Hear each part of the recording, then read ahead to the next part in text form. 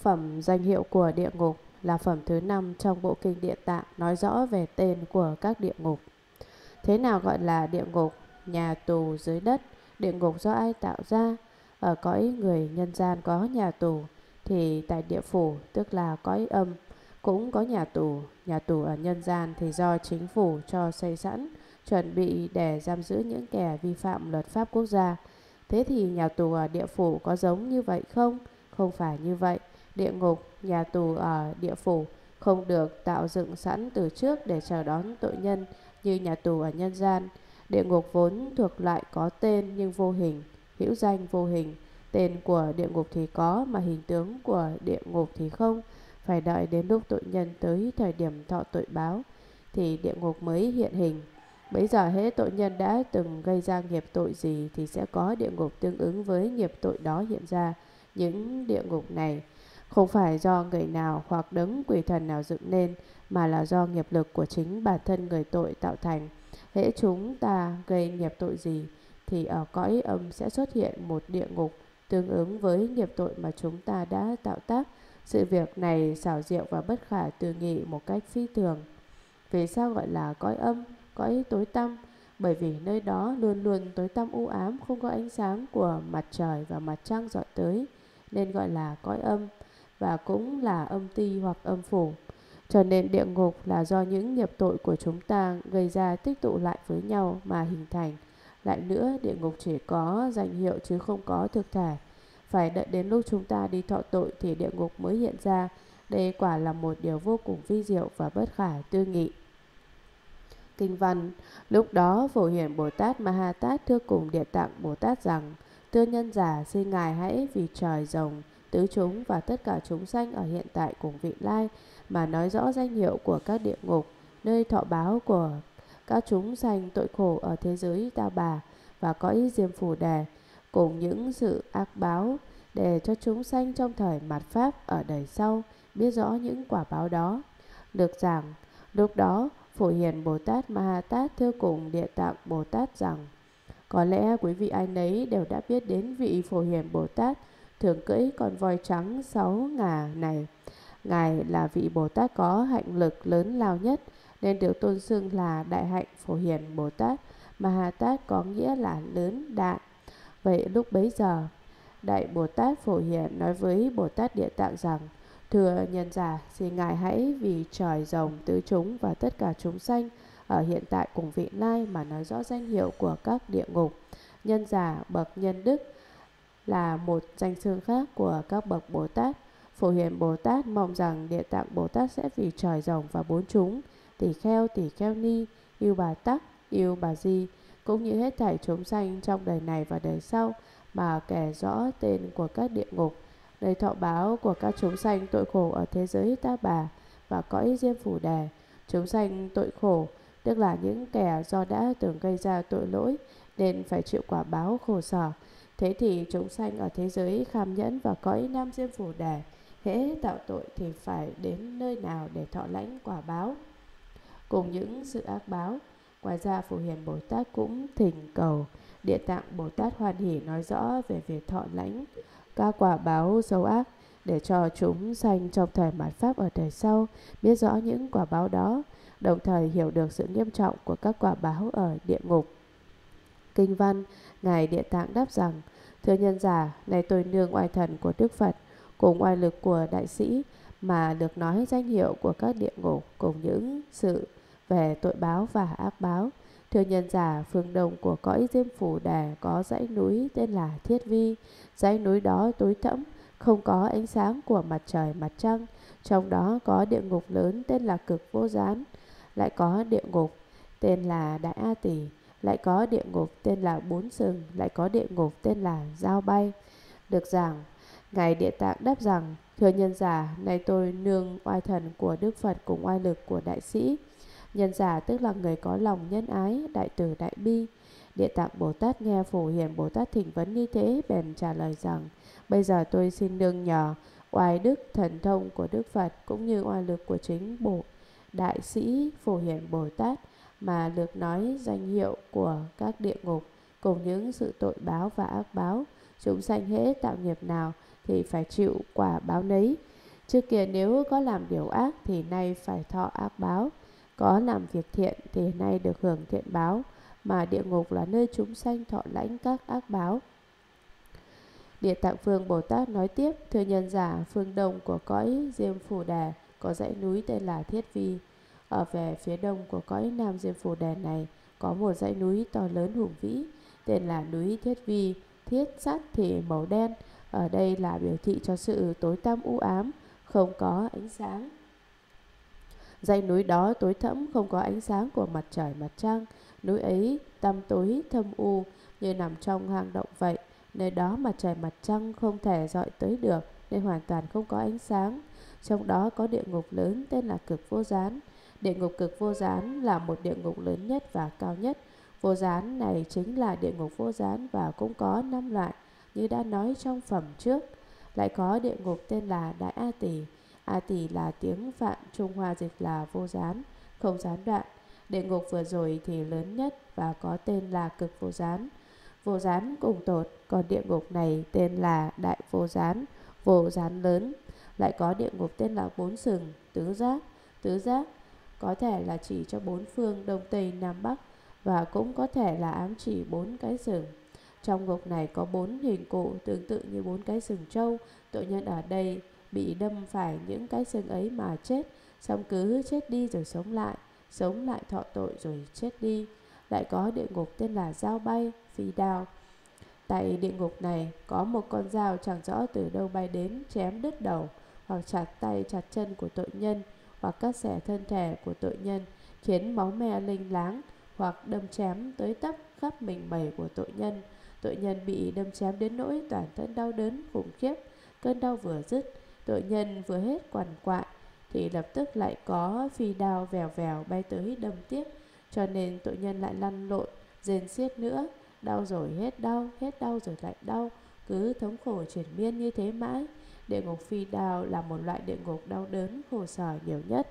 Kinh văn Lại có địa ngục tên là tên lửa, lại có địa ngục tên là núi ép, lại có địa ngục tên là giáo đâm, lại có địa ngục tên là xe sắt, lại có địa ngục tên là giường sắt, lại có địa ngục tên là châu sắt, lại có địa ngục tên là áo sắt. Được giảng lại có địa ngục tên là tên lửa, hỏa tiễn. Trong địa ngục hỏa tiễn có rất nhiều mũi tên và ở đầu mỗi mũi tên đều có lửa rất đáng sợ. Những hỏa tiễn mà ngày nay người ta bắn lên nguyệt cầu cũng tương tự như loại ở địa ngục này vậy. Lại có địa ngục tên là núi ép Giáp Sơn. Tội nhân ở địa ngục Giáp Sơn phải chịu đựng một nỗi thống khổ rất ghê gớm. Trước tiên là cửa ngục ở hướng đông mở ra. Cửa vừa mở toang thì tội nhân trong ngục liền cắm đầu cắm cổ chạy ùa ra. Chẳng khác nào những tên cướp trên đường đào tẩu vậy. Những tội nhân này cứ đinh ninh là thoát ra ngoài tất sẽ được tự do mà không ngờ rằng vừa ra khỏi địa ngục này thì lại gặp phải hai hòn núi chắn ngang. Tưởng rằng trốn trong núi thì có thể tránh khỏi tội báo, ai nấy đều đổ xô về đó. Thế nhưng chạy vào tới trong núi rồi thì thế nào? Núi này là loại núi hoạt động, có thể tự di chuyển. Núi từ bốn phía đều có thể di động và tiến gần lại với nhau. Do đó xung quanh tội nhân Trước mặt sau lưng, bên phải bên trái đều là núi non chập trùng, đồng thời khép chặt lại, khiến toàn thân tội nhân bị ép dẹp, máu thịt bầy nhầy trông rất rùng rợn. Ở nơi đó không những tại cửa ngục phía đông mà tại các cửa ở phía nam, phía tây và phía bắc của địa ngục Giáp Sơn cũng đều xảy ra y như vậy. Các cửa ngục này vừa mở, tội nhân liền tẩu thoát ra ngoài và trông thấy núi thì liền chạy vào đó để trốn, không biết rằng trong núi ấy vẫn là địa ngục. Tại sao lại như vậy? Đó là vì nghiệp tội của các chúng sinh này quá nặng nề, thâm trọng, khiến họ phải chịu quả báo ở khắp mọi nơi, đến đâu họ cũng phải chịu đựng thứ cực hình, không cách gì chịu đựng nổi này. Vì sao lại có quả báo địa ngục giáp sơn? Bởi khi còn sống, những tội nhân trong địa ngục này đã lạm dụng quyền hành thế lực để áp bức, chèn ép người khác một cách thậm tệ, cho nên sau khi chết họ phải chịu quả báo núi ép như thế. Lại có địa ngục tên là giáo đâm, thông thương, giáo thương thì lớn và thô hơn mũi tên tiễn, đầu ngọn giáo thì rất to và nhọn có thể đâm chết người. Ở địa ngục giáo đâm, tội nhân thường xuyên bị đâm bằng giáo, đâm đằng trước, đâm đằng sau, đâm bên phải, đâm bên trái. Cứ mỗi nhát đâm thì thân thể tội nhân bị khoét ra một lỗ lớn như trổ cửa sổ vậy. Cho nên chẳng mấy chốc là khắp mình mẩy tội nhân lỗ chỗ những cửa sổ, máu thịt đỏ lét trông rất ghê rợn. Hình phạt ở địa ngục giáo đâm thông thường này vô cùng đau đớn, thống khổ. Lại có địa ngục tên là xe sắt, thiết xa. Ở địa ngục này có chiếc xe bằng sắt chạy qua chạy lại trên người của tội nhân, cắn dập nát thân thể của họ. Đức Phật Thích Ca Mâu Ni khi còn đang tu hành tại nhân địa có một kiếp nọ, Ngài đắc được thiên nhãn thông và nhìn thấy được địa ngục thiết xa. Bấy giờ chứng kiến cảnh các tội nhân bị xe sắt chạy qua chạy lại trên thân thể quá sức đau đớn khổ sở, Ngài liền phát tâm tử bi mà nguyện rằng ta nhất định phải phát tâm tu đạo và sau này khi thành Phật rồi, ta sẽ độ thoát tất cả chúng sanh trong địa ngục này. Và đó là lần phát tâm tử bi tối sơ của Đức Phật Thích Ca Mâu Ni. Lại có địa ngục tên là giường sắt, thiết sàng. Trong địa ngục này, tội nhân phải nằm hoặc ngồi trên giường sắt. Bên dưới có rất nhiều con dao, nung nóng đỏ rực.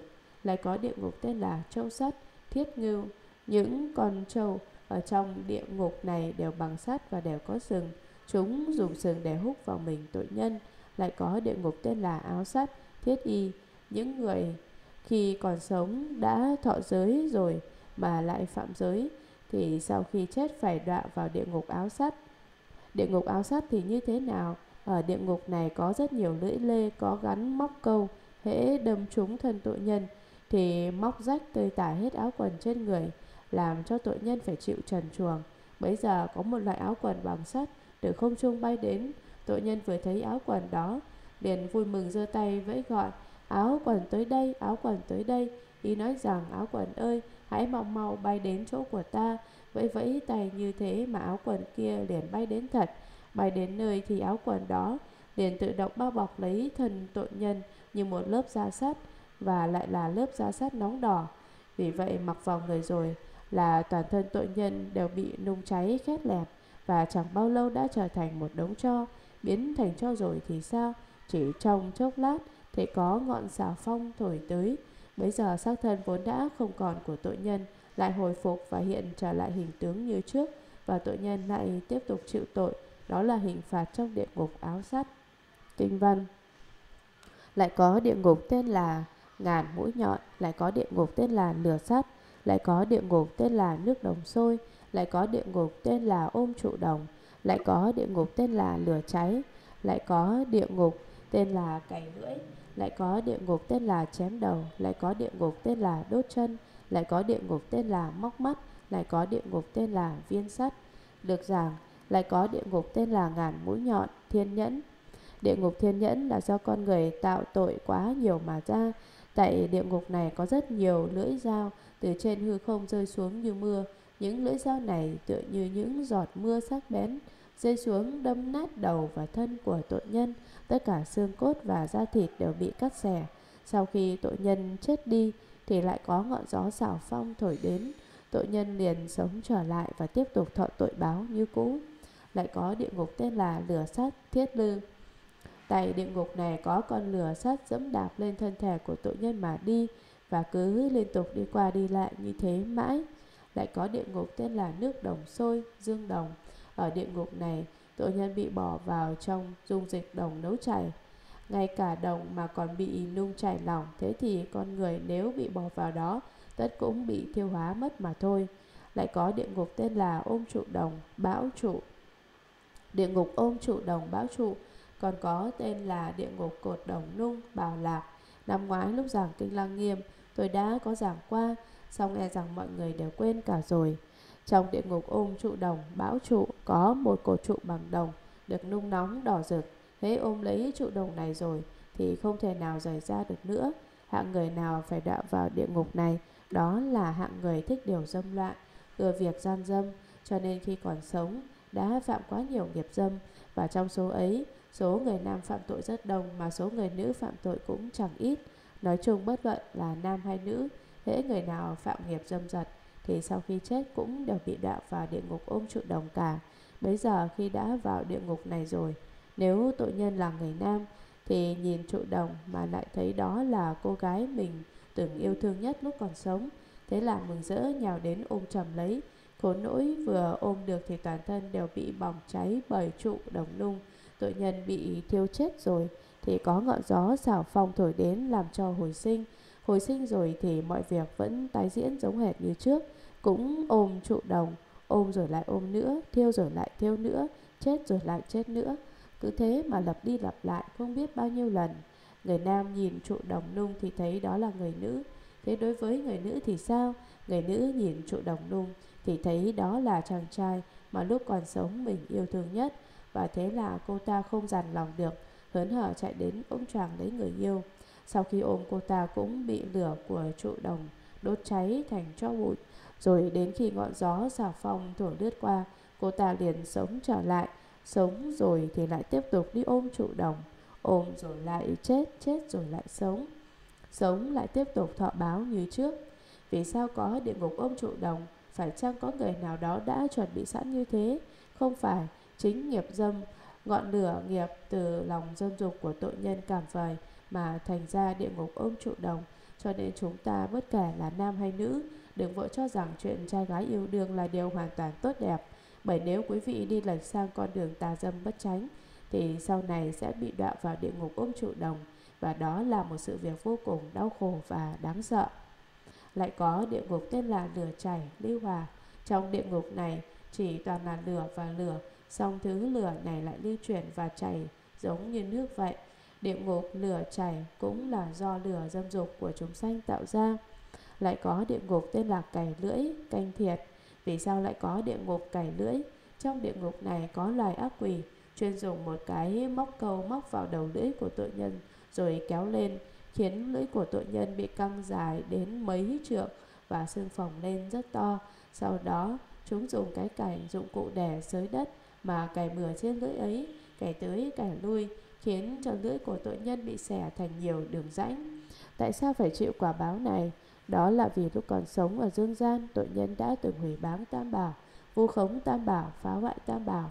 Ví dụ như nói rằng, quý vị không nên tin Phật, Phật vốn không có thật, không hề tồn tại, Phật Pháp chẳng qua chỉ là trò lừa gạt.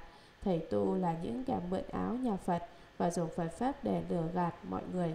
Quý vị chớ có tin theo, như thế là hủy báng tam bảo vậy. Có bốn nghiệp xấu do miệng, lời ăn tiếng nói gây ra, đó là nói lời thô ác, ác khẩu, nói đôi chiều, lưỡng thiệt, nói theo dệt, ỉ ngữ và nói dối vọng ngôn. Một, nói lời thô ác, ác khẩu, tức là nói lời thô ác hoặc mắng chửi người khác. Hai, nói đôi chiều, lưỡng thiệt, có nghĩa là nói hai lưỡi, nói đôi chiều, nói để gây chia rẽ. Ví dụ gặp Trương Tam thì nói là Lý Tứ không tốt, gặp Lý Tứ thì lại nói là Trương Tam không phải khiến đôi bên nảy sành hiểm khích và mất hòa khí. Suốt ngày cứ gây gổ cãi vã, nghi kỵ lẫn nhau, như thế là nói đôi chiều vậy. 3. Nói theo dệt, ỉ ngữ, tức là nói theo dệt, đàn ông thì thường hay nói chuyện về đàn bà. Chẳng hạn như anh thấy cô ấy thế nào, xinh quá phải không? Còn cô này thì sao, lại còn cô kia nữa. Còn đàn bà thì sao, thì lại nói chuyện về đàn ông. Anh chàng kia cũng không tệ lắm, anh chàng này thì thế này thế nọ. Nói tóm lại, những lời nói phù phiếm không đúng đắn, gợi chuyện tà dâm đều là ỷ ngữ. 4. Nói dối, vọng ngôn tức là nói dối, nói điều trái với sự thật. Chúng sanh do phạm bốn điều ác của miệng là đó là nói lời thô ác, nói đôi chiều, nói thêu dệt và nói dối nên bị đọa vào địa ngục cày lưỡi. Lại có địa ngục tên là chém đầu, tỏa thủ. Những tội nhân bị đọa vào địa ngục tỏa thủ thì đều bị chém đầu. Tại sao? Đó là vì lúc sanh thời họ đã giết hại quá nhiều chúng sanh, bởi họ đập vỡ đầu của chúng sanh để giết, cho nên sau khi chết, họ phải bị đọa vào địa ngục tỏa thủ và chịu hình phạt bị chặt đầu. Khi muốn giết sâu bọ, chim xe sẻ hoặc các loài cầm thú khác, nhiều người thường dùng chùy gậy gộc hoặc một vật gì đó để đập vỡ đầu của chúng trước, hoặc trông thấy con du diên hay con rết, cho đó là loại trùng độc nên nhiều người cũng lấy đồ đập đầu cho chúng chết. Chính vì làm tổn hại quá nhiều sinh mạng cho nên sau khi chết, những người ấy lại phải đọa vào địa ngục chém đầu. Nói chung, khi sống chúng ta tạo nghiệp tội gì thì sau khi chết chúng ta phải thọ quả báo tương ứng với nghiệp tội đó. Lại có địa ngục tên là đốt chân, thiêu cước.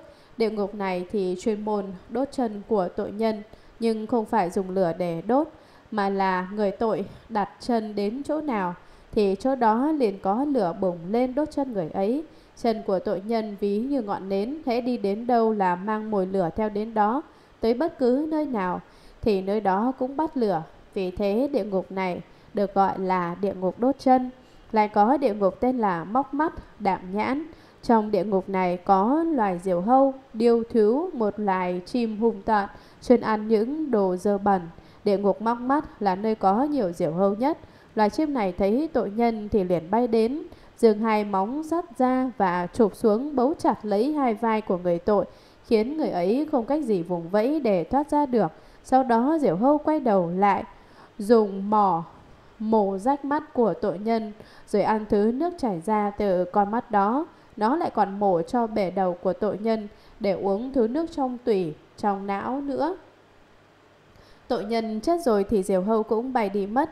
Đợi đến khi tội nhân sống lại thì diều hâu cũng liền bay về lại. Lại có địa ngục tên là viên sắt, thiết hoàn. Ở địa ngục thiết hoàn thì có những viên sắt hình thù tương tự như cái trứng. Từ bốn phía văng tới đập xối xả vào đầu vào mặt tội nhân. Khắp thân thể tội nhân chỗ nào cũng bị các viên sắt đập trúng cả. Khi tội nhân bị đập đến chết rồi thì những viên sắt đó cũng không văng tới nữa. Thế nhưng đợi đến lúc tội nhân sống trở lại thì chúng lại xuất hiện. Đó là hình phạt ở địa ngục viên sắt. Kinh văn Lại có địa ngục tên là cãi cọ, lại có địa ngục tên là dìu sắt, lại có địa ngục tên là nhiều nóng giận. Ngài Địa Tạng nói rằng, thưa nhân giả, trong dãy núi Thiết Vi có những địa ngục như thế, số nhiều vô hạn. Lại có địa ngục kêu gào, địa ngục rút lưỡi, địa ngục phân và nước tiểu, địa ngục khóa đồng, địa ngục voi lửa, địa ngục chó lửa, địa ngục ngựa lửa, địa ngục châu bò lửa, địa ngục núi lửa, địa ngục đá lửa, địa ngục giường lửa, địa ngục giường lửa, địa ngục chim ưng lửa, địa ngục cưa răng, địa ngục lột da, địa ngục uống máu, địa ngục đốt tay, địa ngục đốt chân, địa ngục đâm ngược, địa ngục nhà lửa, địa ngục nhà sắt, địa ngục chó sói lửa. Các thứ địa ngục như thế trong mỗi thứ lại có những địa ngục nhỏ hoặc một hoặc hai hoặc ba hoặc bốn cho đến trăm ngàn. Trong số đó danh hiệu đều chẳng đồng nhau. Lược giảng lại có địa ngục tên là cãi cọ, tranh luận. Trong địa ngục này có rất nhiều ác quỷ cứ quát tháo chửi mắng tội nhân rất thậm tệ, nói rằng tội nhân cái gì cũng không đúng cả. Tại sao lại bị đọa vào địa ngục này? Chính vì lúc còn sống, những tội nhân trong địa ngục này ưa tranh luận cãi vã với người khác, nên sau khi chết phải chịu quả báo như thế. Lại có địa ngục tên là diều sắt, thiết phu. Ở địa ngục này tội nhân bị chặt đầu bằng cái diều sắt. Lại có địa ngục tên là nhiều nóng giận, đa sân. Những tội nhân bị đọa vào địa ngục này đều là do tánh tình hung hăng nóng này nhiều sân hận mà ra. Những người quá nóng tánh Động một chút là tức tối hàn học Mày dám đánh tao, tao phải đánh mày. Thì cũng như những tội nhân ở địa ngục này Cứ không ngừng gây cổ ẩu đả lẫn nhau. Ngài Địa Tạng nói với Phổ Hiền Bồ Tát rằng Thưa nhân giả trong dãy núi Thiết Vi Có những địa ngục như thế số nhiều vô hạn. Tôi tuy đã kể ra rất nhiều tên địa ngục như thế song thật sự thì tên của địa ngục vốn nhiều đến không có hạn lượng. Địa tạng Bồ Tát kể tiếp lại có địa ngục kêu gào, khiếu hoán Trong 18 địa ngục thì có 8 địa ngục lạnh và 8 địa ngục nóng. Địa ngục thứ tư trong 8 địa ngục lạnh là địa ngục khiếu hoán, cũng gọi là địa ngục đại khiếu hoán. Trong địa ngục này suốt ngày luôn luôn có tiếng kêu la ầm ĩ, gào thét om sòm, ồn ào đến đinh tai nhức óc.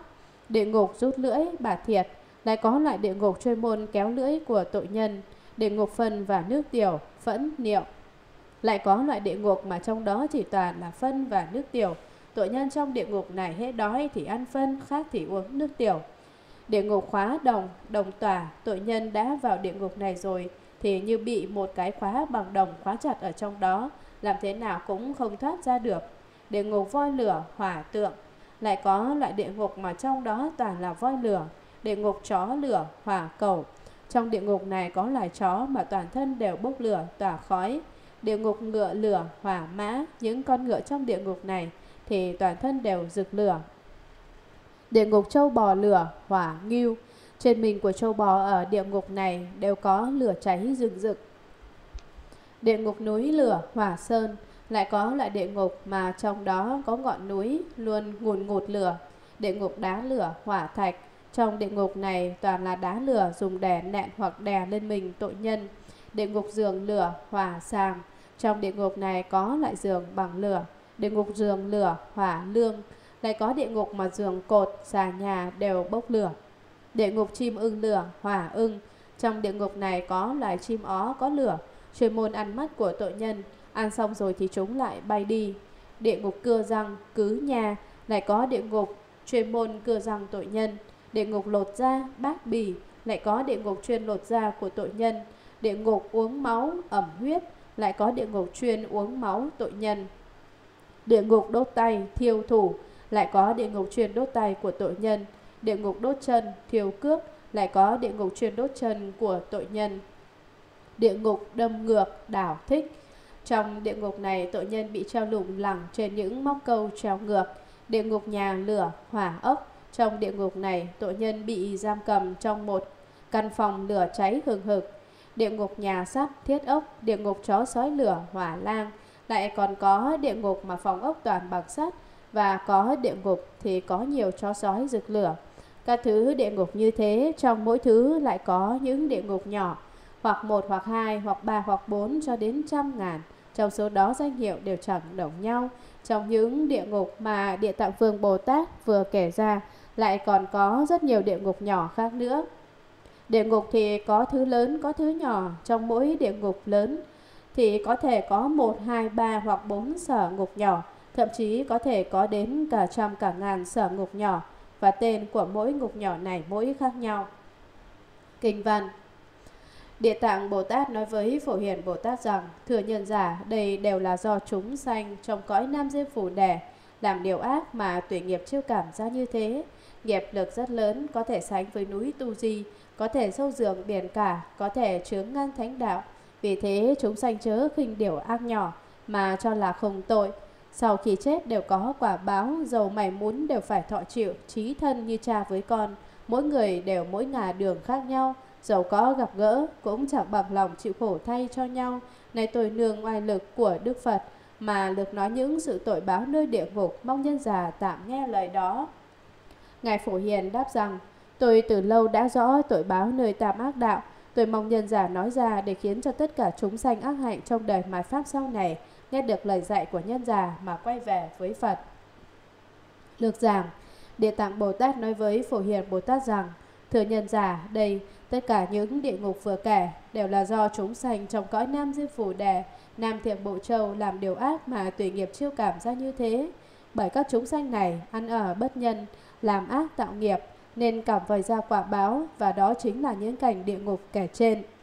Nghiệp lực rất lớn có thể sánh với núi tù gì, Nghiệp lực của chúng sanh thì vô cùng to lớn, lớn đến cỡ nào, lớn như núi Tu Di, có thể sâu giường biển cả. Nghiệp chướng của chúng sanh thâm sâu như thế nào, sâu thẳm như biển cả vậy. Có thể chướng ngăn thánh đạo. Tại sao chúng ta tu hành mà không thành tựu được đạo nghiệp? Đó là vì bị nghiệp lực cản trở, ngăn chặn con đường thánh đạo của chúng ta, khiến cho chúng ta chẳng thể tu thành thánh đạo. Vì thế chúng sanh chớ khinh điều ác nhỏ mà cho là không tội, Quý vị đừng bao giờ xem thường điều quấy nhỏ tác hại ít. Vì sao? Vì nhiều việc ác nhỏ dồn lại thì sẽ thành ra tội ác to lớn tẩy trời, tích tiểu thành đa. Tiểu ác mà tích lũy lại thì dần dần cũng trở thành đại ác. Quý vị đừng tưởng rằng tội ác mà nhỏ thì không có tội, bởi sau khi chết đều có quả báo, dầu mảy muốn đều phải thọ chịu. Nếu quý vị không rẻ rạt thận trọng, thì sau khi chết sẽ phải thọ lãnh vô số quả báo, nhiều như số tóc trên đầu vậy. Dù chỉ phạm một việc ác nhỏ bằng hạt bụi cũng phải gánh chịu quả báo như thường. Chí thân như cha với con, mỗi người đều mỗi ngả đường khác nhau. Trên thế gian này, quan hệ giữa cha với con là thân thiết gần gũi nhất. Thế nhưng một khi đã ở trong địa ngục rồi, thì cha cũng không thể vì phụ tử tình thâm mà chịu tội thay cho con. Và con tuy hiếu thảo, song cũng chẳng thể nào lãnh tội dùm cha mẹ được. Do đó mà nói là mỗi người đều mỗi ngả đường khác nhau. Giàu có gặp gỡ cũng chẳng bằng lòng chịu khổ thay cho nhau. Cho dù cha và con gặp mặt nhau ở chốn địa ngục thì cũng không có ai bằng lòng chịu khổ thay cho ai.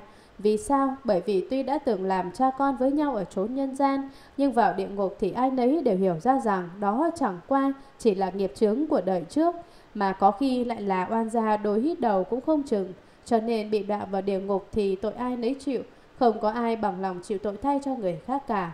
Địa Tạng Vương Bồ Tát lại nói cùng Phổ Hiền Bồ Tát rằng, này tội đường oai lực của Đức Phật, mà được nói những sự tội báo nơi địa ngục, mong nhân giả tạm nghe lời đó.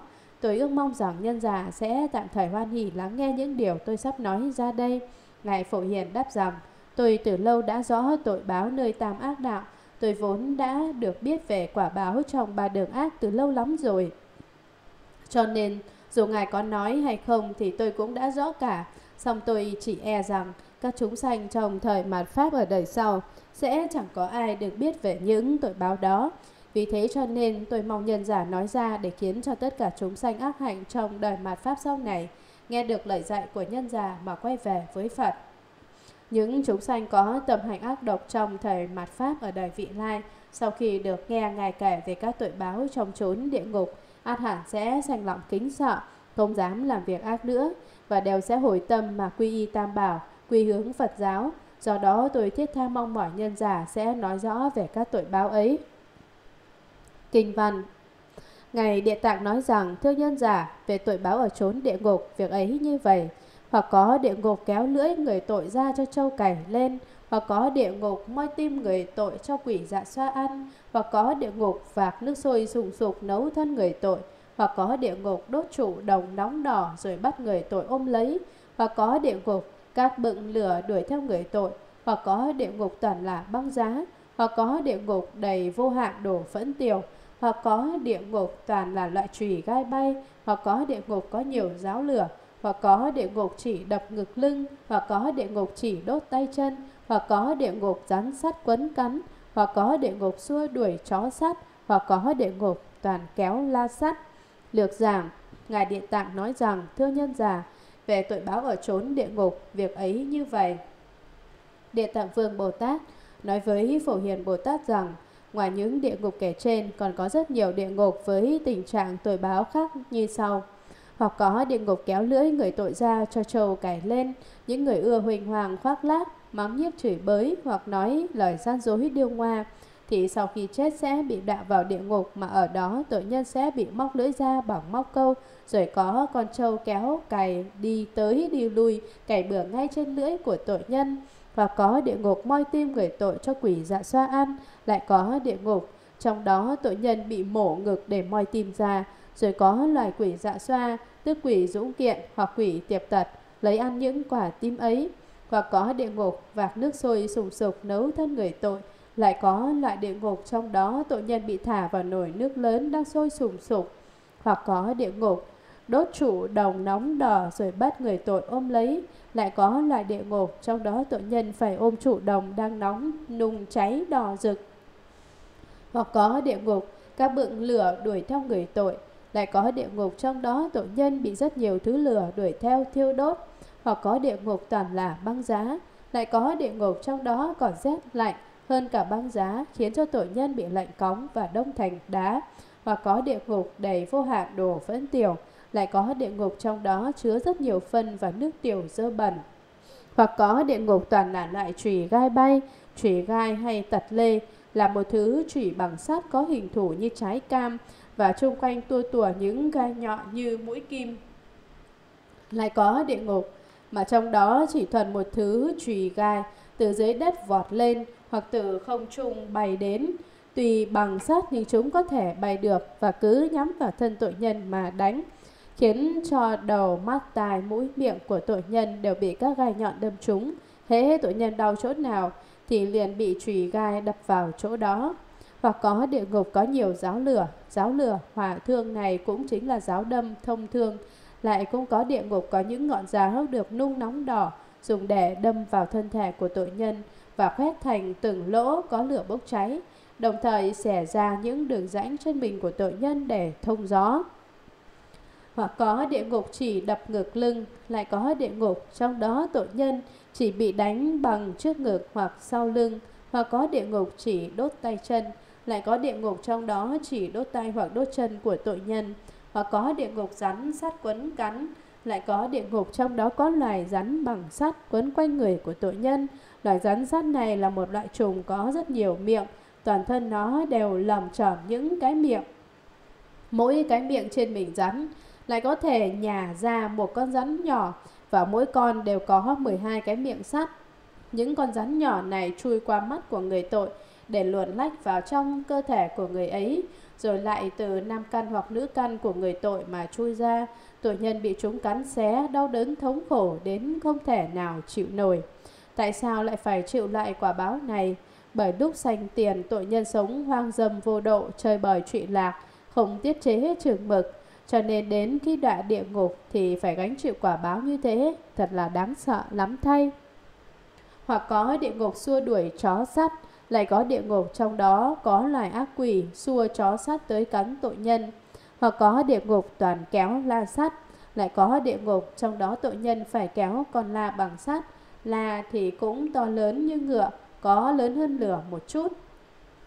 Kinh văn, nhân giả những quả báo như thế, trong mỗi ngục có trăm ngàn thứ khí cụ nghiệp đạo, đều là bằng đồng, bằng sắt, bằng đá, bằng lửa. Bốn thứ này là do các hành nghiệp cảm vòi ra. Nếu nói rộng ra về những sự tội báo ở địa ngục, thì trong mỗi địa ngục còn có cả trăm ngàn thứ khổ sở, huống chi là nhiều ngục. Này tôi nương sức oai thần của Đức Phật và vì nhân giả hỏi đến mà nói sơ lược như thế, nếu nói rộng ra thì cùng kiếp nói cũng không hết được. Lược giảng, Địa Tạng Vương Bồ Tát lại nói với Phổ Hiền Bồ Tát, Thưa nhân giả, bậc đại sĩ nhân đức, những quả báo như thế trong mỗi ngục có trăm ngàn thứ khí cụ nghiệp đạo. Trong mỗi địa ngục đều có cả trăm ngàn vạn loại tội khí đạo nghiệp thọ báo khác nhau. Những khí cụ dùng để hành hình các tội nhân chịu quả báo ở các địa ngục đều là bằng đồng, bằng sắt, bằng đá, bằng lửa. Thế nhưng có phải thật là có đồng, sắt, đá, lửa không? Không phải, vậy là thế nào? Bốn thứ này là do các hành nghiệp cảm vời ra, chúng sanh hễ trồng nhân gì thì gặt quả đó, gây nghiệp tội gì thì có quả báo tương ứng với nghiệp tội đó xuất hiện. Nếu quý vị tạo loại nghiệp đáng phải bị trừng phạt bởi khí cụ bằng đồng thì có ngục đồng xuất hiện. Còn nếu tạo loại nghiệp đáng phải dùng khí cụ bằng sắt để trừng trị thì quý vị phải chịu những thống khổ của ngục sắt, thậm chí cả ngục đá và ngục lửa cũng vậy. Nếu nói rộng ra về những sự tội báo ở địa ngục, thì trong mỗi ngực còn có cả trăm ngàn thứ khổ sở huống chi là nhiều ngục. Giả sử muốn nói rộng ra và cặn kẽ từ chi tiết về các tội báo ở địa ngục như gây tội gì thì phải lãnh quả báo gì. Ở trong mỗi ngục không phải chỉ có vỏn vẹn một thứ khổ sở thôi đâu, mà là có đến hàng trăm hàng ngàn hàng vạn thứ khổ sở khác nữa. Trong một địa ngục mà đã muôn vàn thứ khổ sở không thể kể xiết như thế, thì huống chi là trong nhiều địa ngục. Địa tạng vương Bồ Tát lại nói với Phổ Hiền Bồ Tát rằng, Này tôi nương sức oai thần của Đức Phật, và vì nhân giả hỏi đến mà nói sơ lược như thế, nếu nói rộng ra thì cùng kiếp nói cũng không hết được. Nếu muốn giảng giải cho cặn kẽ thì dẫu có nói trong suốt mấy đại kiếp cũng không thể nào nói cho hết được. Hết phẩm thứ năm đây là phẩm Như Lai tán thán phẩm thứ sáu. Như Lai tức là Đức Phật. Lúc trước tôi đã giảng nhiều lần rồi. Tán thán tức là xưng dương tán thán, tấm tắc khen ngợi. Kinh Địa Tạng có tổng cộng 13 phẩm. Bây giờ giảng đến phẩm thứ sáu. Như vậy là còn 7 phẩm nữa. Kinh văn Lúc đó toàn thân của Đức Thế Tôn phóng ra ánh sáng lớn soi khắp trăm ngàn muôn ức thế giới nhiều như các sông hằng của chư Phật lại phát ra âm thanh lớn bạo khắp các thế giới của chư Phật rằng tất cả hàng Bồ Tát Ma Ha Tát cùng trời rồng, quỷ thần, nhân phi nhân vân vân hãy lắng nghe hôm nay ta sừng dương tán thán địa tạng Bồ Tát Ma Ha Tát về việc ở trong mười phương thế giới hiện sức từ bi oai thần to lớn không thể nghĩ bàn để cứu giúp tất cả những kẻ tội khổ. Sau khi ta diệt độ thì hàng Bồ Tát đại sĩ các ông cùng với trời rồng quỷ thần vân vân nên dùng nhiều phương tiện để gìn giữ kinh này, khiến tất cả chúng sanh đều chứng được cảnh vui niết bàn. Nói lời ấy xong, trong pháp hội có một vị Bồ Tát tên là Phổ Quảng, cung kính chắp tay bạch cùng Đức Phật rằng Này còn nghe Đức Thế Tôn tán thán Địa Tạng Bồ Tát có đức oai thần rộng lớn bất khả tư nghỉ như thế, còn trồng mong Đức Thế Tôn lại vì những chúng sanh trong thời mạt Pháp ở đời sau mà tuyên thuyết các sự nhân quả của Địa Tạng Bồ Tát làm lợi ích cho hàng trời người, hầu làm cho thiên long bát bộ và chúng sanh trong đời sau thể đều kính vâng lời của Đức Phật. Được giảng, lúc đó toàn thân của Đức Thế Tôn phóng ra ánh sáng lớn. Sự kiện toàn thân Phật đều phóng hào quang rực rỡ như thế, đủ cho chúng ta thấy bộ kinh địa tạng này quan trọng đến giường nào. Bấy giờ hào quang sáng chói tỏa ra từ thân của Đức Phật soi khắp trăm ngàn muôn ức thế giới, nhiều như các sông hằng của chư Phật lại phát ra âm thanh lớn, rồi Đức Phật lại phát ra âm thanh nghe lớn như tiếng hống của sư tử và rền vang như tiếng sấm. Âm thanh của Phật vang đến tai người nào thì người đó liền sanh tâm hoan hỉ, khởi lòng cung kính. Thường thì người thuyết giảng kinh sách nếu có giọng nói khàn đục không rõ ràng thì chỉ khiến cho người nghe cảm thấy tẻ nhạt, buồn ngủ, không hăng hái theo dõi buổi giảng. Còn nếu giọng nói sang sảng, rõ và trong như tiếng trương đồng thì thính chúng dù buồn ngủ cách mấy cũng phải giật mình tỉnh táo, thích thú lắng nghe. Âm thanh của Phật thì khiến mọi người vừa thích nghe, lại vừa hết buồn ngủ, càng nghe càng tỉnh táo. Nghe hết câu này liền muốn nghe tiếp câu kế, giống như được thưởng thức một món ăn ngon, không đành lòng bỏ sót vậy.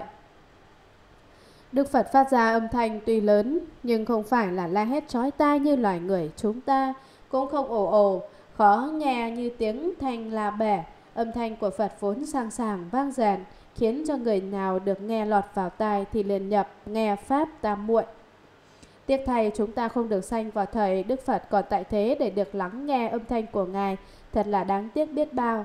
Vậy lúc bấy giờ Đức Phật Thích Ca Mâu Ni phát ra âm thanh bảo khắp các thế giới của chư Phật rằng tất cả hàng Bồ Tát Ma Ha Tát cùng trời rồng, quỷ, thần, nhân, phi nhân vân vân hãy lắng nghe. Hôm nay ta sừng sương tán thán Địa Tạng Bồ Tát Ma Ha Tát về việc ở trong mười phương thế giới hiện sức tử bi oai thần to lớn không thể nghĩ bàn để cứu giúp tất cả những kẻ tội khổ.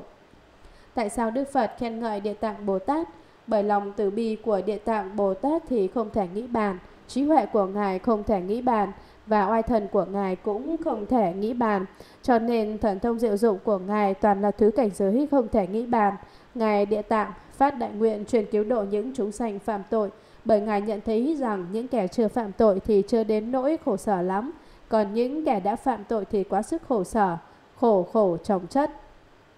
Đức Phật lại căn dặn, sau khi ta diệt độ, đợi đến sau khi ta đã nhập Niết Bàn rồi, thì hàng Bồ Tát Đại Sĩ các ông, cùng với trời, rồng, quỷ thần vân vân nên dùng nhiều phương tiện để gìn giữ kinh này. Tất cả các vị hãy tận lực rộng làm nhiều phương tiện để bảo vệ kinh địa tạng, khiến tất cả chúng sanh đều chứng được cảnh vui niết bàn, đạt được cảnh giới thường lạc ngã tịch. Quý vị xem, bây giờ chúng ta giảng kinh địa tạng thì cũng có Thiên Long Bát Bộ và Chư Đại Bồ Tát đến đây để bảo hộ vậy. Sau khi Đức Phật nói lời ấy xong, trong Pháp hội có một vị Bồ Tát tên là Phổ Quảng. Vị Bồ Tát đem lại sự lợi ích rộng khắp cho hết thảy chúng sanh, cung kính chắp tay bạch cùng Đức Phật rằng, này còn nghe Đức Thế Tôn tán thán Địa Tạng Bồ Tát có đức oai thần rộng lớn bất khả tư nghỉ như thế, đức hạnh lớn lao như thế, còn trông mong Đức Thế Tôn lại vì những chúng sanh trong thời mạt Pháp ở đời sau mà tuyên thuyết các sự nhân quả của Địa Tạng Bồ Tát làm lợi ích cho hàng trời người, hầu làm cho thiên long bát bộ và chúng sanh đời sau, thầy đều kính vâng lời của Đức Phật, thầy đều y giáo phụng hành.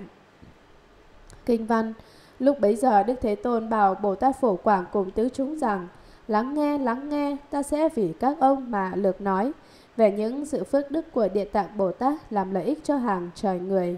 Lược giảng, lúc bấy giờ Đức Thế Tôn bảo Bồ Tát Phổ Quảng cùng tứ chúng, tỷ kheo, tỷ kheo ni, yêu bà tắc, yêu bà di, bao gồm cả thiên long bát bộ, rằng lắng nghe, lắng nghe, tất cả các ông hãy chăm chú lắng nghe cho kỹ, ta sẽ vì các ông mà lực nói về những sự phước đức của Địa Tạng Bồ Tát làm lợi ích cho hàng trời người.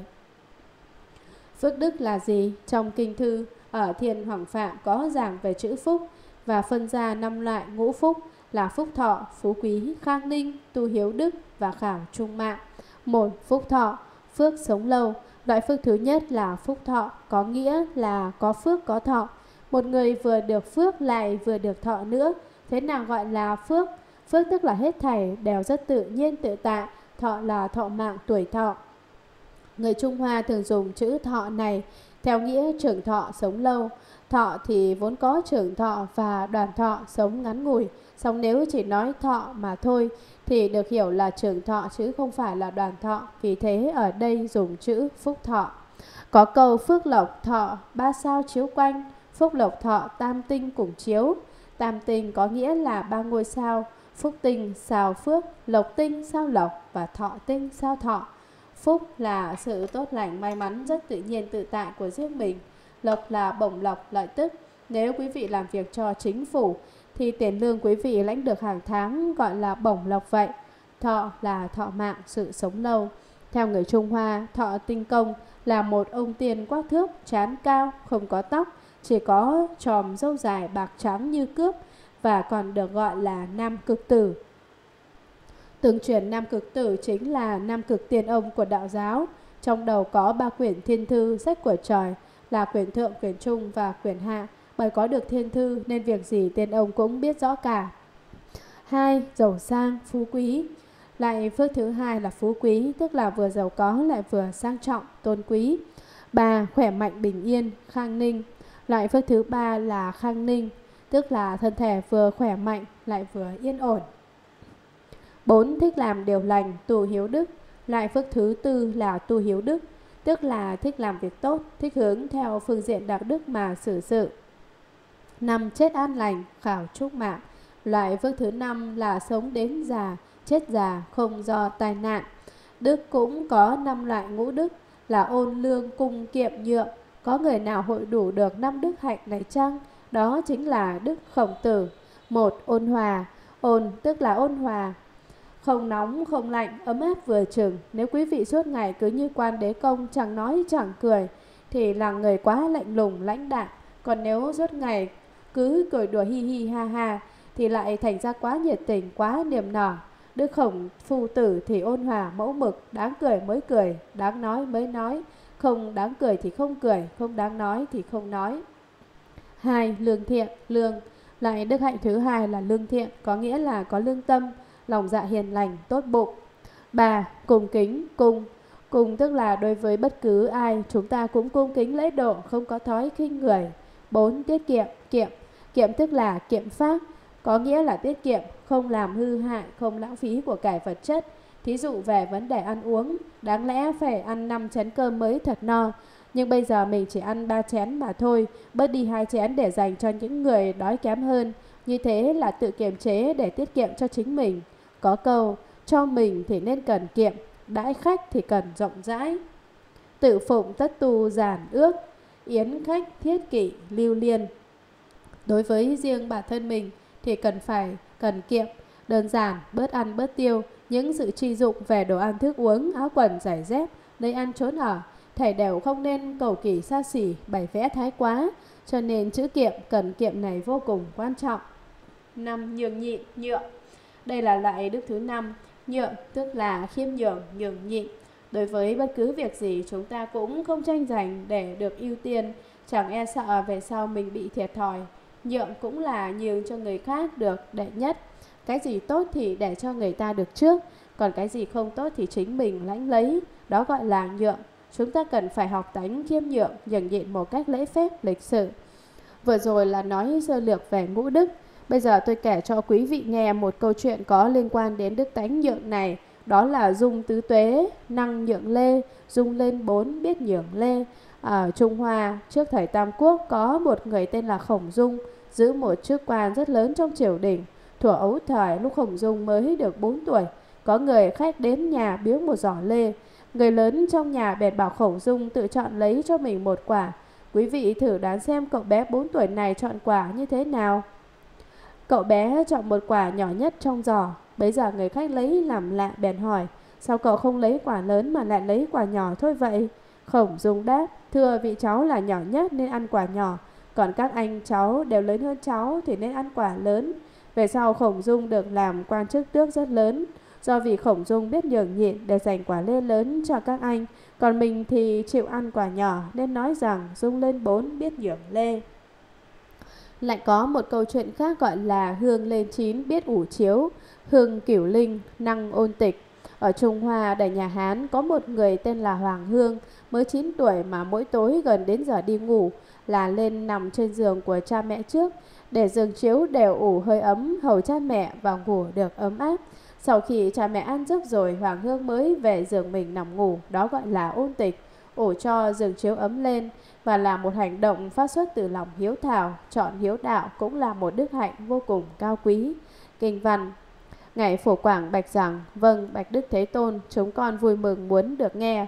Đức Phật bảo Bồ Tát Phổ Quảng, trong đời vị lai như có thiện nam tử hay thiện nữ nhân nào nghe được danh hiệu của Địa Tạng Bồ Tát Ma Ha Tát, hoặc là chắp tay, hoặc là tán thán, hoặc là đảnh lễ, hoặc là biến mộ, ngày đó sẽ qua khỏi tội khổ trong 30 kiếp. Này Phổ Quảng, như có thiện nam tử hay thiện nữ nhân nào, hoặc tô vẽ hình tượng, hoặc dùng đất đá, keo sơn, vàng, bạc, đồng sắt tạc tượng Bồ Tát này, rồi cứ một lần chiêm ngưỡng, một lần đảnh lễ, thì người đó sẽ được sang lên cõi trời 33 100 lần, vĩnh viễn không phải đọa vào ác đạo. Giả sử phước trời đã hết, phải sanh xuống nhân gian, cũng vẫn làm vị quốc vương không hề mất sự lợi lớn. Lược giảng, Ngài Phổ Quảng bạch với Đức Phật Thích Ca Mâu Ni rằng, Vâng, Bạch Đức Thế Tôn, chúng con vui mừng muốn được nghe. Hiện tại chúng con đều sẵn sàng và hoan hỷ lắng nghe. Đức Phật bảo Bồ Tát Phổ Quảng, trong đời vị lai như có thiện nam tử hay thiện nữ nhân nào, kẻ nam hay người người nữ nào có thọ ngũ giới và biết hành thập thiện, nghe được danh hiệu của Địa Tạng Bồ Tát Ma Ha Tát, hoặc là chắp tay hoặc là tán thán, người đó có thể trầm trồ nói rằng, Ồ Bồ Tát Địa Tạng quả là một vị đại Bồ Tát, Ngài thật là từ bi, lại còn có thần thông diệu dụng nữa, thật là bất khả tư nghì. Hoặc là đảnh lễ, hoặc là luyến mộ. Có người trông thấy tượng của Bồ Tát Địa Tạng thì sanh lòng luyến mộ, không đành lòng bỏ đi, cứ đứng mãi ở đó mà lưu luyến ngắm nhìn tôn tượng, đến nỗi quên ăn quên uống, quên hết mọi chuyện. Đây cũng giống như người đã say mê, ham thích một việc gì rồi, thì quên hết tất cả những việc khác vậy. Như thế nếu có người thiện nam hay tín nữ nào khi nghe được danh hiệu hoặc trông thấy hình tượng của Đại Bồ Tát Địa Tạng, liền cung kính chắp tay, thành tâm khen ngợi, hướng về tôn tượng mà cúi lại quyến luyến không rời, thì người đó sẽ qua khỏi tội khổ trong 30 kiếp. Tất cả nghiệp tội trong 30 kiếp của người đó đều được tiêu tan.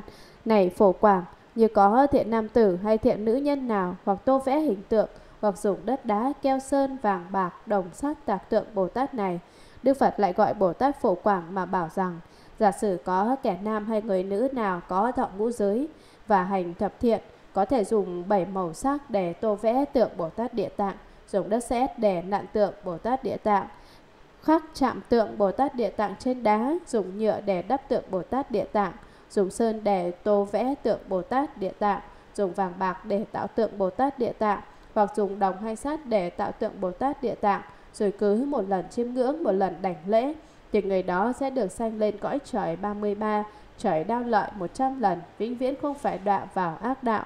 Nhờ công đức lễ bái Bồ Tát Địa Tạng mà người đó mãi mãi không bị đọa lạc vào đường ác. Giả sử phước trời đã hết, phải sanh xuống nhân gian, cũng vẫn làm vị quốc vương không hề mất sự lợi lớn. Khi các thiện nam tín nữ ấy đã hưởng hết phước báo ở cõi trời của họ rồi, và phải sanh trở lại về cõi người, thì họ sẽ được sanh làm vua làm chúa. Cho nên những vị quốc vương trên thế gian hiện nay đều là những người trước kia đã từng cung kính lễ lại Địa Tạng Vương Bồ Tát.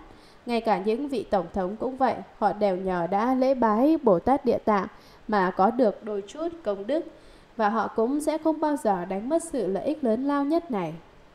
Kinh văn, giả sử có người nữ nào nhàm chán nữ thân, hết lòng cúng dường tượng vẽ của Bồ Tát Địa Tạng, cùng những tượng bằng đất, đá, keo, sơn, đồng, sắt vân vân, ngày ngày như thế không hề thối chuyển, lại thường đem hoa hương, đồ ăn thức uống, y phục, gấm, lụa, tràng phan, tiền bạc, vật báu vân vân cúng dường thì người thiện nữ đó sau khi mãn một báo thân nữ hiện tại, thời đến trăm ngàn muôn kiếp không còn sanh vào thế giới có người nữ, huống hồ là thọ lại thân nữ. Trừ phi vì nguyện lực tử bi muốn thọ nữ thân để độ thoát chúng sanh, còn thì nương nơi sức cúng dường ngài địa tạng cùng sức công đức trong trăm ngàn muôn kiếp chẳng còn phải thọ nữ thân nữa. Lược giảng, giả sử có người nữ nào nhàm chán nữ thân, Quý vị nữ giới đừng tưởng rằng làm thân nữ là một điều tốt đẹp mà vội sanh lòng tự mãn, bởi cái thân nữ này có rất nhiều sự phiền toái, rắc rối. Vì sao nói thân nữ có nhiều phiền toái? Quý vị chớ cho rằng tôi cố ý nói như thế để quý vị chán ghét thân nữ, rồi đòi xuất ra làm tỷ kheo hay tỷ kheo ni. Thân thể của người nữ quả thật có rất nhiều phiền toái, cho nên cũng có nhiều người nữ không bằng lòng với cái thân mà họ đương có này. Vì sao phải làm thân người nữ? Quý vị hãy nghiền ngẫm đạo lý này. Nếu hiện đời quý vị mang nặng những tập khí như ganh ghét, đố kỵ, chướng ngại, tham lam, ích kỷ, ưa lợi dụng, thích trau chuốt, thích làm duyên, làm dáng, vân vân thì đời sau quý vị phải sanh làm người nữ. Thế nhưng nếu quý vị cung kính chiêm lễ để tặng phương Bồ Tát thì vấn đề sẽ được giải quyết. Quý vị sẽ không phải làm thân nữ nữa. Còn nếu không giải quyết được vấn đề này, tức là quý vị sẽ phải mang thân nữ và như thế thì chẳng vui vẻ gì cả. Bởi thân nữ có 5 điều chướng ngại, ngũ chướng và 10 việc xấu, thập ác. Năm sự chướng ngại của thân nữ là gồm có những gì? Đó là một Người nữ không thể làm đại phạm thiên vương. Tại sao người nữ lại không thể làm đại phạm thiên vương? Bởi vì đại phạm thiên vương vốn do tu hạnh thanh tịnh mà thành. Phạm có nghĩa là thanh tịnh trong sạch. Trong khi đó, thân thể người nữ có nhiều nhiễm ô bất tịnh không được sạch sẽ, cho nên không thể nào làm đại phạm thiên vương được. Hai, người nữ không thể làm đế thích, thiên chủ. Thế thì quý vị sẽ thắc mắc rằng vị thiên chủ của cõi trời tam thập tam không phải là người nữ sao? Đúng vậy, có điều vị ấy đã chuyển thành thân nam, cho nên thiên chủ vẫn là nam chứ không phải nữ. Đế thích thì rất ít dục niệm, còn người nữ thì lòng dâm dục nặng nề, cho nên không thể làm thiên chủ được. 3. Người nữ không thể làm ma vương. Điều này là tốt nhất, mà vương vốn rất căng cường lại vô cùng cứng rắn. Còn người nữ thì quá yếu đuối, hễ có việc gì xảy ra là liền hoảng hốt, bối rối, mất tự chủ, phải cầu cứu người khác, cho nên không thể làm ma vương được. Bốn người nữ không thể làm chuyển luân thánh vương, luân vương. Luân vương tức là kim luân thánh vương, ngân luân thánh vương, thiết luân thánh vương và đồng luân thánh vương. Vì sao người nữ không thể làm chuyển luân thánh vương? Chuyển luân thánh vương thì rất từ bi, rất nhân hậu. Thường dạy người đời chỉ ngũ giới hành thập thiện. Còn người nữ thì tâm địa nhỏ nhen, lòng đố kỵ rất lớn, cái gì cũng so đo ganh tị cả. Hễ thấy người khác được điều gì tốt đẹp là trong bụng mình liền bứt rứt xốn sang, sanh tâm ghen ghét, bởi đố kỵ là bản tánh của người nữ, cho nên họ không thể làm chuyển luân thánh vương được. năm Người nữ không thể làm Phật, không thể thành Phật. Thân Phật thì có vạn đức trang nghiêm, còn thân người nữ thì lại có quá nhiều như uế, điều xấu ác. Lại thường đố kỵ chướng ngại, tâm lượng hẹp hòi, tâm tướng nhỏ nho như hạt mè vậy. Cho nên người nữ không thể thành Phật được. Tuy rằng người nữ có năm sự chướng ngại như thế, nhưng nếu họ không còn lòng đố kỵ, không còn lòng dâm dục, không còn yếu đuối nhẹ dạ, không còn những như uế xấu ác, không còn tâm nhiễm ô bất tịnh, thì họ có thể được chuyển nữ thành nam, cho nên họ vẫn có hy vọng. Điển hình là trường hợp của Long Nữ, con gái của Long Vương. Khi nghe tôn giả xá lợi Phất nói cô ta không thể thành Phật, Long Nữ bèn lấy viên bảo châu mà cô yêu thích nhất, không đành lòng cho đi nhất, đem cúng dường cho Đức Phật. Phật hoan hỷ thọ nhận sự cúng dường của cô ta. Bấy giờ Long Nữ hỏi tôn giả xá lợi Phất rằng, Tôi có thể thành Phật ngay bây giờ. Ngài xem tôi đem Bảo Châu cúng dường cho Đức Phật và Phật đã đón nhận. Chẳng hay việc đó có nhanh chóng chăng? Ngài xá lợi Phất đáp, thật rất nhanh chóng.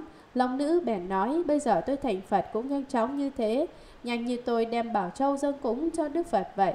Nói vừa dứt lời thì Long nữ quả nhiên liền chứng đắc Phật thân, tức thời thành Phật. Cho nên quý vị nữ giới đừng than thân trách Phật hoặc chán ghét cuộc đời cũng đừng nghĩ là vì có ngũ trướng mà mình không còn hy vọng.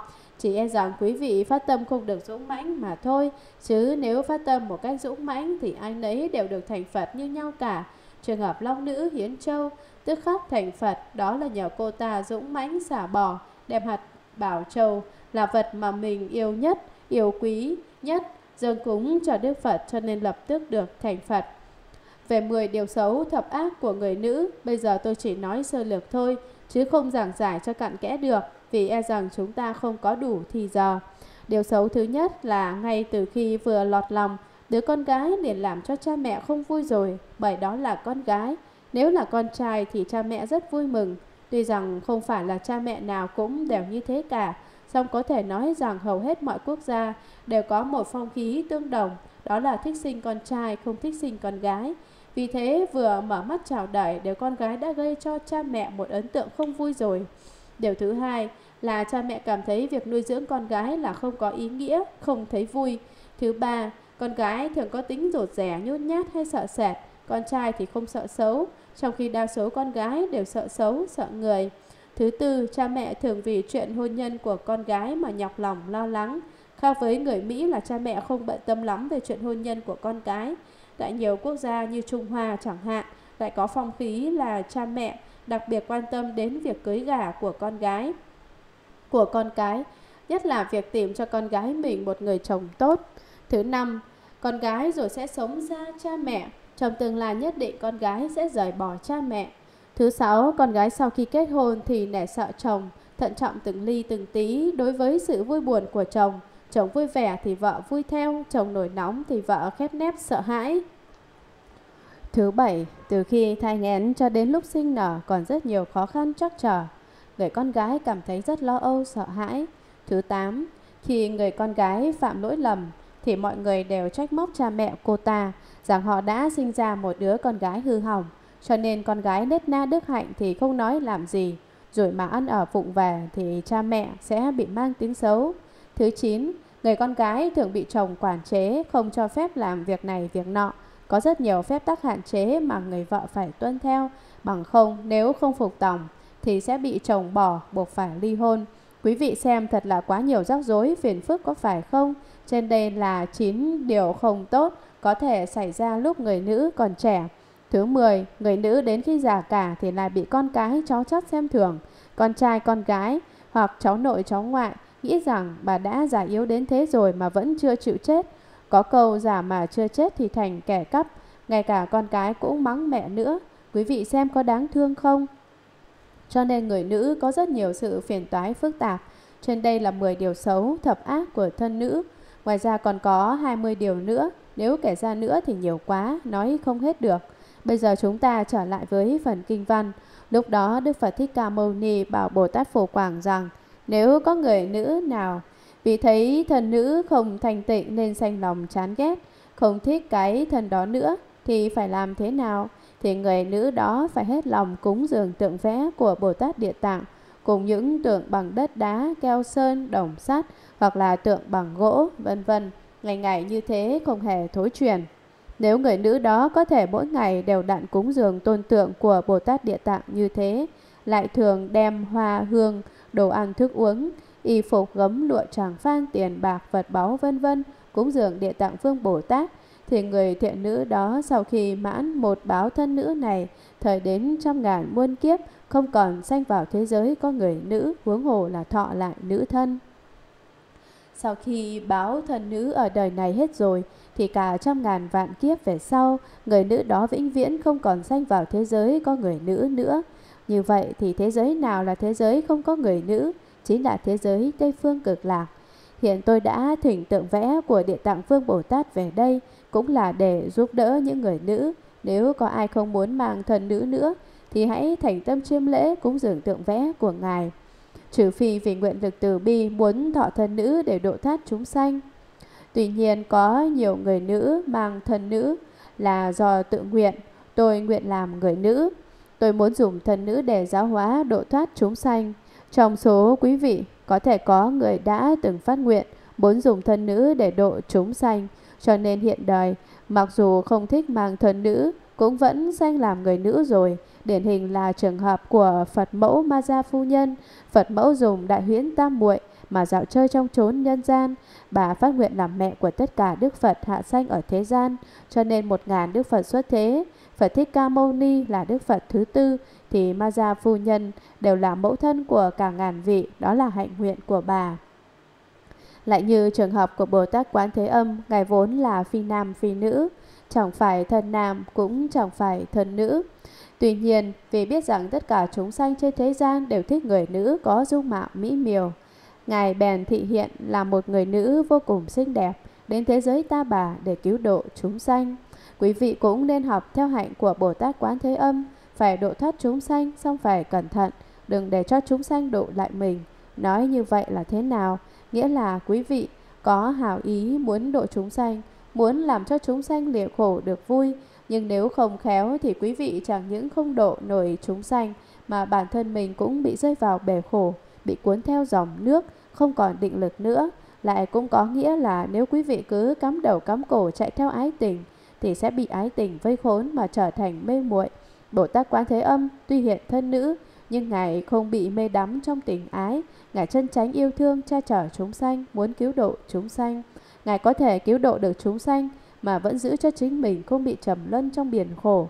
Cho nên trừ khi là do nguyện lực của chính mình muốn mang thân nữ để cứu độ chúng sanh, còn thì nương nơi sức cúng dường Ngài Địa Tạng cùng sức công đức trong trăm ngàn muôn kiếp chẳng còn phải thọ nữ thân nữa.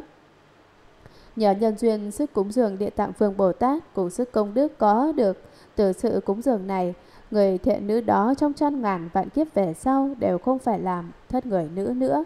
Kinh văn lại nữa, này phổ quảng, nếu có người nữ nào chán thân xấu xí và nhiều bệnh tật, đến trước tượng của Địa Tạng Bồ Tát, trí tâm chiêm lễ trong trường một bữa ăn, người nữ đó trong ngàn muôn kiếp sẽ được thọ sanh, thân hình, tướng mạo viên mãn. Người nữ xấu xí đó nếu không nhàm chán thân gái, thì trong trong ngàn muôn ức đời thường làm vương nữ. Cho đến vương phi hoặc con gái dòng dõi tề phụ đại quan, đại trường giả, đoan tránh thọ sanh các tướng viên mãn do trí tâm chiêm lễ hình tượng của Địa Tạng Bồ Tát mà được phước như thế. Lược giảng, Đức Phật dạy tiếp, lại nữa, này phổ quảng, nếu có người nữ nào chán thân xấu xí và nhiều bệnh tật. Trên thế gian này cùng là con người, xong tại sao có người thì tướng mạo đẹp đẽ xinh xắn, có người lại xấu xí cục mịch, hoặc có người thì thân thể tráng nghiện, có người lại ốm đau quạt quẹo, vì lẽ gì mà có những sự khác biệt như thế? Có 10 nghiệp dữ, thập ác nghiệp khiến cho tướng mạo con người bị xấu xí. Những gì làm người Ác nghiệp thứ nhất là thường hay phẫn nộ, thích sanh lòng, căm phẫn. Chữ phẫn này là một trong 20 thứ phiền não, còn nộ là phát cáu, nổi giận. Người nữ đa số dễ nổi nóng, dễ giận hờn. Tuy rằng không phải người nữ nào cũng như vậy, nhưng phần đông thì đều là dễ nổi giận. Họ có thể vì một cây kim hay một sợi chỉ mà sanh ra giận dữ tức tối. Nổi giận, nổi nóng là đặc tính của người nữ. Nghiệp ác thứ hai là trong lòng thường chất chứa một mối hiểm nghi và ghét hận. Người nữ thường có tánh đa nghi, cái gì cũng hoài nghi cả, lại còn có thêm lòng phẫn hận nữa. Họ hận người, cho rằng ai cũng có lỗi, cũng đắc tội với mình, cũng đáng cho mình thù ghét cả. Ác nghiệp thứ ba là gì? Là ưa nói dối, thích mê hoặc người khác, làm cho người khác bị điên điên đào đào, không biết thế nào cho phải nữa. Ác nghiệp thứ tư là gì? Là thích não loạn chúng sanh.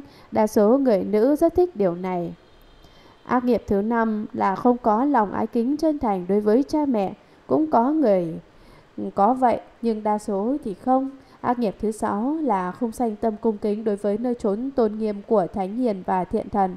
Những vị tu học Phật Pháp mà chứng quả A-la-hán đều được gọi là bậc thánh hiền. Thậm chí ở trước mặt Đức Phật ở chùa Triền, đa số người nữ cũng không sanh lòng cung kính, không có được lòng cung kính chân chánh. Ác nghiệp thứ bảy là xâm đoạt tài sản ruộng vườn nhu yếu của Thánh Hiền. Ác nghiệp này chỉ nói về một số người nữ mà thôi, chứ không phải ai cũng vậy. Xâm đoạt tức là cướp lấy, chiếm đoạt một cách ngang ngược. Ác nghiệp thứ 8 là thường dập tắt những ngọn đèn thắp trước tượng Phật ở trong chùa hoặc trong tháp thờ Phật, không để đèn tiếp tục cháy sáng nữa. Đây là hành vi thứ 8 dẫn đến quả báo xấu xí. Thật ra cũng rất ít người nữ nào lại thổi tắt đèn thắp trước tượng Phật như thế. Ác nghiệp thứ 9 là thấy người nào xấu xí liền danh lòng chê bai khinh miệt, nói rằng ôi người gì mà xấu xí quá sức, thật là chẳng ai dám nhìn. Người nữ thường có thói khinh người như thế, xong lè thấy người ta xấu xí mà khinh thường người ta, kết quả là chính bản thân mình cũng bị xấu xí luôn. Quý vị phải biết rằng trong tự tánh của mình vốn có tấm gương thu hình. Khi quý vị nhìn thấy một kẻ xấu xí rồi sanh lòng cách mạng, thì tất cả đều được ghi nhận và thu vào tấm gương của quý vị. Đến đời sau, quý vị phải đầu thai làm kẻ còn xấu xí tệ hơn người đó nữa. Ác nghiệp thứ 10 là thích học theo hoặc bắt chước những thói hư tật xấu, ác hạnh, những hành vi không tránh đáng. Trên đây là 10 thứ ác nghiệp hay 10 nguyên nhân dẫn đến việc thọ quả báo tướng mạo xấu xí. Lại có 10 nguyên nhân khiến cho thân thể mang nhiều bệnh tật. Những gì là 10? Thứ nhất là thích đánh đập mọi loài chúng sanh. Bất luận là chúng sanh nào, hễ trông thấy là đều muốn đánh đập. Đây là nguyên nhân đầu tiên của quả báo thân thể phải mắc nhiều bệnh khổ. Nguyên nhân thứ hai dẫn đến quả báo bệnh tật khổ sở là xúi dục hoặc sai bảo người khác đánh đập chúng sanh, chó, mèo, chuột, thậm chí cả trẻ em. Thứ ba là khen ngợi việc đánh nhau, khen ngợi cái gì? Trầm trồ khen ngợi cách đánh đập hành hạ chúng sanh. Do vì tán thưởng cách đánh đập của người khác nên chính bản thân mình phải chịu quả báo nhiều bệnh tật. Thứ tư là thấy sự đánh đập mà vui mừng. Có những kẻ thấy người khác đánh đập chúng sanh thì trong lòng lại vui mừng hớn hở cho là chuyện thú vị.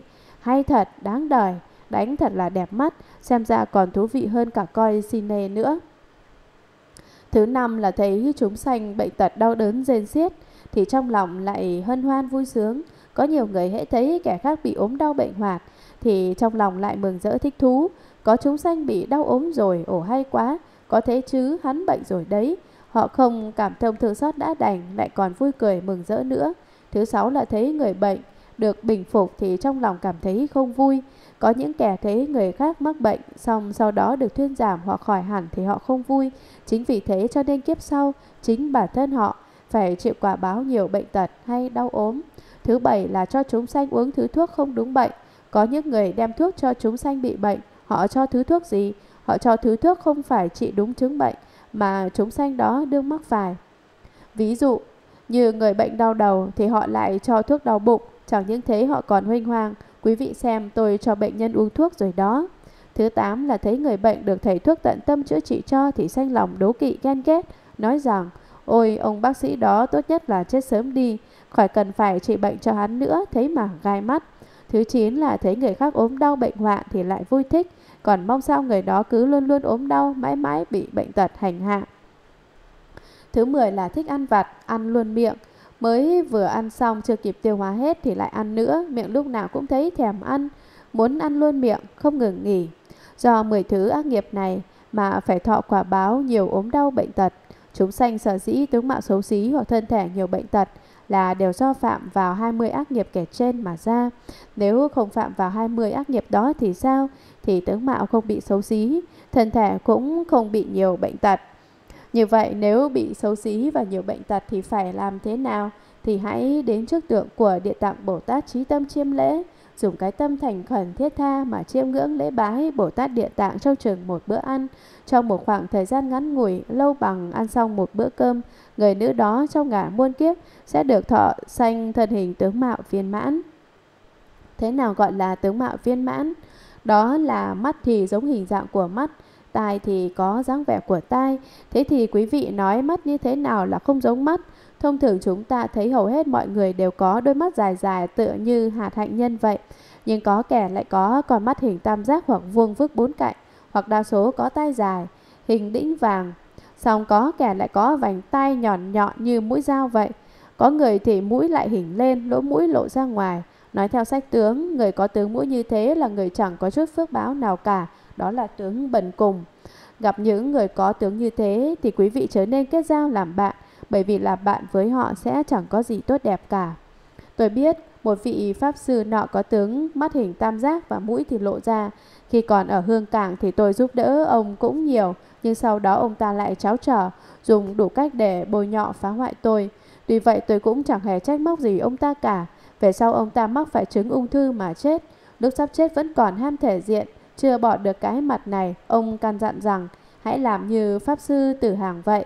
Hãy đặt nhục thân của ông ta ngồi trong cái vại lớn rồi niêm lại. Sau 3 năm thì hãy mở ra xem. Nếu nhục thân vẫn còn tươi tốt thì đem ra thép vàng. Rút cuộc, chưa tới hai hôm thì đầu của ông ta đã gục xuống rồi.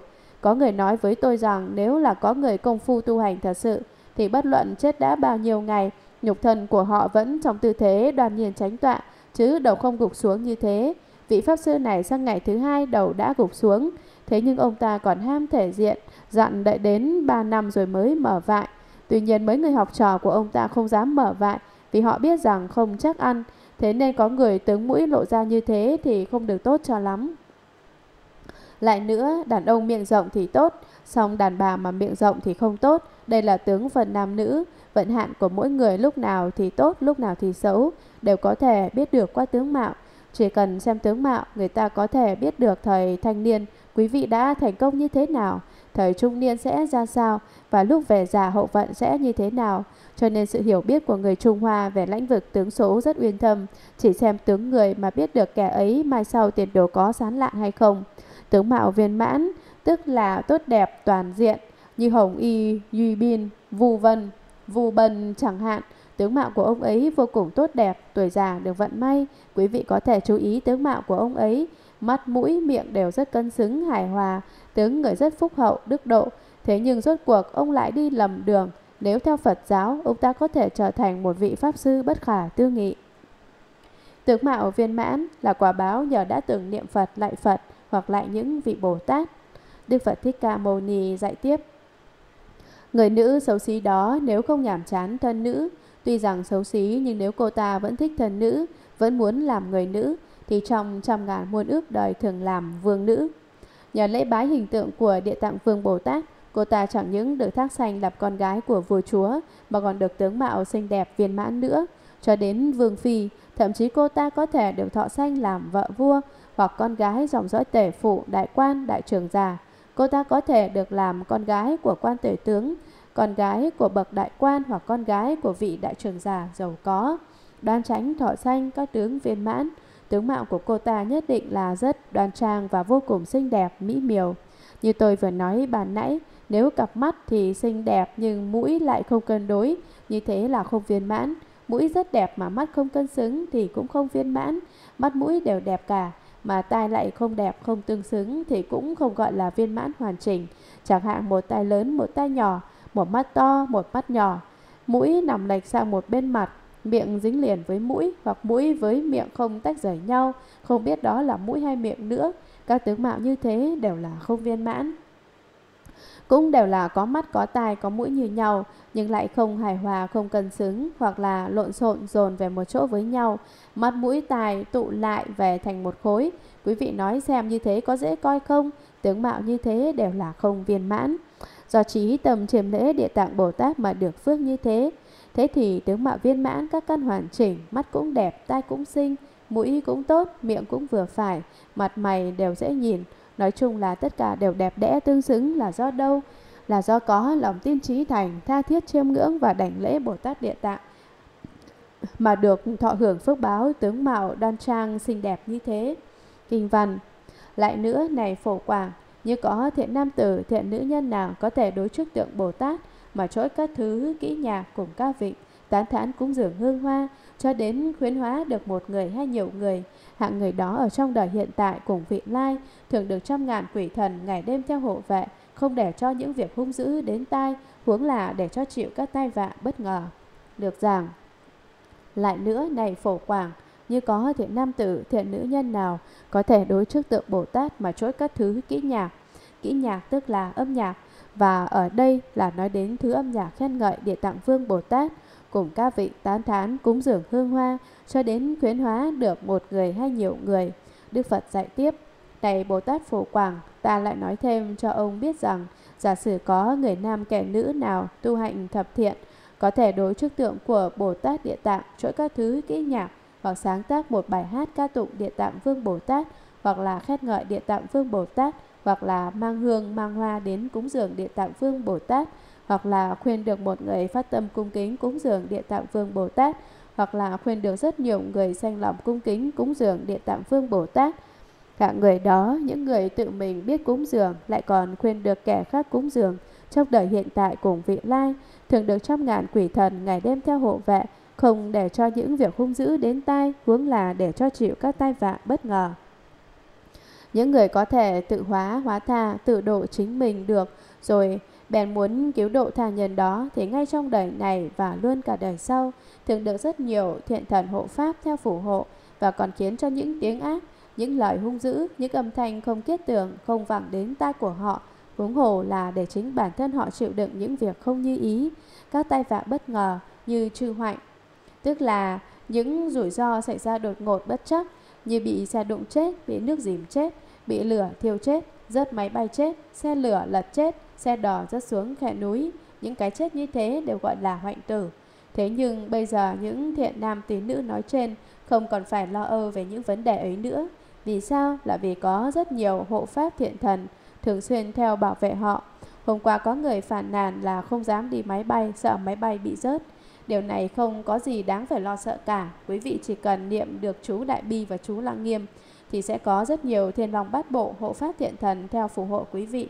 Rồi đến bất cứ nơi nào, chỉ cần quý vị đừng khởi vọng tưởng, luôn luôn tin tưởng Bồ Tát thì Bồ Tát nhất định sẽ che chở cho quý vị. Người tin Phật thì đừng sợ hãi, cũng đừng sợ quỷ, bởi loài quỷ trông thấy quý vị thì đều phải quý đầu. đều phải cúi đầu vì quý vị có công đức. Nếu quý vị không có công đức thì sao? Nếu quý vị không biết làm việc tốt thì sẽ có những việc không may xảy ra. Còn nếu ngày ngày quý vị đều tu tâm dưỡng tánh, giữ lòng hào tâm, chăm làm thiện sự thì sẽ không thể có điều gì không may xảy ra cho quý vị cả.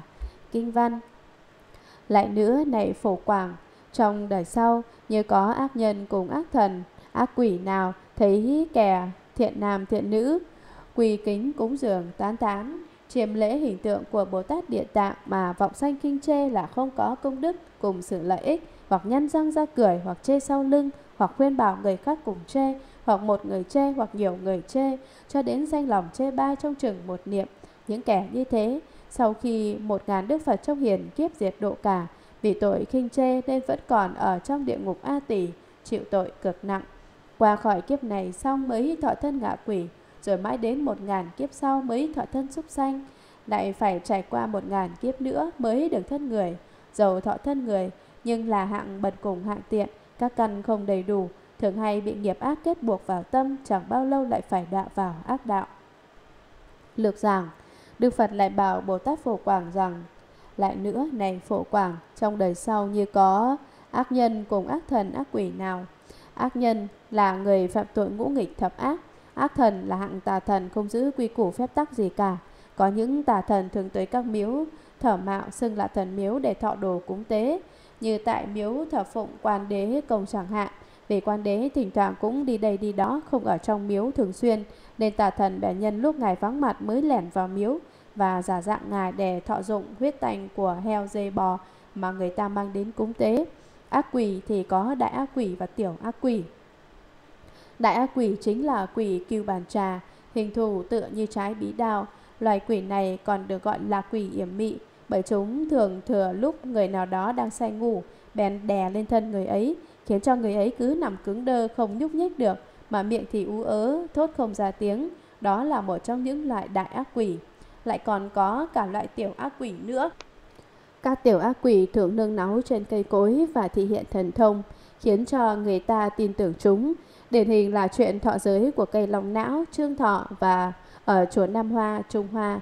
Lúc chưa thọ giới, vị thần cây thường hiển thị thần thông. Hễ ai có việc gì mà đến tháp nhang khẩn cầu thần cây thì đều được cảm ứng. Cảm ứng như thế nào? Ví dụ như người bị đau ốm đến cầu xin thì chỉ cần thắp nén nhang là liền được khỏi bệnh ngay. Hoặc có người bị mất đồ, bèn thắp hương cầu khẩn thì liền tìm lại được những đồ đã mất. Những chuyện linh ứng như vậy xảy ra rất nhiều. Những người đến cầu xin tưởng rằng đó thật là sự linh cảm, là Bồ Tát hiển linh, nên họ liền giết gà mổ heo mang thịt của đủ loại súc sanh đến cúng tế để tạ ơn. Và thế là thần cây được hưởng lộc ăn. song thật ra đó là một loại tiểu ác quỷ tác quái. Trên thế gian này có rất nhiều chuyện kỳ lạ cho nên nếu quý vị không hiểu rõ Phật Pháp thì rất dễ nhận lầm các loài ác thần ác quỷ này là Bồ Tát, tưởng rằng có sự linh cảm thật sự. Do vậy người học Phật Pháp chớ nên nghĩ rằng hễ nơi nào có sự linh ấm mầu nhiệm xảy ra thì đều là Phật Pháp, hoàn toàn không phải như vậy. Quý vị cần phải thông hiểu các đạo lý Phật Pháp một cách chân chánh, thấu đáo thì mới không dễ bị lầm lẫn. Thấy kẻ thiện nam thiện nữ quy kính cúng dường tán thán chiêm lễ hình tượng của Bồ Tát Địa Tạng mà vọng sanh khinh chê là không có công đức cùng sự lợi ích. Có những ác nhân ác thần hoặc ác quỷ trông thấy người ta chiêm ngưỡng đảnh lễ hình tượng Bồ Tát thì lại buông lời miệt thị. Ôi các ông các bà còn mê tín quá nhỉ, cứ dập đầu quỳ lại mấy cái tượng đất tượng gỗ đó thì được cái gì chứ? Chẳng được chút công đức nào đâu, các người đừng tiền nhảm nữa, hoặc lại chế nhạo. Các ông các bà cứ khom lên khom xuống lại luộc mấy ông phỗng đó để làm gì? Giống như hiện tại ở nơi này chẳng hạn, cũng có một số ngoại đạo khăng khăng cho rằng việc Phật giáo lễ bái tượng gỗ là không có công đức, đó cũng là dèm pha hủy báng vậy. Hoặc nhăn răng ra cười, những kẻ ác đó thấy quý vị lại Phật thì lại nhe răng cười chế giễu, tỏ vẻ khinh thường, cho rằng quý vị quá mê tín, nhăn răng ra cười, tức là lúc trông thấy quý vị đang lại Phật thì kẻ ấy liền cười chế nhạo ngay trước mặt quý vị hoặc chê sau lưng. Có khi những kẻ ác ấy không chê cười trước mặt quý vị mà đợi quý vị đi khuất rồi họ mới nhỏ to phê bình. Mấy người ở Phật giáo giảng đường thật là quá mê tín. Tôi thấy họ cứ mặc áo tràng vào, khoác thêm cái y, rồi chúi mũi lại Phật và lầm rầm tụng kinh tụng chú suốt ngày đêm. Chẳng hiểu họ đang làm cái gì và làm như thế thì có lý thú gì chứ? Chê trách nói lời xúc phạm kẻ vắng mặt như thế gọi là chê sau lưng. Hoặc những kẻ ác đó lại dèm pha nói rằng mọi việc của quý vị đều là không đúng và họ sầm xỉ với nhau. Tu đạo một mình thì cần gì phải lạy Phật, lạy Phật có tác dụng gì? Nếu dùng thời gian đó để ngủ thêm thì tốt biết mấy, đó là phê bình chê sau lưng vậy. Hoặc khuyên bảo người khác cùng chê, hoặc kẻ ấy chẳng những chính mình chê bài mà còn rủ dê xúi xiểm nhiều người khác đừng đi tụng kinh. Tụng kinh có gì tốt đâu, quý vị đừng đi lễ Phật cũng đừng đi nghe kinh nữa. Thay vì đi nghe giảng kinh thì quý vị dùng thì giờ đó đi uống một liều LSD, quý vị sẽ có cảm giác lâng lâng bay bổng, mơ màng, tưởng chừng như mình đang ở thế giới cực lạc vậy. Cần gì phải tin vào những việc kia? Đây chính là khuyên bảo người khác cùng chê, xúi dục người khác làm sai giống mình, cùng vẻ phe với mình. Ví dụ trong đoàn thể Phật giáo có một người nọ không tuân giữ quý củ, biết là mình yếu thế cho nên ông ta muốn kiếm một người cũng không giữ quý củ như mình làm đồng minh để dễ biện hộ cho hành vi sai trái của mình. Bởi nếu bị chỉ trích thì ông ta sẽ bảo chữa rằng thì người khác cũng như vậy cơ mà, có đồng đảng thì dù sao cũng có ưu thế hơn. Hoặc một người chê hoặc nhiều người chê, hoặc chỉ đơn độc một người đi khắp nơi rêu rào phá hoại, hoặc nhiều người tụ tập lại một chỗ rồi cùng nhau chỉ trích chê bai, cho đến xanh lòng chê bai trong chừng một niệm. Không cần phải lúc nào cũng chê bai, mà chỉ trong một niệm, trong một khoảnh khắc ngắn ngủi, tâm tư chợt giấy lên ý tưởng diễu cợt phỉ báng. Những kẻ như thế, những kẻ nhăn răng ra cười hoặc chê sau lưng, hoặc một mình chê hoặc cùng người khác chê, hoặc cùng nhiều người chê, và mặc dù chỉ sanh lòng chê bai trong một niệm ngắn ngủi mà thôi, thì sau khi một ngàn Đức Phật trong hiền kiếp diệt độ cả, vì tội báo khinh chê nên vẫn còn ở trong địa ngục A Tỳ chịu tội cực nặng. Kỳ kiếp hiện tại của chúng ta gọi là hiền kiếp. Vì sao gọi là hiền kiếp? Bởi vì trong thời kỳ này có rất nhiều bậc thánh hiền, thánh nhân, hiền nhân xuất hiện ở thế gian. Kỳ hiền kiếp có một ngàn Đức Phật xuất thế, trong đó Phật Thích Ca Mâu Ni là Đức Phật thứ tư. Như vậy là còn 996 Đức Phật nữa sẽ xuất thế. Sau khi có một Đức Phật xuất thế, phải trải qua một thời kỳ rất lâu, rất dài mới lại có một Đức Phật nữa xuất thế. Do đó nếu phải đợi cho đến khi 996 Đức Phật đều xuất thế và diệt độ cả, thì thời gian chờ đợi dài biết chừng nào. Vậy mà trải qua suốt kỳ kiếp dài đằng đẵng đó, những kẻ mắc tội báo khinh chê phá hoại Phật Pháp vẫn còn phải thọ tội ở địa ngục A Tỳ. Quý vị nên biết rằng một ngày một đêm của thế giới chúng ta đang sống thì lâu bằng 60 tiểu kiếp ở địa ngục A Tỳ. Lại nữa, 50 năm ở nhân gian thì đối với cõi trời tứ thiên vương chỉ là một ngày một đêm và 100 năm ở nhân gian chỉ bằng một ngày một đêm ở cung trời đao lợi. Thế thì vì sao một ngày một đêm của chốn nhân gian lại tương đương với 60 tiểu kiếp của địa ngục A Tỳ? Con người nếu hôm nào trong lòng vui vẻ thì cảm thấy một ngày rất ngắn ngủi, thời gian trôi qua rất nhanh. Trái lại nếu ngày nào ưu tư lo lắng cả việc không ứng ý, phải chờ đợi một ai đó hoặc đang trông mong điều gì đó thì lại cảm thấy ngày dài lê thê, thời gian sao đi quá chậm. Từ đó suy ra thì chúng ta cũng có thể biết được do đâu mà một ngày một đêm ở nhân gian lại bằng 60 tiểu kiếp ở địa ngục. Bởi ở địa ngục quá đau khổ, khi sống trong sự thống khổ thì người ta thường cảm thấy thời gian đi chậm quá, ngày dài quá, còn lúc hưởng thụ sung sướng thì lại thấy thời gian trôi qua vùn vụt. Qua khỏi kiếp này xong mới thọ thân ngạ quỷ. Sau khi đã chịu tội ở địa ngục A Tỳ trong suốt kỳ hiền kiếp một ngàn Đức Phật xuất thế rồi, những kẻ ác mang tội báo phá hoại Phật Pháp, đó lại phải đi làm thân ngạ quỷ. Rồi mãi đến một ngàn kiếp sau mới thọ thân súc sanh, lại phải trải qua một ngàn kiếp nữa mới được thân người. Sau một ngàn kiếp làm ngạ quỷ thì họ được làm thân súc sanh, làm súc sanh thì cứ sinh ra rồi chết, chết rồi lại sinh ra, luẩn quẩn trong suốt một ngàn kiếp như thế rồi mới được đầu thai làm người. Tuy nhiên giàu thọ thân người nhưng là hạng bẩn cùng hạ tiện. Bây giờ mặc dù được mang thân người nhưng lại thế nào, lại thuộc hạng nghèo hèn thấp kém trong xã hội. Hiện nay nước Mỹ đang khởi xướng những hoạt động tế bẩn, thế mà khi vừa đặt chân đến nước này thì tôi liền phê bình công tác cứu nghèo này ngay. Sở dĩ tôi nói rằng công cuộc tế bần là không có công dụng gì mấy. Bởi vì cái nghèo của con người trong đời này vốn do vô lượng nghiệp tội tạo tác từ vô lượng kiếp cho đến nay. Sự cứu giúp của quý vị chẳng qua là giải quyết vấn đề trong lúc nhất thời mà thôi, chứ không thể nào khiến cho họ vĩnh viễn thoát khỏi cảnh nghèo khó được cả. Nếu thật sự muốn tế bẩn, thì cần phải đề xướng đủ loại công việc từ thiện, đề xướng kêu gọi mọi người làm việc tốt, bỏ ác làm lành, đừng tạo nghiệp tội nữa, như thế mới là chân chánh tế bần. Ngoài ra, cần phải đừng xúi người khác hủy báng tam bảo, mà nên đi khắp nơi để sướng Phật Pháp. Như thế, có tam bảo, có Phật Pháp tăng trụ thế, thì nhân loại có thể trồng phước được. Bởi người biết cúng dường tam bảo, tất sẽ được phước báo. Có phước báo, thì về sau sẽ không phải nghèo nàn túng thiếu, đó mới là chân chánh tế bẩn vậy. Trong phần kinh văn này nói rõ là người hủy báng tam bảo, sau khi đã trải qua thời kỳ hiển kiếp của một ngàn đức Phật rồi, còn phải đọa địa ngục suốt một ngàn kiếp, trầm luôn trong cõi ngạ quỷ một ngàn kiếp và luẩn quẩn trong cõi súc sanh thêm một ngàn kiếp nữa, rồi sau đó mới được đầu thai làm người. Làm người thì thế nào? Thì phải sống trong cảnh nghèo nàn túng quẫn, hèn kém vô cùng. Các căn không đầy đủ, những kẻ ác nói trên tuy được mang thân người, sống các căn không được đầy đủ, họ có thể sanh làm người, xong phải mang khuyết tật như không có mắt, không có tai, không có mũi, không có lưỡi, không có tay, không có chân. Nói chung là sáu căn mắt, tai, mũi, lưỡi, thần và ý không đầy đủ trọn vẹn. Vừa rồi tôi có nói là không có lưỡi. Làm sao lại không có lưỡi được? Không có lưỡi ở đây ngụ ý là không nói được. Họ có thể là không có mắt hoặc là chỉ có một con mắt mà thôi. Mọi người đều có hai con mắt. Này có kẻ chỉ có một con mắt. Quý vị thử tưởng tượng xem như thế trông có khó coi lắm không? Hoặc người chỉ có một lỗ tai thì thế nào? Trên đây là ví dụ cho những trường hợp sáu căn không toàn vẹn, các căn không đầy đủ.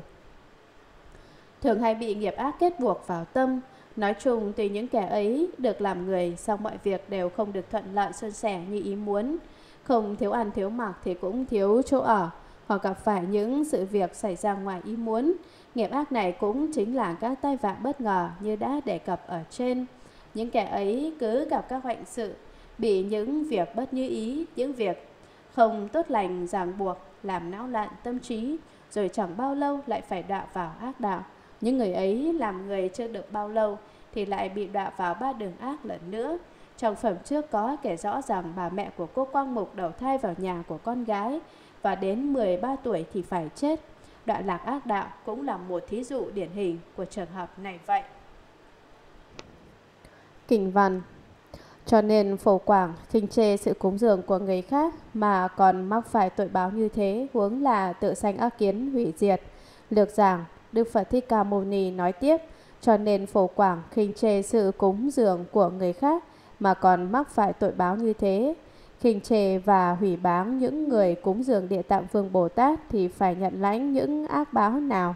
Đó là quả báo phải trải qua một ngàn kiếp đẩy đọa ở chốn địa ngục một ngàn kiếp trôi nổi trong đường ngạ quỷ, một ngàn kiếp luẩn quẩn trong chốn súc sanh, rồi sau đó mới được đầu thai làm người mà lại là người bẩn cùng hạ tiện và các căn không toàn vẹn.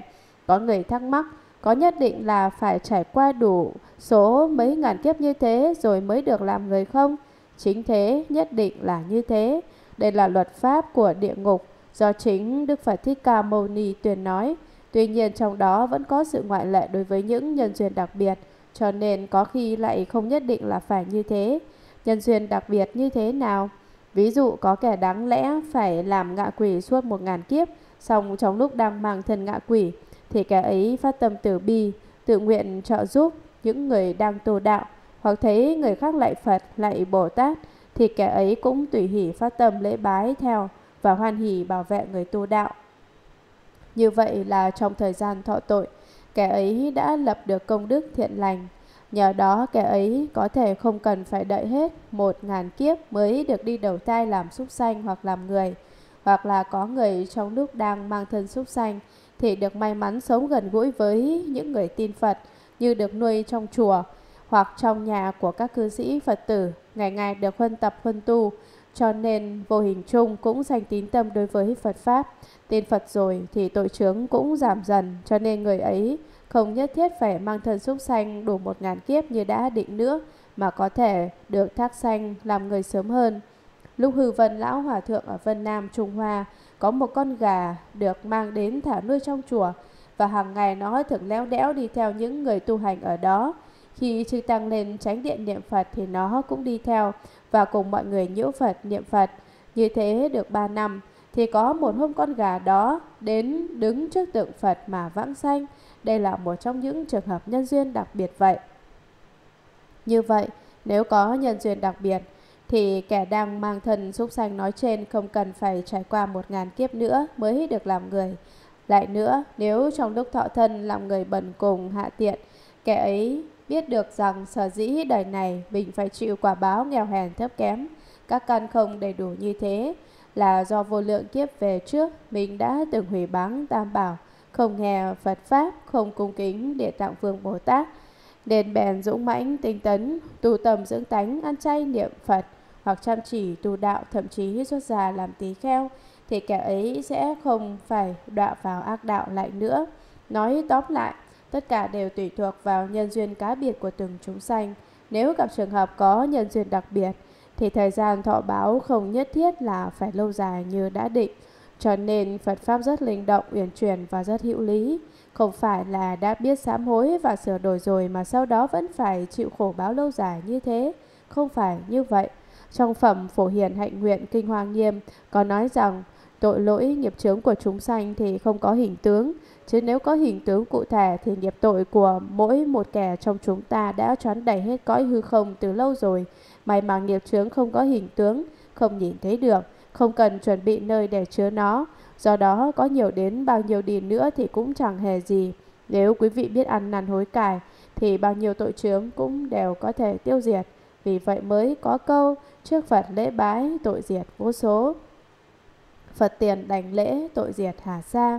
Quý vị đối trước Phật mà lễ bái trần thành sám hối thì bao nhiêu tội chướng rồi nhiều như các sông hàng cũng đều được tiêu tan, không còn nữa. Có câu buông xả một đồng phước tăng vô lượng, xả tiền nhất văn tăng phúc vô lượng. Trước tam bảo xả bỏ tiền của dốc lòng bố thí có bao nhiêu thì hoan hỷ bố thí bấy nhiêu thì có phước báo của quý vị sẽ vô lượng vô biên. Xong cần phải dốc lòng chân tâm, dốc hết chân tâm đem lòng trí thành mà cúng dường mới được, mọi việc đều không có gì là nhất định cả. Bảy pháp không nhất định nên nghiệp chướng của con người cũng không nhất định. Huống là tự sanh ác kiến hủy diệt, khinh chê người khác cúng dường mà còn phải bị đọa bị quả báo đọa lạc trong ba đường ác suốt mấy ngàn kiếp. Thế thì nếu chính mình này sanh ác kiến hủy diệt tam bảo, phá hoại tam bảo, tối ấy hẳn càng lớn càng nặng biết bao nhiêu. Kinh văn Lại nữa, này phổ quảng, nếu trong đời sau có người nam hay người nữ nào nằm liệt mãi trên giường gối, cầu sống hay cầu chết đều không được, hoặc đêm mộng thấy ác quỷ cho đến kẻ thân thích trong nhà, hoặc đi trên đường hiểm, hoặc nhiều lần bị bóng đè, hoặc cùng quỷ thần dạo chơi, được giảng. Lại nữa, này phổ quảng, Đức Phật Thích Ca Mâu Ni lại gọi Bồ Tát Phổ Quảng mà bảo rằng Bồ Tát Phổ Quảng ơi, bây giờ ta sẽ nói cặn kẽ hơn nữa cho ông rõ. Nếu trong đời sau có người nam hay người nữ nào nằm liệt mãi trên giường gối, giả sử trong đời vị lai có thiện nam tín nữ nào đó đã thọ ngũ giới và biết hành thập thập thiện mà cứ phải nằm một chỗ suốt một thời gian dài. Tại sao người ấy cứ nằm mãi trên giường? Điều này không cần nói thì quý vị cũng biết được ngay rằng đó là vì người ấy bị bệnh. Chính vì ốm đau lâu ngày không ngồi dậy được nên bị chứng tê bại. Vì sao người ta bị bệnh tê liệt? Nguyên do của căn bệnh này là bởi lòng dâm dục quá nặng nề. Triệu chứng của bệnh liệt là không đi đứng được bởi chân thuộc về thận. Nếu dâm dục quá nhiều thì chân bị yếu, đi đứng khó khăn. Cũng như quý vị thường thấy ở ngoài đường phố, có rất nhiều người chân bị sưng vù lên, bước đi không được vững vàng, cần phải chống gậy rồi lê từng bước. Tất nhiên ở đây không phải nói tới những người không đi đứng được bởi chân bị thương tích hoặc què quạt do tai nạn hoặc bom đạn chiến tranh. Những người được đề cập đến trong phần kinh văn này là những kẻ bẩm sinh lành lặn không hề bị thương tật, cũng không bị tai nạn xe cộ, song không thể đi đứng được. Đây là hạng người có lòng dâm dục quá nặng nề, dâm dục quá nhiều. Quý vị cũng thấy đó, ở nước Mỹ có rất nhiều người mắc phải bệnh liệt. Vì sao ư? Vì họ không biết gì về những tác hại của vấn đề sắc dục. cho nên nay họ phải chịu khổ sở bởi chứng bệnh này. E rằng cho đến lúc nhắm mắt xuôi tay họ cũng chẳng biết do đâu mà chân của họ lại bị như thế. Cầu sống hay cầu chết đều không được. Giả sử có người ốm đau phải nằm một chỗ đến liệt giường liệt chiếu, không nhúc nhích được, muốn sống nhưng chẳng được sống yên vui, mà muốn chết thì lại không được chết liền ngay.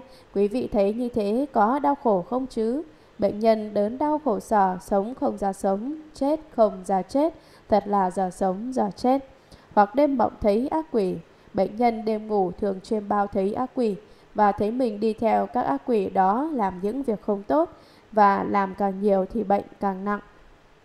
Người bệnh ấy nằm mộng thấy ác quỷ và biết rõ ràng đó là ác quỷ, song vẫn cứ đi theo chúng mà ăn những đồ bất tịnh và làm những việc xấu xa, thậm chí hành dâm cả trong mộng nữa.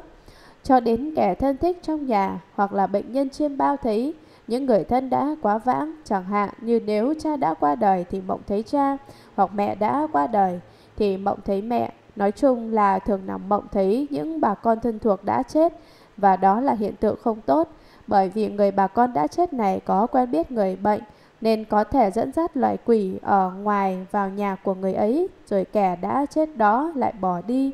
Bây giờ loài quỷ được dẫn vào nhà rồi, bèn dùng các phép thuật độc hại để làm cho bệnh tình của bệnh nhân càng ngày càng trầm trọng hơn, hoặc đi trên đường hiểm, hoặc là bệnh nhân nằm mơ thấy mình đi lạc vào con đường hiểm trở, như chạy lên đỉnh núi treo leo, hễ sảy chân té xuống là tan xương nát thịt khiến trong lòng sanh ra hoảng sợ.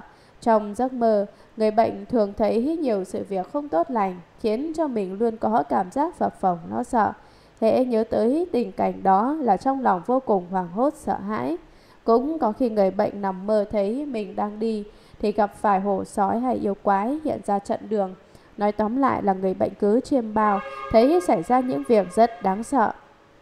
Hoặc nhiều lần bị bóng đè, hoặc trong giấc mơ, bệnh nhân thấy loài yểm mị quỷ kêu bàn trà thường xuyên lưu tới.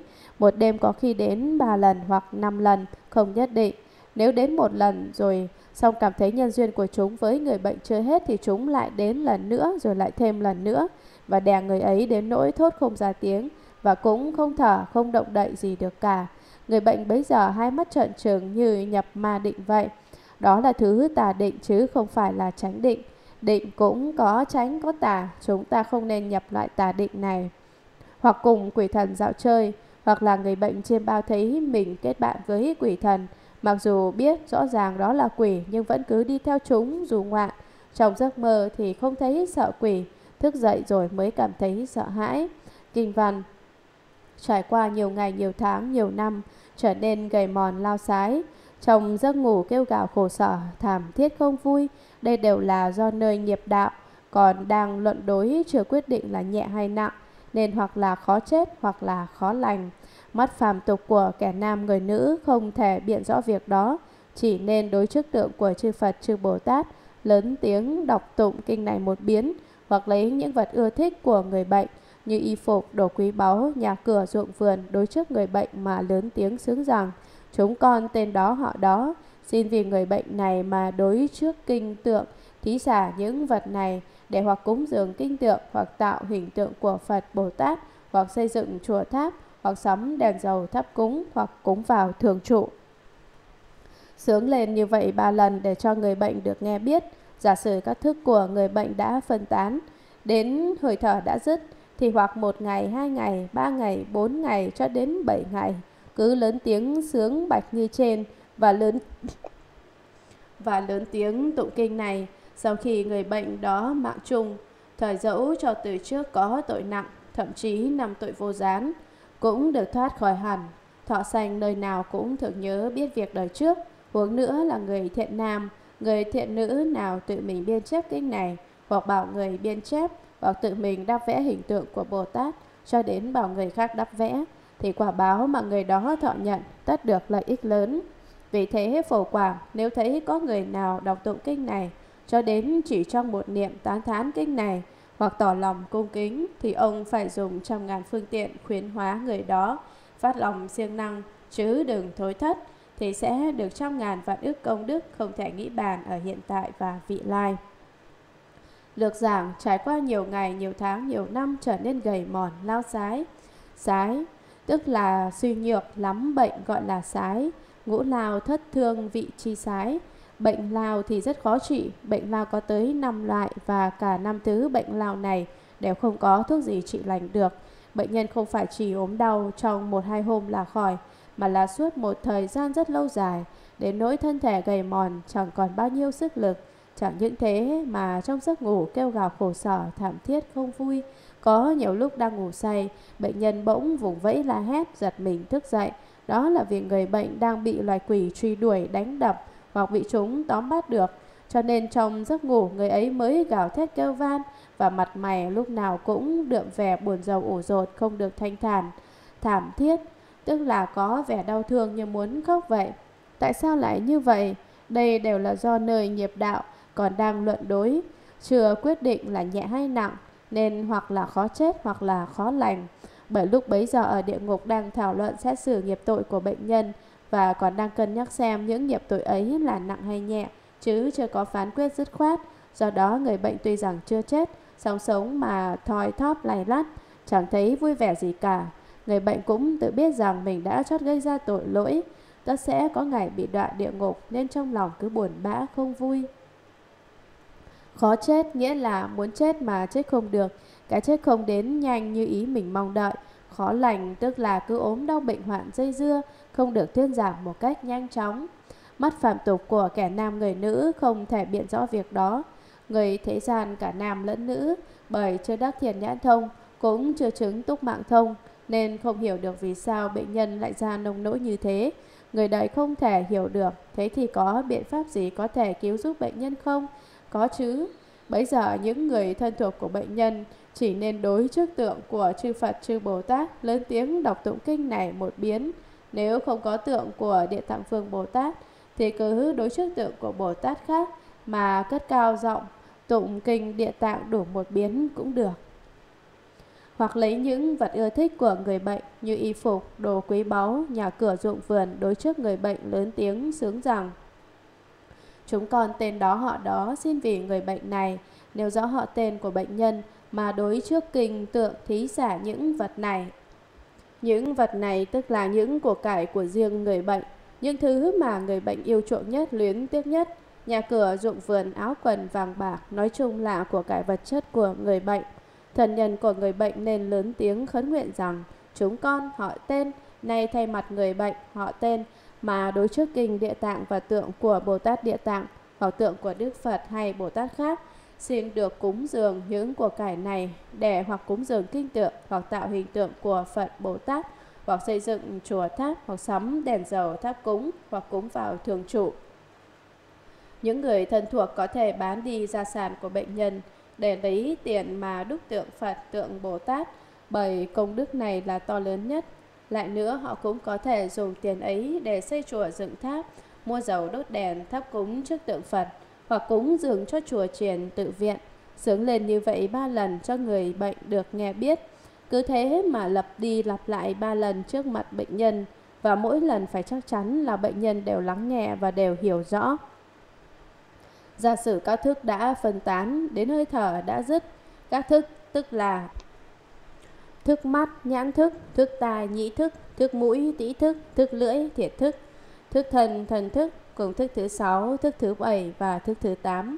Đặt trường hợp các thức của bệnh nhân lúc bấy giờ đều đã phân tán, bệnh nhân đang hấp hối, sắp chút hơi thở cuối cùng, thì hoặc một ngày, hai ngày, ba ngày, bốn ngày cho đến bảy ngày, cứ lớn tiếng sướng bạch và lớn tiếng tụng kinh, trong 7 ngày, ngày nào cũng đều lớn tiếng đọc tụng kinh điển cho người bệnh nghe. Được như thế thì sau khi người đó mạng chung thì các tội nặng từ đời trước cho đến năm tội vô gián cũng được thoát khỏi hẳn. Sau khi người bệnh này chết thì hết thầy tai ương, hết thầy tai nạn bởi trọng tội trong đời trước của người ấy. Thậm chí cả năm tội ác tẩy trời đáng phải đọa địa ngục vô gián cũng đều được tiêu tan. Người ấy vĩnh viễn được giải thoát Chẳng những thế, người ấy thọ sanh nơi nào cũng thường nhớ biết việc đời trước. Huống nữa là người thiện nam, thiện nữ tự mình biên chép kinh này, hoặc bảo người biên chép, hoặc tự mình đắp vẽ hình tượng của Bồ Tát cho đến bảo người khác đắp vẽ, hoặc là trả tiền để mướn người giúp mình đắp vẽ tượng của Bồ Tát, thì quả báo thọ nhận tất được lợi ích lớn. quả báo công đức mà người ấy thu hoạch được thì vô cùng to lớn.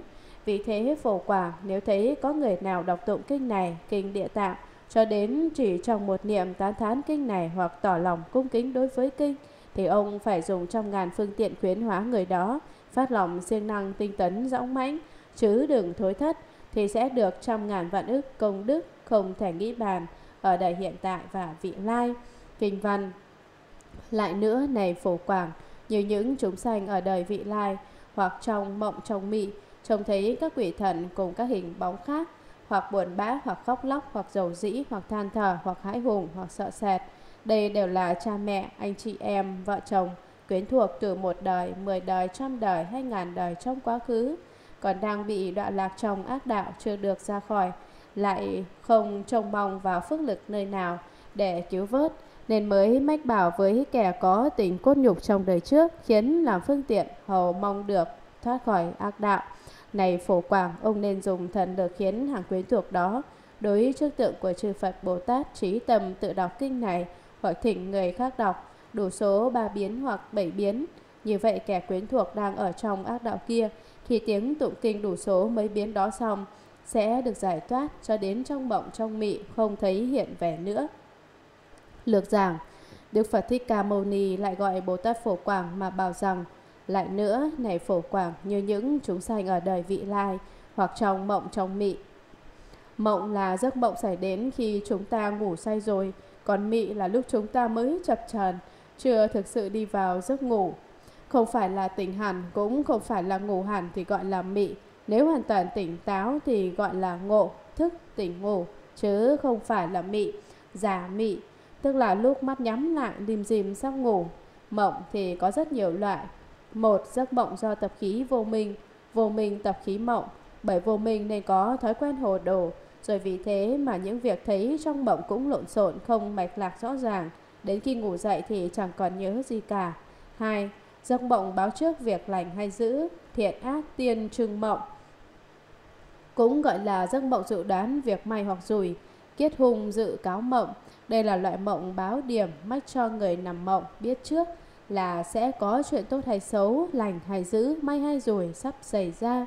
Có lần hư vong, hư vân lão hòa thượng, mộng thấy Đức Lục Tổ dạy rằng, ông hãy trở về đi, hãy về bên đó làm một vài công việc.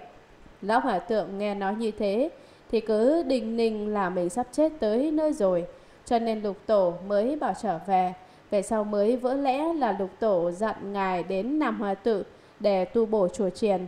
Đây là thuộc loại mộng báo điểm lành, sự việc chưa xảy ra, sau ngày hư vân được Đức Lục Tổ báo mộng, mách bảo cho biết trước. Có người mộng thấy được mách bảo rằng anh cần phải cẩn thận một chút, coi chừng ngày mai bị đụng xe mà chết đấy. Anh ta chẳng tin, thế nhưng ngày hôm sau quả nhiên anh ta bị đụng xe mà chết thật. Đây gọi là kiết hung tiên trưng mộng hoặc thiện ác tiên trưng mộng, tức là giấc mộng báo trước việc may rủi lành dữ sắp xảy ra. 3. Giấc mộng do tứ đại tranh lệch Tứ đại thiên tăng mộng Tứ đại là địa, đất, thủy, nước, hỏa, lửa, phong, gió Theo các sách y học của Trung Hoa thì có 440 chứng bệnh và 880 phương thuốc để chữa trị. Kỳ thật con người có tới 8 vạn 4 ngàn chứng bệnh, cho nên Đức Phật mới nói ra 8 vạn 4 ngàn pháp môn để đối trị 8 vạn 4 ngàn chứng bệnh đó. Khi tứ đại địa thủy hỏa phong chênh lệch tăng giảm không đồng nhau thì cơ thể sẽ sanh bệnh.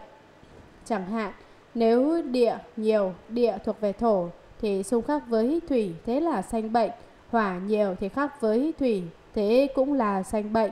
Phong nhiều thì khác địa, thế là cũng sanh bệnh. Những loại bệnh này được gọi là tứ đại thiên tăng bệnh, bệnh do tứ đại chênh lệch hoặc tứ đại bất điều bệnh, bệnh do tứ đại không điều hòa. Người bị bệnh do tứ đại mất quân bình cũng có thể nằm mộng và đó gọi là giấc mộng do tứ đại tranh lệch. 4. Giấc mộng tìm gặp bạn cũ, tầm hữu, kiểu thời mộng. Thế nào gọi là giấc mộng tìm gặp bạn cũ? Thí dụ trước kia quý vị có quen một người nào đó xong đã lâu rồi không gặp mặt. Đến lúc trên bao thấy người đó tới chơi thì tay bắt mặt mừng rất là vui vẻ. Nhưng sau khi tỉnh giấc mới vỡ lẽ ra tất cả đều là giả, đó gọi là giấc mộng tìm gặp bạn cũ. Vậy trên đây là nói về một vài loại mộng. Như vậy, nếu có người nào trong mộng trong mị hoặc trong lúc mơ màng sắp ngủ, trông thấy các quỷ thần cùng các hình bóng khác, hoặc buồn bã, hoặc khóc lóc, hoặc dầu dĩ, hoặc than thở, hoặc hãi hùng, hoặc sợ sệt. Các quỷ thần này hiện ra với đủ thứ hình tướng kỳ dị, mặt xanh tóc đỏ, miệng to, răng nanh dài như ngà voi chìa ra khỏi miệng. Ngoài ra trong cơn mộng mị người này còn trông thấy vô số hình bóng ma quái đáng sợ khác hiện ra.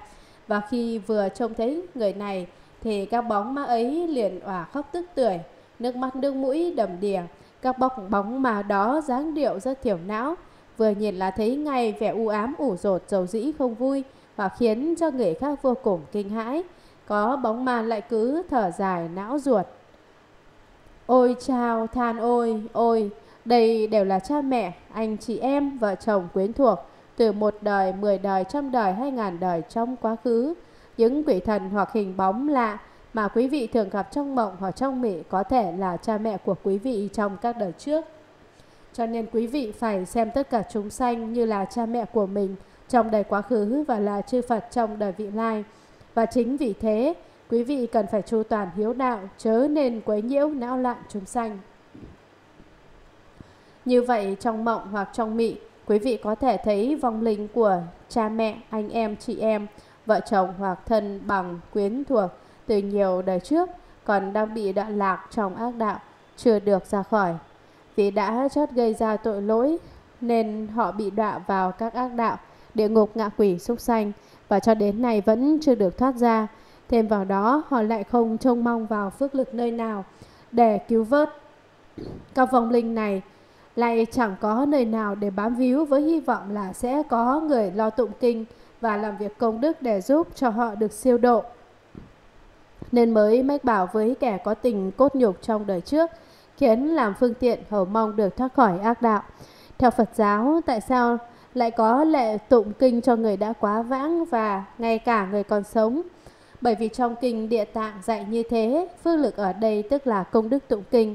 Thế thì vì những vong linh đó không có nơi nào để kỳ vọng là mình sẽ được cứu vớt, nên họ bèn báo mộng nói cho những kẻ có tình cốt nhục với họ từ đời trước được biết, cầu mong rằng những người ấy sẽ vì họ mà dùng nhiều phương tiện để làm việc công đức, giúp họ thoát khỏi các ác đạo. Đức Phật Thích Ca Mâu Ni lại gọi, này phổ quảng, ông nên dùng thần lực, sức thần thông, khiến hàng quyến thuộc đó đối trước tượng của chư Phật Bồ Tát trí tâm tự đọc kinh này. Ông hãy làm cho thân nhân đời trước của các vong linh đó đem lòng trí thành khẩn thiết mà tự đọc tụng kinh địa tạng hoặc thỉnh người khác đọc. Nếu hàng quyến thuộc vì lý do nào đó nên không thể tự đọc tụng được, thì họ có thể bỏ tiền ra nhờ người khác tụng kinh địa tạng giúp cho vong linh. Bất luận là ai, người đó đều phải tụng đủ 3 biến hoặc 7 biến. 3 và 7 đều là số dương. Những số 1, 3, 5, 7, 9 đều thuộc dương và là số lẻ. Còn những số 2, 4, 6, 8 thì thuộc về âm và là số chẵn. Số dương là biểu hiện của sự phá trừ nghiệp tội địa ngục. Như vậy kẻ quyến thuộc đang ở trong ác đạo kia, khi tiếng tụng kinh đủ số mấy biến đó xong sẽ được giải thoát cho đến trong bộng trong mị không thấy hiện vẻ nữa. Khi tụng xong kinh địa tạng đủ số ba biến hoặc bảy biến, tiếng tụng kinh vừa dứt thì những vong linh quyến thuộc đang trầm luân trong ác đạo kia cũng đều được giải thoát và trong bộng lẫn trong mị, quý vị đều vĩnh viễn không còn thấy họ hiện về như thế nữa.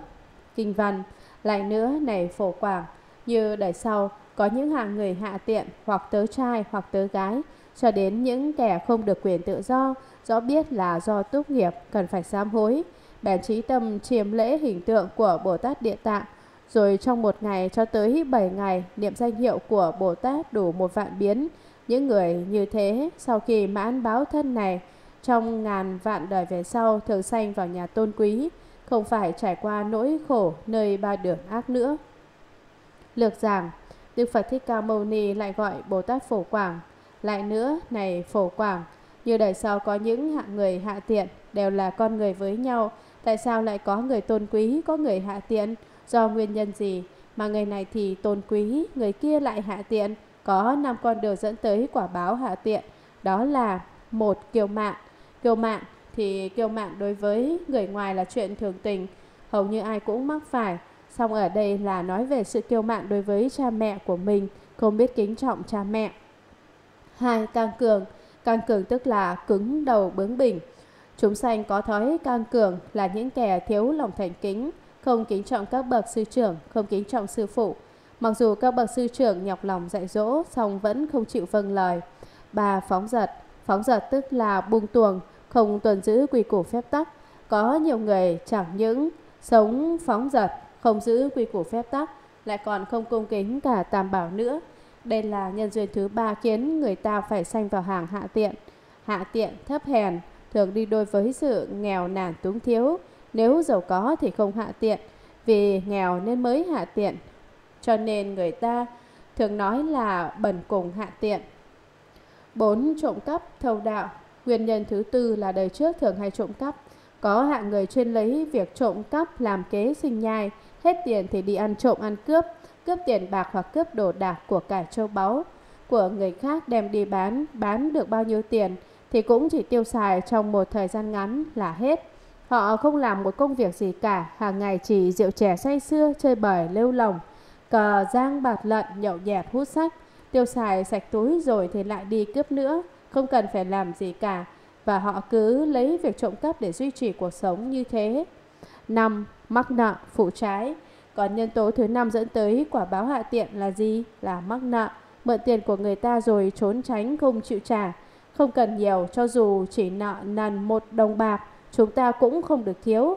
Tiền bạc là giả tạm, xong có thể được dùng để làm những việc chân thật, thiết thực và hữu ích.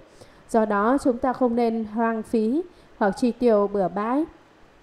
Ví dụ quý vị mượn tiền của người khác rồi không muốn trả, bèn lánh sang nơi khác để trốn nợ và cho rằng hành động như thế là khôn ngoan, có lợi cho mình, thật ra không có lợi chút nào cả. Bởi quý vị cụt tiền của thiên hạ thì sau này chính mình phải chịu quả báo bần cùng hạ tiện. Trên đây là năm nhân duyên dẫn tới quả báo làm người hạ tiện, hoặc tớ trai hoặc tớ gái cho đến những kẻ không được quyền tự do. Không được quyền tự do có nghĩa là cái thân thể này của mình bị lệ thuộc. Mình là kẻ nô lệ và phải nghe theo sự sai khiến của chủ nhân, không được tùy tiện muốn đi đâu thì đi hoặc muốn làm gì thì làm nữa. Rõ biết là do túc nghiệp cần phải sám hối. Những người mà hiện đời phải thuộc hàng hạ tiện, bị mất tự do hoặc phải đem thân làm nô tỳ tô tớ hớt cho kẻ khác đều là do đời trước họ đã gây ra nghiệp tội rất lớn, rất nặng. Vì vậy bây giờ họ cần phải thành tâm, ăn năn hối cải. Họ có thể lạy sám đại bi, sám tịnh độ hoặc các loại sám khác để sám hối các tội lỗi của mình. Tại sao hàng ngày chúng ta đều lại sám đại bi? Bởi chúng ta cũng không biết rõ được đời trước mình đã gây ra bao nhiêu nghiệp tội, cho nên lúc nào cũng phải sám hối hết thảy mọi tội lỗi. Bèn trí tâm, chiếm lễ hình tượng của Bồ Tát Địa Tạng, rồi trong một ngày cho tới 7 ngày niệm danh hiệu của Bồ Tát đủ một vạn biến. Các chúng sanh khốn khổ đó, nhờ biết lỗi nên đem lòng thành khẩn thiết tha mà chiêm ngưỡng lễ lại hình tượng của Địa Tạng Vương Bồ Tát.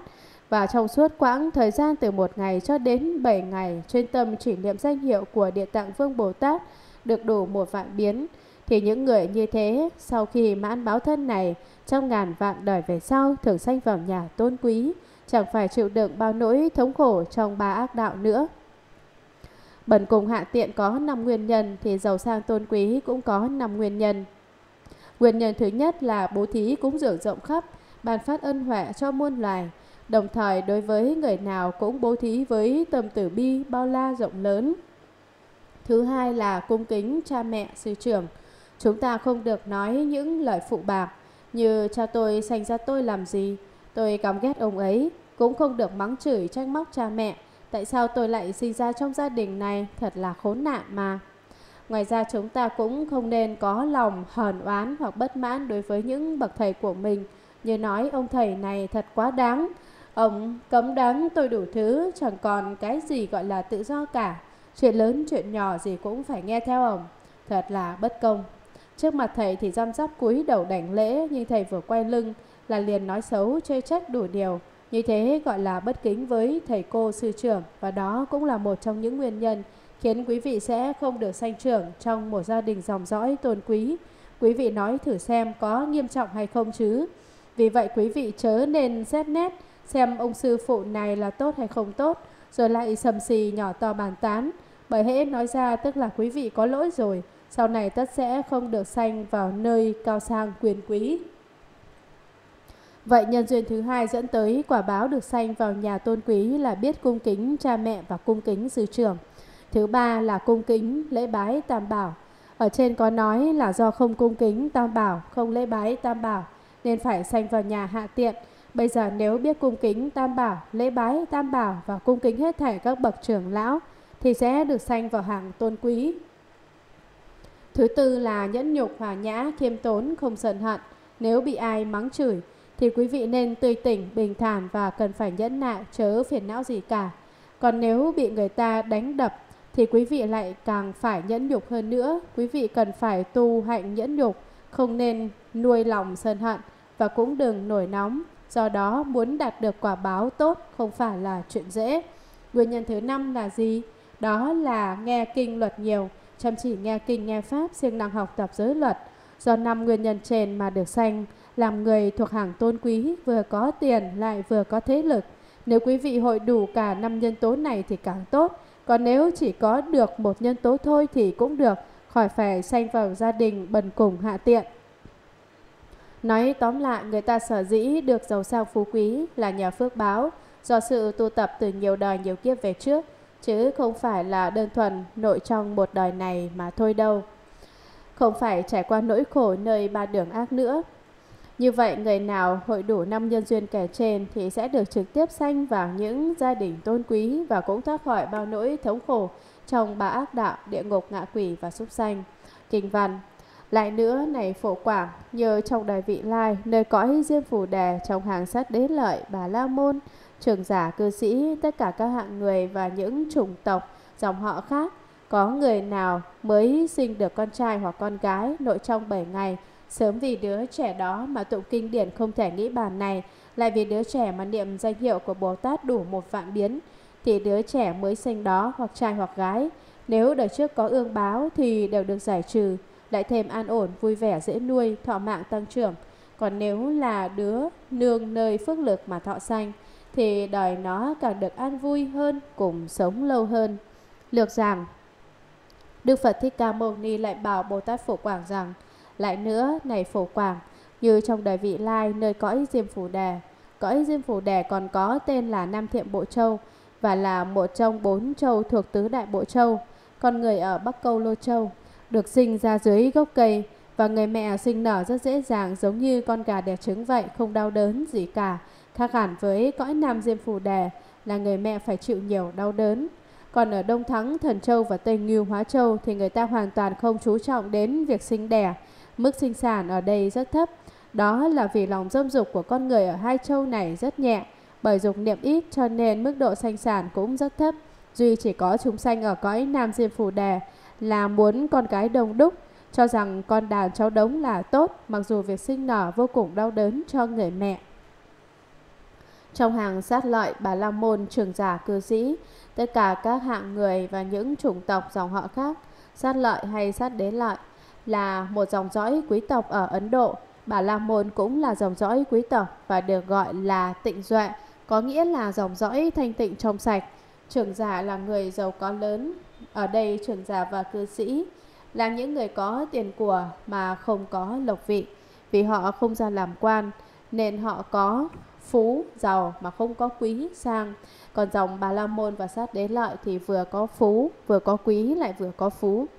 Như vậy ở đời sau trong toàn thể nhân loại bao gồm tất cả những người thuộc mọi quốc gia và mọi chủng tộc, giả sử có người nào mới sinh được con trai hoặc con gái, ở cõi diêm phủ đề của chúng ta thì người mẹ phải chịu nhiều đau đớn khi sinh nở, lắm lúc còn nguy hiểm tới tánh mạng, đặc biệt là trong các trường hợp sanh khó như đẻ ngang, đẻ ngược, Đẻ ngang tức là đưa bé ra đời trong tư thế nằm ngang, mông đít ra trước. Còn đẻ ngược tức là đứa bé được sanh ra trong tư thế lộn ngược, hai chân ra trước. Lại có một trường hợp sanh nở khác cũng rất khó khăn, đó là một chân của đứa bé thỏ ra trước. Ngoài ra có trường hợp sanh khó gọi là bàn tràng, nhào quấn, tức là khi đứa bé lọt lòng thì kéo cả dạ con của người mẹ ra theo. Các trường hợp sanh khó thì rất nhiều, Tuy nhiên cho dù khó khăn chắc trở thế nào đi nữa Nếu trước khi sanh, nội trong 7 ngày sớm vì đứa trẻ đó mà tụng kinh điển không thể nghĩ bàn này, kinh địa tạng, lại vì đứa trẻ mà niệm danh hiệu của Bồ Tát, Nam Mô Đại Nguyện Địa Tạng Vương Bồ Tát, đủ một vạn biến thì đứa trẻ mới sinh ra đó hoặc trai hoặc gái. Nếu đời trước có ương báo, nghiệp tội, quả báo xấu ác thì đều được giải trừ lại thêm an ổn, vui vẻ, dễ nuôi, thọ mạng, tăng trưởng. Còn nếu là đứa nương nơi phước lực mà thọ sanh thì đời nó càng được an vui hơn, cùng sống lâu hơn. Giả sử đứa bé sơ sinh đó không có tội báo, được sinh ra là nhờ ở phước báo, thì đời của đứa bé đó càng được an lạc và thọ mạng càng lâu dài hơn. Cho nên cái khổ cái sướng của đời người thì không nhất định, tuổi thọ của con người cũng chẳng có gì nhất định cả. Như có người được thầy tướng số đoán là chỉ sống đến 30 tuổi, thế mà đến 40 tuổi anh ta vẫn còn sống nhăn. Vì sao? Bởi vì thọ mạng của con người thì linh động, chứ không cứng nhắc cố định. Nếu quý vị làm việc tốt thì thọ mạng của quý vị được lâu dài hơn, còn nếu làm việc xấu thì tuổi thọ bị thu ngắn lại. Do đó hết thảy mọi việc đều không có gì là nhất định cả. Như trong kinh đã nói, một người vốn đã gây nhiều tội lỗi, sinh ra trong đời này đáng phải gánh chịu nhiều đau khổ. Thế nhưng nhờ được người khác đọc tụng kinh địa tạng và niệm danh hiệu của Bồ Tát Địa Tạng để trợ giúp cho, nên bao nhiêu thống khổ người ấy đáng phải nhận lãnh đều được tiêu tan. Chẳng những thế, người ấy sẽ là một đứa bé vui vẻ dễ nuôi, tuổi thọ cũng gia tăng. Từ những điều này, quý vị có thể suy biết rằng đời người chẳng có gì là nhất định, tất cả đều tùy theo cách hành xử của chính mình mà thôi. Kinh văn Lại nữa này phổ quảng, trong mỗi tháng, ngày mùng 1, mùng 8, 14, 15, 18, 23, 24, 28, 29 và 30 là những ngày kết tập các nghiệp tội thẩm định nặng nhẹ. Tất cả mọi cử chỉ động niệm của chúng sanh trong cõi nam diêm phù đề không chỉ là không nghiệp, không chỉ là không tội, huống hồ là buông lung giết hại, trộm cắp tà dâm, vọng ngữ, trăm ngàn tội trạng. Nếu sau này trong đời vị lai có chúng sanh nào trong 10 ngày trai này có thể đối trước hình tượng của Phật, Bồ Tát cùng chư hiền thánh mà đọc tụng kinh này một biến thì chung quanh chỗ người đó ở, bốn hướng đông tây nam bắc trong khoảng 100 do tuần sẽ không có các tai nạn còn ở chính nhà của người đó hoặc già hoặc trẻ về hiện tại và vị lai trong trăm ngàn năm được vĩnh viễn xa lìa ác đạo. Nếu trong 10 ngày trai này có thể mỗi ngày đều tụng một biến thì ngay đời hiện tại những người trong nhà không bị tai ương hoặc bệnh tật, đồ ăn, đồ mặc lại được dư dật, lược giảm. Đức Phật Thích Ca Mâu Ni lại bảo Bồ Tát Phổ Quảng rằng lại nữa này Phổ Quảng trong mỗi tháng ngày mùng 1, mùng 8, 14, 15, 18, 23, 24, 28, 29 và 30 là những ngày kết tập các nghiệp tội thẩm định nặng nhẹ. Mỗi tháng cứ vào 10 ngày mùng 1, mùng 8, 14, 15 rằm, 18, 23, 24, 28, 29 và 30 là tất cả quỷ thần đều tụ họp lại để điều tra tội lỗi của chúng sanh. Cho nên 10 ngày này chính là những ngày xét xử nghiệp tội. Kết tập các nghiệp tội, tức là đắn đo cân nhắc tội lỗi của mỗi người, xét xem người này phạm bao nhiêu tội, người kia gây bao nhiêu lỗi, thẩm định nặng nhẹ, tức là đưa ra phán quyết, định tội người này nặng như thế nào, hoặc tội người kia nhẹ ra sao. Tất cả mọi cử chỉ động niệm của chúng sanh trong cõi nam diêm phủ đề không chi là không nghiệp, không chi là không tội, huống hồ là buông lung giết hại, trộm cắp, tà dâm, vọng ngữ, trăm ngàn tội trạng. Cử chỉ động niệm, cử tức là động và chỉ tức là tĩnh. Trong cả động lẫn tĩnh đều sanh khởi cái niệm nghĩ suy, mà những niệm này không có cái nào không là tội lỗi cả. Tất cả mọi cử chỉ động niệm của chúng sanh trong cõi nam diêm phủ đà tức nam thiện bộ châu đều là tội lỗi. Giấy động cái niệm này là nghiệp tội, giấy động cái niệm kia cũng là nghiệp tội. Không gì là không nghiệp, không gì là không tội cả. Dù cho quý vị không có hành động sát sanh hại mạng, nhưng chỉ khởi tâm động niệm dấy lên cái ý muốn sát hại thôi thì cũng đủ để tạo nghiệp tội rồi. Huống chi là lại tự ý làm càn, cố tình giết hại chúng sanh. Trộm cắp đồ vật và tà dâm đều là những hành vi bất tránh. Đối với đa số người Tây Phương thì tà dâm không phải là một vấn đề nghiêm trọng lắm. Nhưng trong kinh sách nhà Phật thì đã nói ngay từ đầu, phạm tà dâm thì mang tội rất lớn, bởi vạn ác dâm vi thủ, trong vạn điều xấu thì dâm dục đứng hàng đầu. Vọng ngữ là nói những lời huynh hoang dối trá không thật. Trên đây chỉ kể ra một vài tội trạng đại khái như thế thôi. Nếu kê khai cho tường tận thì có đến cả trăm ngàn vạn ức. Nếu sau này trong đời vị lai có chúng sanh nào trong 10 ngày trai này có thể đối trước hình tượng của Phật Bồ Tát cùng chư hiền thánh mà đọc tụng kinh này, kinh địa tạng một biến thì chung quanh chỗ người đó ở bốn hướng đông tây nam bắc trong khoảng 100 do tuần sẽ không có các tai nạn. Trai nghĩa là tịnh, tức là trai tịnh. 10 ngày trai, tức là vào những ngày này thì chỉ ăn những thứ thanh tịnh sạch sẽ, tuyệt đối không ăn những thức ăn có mùi tanh như thịt cá và những thứ có mùi hôi nồng như hành hẹ, tỏi nén. Do tuần là đơn vị đo chiều dài của Ấn Độ và được phân làm đại, trung và tiểu do tuần. Một đại do tuần tương đương với 10, 8, 10 dặm lý, một trung do tuần là 6, 10 dặm lý và một tiểu do tuần là 4, 10 dặm lý. Còn ở chính nhà của người đó, hoặc già hoặc trẻ về hiện tại và vị lai, trong trăm ngàn năm đều vĩnh viễn xa lìa ác đạo. Ngoài ra tất cả những người đang sống trong nhà người tụng kinh địa tạng đó, bất luận là người lớn hay trẻ con, người già hay người trẻ, ngay trong đời này hoặc trăm ngàn năm về sau sẽ thoát khỏi hẳn mọi quả báo của chốn địa ngục, ngạ quỷ, súc sanh và Atula. Nếu trong người ngày trai này có thể mỗi ngày đều tụng một biến, thì ngày đời hiện tại, những người trong nhà không bị tai ương hoặc bệnh tật, đồ ăn, đồ mặc lại được dư dật. Trong suốt 10 ngày trai của mỗi tháng kể trên, nếu quý vị đều đặn tụng mỗi ngày một biến kinh địa tạng, thì ngày đời này có thể khiến cho gia đình của quý vị được đồ ăn, đồ mặc sung túc, không ai bị gặp chuyện rủi ro, cũng không ai bị ốm đau bệnh hoạn. Kinh văn vì thế phổ quảng nên biết rằng Địa Tạng Bồ Tát có trăm ngàn vạn ức, không thể nói hết sự đại oai thần lực, lợi ích như thế. Chúng sanh trong cõi Diêm Phủ Đề có đại nhân duyên với vị đại sĩ này. Nếu những chúng sanh đó được nghe danh của Bồ Tát, thấy tượng của Bồ Tát cho đến được nghe chừng ba chữ hoặc năm chữ trong kinh này, hoặc một vài một bài kệ hay một câu thì hiện tại được sự an vui thủ thắng vi diệu và trăm ngàn vạn đời vị lai, thường được đoan tránh sanh vào nhà tôn quý. Lược giảng, Đức Phật Thích Ca Mâu Ni lại bảo Bồ Tát Phổ Quảng rằng, vì thế Phổ Quảng nên biết rằng Địa Tạng Bồ Tát có trăm ngàn vạn đức, không thể nói hết sự đại oai thần lực, lợi ích như thế.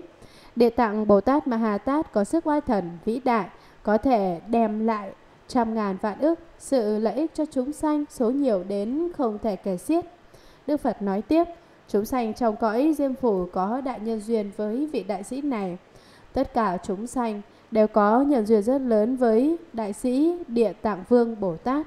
Quý vị thử nghĩ xem, Phật giáo Trung Hoa được truyền bá đến nước Mỹ, thì Bồ Tát Địa Tạng cũng đến theo và hiện giờ Ngài là bạn đồng tu của quý vị, trợ giúp quý vị trong việc tu tập. Đây quả là một nhân duyên vô cùng lớn lao.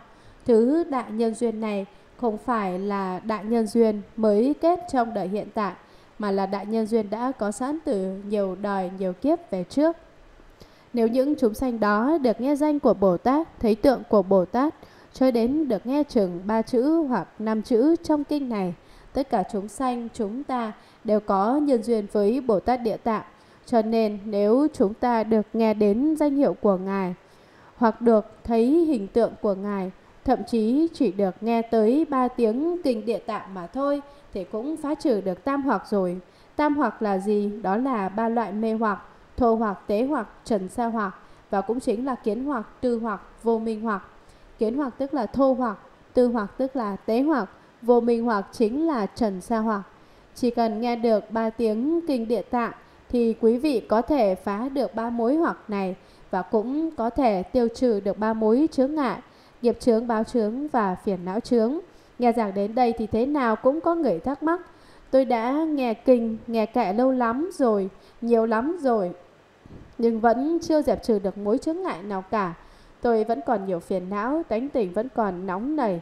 vẫn chưa chứng nào tật nấy, như hồi chưa hề nghe kinh vậy.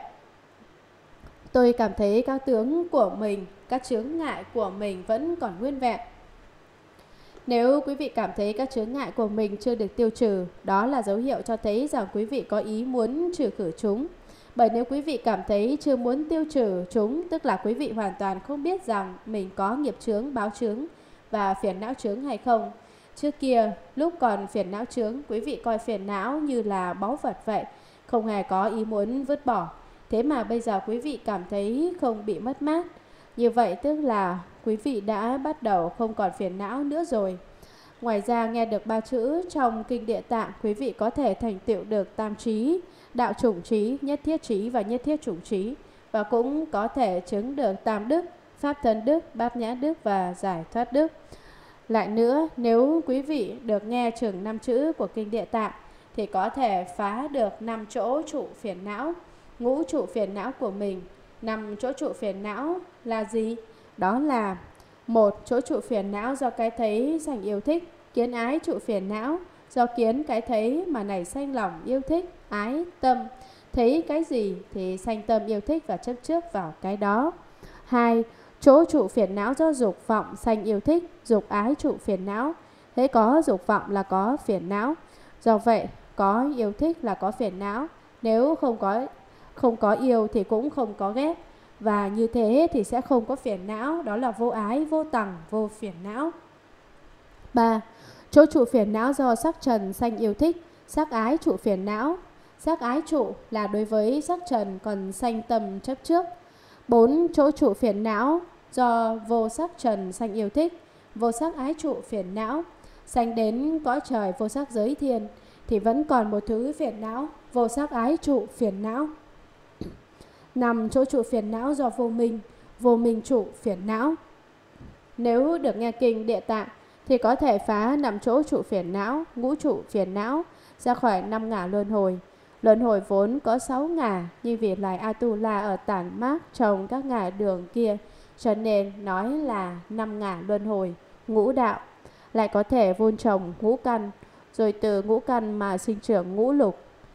Từ ngũ căn tức là tín căn, tấn căn, niệm căn, định căn và huệ căn. Tín, tấn, niệm, định, huệ, ngũ lực là gồm có tín lực, tấn lực, niệm lực, định lực và huệ lực. Quý vị nghe kinh địa tạng lại cũng có thể thành tựu được ngũ phần pháp thân. Ngũ phần pháp thân là gì? Đó là giới định huệ, giải thoát và giải thoát trí kiến. Một khi ngay cả trí kiến cũng giải thoát được rồi thì có thể đắc ngũ phần pháp thân này. Hoặc một bài kệ hay một câu, nếu nghe và thâm nhập được các đạo lý của một bài kệ thì có thể nhất môn siêu xuất bước vào con đường trang nghiêm, kỳ diệu. Nếu lãnh hội được đạo lý của một câu kinh thì quý vị có thể nhất tánh viên minh, tánh hải tròn sáng viên dung. Những đạo lý này ý nghĩa rất rông dài, có rất nhiều điều cần phải giải thích cho nên tôi chỉ nêu ra những danh từ để quý vị nghe cho biết thôi. Khi nào có cơ hội thì tôi sẽ giảng cặn kẽ hơn. Thì hiện tại được sự an vui thủ thắng vi diệu và trong ngàn vạn đời về vị lai thường được đoan tránh, sanh vào nhà tôn quý. Ngay trong đời hiện tại, quý vị sẽ được hưởng sự yên vui, sung sướng lạ thường. Chẳng những như thế mà ngay cả về sau, trong suốt cả trăm ngàn vạn đời, quý vị sẽ luôn luôn có được tướng mạo đoan tránh, trang nghiêm, có rất nhiều người tướng mạo không được đoan tránh. Không đoan tránh tức là những trường hợp có đầu như đầu khỉ, mặt như mặt ngựa, mắt như mắt chuột. Người Trung Hoa có câu nói đầu thỏ mắt rắn tai chuột bá ưng, thố đầu xà nhãn thử nhĩ ưng tai. Có nghĩa là người mà đầu có hình thù giống như đầu thỏ, mắt như mắt rắn, tai giống tai chuột, má giống má của chim ưng. Những người như thế là có tướng mạo không đoan tránh. Còn người mà có nhiều tướng xúc xanh tập trung lại, biến thành một cái tướng mạo thì đó là không tốt, không đoàn tránh. Như thế nhờ được nghe tới kinh địa tạng, mà đời sau tướng mạo của quý vị sẽ được đoan tránh và được sanh trưởng trong những gia đình. Nếu không là quan quyền chức tước thì cũng là phú hộ giàu có. Ở đây nói tới quan quyền phú hộ thì đó chẳng phải là một thứ chủ nghĩa phong kiến sao, không hẳn như thế. Những người giàu sang phú quý đề cập ở đây là những người có đức hạnh. Nhờ có đức hạnh mới được giàu sang những người không có đức hạnh thì bị bần cùng hạ tiện và đó là do họ đã từng chê bai hủy báng tam bảo. Còn những người có đức hạnh thì được sanh vào nhà tôn quý. Kinh văn Lúc đó Bồ Tát Phổ Quảng nghe Đức Phật Như Lai xưng dương tán thán Bồ Tát Địa Tạng xong, liền quỳ xuống chắp tay mà bạch cùng Đức Phật rằng Bạch Đức Thế Tôn, từ lâu con đã biết vị đại sĩ này có thần lực không thể nghĩ bàn cùng đại thệ nguyện lực như thế rồi. Sau vì muốn cho chúng sanh đời sau rõ biết sự lợi ích, nên con mới thỉnh vấn Đức Như Lai. Vâng, con xin cung kính lãnh thọ. Bạch Đức Thế Tôn, kinh này đặt tên là gì và định cho con lưu hành rộng rãi như thế nào? Đức Phật bảo Ngài Phổ Quảng, kinh này có ba danh hiệu. Một là địa tạng bổn nguyện, cũng gọi là địa tạng bổn hạnh, cũng gọi là địa tạng bổn thệ lực kinh. Do vì Bồ Tát này từ thuở kiếp lâu xa đến nay tưởng phát đại trọng nguyện, làm lợi ích cho chúng sanh, cho nên các ông phải y theo tâm nguyện mà lưu hành rộng ra. Ngài Phổ Quảng nghe xong, liền cung kính chắp tay, làm lễ mà lui ra. được giảng, lúc đó Bồ Tát Phổ Quảng nghe Đức Phật Như Lai Sương Dương tán thán Bồ Tát Địa Tạng xong liền quỳ xuống. Hồ quỵ có kinh viết là hỗ quỵ, tức là tư thế hữu tất trước địa, đầu gối chân phải quỵ xuống sát đất, gối trái không quỳ. Chúng ta bây giờ quỳ cả hai đầu gối xuống đất mà tụng kinh, tư thế này gọi là trường quỵ, quỵ dài. Trường quỵ thì không đến nỗi khó khăn lắm, hồ quỵ thì tương đối khó khăn hơn, do Đức Phật cho phép người nữ được trường quỵ, còn người nam thì phải hồ quỵ. Hiện nay Phật giáo tiểu thừa ở Thái Lan, Miến Điện, khi tân tỷ kheo gặp lão tỷ kheo đều phải hồ quỵ, đầu gối chân phải quỳ xuống chạm đất, còn sa di trông thấy tỷ kheo thì không được ngước nhìn mà phải cúi đầu xuống. Theo lệ, trong khi hồ quỵ thì đầu phải cúi thấp, không được tùy tiện nhìn ngó bậc trưởng lão. Bất luận là nam hay nữ, tất cả đều phải như vậy, không được nhìn ngó đăm đăm. Bấy giờ Bồ Tát Phổ Quảng quỳ xuống, rồi cung kính chắp tay mà bạch cùng Đức Phật rằng, Bạch Đức Thế Tôn, từ lâu con đã biết vị đại sĩ này có thần lực không thể nghĩ bàn, cùng đại thệ nguyện lực như thế rồi. Sau vì muốn cho chúng sanh đời sau rõ biết sự lợi ích, nên con mới thỉnh vấn Đức Như Lai. Còn này, bạch hỏi Phật chính là vì muốn giáo hóa chúng sanh trong đời vị lai, làm cho tất cả đều biết đến lợi ích do Địa Tạng Vương Bồ Tát bố thí. Vâng, con xin cung kính lãnh thọ, này còn khao khát mong được nghe lời giáo huấn của Phật. Bạch Đức Thế Tôn, kinh này đặt tên là gì và định cho con lưu hành rộng ra như thế nào? Đức Thế Tôn định cho con cùng các Bồ Tát khác lưu thông phân bố bộ kinh địa tạng này như thế nào? Thế nào gọi là lưu hành rộng ra? Nếu bây giờ chúng ta đem bộ kinh này in ra thành nhiều bản rồi đem phổ biến khắp nơi để cho mọi người đều biết đến thì gọi là lưu hành rộng ra vậy. Đức Phật bảo Ngài Phổ Quảng, kinh này có ba danh hiệu. Một là địa tạng bổn nguyện, cũng gọi là địa tạng bổn hạnh, cũng gọi là địa tạng bổn thệ lực kinh. Đức Phật Thích Ca Mâu Ni bảo Bồ Tát Phổ Quảng rằng bộ kinh này có ba danh hiệu. Một, địa tạng bổn nguyện kinh, nghĩa là bộ kinh nói về nguyện lực vốn sẵn có từ trước của địa tạng Bồ Tát. Hai, địa tạng bổn hạnh kinh, đây là tên thứ hai của bộ kinh và có nghĩa là kinh nói về hạnh lực tu hành từ trước của Địa Tạng Vương Bồ Tát. 3. Địa Tạng Bổn Thệ Lực Kinh, đây là tên thứ ba của bộ kinh và có nghĩa là kinh nói về thệ nguyện lực mà Địa Tạng Vương Bồ Tát đã phát trước đây. Do vì Bồ Tát này thuở kiếp lâu xa đến nay từng phát đại trọng nguyện làm lợi ích cho chúng sanh. Tại sao bộ kinh này có những danh hiệu như trên? Bởi vì từ rất lâu xa về trước, Địa Tạng Vương Bồ Tát đã lập trọng thệ nguyện rộng lớn, muốn làm lợi ích cho hết thảy chúng sanh. Vì thế tôi nói cho quý vị biết, thực hành Bồ Tát Đạo tức là việc gì có lợi cho chúng sanh thì mình cần phải làm, còn việc gì có hại cho chúng sanh thì mình dứt khoát không nên làm. Nếu gặp việc hữu ích thì cho dẫu có kẻ cần đến cái đầu của mình, mình cũng sẵn sàng tặng cho họ. Trái lại nếu là việc có hại cho kẻ khác thì xin chỉ một sợi lông mình cũng tuyệt đối không cho. Cho nên chúng ta cần phải theo đúng nguyện lực mà làm. Đức Phật dạy tiếp cho nên các ông phải y theo tâm nguyện mà tu hành rộng ra. Các ông phải y theo nguyện lực của Địa Tạng Vương Bồ Tát để lưu hành, truyền bá rộng rãi bộ kinh Địa Tạng. đồng thời cũng y theo nguyện lực của riêng mỗi vị Bồ Tát trong các ông mà lưu thông phân bố bộ kinh này đến khắp nơi. Ngài Phổ Quảng nghe xong, liền cung kính chắp tay, làm lễ mà lui ra. Sau khi Đức Phật Thích Ca Mâu Ni dứt lời, Bồ Tát Phổ Quảng bèn chắp tay, mắt hướng nhìn về phía Đức Phật mà cung kính đảnh lễ, rồi đứng sang một bên. Hay phẩm thứ sáu Lợi ích ở đây là lợi ích gì? Đó là sự lợi ích mà kẻ cả còn cùng người mất đều được thọ hưởng. Kẻ còn tức là người còn sống và người mất tức là người đã chết. Phẩm này mang lại sự lợi ích cho cả người sống lẫn người chết. Đối với người còn sống thì có được những lợi ích như thế nào ư? Tất cả đều được giảng giải rõ ràng trong phẩm thứ bảy này. Kinh văn, Lúc đó Địa Tạng Bồ Tát Ma Ha Tát bạch cùng Đức Phật rằng, Bạch Đức Thế Tôn còn xem xét chúng sanh trong cõi diêm phủ, Cử tâm động niệm không chi là chẳng phải tội. Họ từ bỏ những thiện lợi có được và phần nhiều thối thất tâm tốt ban đầu. Nếu gặp ác duyên thì niệm niệm tăng trưởng.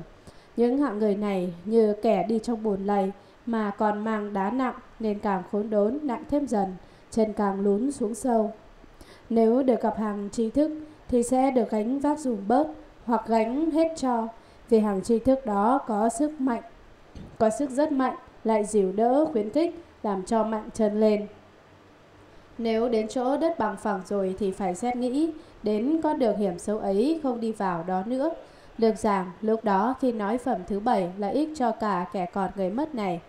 Địa tạng bồ tát Mahatat bạch cùng đức phật rằng bạch đức thế tôn còn xem xét chúng sanh trong cõi diêm phủ Cử tâm động niệm không chi là chẳng phải tội. Cử tâm động niệm tức là trong lòng giấy khởi vọng tưởng, tâm trí dao động xôn xao. Cử có nghĩa là giấy lên, làm nổi dậy. Chúng sanh ở cõi Nam Diêm Phủ Đè thường khởi những tâm niệm gì? Họ thường khởi tà niệm, dục niệm, tham niệm. Động niệm tức là sanh lòng ích kỷ, đố kỵ, ganh ghét, chướng ngại. Có nhiều người hãy thấy ai hơn mình thì sanh lòng ganh ghét. Còn gặp kẻ thua mình thì lại có tâm coi thường bởi họ cho rằng người ta rất ngu xuẩn, không giỏi giang tài trí bằng họ, nên đem lòng khinh rẻ người ta. Rồi đến khi gặp người nào thông minh tài giỏi hơn họ, thì lại họ lại sanh lòng tị hiềm ghen ghét. Quý vị xem như thế thì phải làm sao? Đối với kẻ ngu si kém cỏi thì quý vị chớ nên cất nhắc để bạc, Và đối với người thông minh trí tuệ thì quý vị cũng đừng ganh ghét tị hiềm. Đáng lý ra đối với những kẻ u mê ngu tối thì chúng ta cần phải phát tâm giáo hóa, giúp họ mở mang trí tuệ khiến họ trở nên thông minh, sáng suốt mới đúng. Tuy nhiên phần nhiều chúng ta lại không chịu làm như thế, cho nên chúng ta cử tâm động niệm không chi là chẳng phải tội. Đó cũng là vì chúng ta chưa phát khởi tâm Bồ Tát vậy. Tâm lượng Bồ Tát là nếu có người nào hơn mình thì mình càng vui mừng và càng kính trọng người ấy thêm chứ chẳng mảy may hờn ghen ganh tị.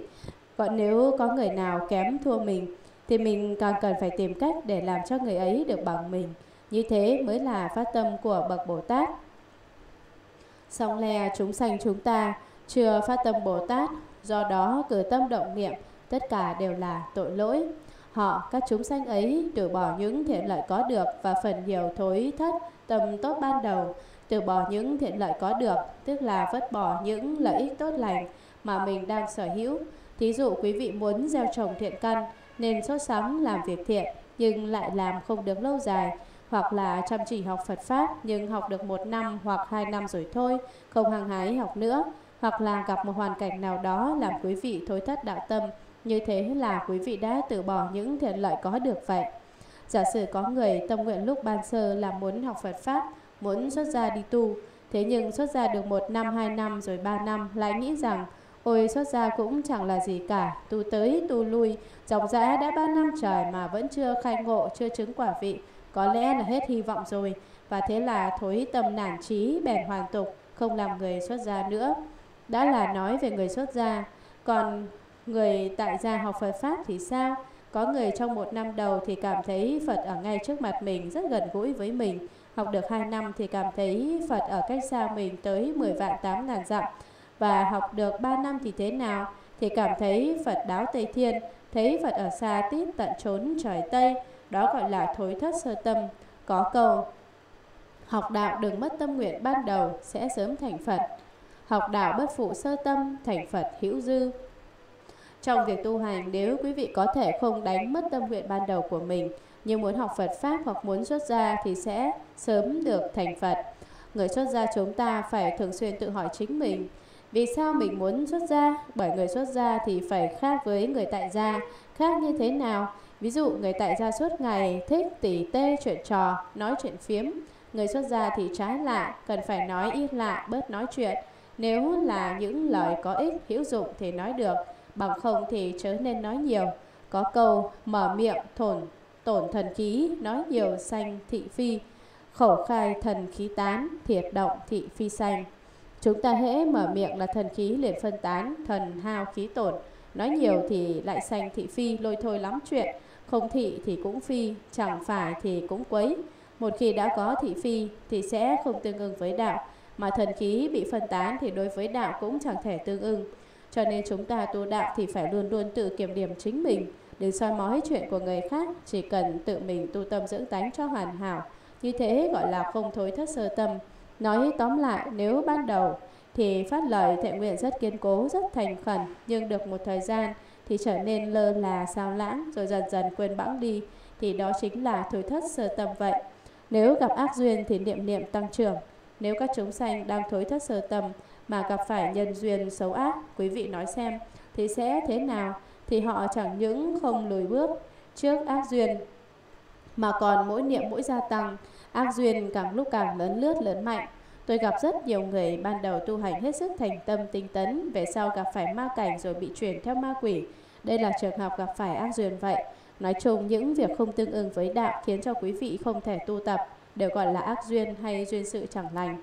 Tăng trưởng chính là tăng ích, có nghĩa là càng ngày càng nhiều hơn, mỗi lúc mỗi lớn mạnh hơn. Chúng ta tu hành thì cần phải tu tập tâm Bồ đề lại, khiến cho tâm Bồ đề của mình mỗi ngày mỗi gia tăng, đó gọi là tăng ích. Nếu tâm Bồ đề của quý vị cứ mỗi ngày mỗi suốt giảm, ít dần đi thì gọi là táng thất, đánh mất. Thế nhưng tâm Bồ đề của chúng ta thông thường không phải mỗi lúc một gia tăng, trong khi đó những ác duyên mà chúng ta gặp phải thì càng ngày lại càng nhiều thêm. Những hạng người này như kẻ đi trong bùn lầy mà còn mang đá nặng. Ở đây Địa Tạng Vương Bồ Tát đưa ra một tỷ dụ. Thí dụ có một người đang đi trên đường thì gặp phải vũng bùn lầy lội chắn mất lối đi. Lội qua vũng bùn thì cũng chưa đến nỗi nào. Nhưng người này còn phải vác một tảng đá nặng trên lưng nữa. Đá nặng chữ Hán là trọng thạch. Chữ thạch này còn có thể hiểu là thạch một đơn vị đo lường dung tích của người Trung Hoa. Một thạch tương đương với 100 lít hoặc 10 đấu. Do đó trọng thạch có thể hiểu là đá nặng, đồng thời cũng có hiểu là vật rất nặng. Vậy giả sử có người đã mang trên lưng những vật rất nặng, chừng 100 cân hoặc 200 pounds chẳng hạn, mà còn phải lội qua bùn lầy nữa. Người ấy hễ cứ nhấc được chân này lên thì chân kia lại lún xuống, rút được chân kia lên thì chân này bị lún xuống trở lại cho nên tới lui đều trở ngại vô cùng khó khăn vất vả đó gọi là xa lầy trong hoàn cảnh này người ấy nếu không mang đồ vật nặng nề thì còn có thể gắng gượng lội qua được bãi lầy. Nhưng nay còn phải vác thêm vật nặng trên người nữa nên cả khốn đốn nặng thêm dần chân càng lún xuống sâu. Vật nặng này là dụ cho cái gì? Chính là ác nghiệp của chúng ta. Còn bùn lầy thì sao? Bùn lầy tiêu biểu cho ba đường ác địa ngục ngạ quỷ và súc sanh. Trong chốn bùn xình lầy lội mỗi bước là mỗi khó khăn gian khổ và gánh nặng trên lưng như càng lúc càng đè nặng thêm, khiến trần càng lúc càng đốn sâu hơn. Quý vị nghĩ xem làm thế nào bây giờ nếu được gặp hàng tri thức, giả sử kẻ đang vác nặng lội đi trong bùn ấy may mắn gặp được bậc thiện, thiện, thiện tri thức như trừ Phật, trừ Bồ Tát hoặc người có đại trí huệ chẳng hạn thì sẽ như thế nào? Thì sẽ được gánh vác dùm bớt hoặc gánh hết cho. Vì phải mang vác nặng nề nên người ấy càng lúc càng bị xa lầy sâu hơn, không thể tự mình lôi ra được, không thể tự mình lội ra được. Chỉ có hàng thiện tri thức mới có năng lực gánh bớt dùm người ấy một phần hay một nửa hoặc nguyên cả gánh nặng đó. Vì hàng tri thức đó có sức rất mạnh lại dìu đỡ khuyến khích làm cho mạnh chân lên. Bậc thiện tri thức có sức lực mạnh mẽ có thể nâng đỡ dìu dắt và chỉ bày cho kẻ gánh nặng đang đi trong bùn đó cách thoát ra khỏi vũng bùn. Chẳng những thế, các bậc thiện tri thức còn khuyên bảo nhắc nhở, hãy cẩn thận nhớ đi đứng phải cho vững vàng một chút, khiến cho kẻ ấy mạnh chân vững lòng mà đi tiếp. Nếu đến chỗ đất bằng phẳng rồi thì phải xét nghĩ đến con đường hiểm xấu ấy không đi vào đó nữa. Một khi đã ra khỏi nơi bồn lầy và đến được chỗ đất bằng phẳng rồi thì quý vị phải giác ngộ, phải biết rằng con đường mình vừa vượt qua ban nãy là một con đường hiểm trở đầy bất chắc. Biết được như thế rồi thì từ nay chớ lội đi trong bùn sình, chớ dại dột mà dấn thân và hiểm lộ thêm lần nữa. Kinh văn Bạch Đức Thế Tôn, những chúng sanh tập khí xấu ác bắt đầu từ mảy muốn rồi lần đến nhiều vô lượng. Đến khi những chúng sanh có tập khí như thế sắp sửa mạng chung thì cha mẹ cùng quyến thuộc nên vì họ mà tạo phước đức để giúp cho lộ trình phía trước của họ. Hãy treo phàn lọng và thắp đèn dầu hoặc chuyển đọc tôn kinh hoặc cúng dường tượng Phật cùng tượng của chư Thánh cho đến niệm danh hiệu của Phật Bồ Tát cùng Bích Chi Phật làm cho mỗi danh mỗi hiệu đều thấu vào nhĩ căn của người sắp mạng chung hoặc nơi bổn thức nghe biết. Các chúng sinh đó cứ theo nghiệp ác đã gây tạo mà siêu lường quả báo chiêu cảm, tất phải đọa vào đường ác. Xong nhờ quyến thuộc vì kẻ lâm chung mà tu nhân thánh này, các tội đó thầy đều tiêu sạch. Như sau khi người ấy đã chết, nếu lại có thể trong 49 ngày vì người ấy mà tu tạo nhiều phước lành, thì có thể làm cho người chết đó vĩnh viễn sang việc trốn ác đạo, được sanh vào cõi trời và cõi người hoặc cõi người hưởng sự vui thủ thắng vi diệu, quyến thuộc hiện tại cũng được vô lượng lợi ích. Lược giảng, Địa Tạng Vương Bồ Tát lại bạch cùng Đức Phật rằng, Bạch Đức Thế Tôn, những chúng sanh tập khí xấu ác, bắt đầu từ mảy muốn rồi lần đến nhiều vô lượng, những chúng sanh tập tành theo thói ác, đều bắt đầu từ cái ác nhỏ nhất, ít xấu ác nhất rồi tích tụ lại dần mà thành ra nhiều đến vô lượng vô biên. Đến khi những chúng sanh có tập khí như thế sắp sửa mạng chung thì cha mẹ quyến thuộc nên vì họ mà tạo phước đức để giúp cho lộ trình phía trước của họ.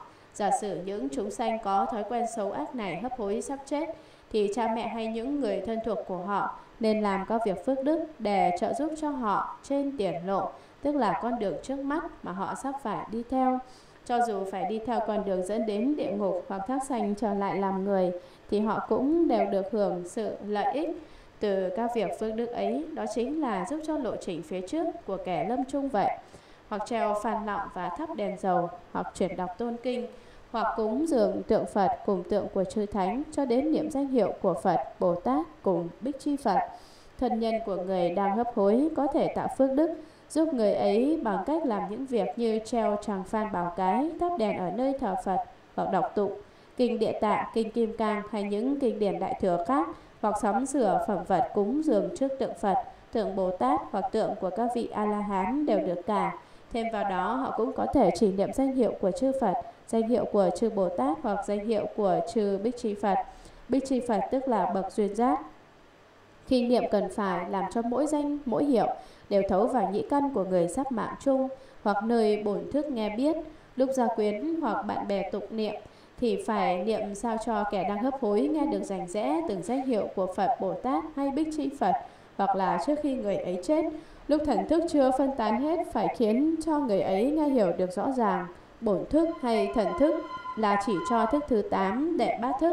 Thức thứ 8 này thì khứ hậu lai tiên đến trước nhưng lại đi sau. Do đó có bài kệ nói rằng Tam tàng mênh mông không cùng tận, vực sâu bảy sóng đùa trước gió, giữ gìn trùng tử căn thân khí, đến trước đi sau làm ông chủ.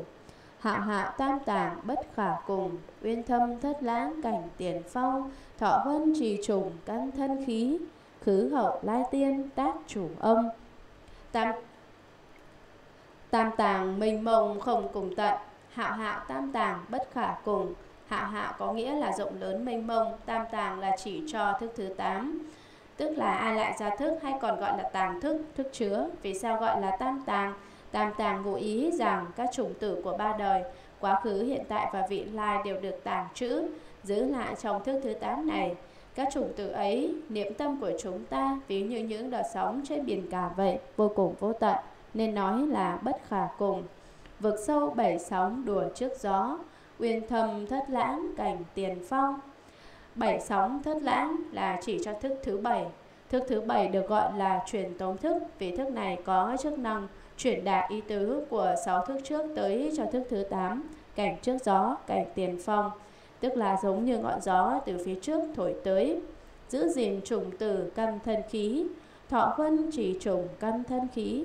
Do vì thức thứ 8 nhận sự truyền tống, chuyển giao ý tứ từ thức thứ bảy nên gọi là giữ thọ huân, gìn trùng tử, trì trùng. Có nghĩa là gìn giữ các trùng tử ở bên trong. Cảm thân khí tức là căn thân khí giới, đều ở trong các trùng tử đó. Thức thứ 8 có công năng duy trì trùng tử của tất cả các pháp, thân căn, thế giới. Đến trước đi sau làm ông chủ, khứ hậu lai tiên tác chủ ông. Con người khi sinh ra thì thức thứ 8 đến trước nhất và lúc chết thì thức thứ 8 là thức đi sau cùng. Quý vị khởi vọng tưởng muốn làm điều gì thì đều do thức thứ 8 làm chủ tải ủng hộ trợ giúp, cho nên nói thức này là đến trước đi sau làm ông chủ. Trong phần kinh văn này, bổn thức là chỉ cho thức thứ 8. Khi vừa mới chết, tùy các thức đã phân tán và đã rời khỏi xác thân rồi, nhãn thức, nhĩ thức, tĩ thức, thể thức, thân thức, ý thức đều không còn. Dòng thức thứ 8 thì vẫn còn nán lại chưa đi hẳn. Ngay lúc này nếu quý vị vì người chết mà tụng kinh niệm Phật hoặc làm việc công đức thì phải lớn tiếng tụng niệm và kể ra để cho thức thứ 8 của người ấy nghe biết, đó gọi là nơi bổn thức nghe biết, văn tại bổn thức vậy. Địa Tạng Vương Bồ Tát nói tiếp Các chúng sinh đó cứ theo nghiệp ác đã gây tạo mà suy lường quả báo chiêu cảm tất phải đọa vào ác đạo nếu căn cứ theo nghiệp ác đã tạo tác lúc còn sống mà suy xét thì những chúng sanh đó đáng lẽ phải chịu quả báo đoạn lạc trong ba đường ác song nhờ quyến thuộc vì kẻ lâm trung mà tu nhân thánh này gieo trồng nhân duyên thánh đạo chăm làm các thiện sự cho nên các tội đó thể đều tiêu sạch chẳng còn thừa sót. Như sau khi người ấy đã chết, nếu lại có thể trong 49 ngày, vì người ấy mà tu tạo nhiều phước lành, giả sử nội trong 49 ngày sau khi chết, nếu thân quyến lại có thể vì người mới qua đời mà làm nhiều thiện sự, thì có thể làm cho người chết đó vĩnh viễn ra lìa trốn ác đạo, thoát khỏi cái khổ trong địa ngục ngạ quỷ súc sanh và được sanh vào cõi trời hoặc cõi người hưởng sự vui thù thắng vi diệu. Trong vòng 49 ngày bảy thất sau khi chết thì tại địa ngục vẫn còn đang thẩm xét chưa quyết định tội trạng của người mới qua đời. Cho nên trong suốt kỳ hạn đó, nếu thân nhân có thể làm nhiều việc thiện để hồi hướng cho, thì người ấy sẽ được rất nhiều lợi ích. Quyến thuộc hiện tại cũng được vô lượng lợi ích. Nếu thân nhân quyến thuộc có thể vì kẻ lâm trùng, mà niệm danh hiệu Phật, danh hiệu Bồ Tát, Nam Mô Địa Tạng Vương Bồ Tát, danh hiệu của bậc A La Hán hoặc Bích Chi Phật hoặc tụng đọc các kinh điển thì không những người ấy được hưởng sự an vui đặc biệt vô cùng vi diệu mà đồng thời các quyến thuộc còn sống cũng được vô lượng vô biên sự lợi ích kinh văn vì lẽ đó, nên nay còn đối trước Đức Phật Thế Tôn cùng Thiên Long Bát Bộ, nhân và phi nhân, vân vân, mà khuyên bảo các chúng sanh trong cõi diêm phủ đề vào ngày lâm chung cần phải cẩn thận, chớ giết hại và chớ gây tạo ác duyên, cũng đừng bái tế quỷ thần cầu xin vọng lượng. Vì sao thế? Vì việc sát hại cho đến tế bái đó, không có mảy may năng lực, lợi ích cho người mất, mà chỉ kết thêm tội duyên làm cho thâm trọng hơn thôi. Giả sử người chết đó trong đời vị lai hoặc hiện tại sanh đắc được phần thánh quả sẽ sanh vào cõi trời, cõi người. Nhưng vì lúc lâm trùng bị hàng quyến thuộc gây tạo ác nhân, làm cho người chết cũng mắc lấy ương lụy, phải đối biện chậm sanh vào trốn tốt lành.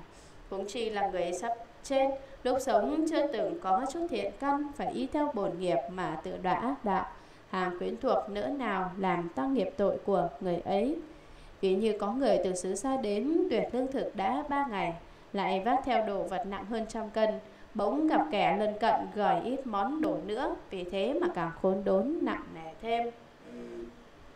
Lược giảng địa tạng vương bồ tát lại bạch tiết vì lẽ đó nên nay còn đối trước Đức Phật Thế Tôn cùng Thiên Long Bát Bộ, trời rồng dạ xoa, cả thát bà Atula, Kalola Khẩn Na La, Ma Hầu La Già, nhân và phi nhân vân vân mà khuyên bảo các chúng sanh trong cõi diêm phủ đề vào ngày lâm chung cần phải cẩn thận, chớ giết hại và chớ gây tạo ác duyên đừng gây ra những nghiệp duyên chẳng lành, cũng đừng bái tế quỷ thần cầu xin vọng lượng, cũng không nên tế lễ cầu xin nơi những quỷ thần, ngoại đạo cùng tất cả sơn yêu thủy quái vọng lượng là thuộc loài sơn tình thủy quái.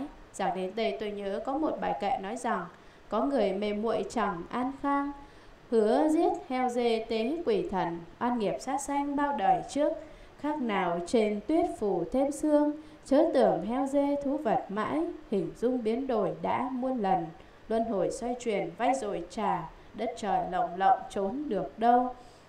Hữu đẳng, mê nhân, bất an khang, đối thần kỳ hứa, tái trừ dương sát sanh oan nghiệp tiền sanh sự. Như hà tuyết thượng hiệu gia xương, hưu vật nhận định thị chi dương, cải đầu ván diện, kỷ thiên trường. Như xa luân chuyển tương hoàn báo, vân hải đằng không vô xứ tàng. Có người mê muội chẳng an khang, hữu đẳng mê nhân bất an khang. Ở đây chẳng an khang tức là bất ổn, không ổn thỏa, làm không được tốt. Hứa giết heo dê tế quỷ thần, đối thần kỳ hứa tái trư dương ở Trung Hoa có một phong tục sai lầm mà chúng ta không hề thấy xảy ra ở các nước phương Tây.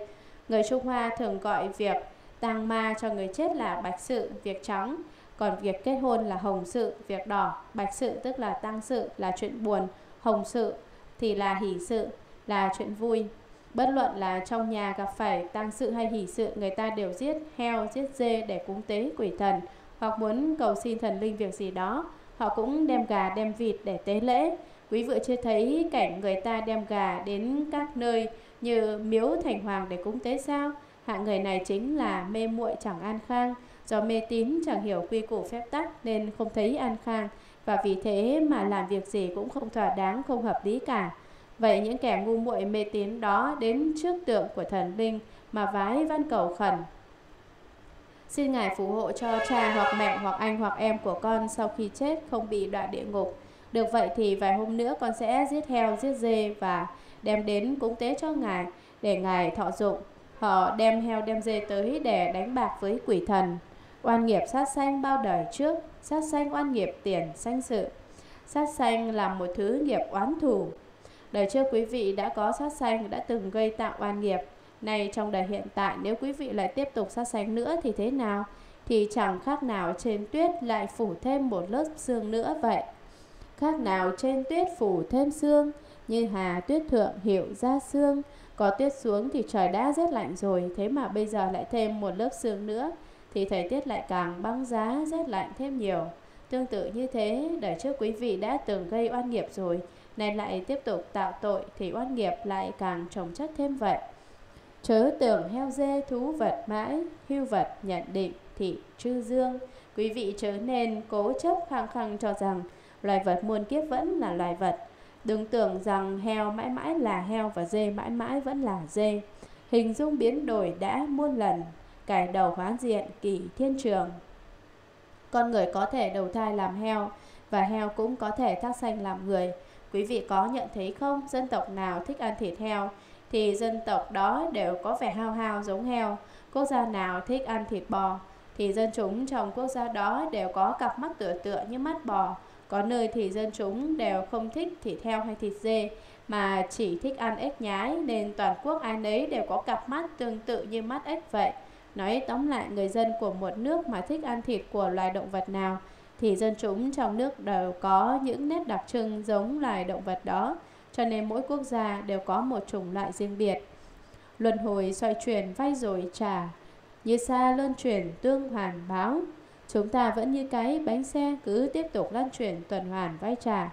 Trong kinh lăng nghiêm có chấp rằng dương phục vi nhân có nghĩa là dê lại làm người. Dê có thể làm người, thế thì heo không thể làm người sao? Chẳng những heo dê có thể làm người mà bất cứ sinh vật nào cũng đều có thể làm người được cả. Đó chẳng qua chỉ là một sự đổi xác mà thôi. Một khi đã thay đổi thể xác rồi thì quý vị sẽ không thể nhận ra được nữa. Linh tánh từ thân người có thể dọn sang thân heo và linh tánh từ thân heo cũng có thể dọn sang thân người. Người và vật đều có thể hỗ tương dọn nhà như thế. Hiện tại chúng ta được làm người thì có thể ví như chúng ta đang ở nơi nhà cao cửa rộng và đến khi chúng ta chạy vào con đường làm heo làm dê thì chẳng khác nào đang từ nhà cao cửa rộng mà dọn sang nhà tranh vắt đất hoặc một nơi tồi tàn lục sục nhất để ở vậy. Cho nên nói, như xa luân chuyển tương hoàn báo. Đất trời lồng lộng trốn được đâu, vân hải đằng không vô xứ tàng. Kẻ không hiểu rõ thì cho rằng chúng sanh là mỗi loài mỗi khác. Còn người đã đắc túc mạng thông thì biết rằng giữa con người và các loài chúng sanh có một mối quan hệ liên đới trong âm thầm lặng lẽ và cho dù ở những nơi mà con người không nhìn thấy được Như ngoài biển cả hoặc trong hư không chẳng ai trốn thoát được nhân quả mà cũng chẳng có chỗ nào để ẩn thân hầu trốn tránh nhân quả được cả. Luật nhân quả vĩnh viễn tồn tại trong khắp cõi hư không thái không.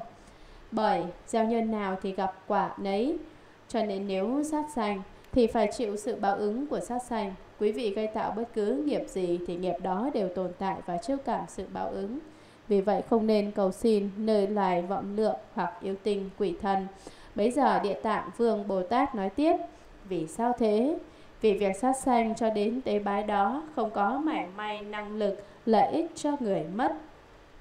Việc hàng quyến thuộc của người giết chết heo, giết dê để cúng tế các ác quỷ tà thần chẳng mang lại chút năng lực nào có thể trợ giúp hoặc làm lợi ích cho người ấy cả mà chỉ kết thêm tội duyên làm cho thâm trọng hơn thôi việc sát sanh và tế lễ đó chỉ khiến cho tội chứng của người chết càng sâu nặng thêm mà thôi giả sử người chết đó trong đời vị lai hoặc hiện tại sanh đắc được, phần thánh quả sẽ sanh vào cõi trời, cõi người.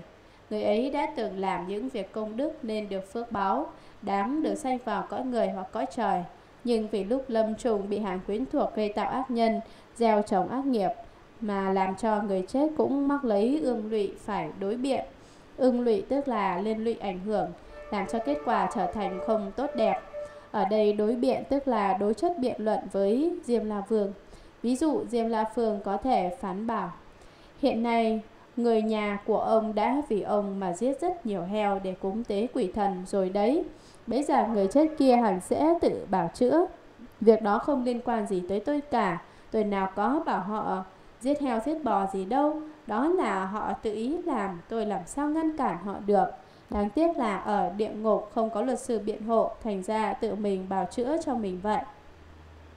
Chậm sanh vào trốn tốt lành Lẽ ra người ấy đáng được sanh lên cõi trời sớm hơn Nhưng vì còn phải mất thì giờ để biện luận Nên việc vãng sanh bị chậm trễ rất nhiều Huống chi là người chết lúc sống chưa từng có chút thiện căn, phải y theo bổn nghiệp mà tự đoạn ác đạo. Hàng quyến thuộc nữa nào làm tăng nghiệp tội của người ấy. Trong trường hợp kẻ lâm trùng trước kia chưa từng tạo được chút phước lành nào cả, thì căn cứ theo ác nghiệp đã gây ra, kẻ ấy phải đọa vào đường ác. Thế thì những bà con thân thích sao còn nhẫn tâm làm cho nghiệp tội của người đó nặng nề thêm. Cho nên quý vị đừng vì người chết mà sát sanh hoặc làm những việc tàn ác mà hãy ăn chay, niệm phật, tụng kinh hồi hướng cho họ. Ở đây có một tỷ dụ, tỷ dụ như thế nào? Ví như có người từ xứ xa đến tuyệt lương thực đã ba ngày, đã ba hôm rồi người ấy chưa được ăn uống gì cả, thế mà lại vác theo đồ vật nặng hơn trăm cân. Đã vậy người đó bỗng gặp kẻ lân cận, gửi ít món đồ nữa vì thế mà càng khốn đốn nặng nề thêm. Tỷ dụ này ngụ ý người đó vốn đã có tội rồi, lẽ ra hẳn quyến thuộc nên vì người đó mà làm việc phước thiện, hầu giảm bớt nghiệp tội. Thế nhưng họ chẳng những không làm việc phước lành, mà còn nhân danh người đó để giết hại chúng sanh nữa. Trong tỷ dụ trên, người từ xứ xa đến nọ vốn đã ba ngày trời không ăn không uống, trên lưng lại phải vác đồ rất nặng, cho nên đã kiệt sức, đi không muốn nổi rồi, Thế mà hàng xóm lân cận lại còn gửi thêm vài món đồ nữa, vì vậy càng nặng và vất vả hơn trước nhiều. Điều này biểu thị cho việc người đó vốn đáng tội phải đoạn địa ngục rồi, quý vị lại còn vì người đó mà sát sanh hại vật. Gây thêm tội lỗi nữa cho nên thời gian người đó phải ở trong địa ngục càng lâu dài hơn. Vì thế mà nói là càng khốn đốn nặng nề thêm. Trong tỷ dụ trên, đồ vật nặng là dụ cho ngũ uẩn, nặng hơn trăm cân là dụ cho thập ác, kẻ lần cận là chỉ cho gia quyến của người chết, gửi ít món đồ nữa là chỉ cho việc quyến thuộc vì người chết mà giết hại heo dê làm cho nghiệp tội của người đó càng thâm trọng thêm. Kinh văn Bạch Đức Thế Tôn còn xem xét chúng sanh cõi diêm phủ đẻ ở trong giáo pháp của chư Phật nếu có thể làm thiện sự chẳng chừng bằng một sợi lông, một giọt nước, một hạt cát, một mảy bụi thì tất cả đều tự mình được sự lợi ích. Nói lời như thế xong, trong pháp hội có một vị trưởng giả tên là Đại Biện. Ông trưởng giả này từ lâu đã chứng vô sanh, hiện thân trưởng giả đẻ hóa độ thập phương. Lược giảng, Địa Tạng Vương Bồ Tát bạch với Đức Phật rằng, Bạch Đức Thế Tôn, còn xem xét chúng sanh có ý riêng phủ đề ở trong giáo pháp của chư Phật. Nếu có thể làm thiện sự chừng bằng một sợi lông, một giọt nước, một hạt cát, một mảy bụi, thì tất cả đều tự mình được sự lợi ích. Chỉ cần họ có thể ở trong Phật giáo thì việc thiện họ làm được dù lớn dù nhỏ đều ừ, tạo được công đức và hết thảy công đức đó đều là của họ, hoàn toàn thuộc về họ. Khi Địa Tạng Vương Bồ Tát nói lời như thế xong, trong Pháp hội có một vị trưởng giả tên là Đại Biện. Vị trưởng giả giàu có này có đầy đủ bốn loại vô ngại biện tài, tứ vô ngại biện, nghĩa vô ngại biện, pháp vô ngại biện, từ vô ngại biện, nhạc thuyết vô ngại biện. Ông trưởng giả này từ lâu đã chứng vô sanh. Từ thuở lâu xa về trước, trường giả đại biện đã chứng đắc vô sanh pháp nhẫn và đạt đến quả vị niết bàn. Nay ông hiện thân trường giả để hóa độ thập phương. Vì muốn giáo hóa độ thất tất cả chúng sanh trong khắp mười phương, nên ông hiện thân làm một vị đại phú trưởng giả. Kinh văn Chắp tay cùng kính hỏi địa tạng Bồ Tát rằng Thưa đại sĩ, trong cõi Nam Diêm Phủ để có chúng sanh nào sau khi mạng chung mà hàng quyến thuộc kẻ lớn người nhỏ đều vì người chết đó mà tu công đức cho đến thiết trai tạo những thiện nhân thì người chết đó có được lợi ích lớn và được giải thoát chăng? Địa tạng Bồ Tát đáp rằng, Này ông trưởng giả, nay tôi vì tất cả chúng sanh trong hiện tại cùng vị lai, nương ngoài lực của Đức Phật mà được nói về việc đó. Này ông trưởng giả, những chúng sanh ở hiện tại hay vị lai, lúc sắp mạng trùng mà nghe được danh hiệu của một Đức Phật, danh hiệu của một vị Bồ Tát, danh hiệu của một vị Bích Chi Phật, thì bất luận là có tội hay không tội, thảy đều được giải thoát cả. Lược giảng, ông trưởng già đại biện bấy giờ chắp tay cung kính hỏi địa tạng Bồ Tát rằng, Thưa đại sĩ, trong cõi Nam Diêm Phủ Đề có chúng sanh nào sau khi mạng chung mà hàng quyến thuộc kẻ lớn người nhỏ đều vì người chết đó mà tu công đức cho đến thiết trai làm cơm chay để cúng dường tam bảo tạo những thiện nhân gieo trồng những chủng tử lành thì người chết đó có được lợi ích lớn và được giải thoát chăng chẳng hay người chết đó có thể đạt được sự lợi ích to lớn hoặc có thể thoát khỏi mọi nghiệp tội hay không Địa tạng Bồ Tát đáp rằng, Này ông trưởng già, nay tôi vì tất cả chúng sanh trong hiện tại cùng vị lai, đừng ngoài lực của Đức Phật mà lược nói về việc đó. Tôi sẽ mượn đại oai thần lực của Phật mà nói sơ lược đôi điều về việc đó. Quý vị xem Bồ Tát Địa Tạng không nói là dùng sức oai thần của chính mình, mà lại nói là đương vào đại oai thần lực của Phật. Đó là vì sao? Đó là biểu thị lòng tôn kính của Ngài đối với Đức Phật và cũng chính vì thế mà lúc nào Ngài cũng nhắc đến Phật trước tiên. Bồ Tát Địa Tạng nói tiếp, Này ông trưởng giả, những chúng sanh nào ở hiện tại hay vị lai lúc sắp mạng chung mà nghe được danh hiệu của một Đức Phật, danh hiệu của một vị Bồ Tát, danh hiệu của một vị Bích Chi Phật hoặc duyên giác thì bất luận là có tội hay không tội, thầy đều được giải thoát cả. Tại sao lúc sắp mạng chung mà nghe được một danh hiệu của Phật Bồ Tát hoặc Bích Chi Phật thì bao nhiêu tội chướng đều có thể tiêu trừ? Lúc sắp mạng chung tức là lúc mà mạng căn của con người sắp sửa đứt dứt, đoạn dứt, mạng căn vốn do ba yếu tố là noãn, hơi ấm, tức hơi thở và thức sự hiểu biết hợp lại mà thành. Con người chết tức là mạng căn đứt đoạn. Mạng căn khi đoạn thì đầu tiên là cơ thể mất dần hơi ấm, nãn khí, kế đến là không còn hô hấp nữa tức. Và sau đó là đến người thần thức ra đi. Ba thứ nãn, tức thức đều đoạn hết. Tức là mạng chung mạng căn đã dứt không còn nữa. Có câu chim sắp chết thì tiếng kêu bi thảm. Người sắp chết thì lời nói thiện lành điều chi tương tử kỳ điều giá ai nhân chi tương vong kỳ ngôn giá thiện con người khi sắp chết thì thiền lương trỗi dậy, lương tâm có thể nhận ra được những gì mình đã làm trong suốt một đời này là đúng hoặc là không đúng. Đó là một sự phản tỉnh. Lúc bấy giờ kẻ lâm trung chân tránh nhìn nhận những việc làm không đúng của mình, do đó mà sanh lòng ăn năn sám hối. Một khi đã khởi tâm sám hối rồi, thì cho dù chỉ nghe thấy danh hiệu của một Đức Phật, một tôn Bồ Tát hoặc một tôn Bích Chi Phật, cũng đều có thể diệt trừ được vô lượng tội chướng. gieo trồng vô lượng thiện căn, vì thế lúc sắp mạng chung là một thời điểm tối quan trọng. Đồng thời đó cũng là thời điểm khó phát khởi thiện tâm cầu sám hối nhất. Vì sao thường ngày chúng ta cần phải niệm Phật? Thường ngày niệm Nam Mô A Di Đà Phật là chuẩn bị cho lúc lâm chung không bị quên mất. Nếu ngày ngày đều niệm Phật thì đến lúc sắp mạng chung chúng ta sẽ không thể nào quên câu niệm Phật được. Nếu quý vị suy nghĩ một cách đơn giản cho rằng đợi đến lúc sắp mạng chung rồi hãy niệm Phật, hãy sanh thiện tâm thì e rằng tới lúc đó mới biết là không dễ dàng chút nào và cũng đã quá muộn màng. Tuy nhiên nếu lúc lâm chung mà sanh được thiện tâm thì vô cùng vi diệu, chỉ cần một niệm sám hối là có thể tiêu trừ hết thảy mọi, mọi nghiệp tội. Kinh văn như có người nam hoặc người nữ nào lúc sống đã không tu thiện nhân mà lại tạo nhiều nghiệp tội, sau khi mạng chung lại được hàng quyến thuộc vì người chết mà tu tạo phước lợi lớn nhỏ, thì tất cả thánh sự trong bảy phần công đức người chết được một phần, còn sáu phần thuộc về người sống hiện lo tu tạo đó. Vì thế cho nên các thiện nam, thiện nữ ở hiện tại và vị lai nghe lời nói vừa rồi đó nên cố gắng tự tu hành thì được hưởng trọn phần công đức. Đại quỷ vô thường không hẹn mà đến, thần hồn vơ vẩn mịt mờ, chưa rõ là tội hay phước. Trong 49 ngày như ngây như điếc hoặc ở tại các tỳ sở để biện luận về nghiệp quả, sau khi thẩm định xong thì cứ y theo nghiệp mà thọ sanh. Trong lúc chưa biết ra sao đó thì đã ngàn muôn sầu khổ hướng là phải bị đọa vào các ác đạo.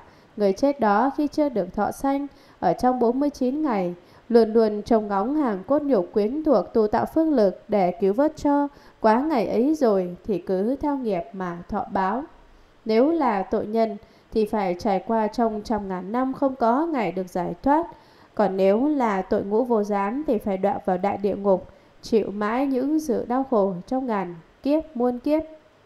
Lược giảng, Địa Tạng Vương Bồ Tát lại bảo ông trưởng giả đại biện rằng như có người nam hoặc người nữ nào lúc sống đã không tù thiện nhân mà lại tạo nhiều nghiệp tội, giả sử có người nam hoặc người nữ nào đó khi còn sống đã có tu ngũ giới và thập thiện, Xong, mặc dù đã thọ ngũ giới và phát tâm tu thập thiện, người ấy lại không làm thiện sự, chẳng trồng thiện nhân lại còn tạo thêm biết bao nghiệp tội nữa. Sau khi mạng trùng lại được hàng quyến thuộc vì người chết mà tu tạo phước lợi lớn nhỏ. Nếu sau khi người nam hoặc người nữ ấy qua đời, thân nhân có thể vì người chết mà tu tạo một vài việc phước lợi nho nhỏ hoặc một vài việc phước lợi lớn lao, thì tất cả thánh sự trong 7 phần công đức, người chết được một phần, còn 6 phần thuộc về người sống hiện lo tu đạo đó. Thánh sự cũng chính là thiện sự. Như vậy trong 7 phần công đức thì người chết chỉ được hưởng một phần mà thôi, còn 6 phần công đức còn lại là thuộc về người sống, tức là hàng khuyến thuộc, đã lo tu tạo phước lợi đó.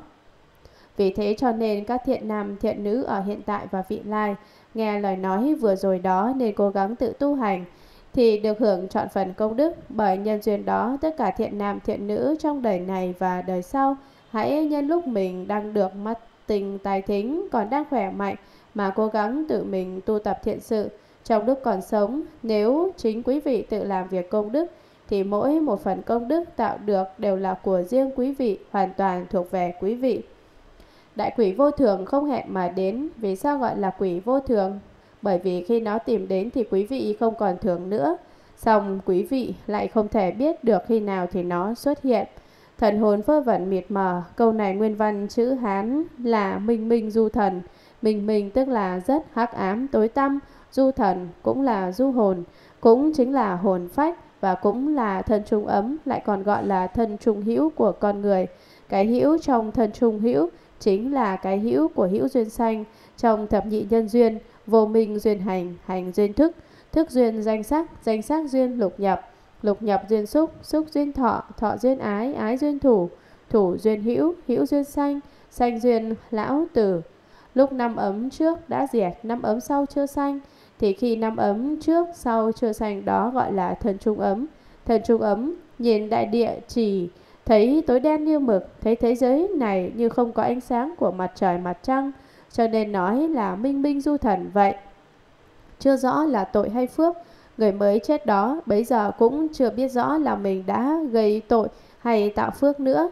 Trong 49 ngày như ngây như điếc, Tại nước Trung Hoa do ảnh hưởng của đạo Phật nên nội trong bảy thất 4 19 ngày sau khi người thân chết thì quyến thuộc thường thỉnh tăng sĩ hoặc đạo sĩ tụng kinh để siêu độ vong linh. Như ngây tức là giống như một kẻ không biết gì cả, như điếc tức là cũng không nghe thấy bất kỳ âm thanh nào cả. Hoặc ở tại các ti sở để biện luận về nghiệp quả. Ở địa ngục không phải chỉ có một vị Diêm La Vương thôi mà có tới 10 vị gọi là thập điện Diêm Quân. Dưới quyền của mỗi vị Diêm Quân lại phân ra rất nhiều bộ môn. Do đó mỗi vị Diêm La Vương có 5 tỳ sở, đó là một Tiên quan cấm sát sanh, hai Thủy quan cấm trộm cắp, ba Thiết quan cấm tà dâm, bốn Thổ quan cấm nói lưỡi đôi chiều, năm Thiên quan cấm rượu. Dưới quyền mỗi vị Diêm La Vương đều có 5 vị quan giữ các chức sự này, gọi là ngũ ti. Ngũ ti là trông coi về nghiệp tội gây tạo trong một đời của mọi người. Mỗi ti kiểm soát một loại nghiệp tội, cho nên người chết lúc sống phạm loại nghiệp tội nào thì tới ti sở tương ứng với nghiệp tội đó để thẩm vấn biện luận. Sau khi thẩm định xong thì cứ y theo nghiệp mà thọ sanh. Sau khi biện luận nghiệp quả, người chết phải chờ sự thẩm định xem đã gây tạo tội lỗi gì thì sẽ phải chịu quả báo gì. Một khi đã thẩm định xong thì người ấy phải y theo những nghiệp mình đã tạo mà thọ lấy quả báo. Trong lúc chưa biết ra sao đó thì đã ngàn muôn sầu khổ huống là phải bị đọa vào các ác đạo. Trong thời gian chờ đợi kết quả thẩm định, người ấy rất lo âu buồn bã, không biết tương lai mình sẽ đi đầu thai làm trâu làm ngựa, làm heo làm dê hoặc trở lại làm người. Bởi chính mình cũng không biết được mình sẽ ra sao cho nên trong lòng cứ phập phòng lo sợ, cảm thấy vô vàn thống khổ. Thì huống chi là lúc đã đoạn lạc vào các đường ác, địa ngục ngạ quỷ súc sanh, bấy giờ còn thống khổ đến chừng nào. Người chết đó khi chưa được thọ sanh ở trong 49 ngày luôn luôn trông ngóng hàng cốt nhục quyến thuộc tu tạo phước lực để cứu vớt cho. Trong khi chờ đợi để được đi thọ sanh, tức là trong vòng 49 ngày sau khi chết, người đó từng giây từng khắc tâm tâm niệm niệm, lúc nào cũng mong mỏi trông chờ hàng thân thích ruột thịt, sẽ tụng kinh địa tạng, lễ bái địa tạng sám hoặc lễ lại địa tạng vương Bồ Tát, cúng dường tam bảo tạo vô số phước lợi để cứu vớt cho mình. Quá ngày ấy rồi, thì cứ theo nghiệp mà thọ báo, quá 49 ngày rồi, thì người chết đó phải thọ lấy quả báo tùy theo nghiệp tội mà mình đã gây tạo. Người chết đó nếu là tội nhân, là kẻ có tội thì phải trải qua trong trăm ngàn năm, không có ngày được giải thoát. Còn nếu là tội ngũ vô gián thì phải đọa vào đại địa ngục chịu mãi những sự đau khổ trong ngàn kiếp muôn kiếp. Nếu tội lỗi mà người chết đã phạm thuộc về năm tội ác tài trời, giết cha, giết mẹ, giết bậc A-la-hán, làm thân Phật chảy máu, phá hòa hợp tăng, thì người ấy sẽ bị đoạn địa ngục vô gián. Ngũ vô gián tức là năm thứ nghiệp cảm hành hạ liên tục không gián đoạn. Một, thời gian không gián đoạn, thời vô gián. Thời gian thọ khổ là liên tục, không gián đoạn, kể từ lúc vào địa ngục cho đến khi được thoát ra. Trong suốt thời gian này, tội nhân liên miên thọ khổ, không có một giây một khắc nào được ngưng nghỉ, cho nên gọi là thời vô gián. Hai, thân hình không gián đoạn, hình vô gián. Một người ở địa ngục thì thấy thân thể mình choáng chặt cả ngục, mà rất nhiều người cùng ở trong ngục thì cũng thấy thân hình của họ chật đầy cả ngục như thế. Đó là hình vô gián, hình không gián đoạn. Ba khổ không gián đoạn, khổ vô gián.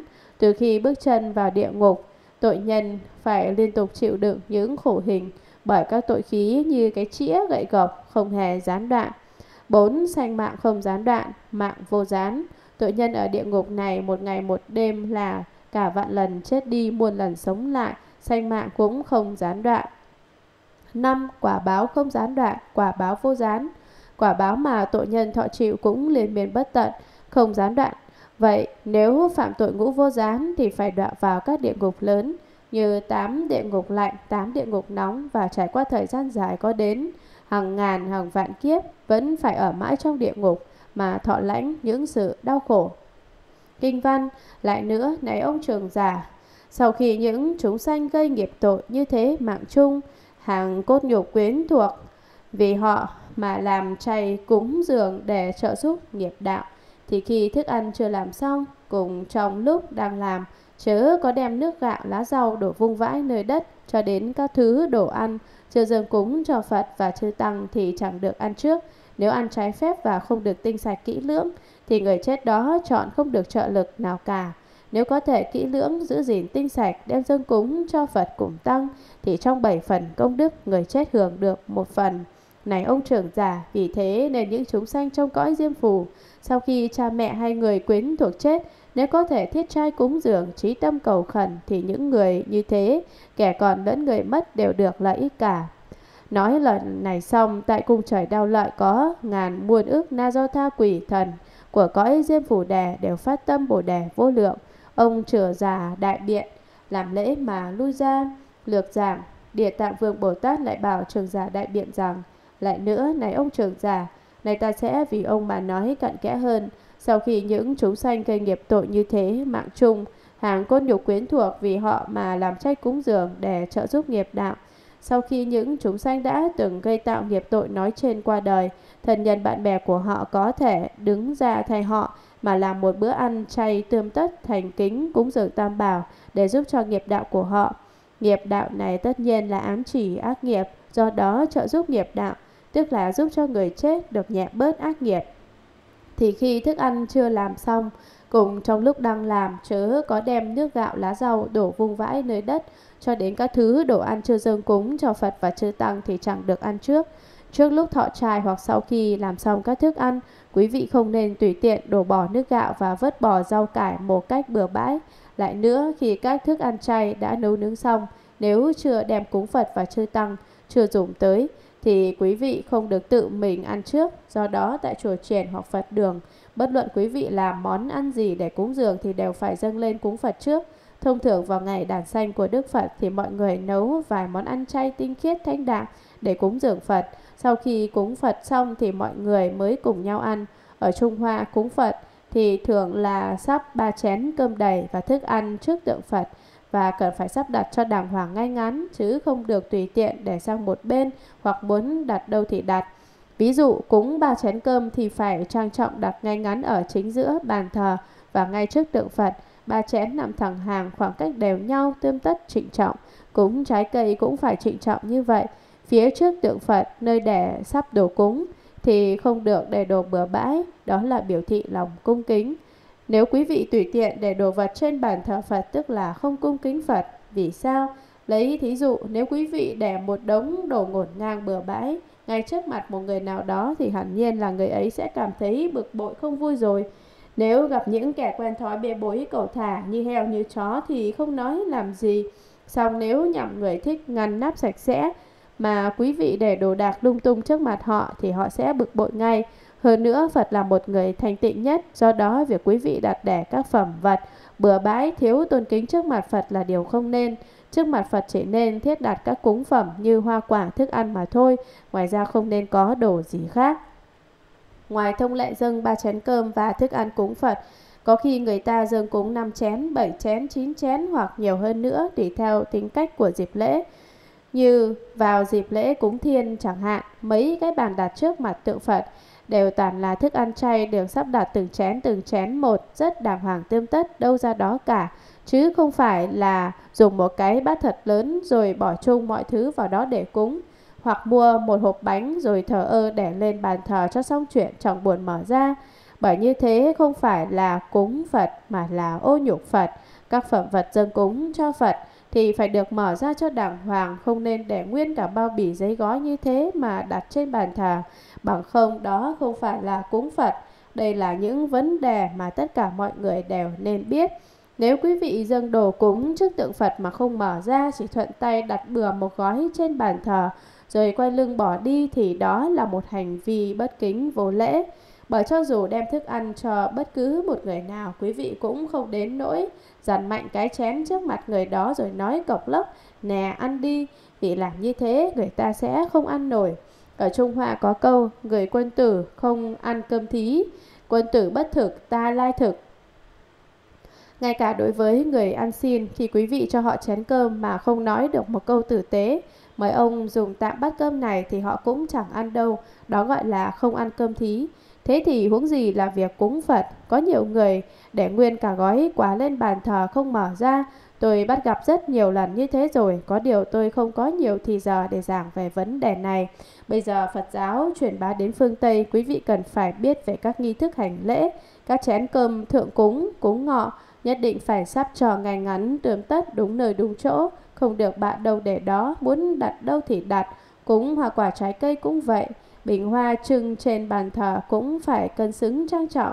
Nếu đặt để không đúng vị trí, đáng lẽ ở góc này thì quý vị lại rời nó sang góc kia thì sẽ không đẹp, thiếu cân đối. Mọi việc đều cần phải có quy củ phép tắc. Nếu nói rằng có quá nhiều quy củ như thế làm sao mà nhớ cho hết được ư? Không nhớ được thì quý vị khỏi phải tu hành. Bởi tu hành tức là ở mọi nơi mọi lúc đều phải đúng với giáo pháp, luôn luôn tuân theo khuôn phép, nền nếp. Lại nữa, xuất gia thì có quy củ của xuất gia, tại gia thì có quy củ của tại gia. Vị đại đệ tử xuất gia trước nhất thì phải vâng lời sư phụ, kỳ dư. Vị đệ tử thứ nhì phải nghe lời của đại đệ tử. Vị đệ tử thứ ba thì phải nghe lời của đại đệ tử và nhị đệ tử, không được mục vô sư trưởng. Xem thường sư phụ và các sư huynh làm đại đệ tử mà không nghe theo sự giáo hóa của sư phụ thì gọi là mục vô sư trưởng không xem ai ra gì cả. Còn vị nhị đệ tử thì nhất định phải nghe theo sự giáo hóa của sư huynh, không được khinh mạn sư huynh. Nếu quý vị ở vào cương vị của vị tam đệ tử thì nhất định phải nghe lời của vị đệ tử thứ nhất và thứ nhì. Vị thứ nhất và vị thứ nhì sai bảo việc gì thì quý vị nhất định phải vâng lời. Không vâng lời tức là không tuân quy củ. Không bảo quý vị làm gì cả thì quý vị phải nhất định đừng làm, bằng không đó cũng là bất tuân quy củ vậy. Trong đoàn thể Phật giáo nhất định là có nhiều bậc sư trưởng, trưởng bối, quý vị không được mục vô sư trưởng. Hễ quý vị xuất gia sau người ta dù chỉ một ngày, quý vị cũng phải làm sư đệ. Còn nếu quý vị xuất gia trước người ta một ngày thì quý vị sẽ thành sư huynh. Người nào xuất gia trước thì người đó là lớn hơn, người nào xuất ra sau thì người đó vai vế nhỏ hơn. Bất luận là tuổi tác chênh lệch bao nhiêu, cho dầu quý vị có 100 tuổi đi chăng nữa mà xuất ra sau thì cũng phải là sư đệ như thường. Lại nữa, mặc dù quý vị mới một tuổi, song nếu xuất ra trước thì quý vị sẽ thành sư huynh. Người xuất gia lấy ngày mình xuất gia làm ngày sinh nhật cho cuộc đời xuất gia của mình. Rồi đến lúc lâm trùng thì tính lại xem tăng lạp tuổi xuất gia của mình được bao nhiêu năm. Thí dụ, có người thế thọ là 60 và tăng thọ là 40, có nghĩa là người ấy tuổi đời sống được đến 60 tuổi và xuất gia được 40 năm. Đặc biệt là lúc thọ giới của người xuất gia, hay ai thọ giới trước thì người đó làm sư huynh. Mặc dù là cùng đi thọ giới với nhau, quý vị vẫn phải gọi người vừa bước lên đàn thọ giới trước quý vị là giới huynh và người thọ giới trễ hơn quý vị là giới đệ. Tuy nhiên trong giới đàn thì mọi người đều xưng hô với nhau là giới huynh cả. Quý vị gọi tôi là giới huynh, tôi cũng kêu quý vị là giới huynh, không dùng danh xưng giới đệ nữa, đó là vì mọi người đều lễ phép lịch sự, cho dù giới đệ cũng được gọi là giới huynh. Ngoài ra, những vị xuất gia làm tiểu sa di trong chùa thì nhất định là phải nghe lời chỉ huy của các đại sa di. Nếu không nghe theo tức là phạm thượng ngỗ nghịch bất hiếu, là phạm thượng tác loạn vậy. Quy củ của người xuất gia trong Phật giáo thì rất chú trọng đến trật tự trên dưới chứ không tùy tiện xuồng xã như người tại gia được. Tôi bình thường cũng không có thì giờ để giảng về các quy củ cúng Phật, cho nên cũng xuề xòa, thấy tạm được thì cũng thông qua để xem coi quý vị rốt giáo là ngu si hay có trí huệ. Nếu quý vị là người có trí huệ thì không cần phải đợi có người dạy bảo mới biết được. Từ trước tới nay không có ai dạy cho tôi cả, xong tôi chỉ cần nhìn qua một thoáng là hiểu được ngay. Đối với những kẻ ngu si, cho dù quý vị tận tâm dạy dỗ thì họ cũng không thể nào nhớ được. Vì thế qua cách xử sự mọi việc trong mọi lúc ở mọi nơi của một người đều thể hiện được là người đó có trí huệ hay không. Như vậy thức ăn chưa được dâng cúng cho Đức Phật cùng chư Tăng thì mọi người không được ăn trước. Do đó khi ăn uống ở chùa cần phải đợi cúng Phật xong và người xuất gia cũng đã thọ dụng rồi thì người tại gia mới nên cùng nhau ngồi ăn. Người tại gia tuyệt đối không được ăn trước người xuất gia, không riêng gì việc cúng Phật mà luôn cả việc cúng dường tam bảo, mọi người đều phải theo đúng phép tắc như thế. Nếu ăn trái phép và không được tinh sạch kỹ lưỡng thì người chết đó chọn không được trợ lực nào cả. Giả sử quý vị không tuân giữ quy củ này mà ăn trước hoặc là lúc nấu nướng lại cầu thả lơ đễnh không chú ý không làm đàng hoàng đó gọi là bất tinh cần không được tinh sạch kỹ lưỡng cúng dường tam bảo thì không được lơ đễnh Bởi quý vị cúng dường tam bảo một cách qua là cổ thả thì người sẽ chết sẽ chẳng được hưởng một mảy phước nào cả. Nếu có thể kỹ lưỡng, giữ gìn tinh sạch, đem dâng cúng cho Phật cùng tăng. Nếu quý vị có thể đặc biệt chú ý hết sức cẩn thận, giữ gìn những thức ăn này được tinh sạch, rồi cung cung kính kính, đem dâng cúng cho Đức Phật và chư Tăng thì trong bảy phần công đức người chết hưởng được một phần. Năm ngoái chúng ta có tổ chức lễ truyền cúng, Hôm đó tất cả đại chúng đều quỳ xuống và cùng nhau dâng thức ăn cúng Phật.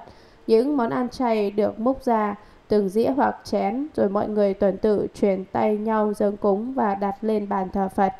Chùa đã thận trọng nấu nướng nhiều món chay để cúng Phật, có tới cả trăm món khác nhau, được đặt trong các khay vuông để mọi người truyền tay nhau dâng cúng. Cũng có khi người ta dâng cúng Phật các sâu chuỗi chẳng hạn hoặc y phục.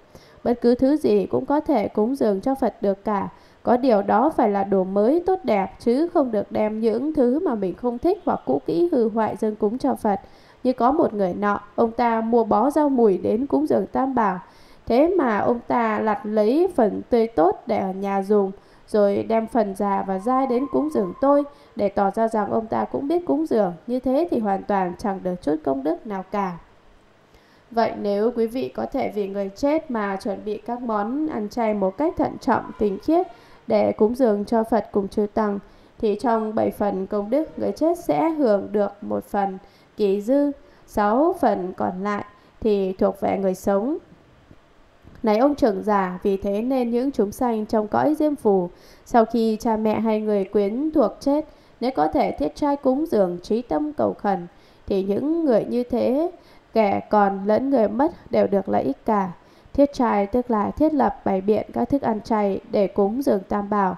Trí tâm tức là thành khẩn thiết tha đến cực điểm không có gì hơn được nữa. Chính vì những lý do nói trên cho nên tất cả chúng sanh ở cõi Nam Diêm Phủ để nếu có thể vì cha mẹ hoặc bà con thân thích của mình đã qua đời mà làm chay để cúng dường tam bảo và thiết tha dốc lòng cầu khẩn thì chọn những người còn sống được sự lợi ích mà luôn cả người đã chết cũng được lợi lạc. Nói lời này xong, tại cung trời đau lợi có ngàn muôn ước na do tha quỷ thần của cõi diêm phủ đề đều phát tâm bồ đề vô lượng. Lúc địa tạng vương Bồ Tát dứt lời, đông đảo quỷ thần của thế giới diêm phủ hiện diện tại đao lợi thiên cùng đều phát tâm an nậu đa la tam miệu tam bồ đề. Ông trưởng giả đại biện làm lễ mà lui ra. Ông trưởng giả đại biện hướng về Bồ Tát Địa Tạng mà cúi lạy. Hướng về Đức Phật Thích Ca Mâu Ni cũng cúi đầu đảnh lễ rồi lui vào đứng sang một bên. Người xuất gia không chỉ có đệ tử lại sư phụ mà ngay cả sư đệ cũng nên lại sư huynh. Đừng như người Mỹ, cha mẹ anh em đều không tương can. Chẳng ai để ý tới ai cả, chúng ta không nên như thế. Làm thân sư đệ thì phải như vậy. Ai biểu quý vị chịu làm sư đệ làm chi? Ai biểu quý vị xuất gia trễ sau người khác làm chi? Quý vị xuất gia sau thì phải làm sư đệ, mà sư đệ thì phải kính trọng sư huynh. Không kính trọng sư huynh tức là phạm sai lầm, phạm quy củ của Phật đã dạy, về sau sẽ bị lừa thiêu chết.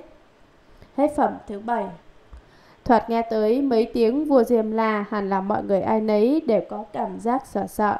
Diêm La là phiên âm từ chữ Yama của tiếng Ấn Độ. Vua Diêm La là vị vua cai quản loài quỷ. Chúng ta thường nghe nói tới thập điện Diêm La tức là 10 vị vua cai quản 10 điện ở địa ngục. Tuy nhiên, theo văn nghĩa của bản kinh này thì ở đây không phải chỉ đề cập đến thập điện Diêm La của Nam Thiệm Bộ Châu, mà là bao gồm hết thảy vua Diêm La trên toàn vũ trụ. Mỗi thế giới đều có vua Diêm La, do đó có đến vô lượng vô biên vị vua Diêm La vô cùng đông đảo. Có những vị vua Diêm La đến từ các thế giới khác như mặt trăng, các vị tinh tú. Và cũng có những vị đến từ các núi thiết vi của những nơi khác. Nói tóm lại, ở đâu có con người thì ở đó có vua Diêm La, nơi nào không có con người thì nơi ấy không có vua Diêm La. Vì sao? Bởi vì nếu không có loài người thì sẽ không có loài quỷ, mà không có quỷ thì cũng không có Phật và đó chính là vô Phật thế giới, thế giới không có Phật. Mà vì là thế giới không có Phật cho nên cũng không có vua Diêm La. Do đó chủ yếu là ở con người. Nếu không có con người thì cái gì cũng không hiện hữu cả. Trong thế giới này, con người chi phối mọi thứ, tạo dựng ra mọi thứ, có nhu cầu về mọi thứ và sử dụng mọi thứ. Tất cả đều do con người mà ra. Nếu không có con người thì thế giới này sẽ không có Phật, không có Bồ Tát và cũng chẳng có ngạ quỷ chẳng có địa ngục, chẳng có súc sanh, hoàn toàn không có gì cả. Cho nên tất cả đều do con người mà ra, vì con người mà có. Thế thì con người là do cái gì tạo thành? Con người là do tâm tạo thành. Tâm không chỉ tạo ra con người mà còn có thể tạo ra mọi thứ. Thiên đường ngạ quỷ, thiên đường địa ngục ngạ quỷ súc sanh. Vì thế mà nói rằng 10 pháp giới đều do tâm tạo thành. Xong tâm tạo ra 10 pháp giới thì tâm cũng có thể hủy diệt 10 pháp giới. Trong kinh Hoa Nghiêm có chép, nếu ai muốn rõ biết tất cả Phật ba đời nên quán tánh pháp giới hết thảy do tâm tạo. Nhược nhân dục liễu tri, tam thế nhất thiết Phật, ưng quán pháp giới tánh, nhất thiết duy tâm tạo. Tất cả đều do cái tâm này tạo thành. Trong tâm của chúng ta có rất nhiều tạp niệm. Những tạp niệm này thì nhiều như sóng nước và được biểu hiện nơi sơn hà đại địa trên thế giới. Mọi thứ đều do tầm vọng tưởng của con người tạo ra. Cái tầm vọng tưởng ấy vốn nhiều như bụi bặm và chính vì trong thâm tâm chúng ta có vọng tưởng cho nên bên ngoài mới có nhiều bụi bặm. Nếu vọng tưởng bên trong không còn thì bụi bặm bên ngoài cũng chẳng hiện hữu và ngay cả lân hư trần cũng chẳng tồn tại. Phạm hễ nơi nào có con người thì nơi đó cũng sẽ có quỷ, có Phật và do đó có sự hiện diện của các vua Diêm La. Theo bản Hán văn phẩm này có tựa đề là Diêm La Vương chúng tán thán, trong đó chữ chúng là ám chỉ quyến thuộc của các vua Diêm La. Lúc bấy giờ trong pháp hội không phải chỉ có các vua Diêm La mà luôn cả bà con thân thuộc của họ cũng đều hiện diện và hết thảy đều đồng lòng khen ngợi. Các vua Diêm La cùng quyến thuộc của họ khen ngợi việc gì? Họ khen ngợi đại oai thần lực trí huệ bất khả tư nghì, cảnh giới bất khả tư nghị của Địa Tạng Vương Bồ Tát và đây là phẩm thứ 8 của bản kinh này. Kinh văn Lúc đó trong dãy núi Thiết Vì có vô lượng quỷ vương cùng với thiên tử Diêm La đồng lên cùng trời đao lợi đến chỗ của Đức Phật. Đó là quỷ vương ác độc, quỷ vương đã, quỷ vương đại tranh, quỷ vương bạch hồ, bạch hổ, quỷ vương huyết hổ, quỷ vương xích hổ, quỷ vương tán ương, quỷ vương phi thân, quỷ vương điển quang, quỷ vương lang nha, quỷ vương thiên nhãn, quỷ vương đạm thú, quỷ vương phụ thạch, quỷ vương chủ hào, quỷ vương chủ họa, quỷ vương chủ thực, quỷ vương chủ tài, quỷ vương chủ xúc, quỷ vương chủ cầm, quỷ vương chủ thú, quỷ vương chủ mị, quỷ vương chủ sản, quỷ vương chủ mạng, quỷ vương chủ tật, quỷ vương chủ hiểm, quỷ vương tam mục, quỷ vương tứ mục, quỷ vương ngũ mục, kỳ lợi thất vương, đại kỳ lợi thất vương, kỳ lợi xoa vương, đại kỳ lợi xoa vương, anacha vương, đại anacha vương, những vị đại quỷ vương như thế, mỗi vị cùng với trăm ngàn tiểu quỷ vương toàn cư ngụ ở cõi diêm phù đà, ai nấy đều có chức trách, đều có phần trụ trì riêng. Lược giảng Lúc đó trong dãy núi, núi Thiết Vi có vô lượng quỷ vương cùng với thiên tử Diêm La.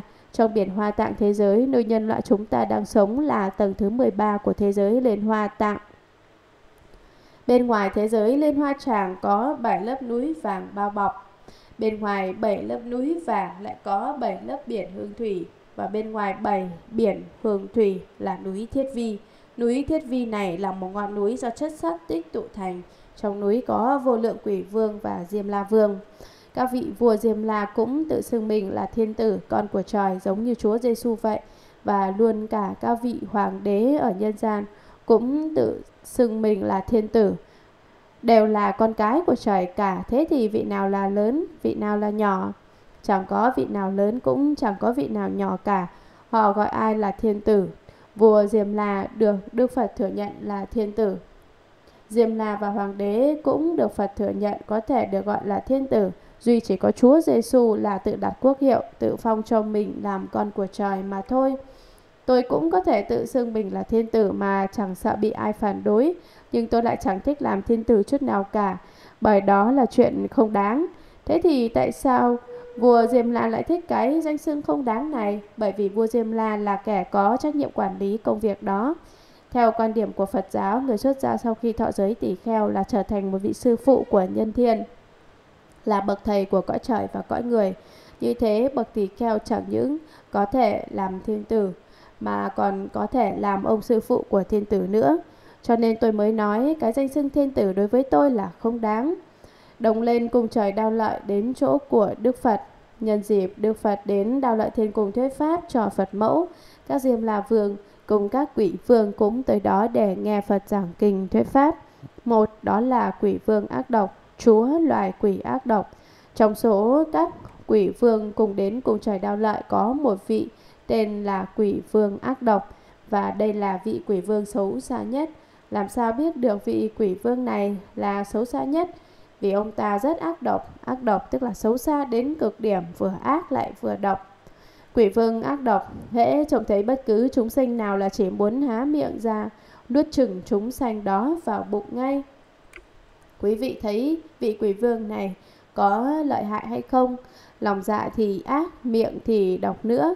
Vậy sự ác độc ấy biểu thị cái gì? Sự ác độc của quỷ vương ác độc không phải để đối phó với người hiền lành lương thiện mà là để đối phó với kẻ xấu xa độc ác. Người ác thì lòng dạ hung dữ, miệng lưỡi hiểm độc. Do đó để đối phó với họ thì chúng ta chỉ còn cách lấy độc trị động, tức là dùng cái ác để chế ngự cái ác mà thôi. Quý vị tàn ác thì vị quỷ vương này sẽ tàn ác hơn quý vị, quý vị hiểm độc thì ông ta càng hiểm độc hơn cả quý vị nữa. Tuy nhiên quý vị chớ vội lầm tưởng rằng quỷ vương ác độc là một kẻ ác độc mà sanh lòng khiếp sợ. Quý vị đừng sợ vị chúa quỷ này, chỉ cần quý vị thành tâm niệm Phật thì ông ấy sẽ cung kính lễ bái quý vị. Còn nếu quý vị không niệm Phật thì tâm sân hận của ông ta sẽ bộc phát. Quý vị niệm Phật thì ông ta sẽ không hung ác, quý vị tụng kinh thì ông ta lập tức hướng thiện. Do đó chúng ta không nên sợ vị quỷ vương này. Quý vị chỉ cần tinh tấn niệm Phật, trí thành tụng kinh, phát tâm Bồ đề thì quỷ vương dù ác đến đâu cũng không còn ác nữa, dù độc cách mấy cũng không chẳng thể độc nữa mà sẽ trở thành một vị hộ pháp đắc lực. Vì sao? Bởi quỷ vương ác độc vốn là ngoài hiện tướng quỷ vương ác độc trong giữ lòng Bồ Tát từ bi, ngoại hiện ác độc quỷ vương tướng nội tồn Bồ Tát từ bi tâm. Trong thâm tâm, quỷ vương ác độc muốn dùng phương pháp ác độc để độ chúng sanh, nếu không thì làm sao quỷ vương lại có thể đi chung với thiên tử Diêm La được?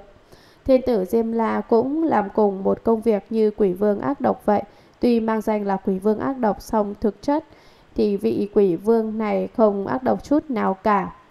Quỷ vương ác độc rất kính trọng những người tin theo Phật. Vì vậy, quý vị đừng kiếp sợ ông ấy, đặc biệt là nếu khi gặp ông ấy, quý vị Phật tử kể tên tôi ra và nói rằng tôi là sư phụ của quý vị thì quỷ vương ác độc nhất định sẽ nể mặt quý vị. Tại sao ư? Vì tôi và ông ấy đã ký điều ước thỏa thuận với nhau. Tôi can dặn ông ấy rằng bất cứ đệ tử nào của tôi đến chỗ ông, chỉ cần họ nhắc đến tên tôi thì xin ông hãy chút tất cả tội lỗi của họ sang cho tôi. Do đó chỉ cần quý vị nhắc tới tên tôi, tôi bảo đảm rằng ông ta sẽ không tỏ ra ác độc với quý vị. Hai, quỷ vương đã chúa loài quỷ nhiều hung ác. Quỷ vương ác độc tuy là ác độc nhưng cái ác của ông ta còn chưa nhiều, cái độc của ông ta cũng chưa sâu lắm. Bởi quỷ vương đa ác mới đúng là tà ác đa đoan, luôn luôn bận rộn làm nhiều việc tàn ác. Đây là vị quỷ vương chuyên môn đối phó với những chúng sanh quen thói ác, làm nhiều điều ác. Tôi tin rằng mọi người hiện diện ở đây đều bỏ ác làm lành hết rồi, không đến nỗi hung dữ độc ác lắm. Quỷ vương đã truyền trừng trị hạng người nào? Đó là những kẻ phạm các tội tẩy trời như giết cha giết mẹ, giết A-la-hán, phá sự hòa hợp của tăng đoàn hoặc làm thần Phật chảy máu. Bà Quỷ vương đại tranh, chúa là quỷ ưa tranh cãi. Đây là vị quỷ vương luôn luôn thích biện luận. Chuyện không có lý, ông ta vẫn có thể biện giải, lập luận, nghe rất hữu lý. Quỷ vương đại tranh truyền đối phó với những kẻ ưa biện luận, thích tranh cãi. Những kẻ tuy làm chuyện không hợp đạo lý, mà cứ nặng nặc nói là có đạo lý, rõ ràng là phá giới, song song lại khăng nói là mình không phạm giới, tự nói dối để lừa gạt chính mình. Cho nên quý vị cần phải cẩn thận hãy nhớ là đừng đi gặp quỷ vương đại tranh, bởi hễ gặp quỷ vương này thì có lý cũng thành vô lý. Vì về mặt tranh luận thì ông ấy là hơn ai hết.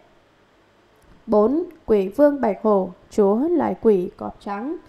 Vị quỷ vương này tuy thân mình là quỷ nhưng lại có đầu là đầu cọp trắng. Quỷ vương huyết hổ, chúa loài quỷ cọp huyết. Vị quỷ vương này có đầu cọp, máu mè đầm đìa. sáu Quỷ vương xích hổ, chúa loài quỷ cọp đỏ. Toàn thân của vị quỷ vương này đều màu đỏ và đầu là đầu cọp. Thế thì những quỷ vương này, quỷ vương bạch hổ, quỷ vương huyết hổ, quỷ vương xích hổ vì sao lại mang đầu cọp? Vì họ muốn dùng vẻ hung ác dữ dằn để khiến cho những người phạm tội ngũ nghịch thập ác dắt trông thấy đều phải kiếp vía sợ sệt.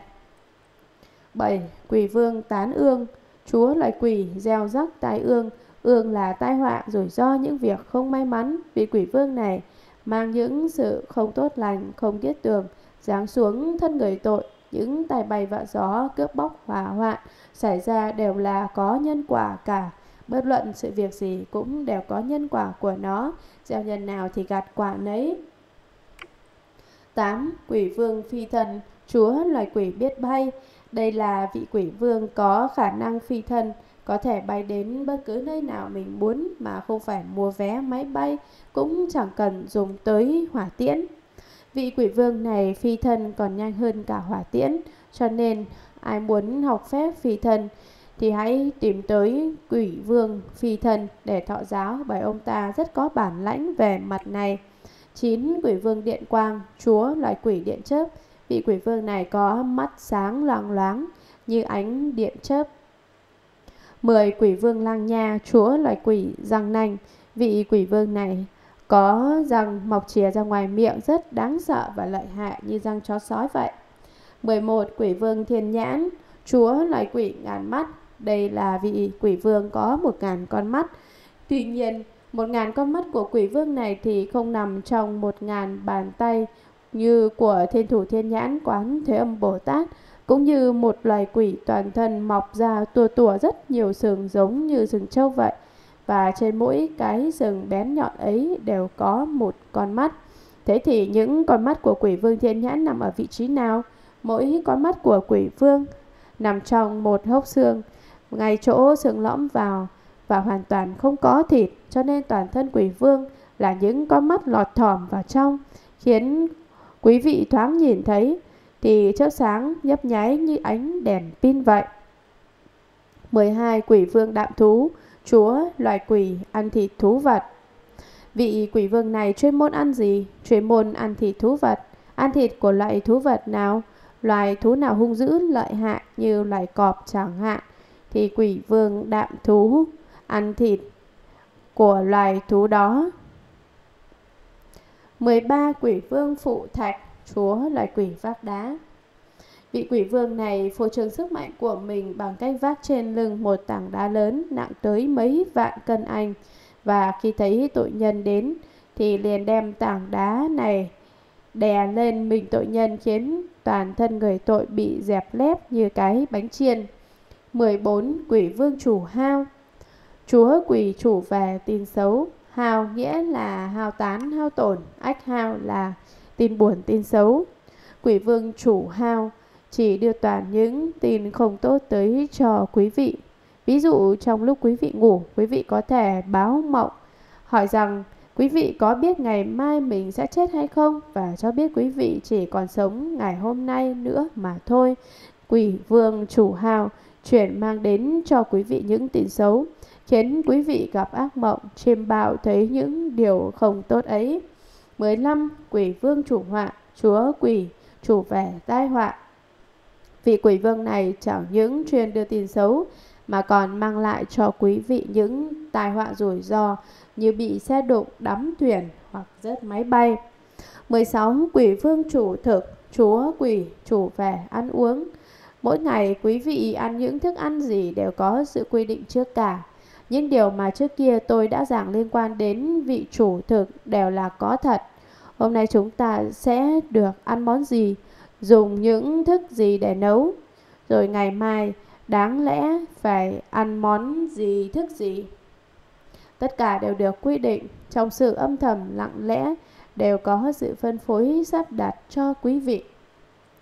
17. Quỷ vương chủ tài, chúa quỷ chủ về tài lộc như hôm nay có người đến cúng dường cho tôi và đó là quỷ vương chủ tài đã âm thầm mách bảo người ấy. Những điều này đều có liên quan với nhau.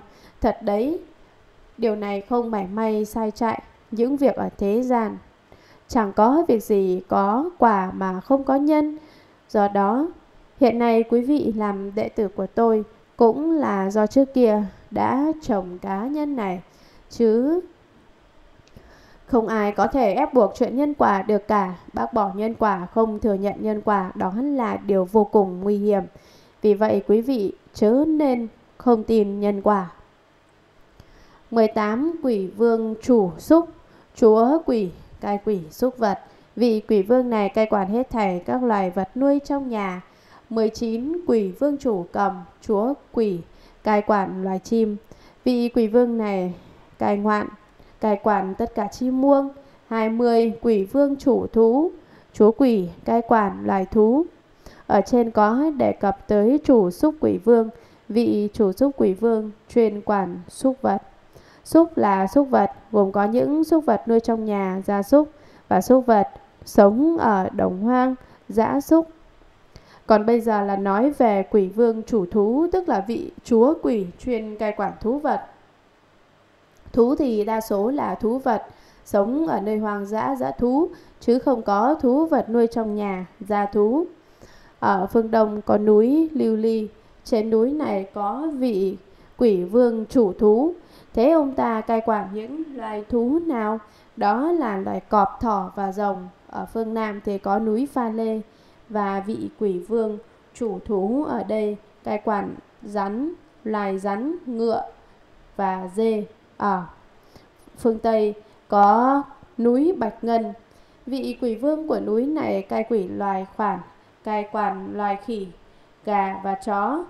Ở phương Bắc thì có núi Huỳnh Kim trên núi toàn là vàng huỳnh kim. Thế nhưng quý vị chớ nên đến đó khai thác mỏ vàng, núi đó không phải là nơi người ta có thể đào lấy vàng như núi vàng Cựu Kim Sơn hay Tân Kim Sơn được.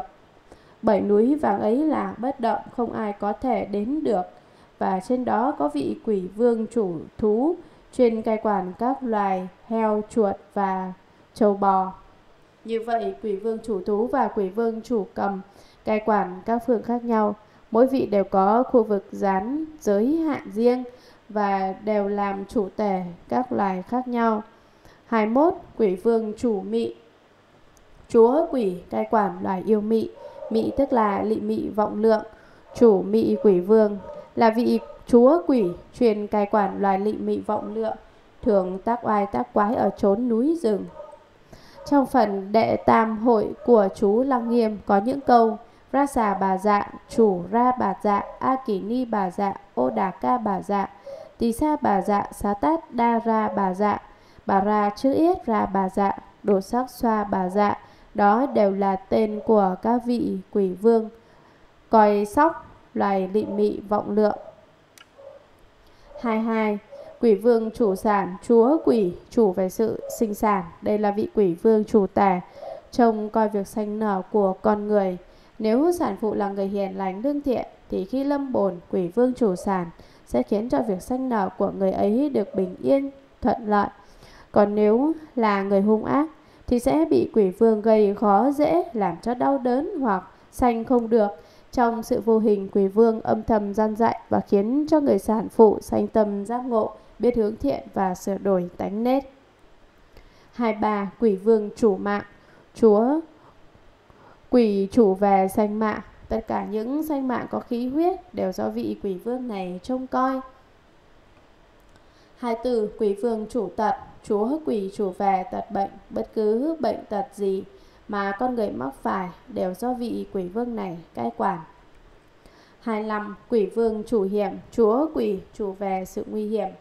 Vị quỷ vương này làm chủ tể trông coi những việc nguy hiểm đáng sợ 26. Quỷ vương tam mục, chúa loài quỷ ba mắt. Vì quỷ vương này có ba con mắt. Ba con mắt này nằm ở vị trí như thế nào? Con mắt này thì khác với con mắt trời, thiên nhãn của ngũ nhã lục thông. Quỷ vương này có một con mắt nằm ngang ở giữa, còn hai con mắt kia thì nằm hai bên. Ba con mắt này hợp lại thành một hình tam giác. Quý vị đã từng trông thấy lần nào chưa? 27. Quỷ vương tứ mục Chúa loài quỷ bốn mắt Vị quỷ vương này có bốn con mắt nằm ở bốn phía, làm thành một hình vuông. Nói chung, những con mắt này sắp xếp rất kỳ quái, khiến người ta nhắc trông thấy là khiếp sợ ngay, chứ không giống như ngũ nhãn của bậc Bồ Tát. 28 quỷ vương ngũ mục, chúa quỷ nằm mắt. Lại có loài quỷ vương có đến 5 con mắt. 29 kỳ lợi thất vương, kỳ lợi thất vương thì ở phương Nam và trông coi về lửa. 30 đạt kỳ lợi thất vương, đây là vị quỷ vương cai quản những ngọn lửa lớn đại hòa. Kỳ lợi thất vương thì ở phía nam, xa hơn nữa về phía nam có một ngọn núi và đại kỳ lợi thất vương làm quỷ vương ở núi đó. 31 kỳ lợi xoa vương, 32 đại kỳ lợi xoa vương, 33 Anacha vương, Anacha vốn là con trai của tứ đại thiên vương. Anacha vương cũng là một vị hộ pháp, tuy ở trong loại quỷ song không thuộc về quỷ, cho nên gọi là Anacha vương. Ngoài ra còn có Ba Tư, Đại Anacha vương.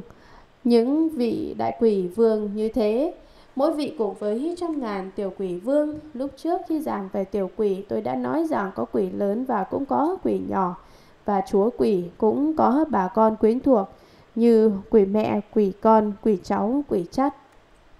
Những vị đại quỷ vương kể trên, mỗi vị đều có dẫn theo đông đảo tiểu quỷ vương, họ toàn cư ngụ ở cõi diềm phù đà, ai nấy đều có chức trách, đều có phần chủ trị riêng. Tất cả có đến cả trăm ngàn vị, họ đều trú ngụ ở cõi nam diêm phù đà, và vị quỷ nào đều có phận sự và quyền làm chủ tể của vị quỷ đó. Mỗi người đều có quyền lực riêng của con người, thì quỷ cũng có quyền lực riêng của loài quỷ. Kinh văn Các vị quỷ vương đó cùng với thiên tử Diêm La, nương oai thần của Đức Phật và oai lực của Đại Bồ Tát Địa Tạng đồng lên, đến cùng trời đao lại và đứng qua một bên. Bấy giờ thiên tử Diêm La quỷ gối chắp tay, bạch cùng Đức Phật rằng, Bạch Đức Thế Tôn, nay chúng con cùng các vị quỷ vương, nhà nương oai thần lực của Đức Phật và oai lực của Đại Bồ Tát Địa Tạng mới được đến đại hội nơi cung trời đao lợi này mà cũng là chúng con được thiện lợi vậy. Này còn có chút việc nghi ngờ dám bạch hỏi Đức Thế Tôn, cúi xin Đức Thế Tôn tử đi tuyên thuyết, lược giảng. Các vị quỷ vương đó cùng với thiên tử Diêm La, nương oai thần của Đức Phật và oai lực của Đại Bồ Tát Địa Tạng Nhờ vào oai đức và sức thần thông của Phật cùng oai lực của Bồ Tát Địa Tạng, oai lực của vị Bồ Tát này cũng chính là sức thần thông diệu dụng mà tất cả những quỷ vương kể trên cùng với vua Diêm La có thể đồng đến cung trời đau lợi. Lúc tức cõi trời 33 và đứng qua một bên. Bấy giờ Diêm La Thiên Tử quỳ gối chắp tay bạch cùng Đức Phật rằng Bạch Đức Thế Tôn, nay chúng con vua Diêm La và quyến thuộc cùng các vị quỷ vương nhờ nương oai thần của Đức Phật và oai lực của Đại Bồ Tát Địa Tạng mới được đến đại hội nơi cung trời đao lợi này mà cũng là chúng còn được thiện lợi vậy. Đây cũng là dịp để vua Diêm La và hết thảy quỷ vương đạt được phước lành và lợi ích lớn lao. Này còn có chút việc nghi ngờ dám bạch hỏi Đức Thế Tôn, cúi xin Đức Thế Tôn tử bi tuyên thuyết Diêm La Thiên Tử, Bạch Tiết. Hiện nay con có một nghi vấn rất nhỏ, Chẳng hay con có được phép hỏi Đức Thế Tôn chăng? Chẳng hay con có tư cách quyền lợi Để thỉnh vấn Đức Thế Tôn chăng? Con chỉ trông mong Đức Thế Tôn Mở lòng từ bi mà giảng nói, Xua tan mọi thắc mắc trong lòng con. Kinh văn. Đức Phật bảo thiên tử Diêm La, Cho phép ông hỏi, Ta sẽ vì ông mà nói rõ. Bây giờ thiên tử Diêm La chiêm lễ Đức Thế Tôn và ngoái nhìn Bồ Tát Địa Tạng, rồi bạch cùng Đức Phật rằng, Bạch Đức Thế Tôn còn xem xét Bồ Tát Địa Tạng ở trong sáu đường dùng trăm ngàn phương trước để cứu độ những chúng sanh mắc phải tội khổ. Chẳng tư mệt nhọc vị Đại Bồ Tát này có những sự thần thông bất khả tư nghỉ như thế. Nhưng trừ chúng sanh vừa được thoát khỏi tội báo chẳng bao lâu lại phải đọa vào ác đạo nữa. Bạch Đức Thế Tôn, Bồ Tát Địa Tạng đã có thần lực bất khả tư nghỉ như thế, cớ sao hàng chúng sanh chẳng chịu nương về thiện đạo để được giải thoát mãi mãi. Cúi xin Đức Thế Tôn dạy rõ việc đó cho chúng con. Lược giảng, Đức Phật bảo Thiên tử Diêm La cho phép ông hỏi, ta sẽ vì ông mà giảng rõ. Ông muốn hỏi gì thì cứ hỏi, đi, ta nhất định sẽ giải đáp thỏa đáng. Bây giờ thiên tử Diêm La chiêm lễ Đức Thế Tôn và ngoái nhìn Bồ Tát Địa Tạng. Vị Phật thì đang ngồi trước mặt cho nên thiên tử Diêm La chiêm ngưỡng Đức Phật xong rồi bèn ngoái đầu ngắm nhìn Bồ Tát Địa Tạng Vương. Đây là biểu thị lòng cung kính. Đối với Địa Tạng Vương Bồ Tát, vua Diêm La không chỉ cung kính Phật mà còn cung kính cả Bồ Tát Địa Tạng nữa. Vua Diêm La nhìn Bồ Tát Địa Tạng mà lòng cứ thắc mắc Lòng từ bi của thần thông cùng thần thông diệu dụng của vị Đại Bồ Tát này thật là bất khả tư nghì. Nhưng sao Ngài không có cách nào bảo chúng sanh đừng gây tội ác nữa?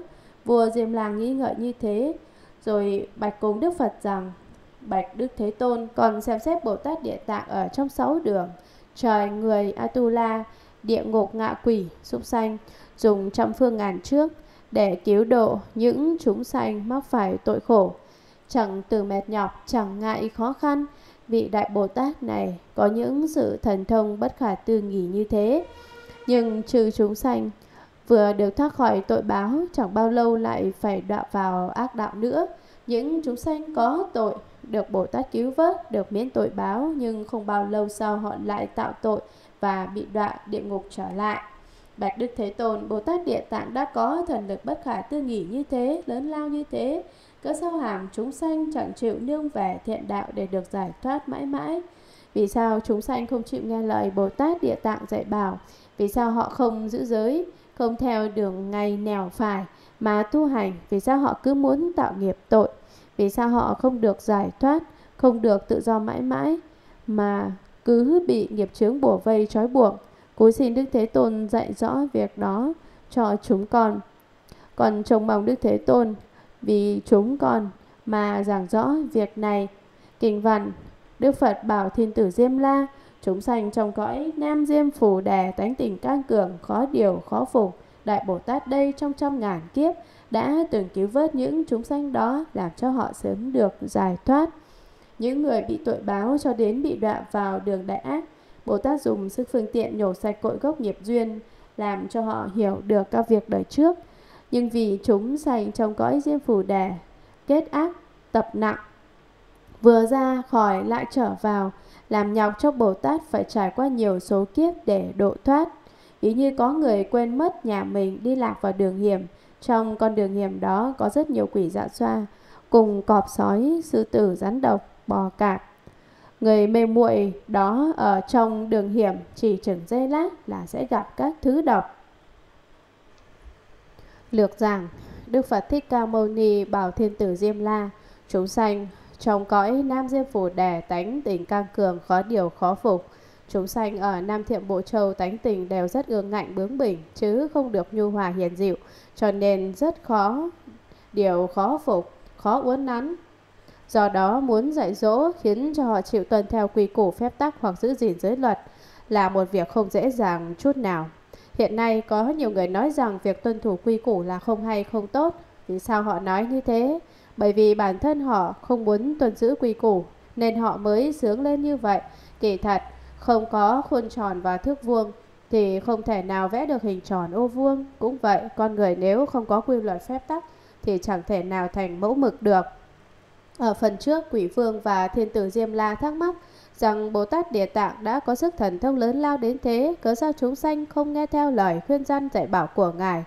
Thậm chí có kẻ đã được ra khỏi ác đạo rồi, nhưng sau đó lại bị đọa vào ác đạo lần nữa. Cho nên bây giờ Đức Phật Thích Ca Mâu Ni giải thích rằng Đại Bồ Tát đây trong trăm ngàn kiếp đã tưởng cứu vớt những chúng sanh đó làm cho họ sớm được giải thoát, trải qua thời gian lâu dài có đến trăm ngàn vạn kiếp. Đại Bồ Tát Địa Tạng cứ hết lần này sang lần khác, lần nọ đến lần kia mãi mới cứu độ chúng sanh. Cứu xong một lần này rồi lại cứu lần nữa. Hàng chúng sanh như thế đã sớm được Bồ Tát Địa Tạng giúp cho giải thoát từ lâu lắm rồi. Những người bị tội báo cho đến bị đọa vào đường đại ác, Bồ Tát dùng sức phương tiện nhổ sạch cội gốc nghiệp duyên làm cho họ hiểu được các việc đời trước. Những chúng sanh có ác nghiệp tội báo thậm chí do khởi hoặc tạo nghiệp mà thọ báo thì sẽ bị đạo vào đường đại ác. Đường đại ác tức là ba ác đạo, địa ngục ngạ quỷ, súc sanh. Bồ Tát Địa Tạng dùng vô số pháp môn phương tiện cùng sức phương tiện để trừ sạch nguyên nhân căn bản của sự gây tạo nghiệp tội của các chúng sanh ấy, tức là nhổ bật gốc rễ của nhân duyên khởi hoặc tạo nghiệp khiến cho họ trở nên giác ngộ, hiểu rõ việc đời trước của mình. Nhưng vì chúng sanh trong cõi diêm phù đà, kết ác tập nặng, kết tức là dồn lại, kết dính lại với nhau, nghiệp từ đời trước liên kết với nghiệp của đời này, nghiệp của đời này lại dây dưa liên lụy tới đời sau, đời đời kiếp kiếp, các nghiệp báo này nối kết nhau liên miên không dứt, giống như sợi dây kết liền thành một mối vậy. Nên gọi là kết ác tập nặng, những ác tập thói quen xấu ác này là những gì? Có 10 tập khí xấu ác gọi là thập ác tập. Một, dâm dục, thói xấu thứ nhất là dâm dục, tất cả chúng sanh đều như nhau, ai nấy đều có lòng dâm dục. Đây là mỗi phiền toái thứ nhất cũng là điều rất khó đoạn trừ. Việc đoạn dứt dâm dục còn khó hơn lên trời nữa.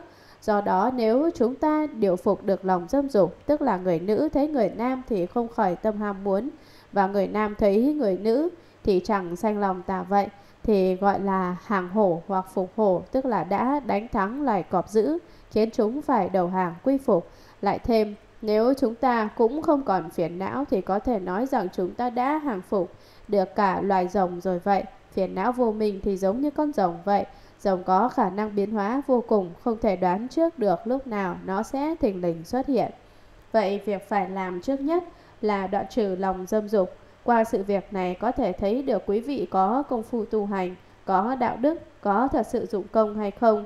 Quý vị có thể tự thử nghiệm chính mình, tự tìm hiểu chính mình. Nếu quý vị đã đoạn trừ được dâm tâm rồi, tức là quý vị có công phu tu tập, lòng dâm chưa dứt thì quý vị vẫn còn lậu thoát.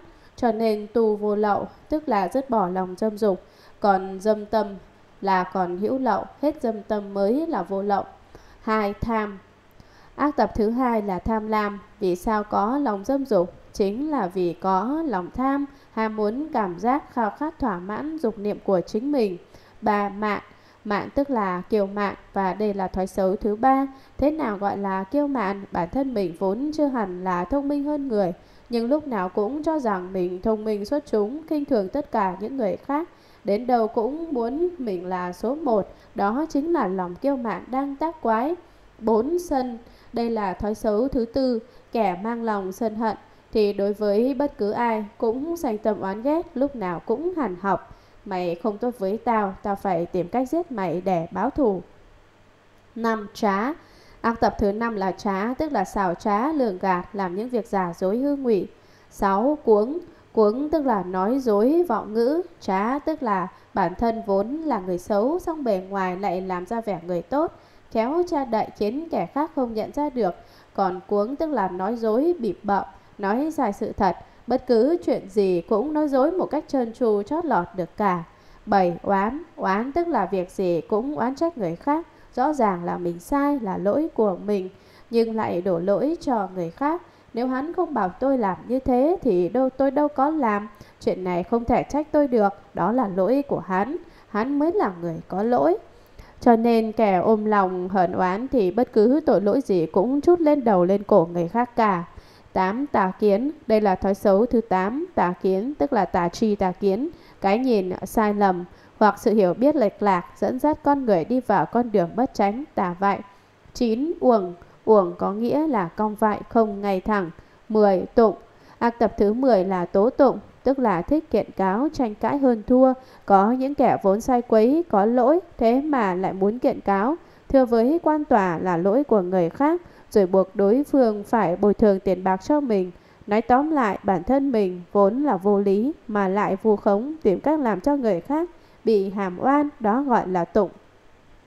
10 thói quen xấu hay 10 ác tập này trong Kinh Lăng Nghiêm quyển 8 gọi là 10 tập nhân, tức là 10 nguyên nhân tập khí xấu dẫn đến các quả báo khổ sở trong 6 đường, lục giao báo.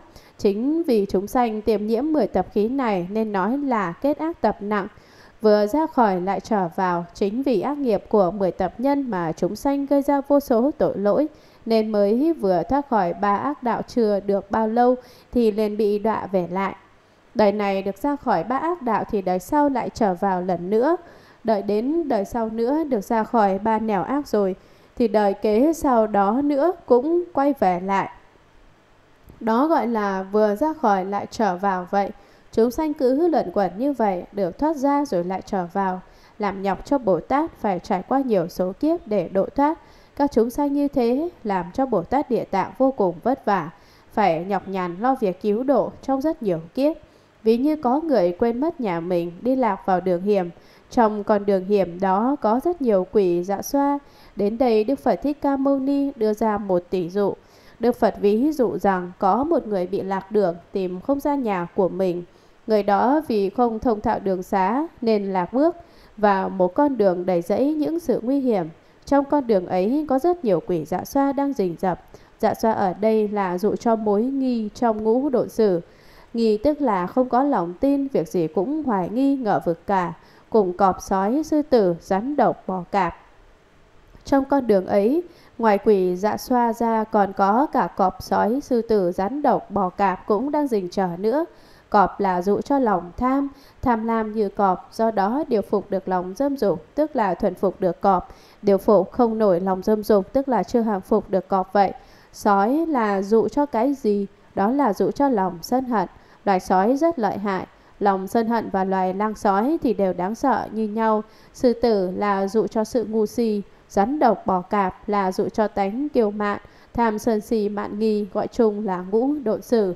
Người mê muội đó ở trong đường hiểm chỉ chừng giây lát là sẽ gặp các thứ độc. Hạng người mê muội thì chẳng mấy chốc sẽ bị ngũ độ xử tham sân si mạn nghi tác hại, khiến họ tạo ra nhiều nghiệp tội, phải đọa vào ba đường ác.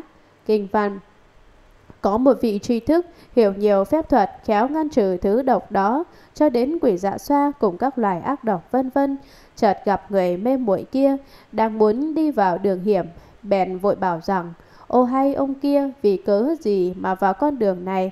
Ông có phép thuật lạ gì có thể ngăn trừ các thứ độc trăng Người lạc đường chợt nghe lời ấy mới biết là đường nguy hiểm, Liền lùi lại, muốn ra khỏi con đường đó.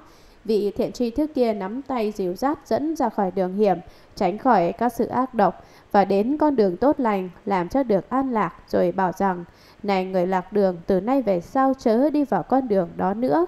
Ai mà vào con đường đó ắt khó ra được Lại còn bị tổn tánh mạng. Người lạc đường đó cũng danh lòng cảm trọng Lúc tử biệt nhau. Vị tri thức lại căn dặn thêm Nếu gặp người thân quen cùng những người đi đường hoặc trai hoặc gái Thì hãy bảo với họ rằng con đường đó có nhiều sự ác độc Vào đó có thể mất cả tánh mạng. Ông chớ để cho những người ấy tự vào chỗ chết. Được giảng có một vị tri thức hiểu nhiều phép thuật khéo ngăn trừ thứ độc đó, cho đến quỷ dạ xoa cùng các loài ác độc vân vân. Vì thiện tri thức đó là ai? Chính là Bồ Tát Địa Tạng. Ngài có sức thần thông, trí huệ vi diệu không thể nghĩ bàn. Và Ngài cũng biết rất nhiều phép thuật. Ngài còn có thể ngăn trừ các thứ độc hại. Đó là những thứ độc hại nào? Đó là các độc hại của sư tử, cọp sói, dạ xoa và tất cả các độc hại khác trong con đường hiểm trở.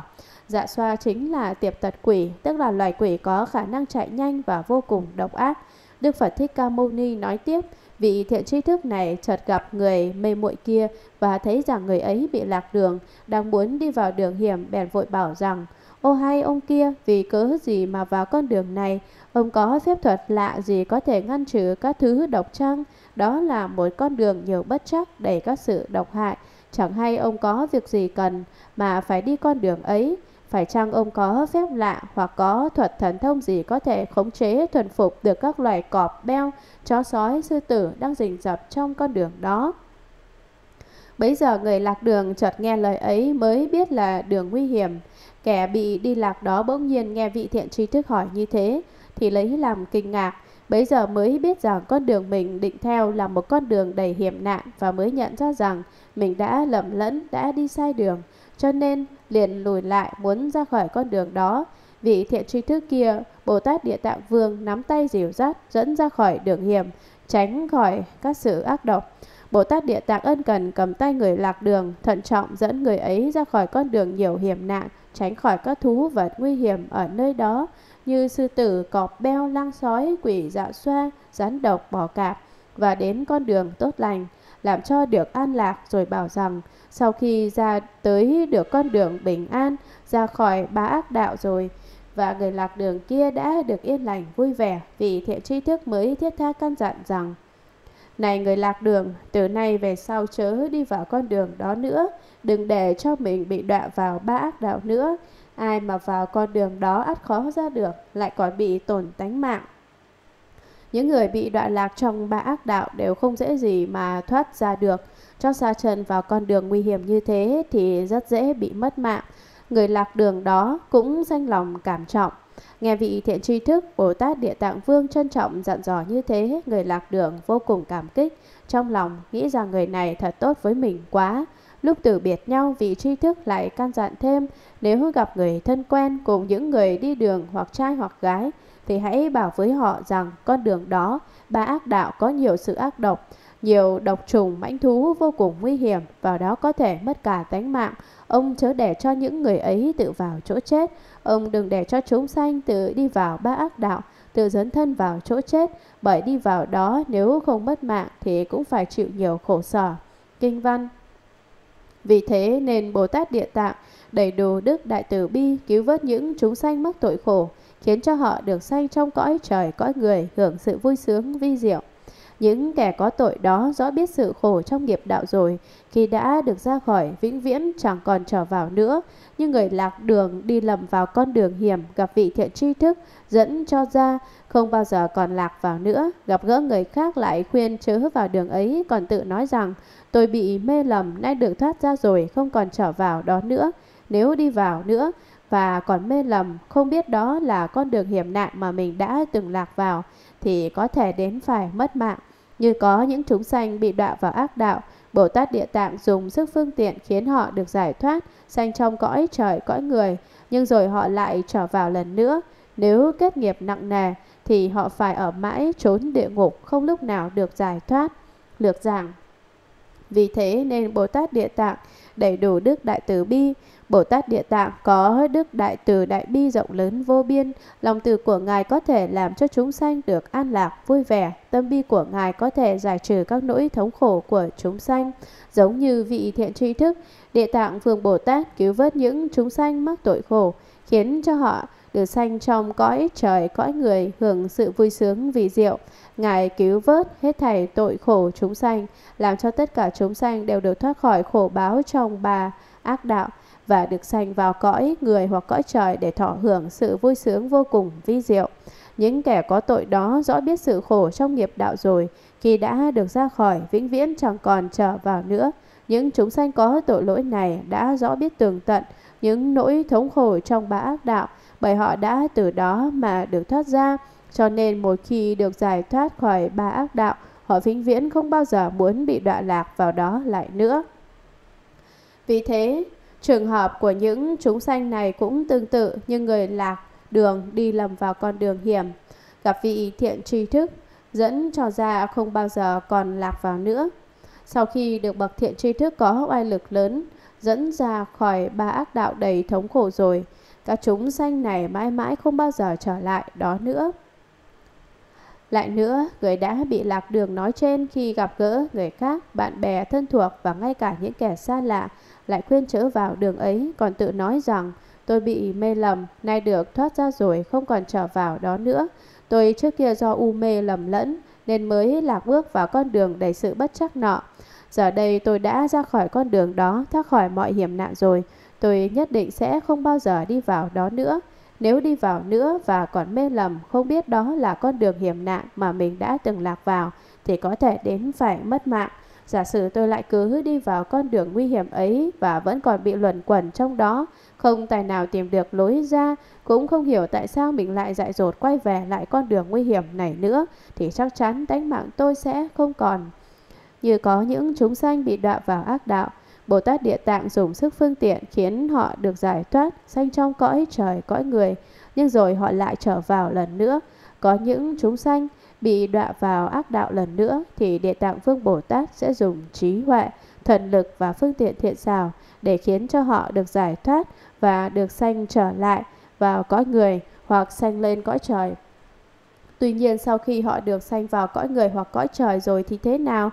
Thì họ lại bị đọa vào ba ác đạo thêm lần nữa. Những chúng sanh như thế nếu kết nghiệp nặng nề thì họ phải ở mãi trong chốn địa ngục không lúc nào được giải thoát. Nếu ác nghiệp mà các chúng sanh đó chất gây tạo đã quá sâu dày, quá thâm trọng, thì họ phải mãi mãi chịu đoạn lạc trong chốn địa ngục, không bao giờ được giải thoát, không bao giờ được ly khổ đắc lạc. Kinh văn Bấy giờ quỷ vương ác độc chắp tay cung kính bạch cùng Đức Phật rằng Bạch Đức Thế Tôn, hàng quỷ vương chúng con số đông vô lượng ở cõi diêm phủ đề hoặc làm lợi ích cho người hoặc làm tổn hại cho người, mỗi mỗi không giống nhau, nhưng vì nghiệp báo khiến quyến thuộc chúng con đi khắp thế gian làm ác nhiều, làm thiện ít. Đi qua sân nhà người ta hoặc thành phố xóm làng trang trại vườn cây buồng nhà, trong đó như có người Nam kẻ nữ nào tu được thiện sự bằng mảy lông sợi tóc cho đến treo một tràng phan, một bảo cái và dâng chút hương, chút hoa cúng dường tượng Phật cùng tượng Bồ Tát hoặc chuyển đọc tôn kinh, đốt hương cúng dường cho một bài kệ, một câu kinh, thì hàng quỷ vương chúng con sẽ kính lễ người đó như kính lễ các đức Phật thuộc quá khứ hiện tại cùng vị lai.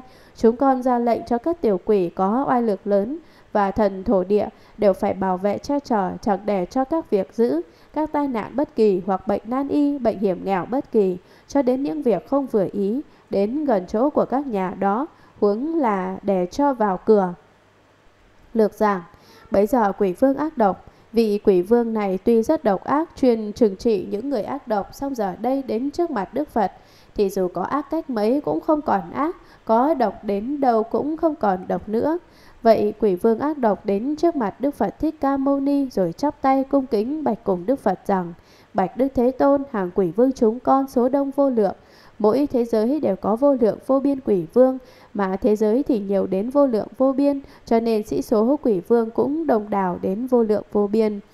Các quỷ vương này đều cư ngụ ở cõi diêm phủ đề hoặc làm lợi ích cho người hoặc làm tổn hại cho người mỗi mỗi không giống nhau ở cõi nam diêm phủ đề thủy tuy có những quỷ vương thường làm lợi ích cho loài người song cũng có các quỷ vương chỉ gây tổn hại cho nhân loại mà thôi mỗi vị quỷ vương đều coi sóc mỗi công việc khác nhau có vị thì chuyên làm những việc hại người có vị thì chỉ làm các việc lợi người tại sao lại như thế ở đây quỷ vương nói hại người ngụ ý là điều phục người có lòng dạ ác độc và lợi người tức là đem sự lợi ích đến cho người hiển lương.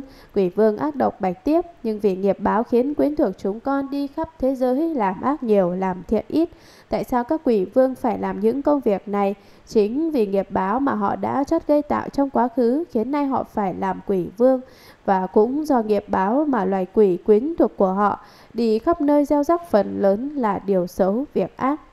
Tuy rằng loài quỷ thường làm ác nhiều, làm thiện ít, nhưng khi họ đi qua sân nhà người ta hoặc thành phố, xóm làng, trang trại, vườn cây, buồng nhà, trong đó như có người nam kẻ nữ nào tu được thiện sự bằng mảy lông sợi tóc, cho đến treo một tràng phan, một bảo cái và dâng chút hương, chút hoa, cúng dường tượng Phật cùng tượng Bồ Tát hoặc chuyển đọc tôn kinh, đọc tụng kinh địa tạng hoặc các kinh điển đại thừa khác như kinh Lăng Nghiêm, kinh Pháp Hoa, kinh Hoa Nghiêm, kinh Kim Cang hoặc đối trước tượng Phật mà đốt hương cúng dường cho một bài kệ, một câu kinh, thì hàng quỷ vương chúng con sẽ kính lễ người đó như kính lễ các đức Phật thuộc quá khứ, hiện tại cùng vị lai. Cho nên hàng quỷ vương chúng con ra lệnh cho các tiểu quỷ có oai lực lớn, tuy gọi là tiểu quỷ nhưng đã là loài quỷ thì đều có sức đại thần thông và thần thổ địa đều phải bảo vệ che chở những người như thế. Ngoài ra còn phải chẳng để cho các việc giữ các tai nạn bất kỳ hoặc bệnh nan y, bệnh hiểm nghèo bất kỳ, cho đến những việc không vừa ý đến gần chỗ của các nhà đó, hướng là để cho vào cửa. Thế nào gọi là việc giữ? Việc giữ tức là những việc không như ý, chẳng hạn như tránh nhà hoặc bỗng dưng lại xảy ra những việc ngoài ý muốn, tai nạn bất kỳ, hoạn sự là những sự rủi ro mà mình không ngờ tới, như bị xe bị xe đụng, máy bay rớt, xe lửa chặt đường dây. Bệnh nan y là những căn bệnh không trị lành được. Bệnh hiểm nghèo bất kỳ hoạn bệnh là thình lình mắc bệnh nặng, lay lất chưa được một tiếng đồng hồ là chết. Những việc không vừa ý tức là những việc không may mắn, không kiết tường như mình hằng mong đợi. Các quỷ vương còn chẳng để cho những việc không may xảy ra ở gần những nhà có người tu hành như thế. Huống chi là các việc giữ các tai nạn rủi ro hoặc các bệnh tật hiểm nghèo đột ngột. Cho nên các quỷ vương cùng quyến thuộc của họ thường bảo hộ những người như thế, khiến cho mọi việc của những người ấy đều được kết tường. Vì sao tất cả mọi việc của những người đó đều được tốt lành? Bởi họ đã cúng dường tam bảo, biết tu hành, làm nhiều thiện sự, Do đó, những việc dữ không thể xảy đến cho họ được. Kinh văn, Đức Phật khen ngợi quỷ vương rằng lành thay, lành thay, các ông cùng với vua Diêm La có thể ủng hộ các thiện nam thiện nữ như thế, ta cũng bảo Phạm Vương Đế Thích hộ vệ các ông. Đức Phật nói lời ấy xong trong pháp hội có một vị quỷ vương tên là Chủ Mạng Bạch cùng Đức Phật rằng, Bạch Đức Thế Tôn, nghiệp duyên căn bản của con là chủ về nhân mạng ở cõi diêm phù đà khi sanh khi tử đều do con làm chủ. Bổn nguyện của con thì rất muốn làm lợi ích, nhưng vì chúng sanh không hiểu ý con, nên đến nỗi khi sanh khi tử đều không được an ổn. Tại sao thế? Người cõi diêm phù đà lúc mới sanh xong, không kể là con trai hay con gái hoặc khi sắp sanh, chỉ nên làm thiện sự để thêm sự lợi ích cho nhà cửa, thì tự nhiên thần thổ địa sẽ vô cùng hoan hỉ ủng hộ cho cả mẹ lẫn con đều được sự an lạc lớn, hàng quyến thuộc cũng được lợi ích. Hoặc khi đã sanh rồi thì nên cẩn thận chớ giết hại để lấy những vị tươi ngon, cung cấp cho người sản mẫu, cùng nhóm họp hàng quyến thuộc lại để uống rượu ăn thịt, ca hát đánh đàn thổi sáo, để có thể khiến cho cả mẹ lẫn con chẳng được an lạc, được giảng Đức Phật khen ngợi quỷ vương rằng lành thay, lành thay, thật là phi thường, thật là tốt đẹp. Các ông, các quỷ vương cùng với vua Diêm La có thể ủng hộ các thiện nam thiện nữ như thế thì thật là tốt đẹp biết bao. Ta cũng bảo Phạm Vương, Đại Phạm Thiên Vương, Đế Thích, Thiên Chủ cung trời 33 hộ vệ các ông. Đức Phật Thích Ca Mâu Ni nói lời ấy xong, trong pháp hội có một vị quỷ vương tên là Chủ Mạng. Đây là vị chúa quỷ cai quản mạng sống tuổi thọ của con người bạch cùng Đức Phật rằng Bạch Đức Thế Tôn, nghiệp duyên căn bản của con là chủ về nhân mạng ở cõi diêm phủ đà, khi sanh khi tử đều do con làm chủ. Do quan hệ nghiệp lực của đời trước mà con nay trông coi về sanh mạng của con người trong cõi nam diêm phủ đà, bất luận là lúc sanh hay lúc tử, sanh mạng của họ đều do con cai quản. Chủ mạng quỷ vương bạch tiếp, bổn nguyện của con thì rất muốn làm lợi ích, nhưng vì chúng sanh không hiểu ý con nên đến nỗi khi sanh khi tử đều không được an ổn. Cứ theo bổn nguyện của con thì con vốn rất sẵn lòng làm lợi ích cho hết thảy chúng sanh. Nhưng các chúng sanh lại không hiểu được ý con, khiến cho khi sanh khi tử tất cả đều không được thanh thản an lạc. Tại sao thế? Người cõi diêm phủ đẻ lúc mới sanh xong, không kể là con trai hay con gái hoặc khi sắp sanh chỉ nên làm thiện sự để thêm sự lợi ích cho nhà cửa. Thế nào gọi là thiện sự? Đó là những việc phước lành, những việc hữu ích có lợi cho người khác. Làm việc thiện thì sẽ gia tăng sự lợi ích cho nhà cửa, gia tăng như thế nào? Nếu quý vị làm việc thiện thì sẽ có một luồng hào quang tốt lành, tường quang, chiếu sáng, bảo hộ, bảo hộ quý vị. Bấy giờ thì tự nhiên thần thổ địa sẽ vô cùng hoan hỉ, ủng hộ cho cả mẹ lẫn con đều được sự an lạc lớn, hàng quyến thuộc cũng được lợi ích. Bởi vì quý vị làm việc phước lành, tức là làm tăng thêm sự lợi ích cho nhà cửa, nên thần thổ địa vui mừng khôn xiết, bèn đến để che chở phù hộ, khiến cho đứa trẻ sơ sinh cùng người mẹ đều được nhiều sự an vui, mà ngay cả bà con thân thuộc cũng được hưởng nhiều phước lợi. Hoặc khi đã sanh rồi thì nên cẩn thận chớ giết hại để lấy những vị tươi ngon cung cấp cho người sản mẫu, cùng nhóm họp hàng quyến thuộc lại để uống rượu ăn thịt, ca hát, đánh đàn, thổi sáo. Nếu người sản phụ đã sanh nở bình yên rồi thì thân nhân phải nhớ kỹ đừng bao giờ giết hại chúng sanh, hoặc mua nào gà, nào vịt, nào cá còn sống về làm thịt để lấy những vị tươi ngon bổ dưỡng cho người đó ăn. Ngoài ra cũng đừng mời khách khứa, tiệc tùng linh đình để phô trương, hoặc tụ tập bạn bè thân thuộc lại bày rượu thịt ra rồi cùng nhau ăn uống nhậu nhẹt, đàn ca hát sướng, ồn ào, náo nhiệt. Vì sao? Vì có thể khiến cho cả mẹ lẫn con chẳng được an lạc bởi vì làm như thế sẽ khiến cho cả người mẹ và đứa bé sơ sinh đều không được yên ổn. Kinh văn Vì sao thế? Bởi vì lúc sanh nở khó khăn, có vô số ác quỷ cùng vọng lượng tình mị muốn tới ăn huyết tanh. Chính con sớm đã giải các thần linh của nhà cửa, đất đai phải bảo hộ người mẹ và đứa con, làm cho họ được an vui mà hưởng nhiều sự lợi ích. Những người này thấy sự an ổn vui vẻ thì nên tạo phước để báo đáp các thần thổ địa. Thế mà trái lại họ còn giết hại tụ tập quyến thuộc, vì lẽ này hễ phạm tội tất phải tự gánh chịu, người mẹ và đứa con đều bị tổn hại. Lại ở cõi diềm phù đề, những người sắp mạng chung, bất luận là thiện hay ác, con đều muốn cho họ không bị đọa lạc vào đường ác, huống chi là kẻ tự tu thiện căn làm tăng oai lực của con. Những người làm thiện ở cõi diềm phù đề đến lúc lâm chung cũng còn có trong ngàn quỷ thần trong ác đạo hoặc biến làm cha mẹ cho đến hàng quyến thuộc dẫn dắt người chết, khiến cho lạc vào ác đạo, huống chi là những kẻ vốn đã tạo ác. Lược giảng, chủ mạng quỷ vương lại bạch, vì sao thế? Nguyên nhân nào khiến cho cả người mẹ và đứa bé sơ sinh đều không được yên ổn? Vì lúc sanh nở khó khăn đó có vô số ác quỷ cùng vọng lượng tinh mị, các loài sơn yêu thủy quái muốn tới ăn huyết tanh. Chúng thường nhân lúc người sản phụ đang sanh nở, máu me linh láng, bèn tìm đến để ăn huyết tanh. Chính con chủ mạng quỷ vương sớm đã sai các thần linh của nhà cửa đất đai phải bảo hộ người mẹ và đứa con làm cho họ được an vui mà hưởng nhiều sự lợi ích. Thần linh ở đây tức là thần thổ địa. Những người này thấy sự an ổn vui vẻ thì nên tạo phước để báo đáp các thần thổ địa. Những người chung quanh thấy cả mẹ lẫn con đều được an ổn vui vẻ, thì lẽ ra nên tu phước, làm những việc công đức, hầu đáp tạ hết thảy các thần thổ địa mới phải. Thế mà trái lại họ còn giết hại tụ tập quyến thuộc. Họ chẳng những không đáp tạ công ơn của chư vị thần linh mà còn sát hại sinh vật, tụ họp bạn bè thân quyến lại để ăn uống vui chơi, tiệc tùng đình đám. Vì lẽ này hễ phạm tội tất phải tự gánh chịu. Người mẹ và đứa con đều bị tổn hại. Một khi đã phạm tội thì nhất định phải tự lãnh lấy quả báo, do đó luôn cả người mẹ cùng đứa bé sơ sinh đều bị tổn hại. Chủ mạng quỷ vương bạch tiếp, lại ở cõi diệp phù đà những người sắp mạng chung, bất luận là thiện hay ác, là người hiền lành hay kẻ hung dữ, còn đều muốn cho họ không bị đoạn lạc vào đường ác, chẳng phải xa vào ba ác đạo, huống chi là kẻ tự tu thiện căn làm tăng oai lực của con. Nếu kẻ sắp chết là người đã từng tụ mình tu thiện căn, thì con không cần phải hao tổn sức lực gì để bảo hộ cho người ấy cả. Những người làm thiện ở cõi diêm phủ đẻ đến lúc lâm trùng cũng còn có trăm ngàn quỷ thần trong ác đạo hoặc biến làm cha mẹ cho đến hàng quyến thuộc, dẫn dắt người chết khiến cho lạc vào ác đạo. Con người cho dù quý vị là người thường hay làm việc thiện, thì lúc hấp hối gần kề cái chết thế nào cũng có loài ác quỷ đến dụ dỗ, muốn làm cho quý vị bị đọa lạc vào đường ác. Bây giờ các ác quỷ đó có thể biến ra hình dạng giống hệt cha mẹ hoặc bạn bè thân thuộc của quý vị và hiện đến để đón quý vị khiến cho quý vị bị đọa vào đường ác.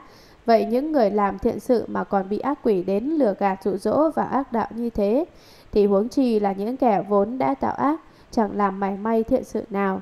Cho nên nếu gặp những người đã quen làm ác thì các ác quỷ lại càng muốn lôi kéo họ vào đường ác hơn nữa. Kinh văn Bạch Đức Thế Tôn, những kẻ nam người nữ ở cõi Diêm Phù đà lúc lâm trùng thì thần tức hồn ám mê muội không phân biệt được thiện ác. Cho đến mắt và tai đều không còn thấy nghe gì nữa. Hàng quyến thuộc phải nên thiết đại cúng dường, chuyển đọc tôn kinh, niệm danh hiệu của Phật cùng Bồ Tát. Những thiện duyên như thế có thể khiến cho người chết thoát khỏi các đường ác và các ma quỷ ác thần đều phải rút lui hoặc giải tán. Bạch Đức Thế Tôn, tất cả chúng sanh lúc lâm chung nếu được nghe đến danh hiệu của một Đức Phật, danh hiệu của một vị Bồ Tát hoặc một câu hay một bài kệ trong kinh điển Đại Thừa, còn xem xét thấy hạng người ấy trừ năm tội vô gián và tội sát hại, còn những nghiệp ác nho nhỏ đáng phải đọa vào đường ác thì chẳng bao lâu đều được thoát khỏi cả. Đức Phật bảo chủ mạng quỷ vương rằng, ông vì lòng đại từ nên có thể phát đại nguyện ở trong sanh tử cứu hộ chúng sanh như thế, như trong đời sau có kẻ nam người nữ nào đến thời điểm sanh tử thì ông chớ rút lại lời nguyện đó mà nên làm cho họ thể đều được giải thoát, mãi mãi được an vui. Lực giảng, quỷ vương chủ mạng lại bạch. Vì sao thế? Nguyên nhân nào khiến cho cả người mẹ và đứa bé sơ sinh đều không được yên ổn? về lúc sanh nở khó khăn đó, có vô số ác quỷ cùng vọng lượng tinh mị, các loài sơn yêu thủy quái muốn tới ăn huyết tanh. Chúng thường nhân lúc người sản phụ đang sanh nở, máu me linh láng, bèn tìm đến để ăn huyết tanh. Chính con, chủ mạng quỷ vương sớm đã giải các thần linh của nhà cửa đất đai, phải bảo hộ người mẹ và đứa con, làm cho họ được an vui mà hưởng nhiều sự lợi ích. Thần linh ở đây tức là thần thổ địa. Những người này thấy sự an ổn vui vẻ thì nên tạo phước để báo đáp các thần thổ địa.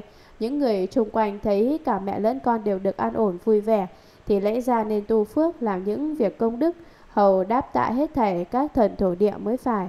Thế mà trái lại họ còn giết hại tụ tập quyến thuộc. Họ chẳng những không đáp tạ công ơn của chư vị thần linh mà còn sát hại sinh vật, tụ họp bạn bè thân quyến lại để ăn uống vui chơi tiệc tùng đình đám. Vì lẽ này hễ phạm tội tất phải tự gánh chịu, người mẹ và đứa con đều bị tổn hại. Một khi đã phạm tội thì nhất định phải tự lãnh lấy quả báo. Do đó luôn cả người mẹ cùng đứa bé sơ sinh đều bị tổn hại.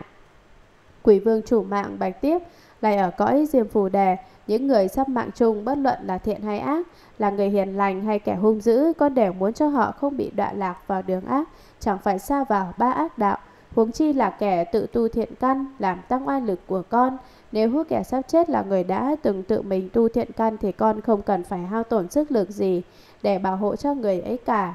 Những người làm thiện ở cõi diêm phủ đẻ đến lúc lâm chung cũng còn có trong ngàn quỷ thần trong ác đạo hoặc biến làm cha mẹ cho đến hàng quyến thuộc dẫn dắt người chết khiến cho lạc vào ác đạo.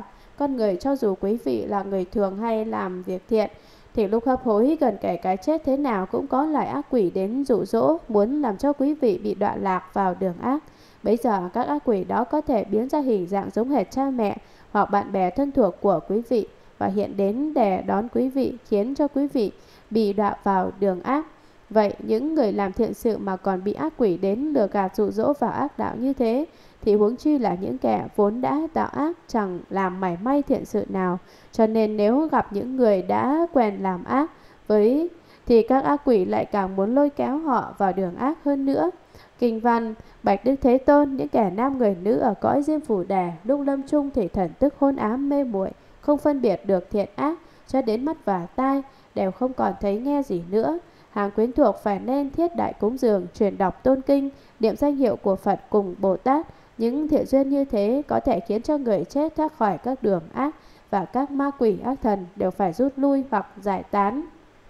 Bạch Đức Thế Tôn, tất cả chúng sanh lúc lâm chung nếu được nghe đến danh hiệu của một Đức Phật, danh hiệu của một vị Bồ Tát hoặc một câu hay một bài kệ trong kinh điển Đại Thừa, còn xem xét thấy hạ người ấy trừ năm tội vô gián và tội sát hại, còn những nghiệp ác nho nhỏ đáng phải đọa vào đường ác thì chẳng bao lâu đều được thoát khỏi cả. Đức Phật bảo quỷ vương chủ mạng rằng ông vì lòng đại từ nên có thể phát đại nguyện ở trong sanh tử cứu hộ chúng sanh như thế. Như trong đời sau có kẻ nam người nữ nào đến thời điểm sanh tử thì ông chớ giúp lại lời nguyện đó mà nên làm cho họ thảy đều được giải thoát mãi mãi được an vui. Lược giảng Quỷ vương chủ mạng lại bạch với Đức Phật rằng Bạch Đức Thế Tôn, những kẻ nam người nữ ở cõi diêm phủ đà lúc lâm chung thì thần tức hôn ám mê muội Lúc con người sắp chết thì khí ấm, noãn, hơi thở tức và các thức sự hiểu biết đều lìa khỏi cơ thể. Xác thân không còn hơi ấm, hô hấp ngừng bặt và thức thứ 8, thức à lại ra cũng lìa khỏi thân. Đây gọi là mạng chung, sành mạng hết. Khi vừa mới chết thì thần thức tức là thân trung ấm rơi vào trạng thái hôn trầm mê muội, không còn sáng suốt tỉnh táo, không còn rõ biết gì nữa cả. Đó là vì thần thức mới vừa tách rời khỏi cơ thể, chính mình vẫn chưa biết là mình đã chết, không phân biệt được thiện ác, cho đến mắt và tai đều không còn thấy nghe gì nữa, không phân biệt được thiện ác, tức là không còn khả năng biện biệt, không thể biết được rõ ràng thế nào là thiện, thế nào là ác nữa. Lúc bấy giờ kẻ lâm trung không còn nhìn thấy và cũng chẳng thể nghe thấy gì cả, tri giác và thấy nghe đều không còn. Vì thấy hàng quyến thuộc phải nên thiết đại cúng dường, chuyển đọc tôn kinh, niệm danh hiệu của Phật cùng Bồ Tát. Tất cả bà con thân thích bấy giờ nên vì người sắp chết mà làm những việc công đức tạo phước lành lớn như thỉnh chư tăng đến tụng kinh hoặc tự mình tụng kinh cho người ấy. Do đó ở Trung Hoa trong khi trong gia đình có người vừa qua đời, hàng quyến thuộc thường thỉnh cầu chư tăng tụng kinh trong suốt 7 thất, 49 ngày cũng vì lẽ ấy. Như lúc lão Hòa Thượng Hư Vân viên tịch năm 1959, Phật giáo giảng đường tại Hương Cảng đã làm công đức tụng kinh Đại Bát Nhã trong suốt 160 ngày dòng dã. Đây là việc xưa nay chưa từng xảy ra từ thời Đức Phật Thích Ca Mâu Ni cho đến nay. Chưa có vị tổ sư nào viên tịch mà được tụng kinh Đại Bát Nhã cả. Tổ chức một pháp hội lớn lao như vậy gọi là thiết đại cúng dường. Chuyển đọc tôn kinh tức là trì tụng bộ kinh này, kinh Địa Tạng Bồ Tát Bổn Nguyện những thiện duyên như thế có thể khiến cho người chết thoát khỏi các đường ác và các ma quỷ ác thần đều phải rút lui hoặc giải tán. Bởi hàng quyến thuộc vì người chết mà làm các việc công đức, cho nên những nhân duyên thiện lành đó có thể hỗ trợ giúp cho người chết xa lìa các ác đạo. Lại nữa, đức đại tác oan nghiệt tiêu. Kẻ có công đức lớn thì tội nghiệp cũng được giảm nhẹ hoặc tiêu tan. Do đó tất cả ma quỷ và ác thần thầy đều thối lui bỏ chạy hết không còn đeo đuổi người ấy nữa. Quỷ vương chủ mạng lại bạch tiếp. Bạch Đức Thế Tôn tất cả chúng sanh ở Nam Diêm Phủ Đà Lúc lâm trùng nếu được nghe đến danh hiệu của một Đức Phật, danh hiệu của một vị Bồ Tát, không cần nhiều chỉ cần được nghe vòn vẹn danh hiệu của một vị Phật hoặc một vị Bồ Tát mà thôi, hoặc một câu hay một bài kệ trong kinh điển Đại Thừa, còn xem xét thấy hạng người ấy trừ năm tội vô gián và tội sát hại, còn những nghiệp ác nho nhỏ đáng phải đạp vào đường ác thì chẳng bao lâu đều được thoát khỏi cả. Theo phần kinh văn trên, nếu có những người lúc lâm trùng được nghe danh hiệu của một Đức Phật hay của một Tôn Bồ Tát, một câu hoặc một bài kệ của kinh điển Đại Thừa mà thôi thì có thể được tiêu trừ tất cả mọi nghiệp tội, ngoại trừ năm tội vô gián và tội sát hại. Năm tội vô gián, năm tội nghịch đáng phải đoạn địa ngục vô gián và tội sát hại thì vốn chẳng thể tiêu trừ được. Trong trường hợp những chúng sanh đó chỉ gây các nghiệp ác nho nhỏ, nhẹ hơn năm tội vô gián và tội sát hại một chút, song vẫn đáng phải đọa ác đạo, thì chẳng bao lâu chủ mạng quỷ vương cũng sẽ khiến cho họ được giải thoát khỏi phải chịu tội. Tuy nhiên, phần kinh văn trên cũng có thể được hiểu là cho dù các người đó có mắc năm tội vô gián hoặc tội sát hại, thì cũng đều được giải trừ cả, bởi nếu trong lúc cận kề cái chết, những người ấy có thể khởi lòng thành tâm đến cực điểm, thì mọi nghiệp chướng đều có thể rũ sạch. Tuy nhiên vấn đề là rất khó mà giữ được chánh niệm trong giờ phút tối hậu đó. Đức Phật bảo quỷ vương chủ mạng rằng ông vì lòng đại từ nên có thể phát đại nguyện ở trong sanh tử cứu hộ chúng sanh như thế. Ông quả thật là có lòng đại từ bi nên mới lập thệ nguyện lớn lao này, chịu ở trong sự sanh tử của chúng sanh mà bảo hộ hết thảy chúng sanh. Như trong đời sau có kẻ nam người nữ nào đến thời điểm sanh tử thì ông chớ rút lại lời nguyện đó mà nên làm cho họ thảy đều được giải thoát, mãi mãi được an vui. Kinh văn Quỷ vương bạch cùng Đức Phật rằng Xin Đức Thế Tôn chớ lo, chọn đời con luôn luôn ủng hộ chúng sanh ở cõi diêm phù đà làm cho lúc sanh lúc tử đều được an vui. Chỉ mong các chúng sanh trong lúc sanh cùng lúc tử đều tin theo lời con, thì không ai là không được giải thoát và được lợi ích lớn cả. Bấy giờ Đức Phật bảo Bồ Tát Địa Tác rằng,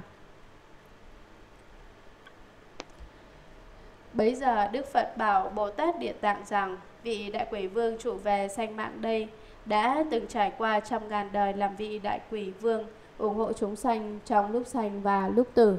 Bậc đại sĩ này vì lòng từ bi phát nguyện hiện thân đại quỷ, chớ thật ra không phải quỷ. Quá 170 kiếp sau, ông ấy sẽ được thành Phật, hiệu là vô tướng Như Lai, kiếp tên là An Lạc, thế giới tên là Tịnh Trụ. Thọ mạng của Đức Phật đó đến số kiếp không thể tính đếm được. Này Địa Tạng Bồ Tát, những việc của vị đại quỷ vương đó thì không thể nghĩ bản như thế. Hàng trời người được độ thoát cũng đến số không thể hạn lượng. Lược giảng, quỷ vương bạch cùng Đức Phật rằng, quỷ vương chủ mạng rất tự tại cho nên làm chúa quỷ, cũng không đến nỗi tệ lắm. Ông ta muốn cho ai sống thì người đó sống, muốn cho ai chết thì người đó phải chết. Chính vì sanh mạng của tất cả mọi người đều nằm trong tay quỷ vương chủ mạng, cho nên nếu ông ta là kẻ tham lam, chịu ăn hối lộ, như bọn quan lại tham ô ở thế gian thì nhất định ông ta sẽ rất giàu có và thế giới này sẽ đông đúc hơn nhiều. Thuở trước lúc Pháp Sư Đạo Xanh giảng kinh, thì có một con quỷ thường đến lắng nghe rất chăm chú. Một hôm Ngài Đạo Xanh bảo quỷ hãy đi đầu thai làm người, thì quỷ trả lời rằng, ba ngàn năm nay tôi làm quỷ, đã không phiền não cũng không sầu. Sanh công bảo tôi đi làm người, chỉ sợ làm người làm chẳng xong Ngã kim tác quỷ, tam thiên thu Dã vô phiền não dã vô sầu. Sanh công giáo ngã, vi nhân khứ, Chỉ khủng, vi nhân bất đáo đầu. Ý quỷ nói rằng, tôi làm quỷ tính đến nay đã hơn 3.000 năm rồi. Tôi chẳng có phiền não và cũng chẳng phải lo âu phiền muộn gì cả. Này Ngài Đạo Xanh bảo tôi đi làm người, Xong tôi chỉ ngại rằng mình làm không được chu tất thì sẽ tạo tội. Cho nên tôi thà cứ làm quỷ mà hơn. Quý vị xem kẻ làm quỷ thì cho rằng làm quỷ cũng không đến nỗi nào. Người Trung Hoa có câu nói đại ý rằng những kẻ ăn mày mà đã đi xin ăn được 3 năm rồi thì có cho họ nên lên làm vua họ cũng chẳng muốn làm bởi vì họ sống tự do quen rồi, gã hành khất đi ăn xin được 3 năm thì cho dù được mời lên làm hoàng đế gã cũng không ham. Kẻ làm quỷ được hơn ba ngàn năm, quý vị bảo đi làm người, kẻ ấy cũng chẳng muốn. Bởi vì quỷ ta cảm thấy làm quỷ thì không có phiền não, cũng chẳng phải lo âu phiền muộn gì cả. Sanh công tức là chỉ pháp sư đạo sanh. Quỷ gọi ngài là sanh công, ngài sanh. Cho nên khi quý vị sang đến Đài Loan để thọ giới năm 1969, nếu gặp các lão giới sư như Pháp Sư Ấn Thuận chẳng hạn, quý vị có thể gọi ngài là Ấn Công, ngài Ấn. Tức là chỉ dùng một chữ trong tên hiệu của ngài để gọi thôi. Trong hai chữ Ấn Thuận, quý vị cảm thấy chữ nào thuận miệng thì gọi bằng chữ đó, không hạn định chữ trên hay chữ dưới, chữ trước hay chữ sau. Lại như Pháp Sư Đạo Nguyên, lẽ ra quý vị phải gọi ngài là đạo công hoặc nguyên công. Song hiện nay quý vị đi thọ giới pháp sư đạo nguyên sẽ là đắc giới hòa thượng của quý vị. Thì quý vị không thể gọi ngài như thế được nữa. Vậy thì phải xưng hô như thế nào? Vì quý vị sẽ thọ giới với ngài cho nên quý vị phải gọi ngài là đắc giới hòa thượng bởi ngài là đắc giới hòa thượng nếu quý vị đến thọ giới với ngài mà lại gọi ngài là đạo công hay nguyên công tức là thiếu cung kính quý vị phải gọi ngài là đắc giới hòa thượng như thế là tỏ lòng kính trọng rất mực cung kính đối với ngài. Còn đối với các giới sư khác thì thế nào? Thì quý vị đều gọi các ngài bằng một chữ trong tên hiệu của họ, đừng dùng cả hai chữ và phải nhớ kèm thêm chữ công ở đằng sau.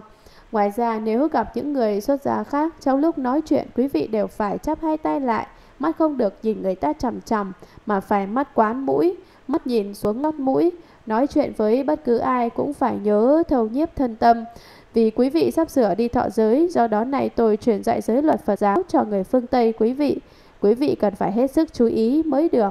Sang đến bên đó, Đài Loan, nếu quý vị hành trì đàng hoàng nghiêm túc, thì sẽ khiến cho người ta có ấn tượng tốt về người Tây Phương và anh ấy sẽ phải trầm trồ. Ồ, thì ra người Tây Phương giữ giới luật cũng rất tinh nghiêm. Nếu quý vị đến đó mà còn không chịu tuân giữ quỷ củ, thì người ta sẽ lắc đầu ngao ngán. Ôi ông này không xong rồi, tu hành chẳng ra gì cả. Và như thế là quý vị đã làm mất thể diện của toàn thể người Tây Phương, khiến cho sau này nếu có người Tây Phương nào muốn xuất gia e rằng cũng chẳng có ai dám thâu nhận. Không được, mấy người đó không tu hành được đâu, đừng thâu nhận họ. Vì thế tất cả quý vị bất luận là tỳ kheo hay tỳ kheo ni, đến bất cứ nơi nào thì cũng phải nêu gương tốt, phải thận trọng tuân giữ quy củ phép tắc, không được bê bối, chảnh màng. Quý vị hiện nay có 5 người đi chung với nhau. Khi sang đến Đài Loan thì trước hết quý vị hãy thỉnh cầu một việc. Thỉnh cầu việc gì? Quý vị hãy xin phép được ghi âm bởi vì trong số quý vị thì có người hiểu tiếng Trung Hoa mà cũng có người không hiểu được. Do đó khi đi quý vị hãy mang theo máy ghi âm và máy chụp hình. Có sự việc gì quan trọng thì có thể chụp hình để mang về. Lại nữa trong suốt thời gian thọ giới Bất cứ vị pháp sư nào khai thị, quý vị đều có thể đặt máy ghi âm để thâu. Sau đó, năm người quý vị họp nhau lại. Người nào hiểu tiếng Hoa thì phiên dịch sang Anh ngữ cho những người không hiểu nghe. Sau mỗi buổi giảng đều nên làm như vậy. Trong lúc mọi người nghỉ ngơi thì quý vị chớ nên nghỉ. Quý vị cần phải giúp đỡ lẫn nhau. Hôm nay có những việc gì Thế nên nói rõ cho những người không hiểu tiếng Trung Hoa đều được biết, nếu quý vị làm được như thế thì sẽ có sức mạnh của sự đoàn kết. Đừng nên sang đến đó học xong rồi mà cái gì cũng vẫn không biết cả. Có thể nói đây là lần đầu tiên có nhiều người Tây Phương đi thọ giới như thế này. Trước đây chưa tưởng có.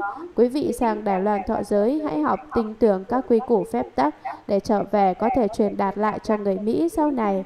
Năm nay quý vị đi thọ giới, trở về rồi, thì sang năm hoặc năm tới nữa, chúng ta cũng có thể tổ chức truyền giới tại đây, khai mở một giới đảng ngay tại Hoa Kỳ. Muốn mở một kỳ truyền giới thì cần phải thỉnh được 10 vị hòa thượng để có được tam sư thất chứng, ba vị làm giới sư, bảy vị làm tôn chứng. Nếu thỉnh được nhiều vị hơn thì càng tốt. Quý vị chính là nhân tài cơ bản trong công cuộc khai sáng Phật giáo tại Hoa Kỳ, cho nên chuyến đi này hết sức quan trọng. Vậy lúc bấy giờ quỷ vương chủ mạng bạch cùng Đức Phật Thích Ca Mâu Ni rằng Xin Đức Thế Tôn chớ lo, cúi xin Đức Phật chớ bận tâm về việc đó nữa. Chọn đời con luôn luôn ủng hộ chúng sanh ở cõi diêm phủ đề, làm cho lúc sanh lúc tử đều được an vui. Con nay làm quỷ, con nguyện cho đến hết thời kỳ phải làm quỷ của con trong từng ý niệm, trong mỗi khoảnh khắc, con đều lo cứu hộ chúng sanh ở cõi nam diêm phủ đề dù là khi họ sanh ra hoặc lúc chết đi, còn đều khiến cho họ sanh được bình yên, chết được an ổn, không xảy ra những việc rủi ro ngoài ý muốn. Chỉ mong các chúng sanh trong lúc sanh cùng lúc tử đều tin theo lời con, thì không ai là không được giải thoát và được lợi ích lớn cả. Tuy nhiên con có một yêu cầu là hết thảy chúng sanh trong lúc sanh cũng như lúc tử đều phải triệt để nghe và làm theo lời con căn dặn. Được như thế thì con sẽ khiến cho họ đạt được nhiều sự lợi ích lớn lao. Như quý vị là đệ tử của tôi thì đều phải vâng lời tôi. Nếu đệ tử mà không nghe theo lời dạy bảo của sư phụ thì đó không phải là một đệ tử ngoan. Cho nên những chúng sanh không tuân theo lời dặn dò của quỷ vương thì không phải là những chúng sanh ngoan, quỷ vương cũng sẽ không bảo hộ cho những kẻ ấy. Bây giờ Đức Phật bảo Bồ Tát Địa Tạng rằng vị đại quỷ vương chủ về sanh mạng đây đã từng trải qua trăm ngàn đời làm vị đại quỷ vương, ủng hộ chúng sanh trong lúc sanh và lúc tử. Bậc đại sĩ này vì lòng từ bi phát nguyện hiện thân đại quỷ chớ thật ra không phải quỷ. Quỷ vương chủ mạng quả thật là một vị đại Bồ Tát, tuy mang thân quỷ vương, song đó là vị đại Bồ Tát phát nguyện muốn làm quỷ vương. Do nguyện lực từ bi mà Bồ Tát hiện thân làm đại quỷ vương, chứ sự thật thì không phải là quỷ. Đức Phật Thích Ca Mâu Ni lại thọ ký cho quỷ vương chủ mạng rằng quá 170 kiếp sau, ông ấy sẽ được thành Phật hiệu là vô tướng Như Lai, kiếp tên là An Lạc, thế giới tên là Tịnh Trụ, thọ mạng của Đức Phật đó đến số kiếp không thể tính đếm được. Từ hiện tại cho đến đời vị lai về sau, trải qua 170 đại kiếp, đại quỷ vương chủ mạng sẽ được thành Phật, hiệu là vô tướng Như Lai, vô tướng nghĩa là không có các tướng. Kiếp của Đức Phật vô tướng có tên là kiếp an lạc, cõi nước tên là thế giới tịnh trụ và Đức Phật này có thọ mạng rất lâu dài. Thế giới mà chúng ta đang sống hiện nay là thế giới ta bà và kiếp tên là hiển kiếp. Đức Phật lại bảo Ngài Địa Tạng rằng, Này Địa Tạng Bồ Tát, những việc của vị Đại Quỷ Vương đó thì không thể nghĩ bàn như thế. Ông nên biết rằng những nhân duyên trong quá khứ hiện tại cùng vị lai của chủ mạng Quỷ Vương là như vậy, đều là những việc không thể nghĩ bàn. Hàng trời người được vị ấy độ thoát cũng đến số không thể hạn lượng, số lượng chúng sanh ở cõi trời và cõi người. Do chủ mạng quỷ vương cứu độ thì nhiều đến vô lượng vô biên, không thể nào tính đếm cho xuể được. Sừng tức là sừng niệm, có nghĩa là đọc lên và tưởng nhớ đến, danh hiệu có nghĩa là tên. Vậy sừng danh hiệu chư Phật, tức là đọc tên của các đức Phật và nhớ tưởng tới các ngài. Trước kia tôi đã từng giảng rồi, từ lúc tối sơ Mỗi một Đức Phật đều có một vạn danh hiệu khác nhau. Về sau vì người ta không thể nào nhớ được nhiều như thế cho nên mới giảm bớt chỉ còn một ngàn danh hiệu. Xong một ngàn danh hiệu thì người bình thường cũng không thể nhớ một cách mạch lạc được. Như tôi chẳng hạn, một kẻ không có năng lực nhớ dai cho lắm, bắt đầu niệm từ danh hiệu thứ nhất trở đi. Khi niệm đến danh hiệu thứ một ngàn thì tôi quên mất danh hiệu thứ nhất. Do đó về sau giảm xuống còn 100 danh hiệu. Tuy rằng mỗi một Đức Phật chỉ còn 100 tên gọi, nhưng người ta cũng không thể nhớ hết được và cảm thấy như thế vẫn còn quá nhiều, quá phức tạp. Cho nên sau này lại giản lược chỉ còn 10 tên gọi, mỗi Đức Phật chỉ còn vỏn vẹn 10 danh hiệu mà thôi. 10 danh hiệu của mỗi Đức Phật là một Như Lai, hai Ứng Cúng, ba Tránh Biến Chi, bốn Minh Hạnh Túc, năm Thiện Thệ Thế Gian Giải, sáu Vô Thượng Sĩ, bảy Điều Ngự Trợ Phu, tám Thiên Nhân Sư, 9 Phật, 10 Thế Tôn. Vậy đây là phẩm thứ 9, xưng danh hiệu trừ Phật. Trong phẩm này Địa Tạng Vương Bồ Tát nói về công đức có được do sự xưng niệm danh hiệu của trừ Phật. Kinh văn Lúc đó, Địa Tạng Bồ Tát Ma Ha Tát bạch cùng Đức Phật rằng, Bạch Đức Thế Tôn, nay con vì chúng sanh đời sau, mà diễn nói về sự lợi ích làm cho họ trong lúc sanh cùng lúc tử, đều được những lợi ích lớn lao. Cúi xin Đức Thế Tôn lắng nghe điều con nói. Đức Phật bảo Bồ Tát Địa Tạng rằng, này ông muốn khởi lòng từ bi cứu vớt tất cả chúng sanh tội khổ trong lục đạo mà diễn nói sự chẳng thể nghĩ bàn. Bây giờ chính đã phải lúc, ông nên nói ngay đi, ta sắp sửa vào Niết Bàn rồi. Ông hãy sớm hoàn tất lời nguyện đó, thì ta cũng không còn phải lo nghĩ gì đến tất cả chúng sanh ở hiện tại và vị lai nữa.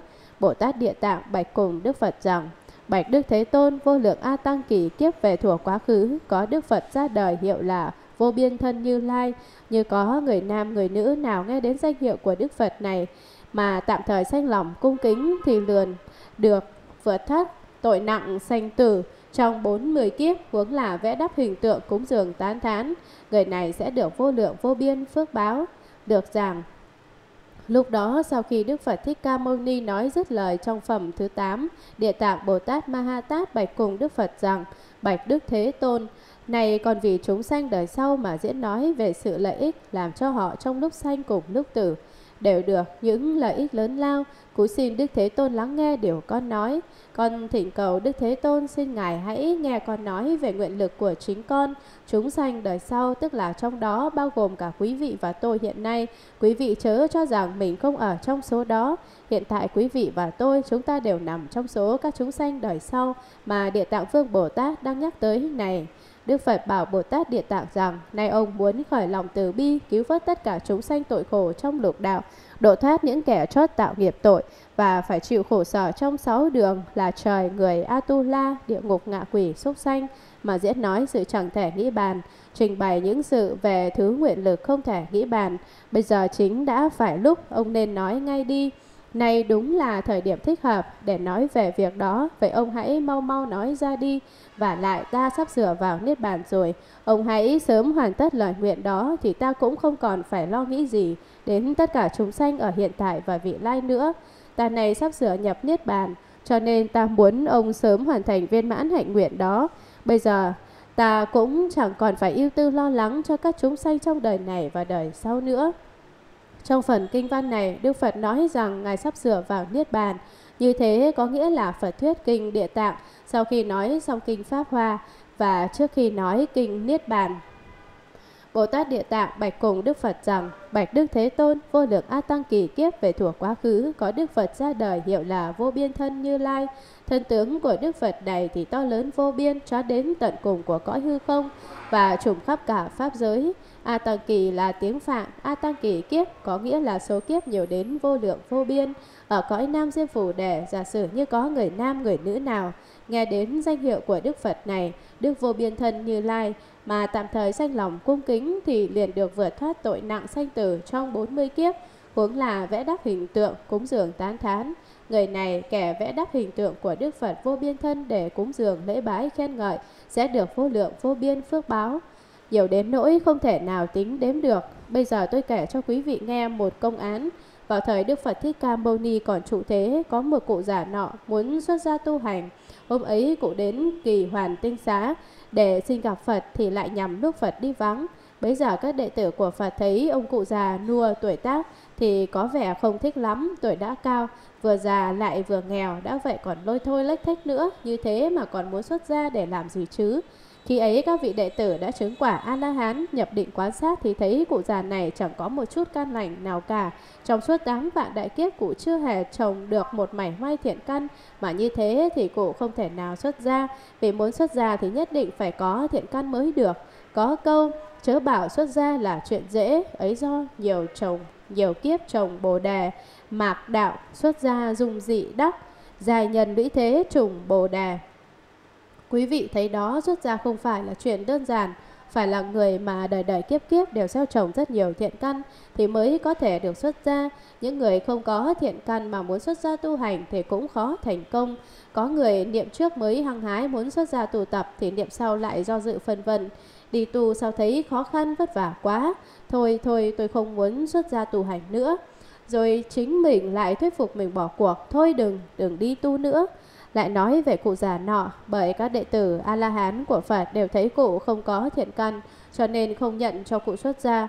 Cụ này vốn nghèo đến nỗi không đủ cơm ăn áo mặc và đã ngoài 90 hoặc sấp xỉ 100 tuổi rồi, đi đứng cũng rất khó khăn chậm chạp. Bấy giờ cụ bị khước tử không được xuất gia nên buồn giàu than thở. Tôi già nua tuổi tác như vậy rồi chỉ muốn xuất gia để được ăn lạc, thanh thản đôi chút lúc tuổi già sức yếu. Nào ngờ đệ tử của Phật lại khăng khăng chẳng chịu thông nhận. Rồi cụ bật khóc, vừa đi vừa khóc lóc sụt sùi rất thảm thiết. Bất chợt trong lòng cụ nảy ra một ý định. Ý định gì? Cụ thở dài tự nhủ. Thôi thì mình đi tự vẫn cho rồi, chỉ việc nhảy xuống sông Hằng là xong chuyện.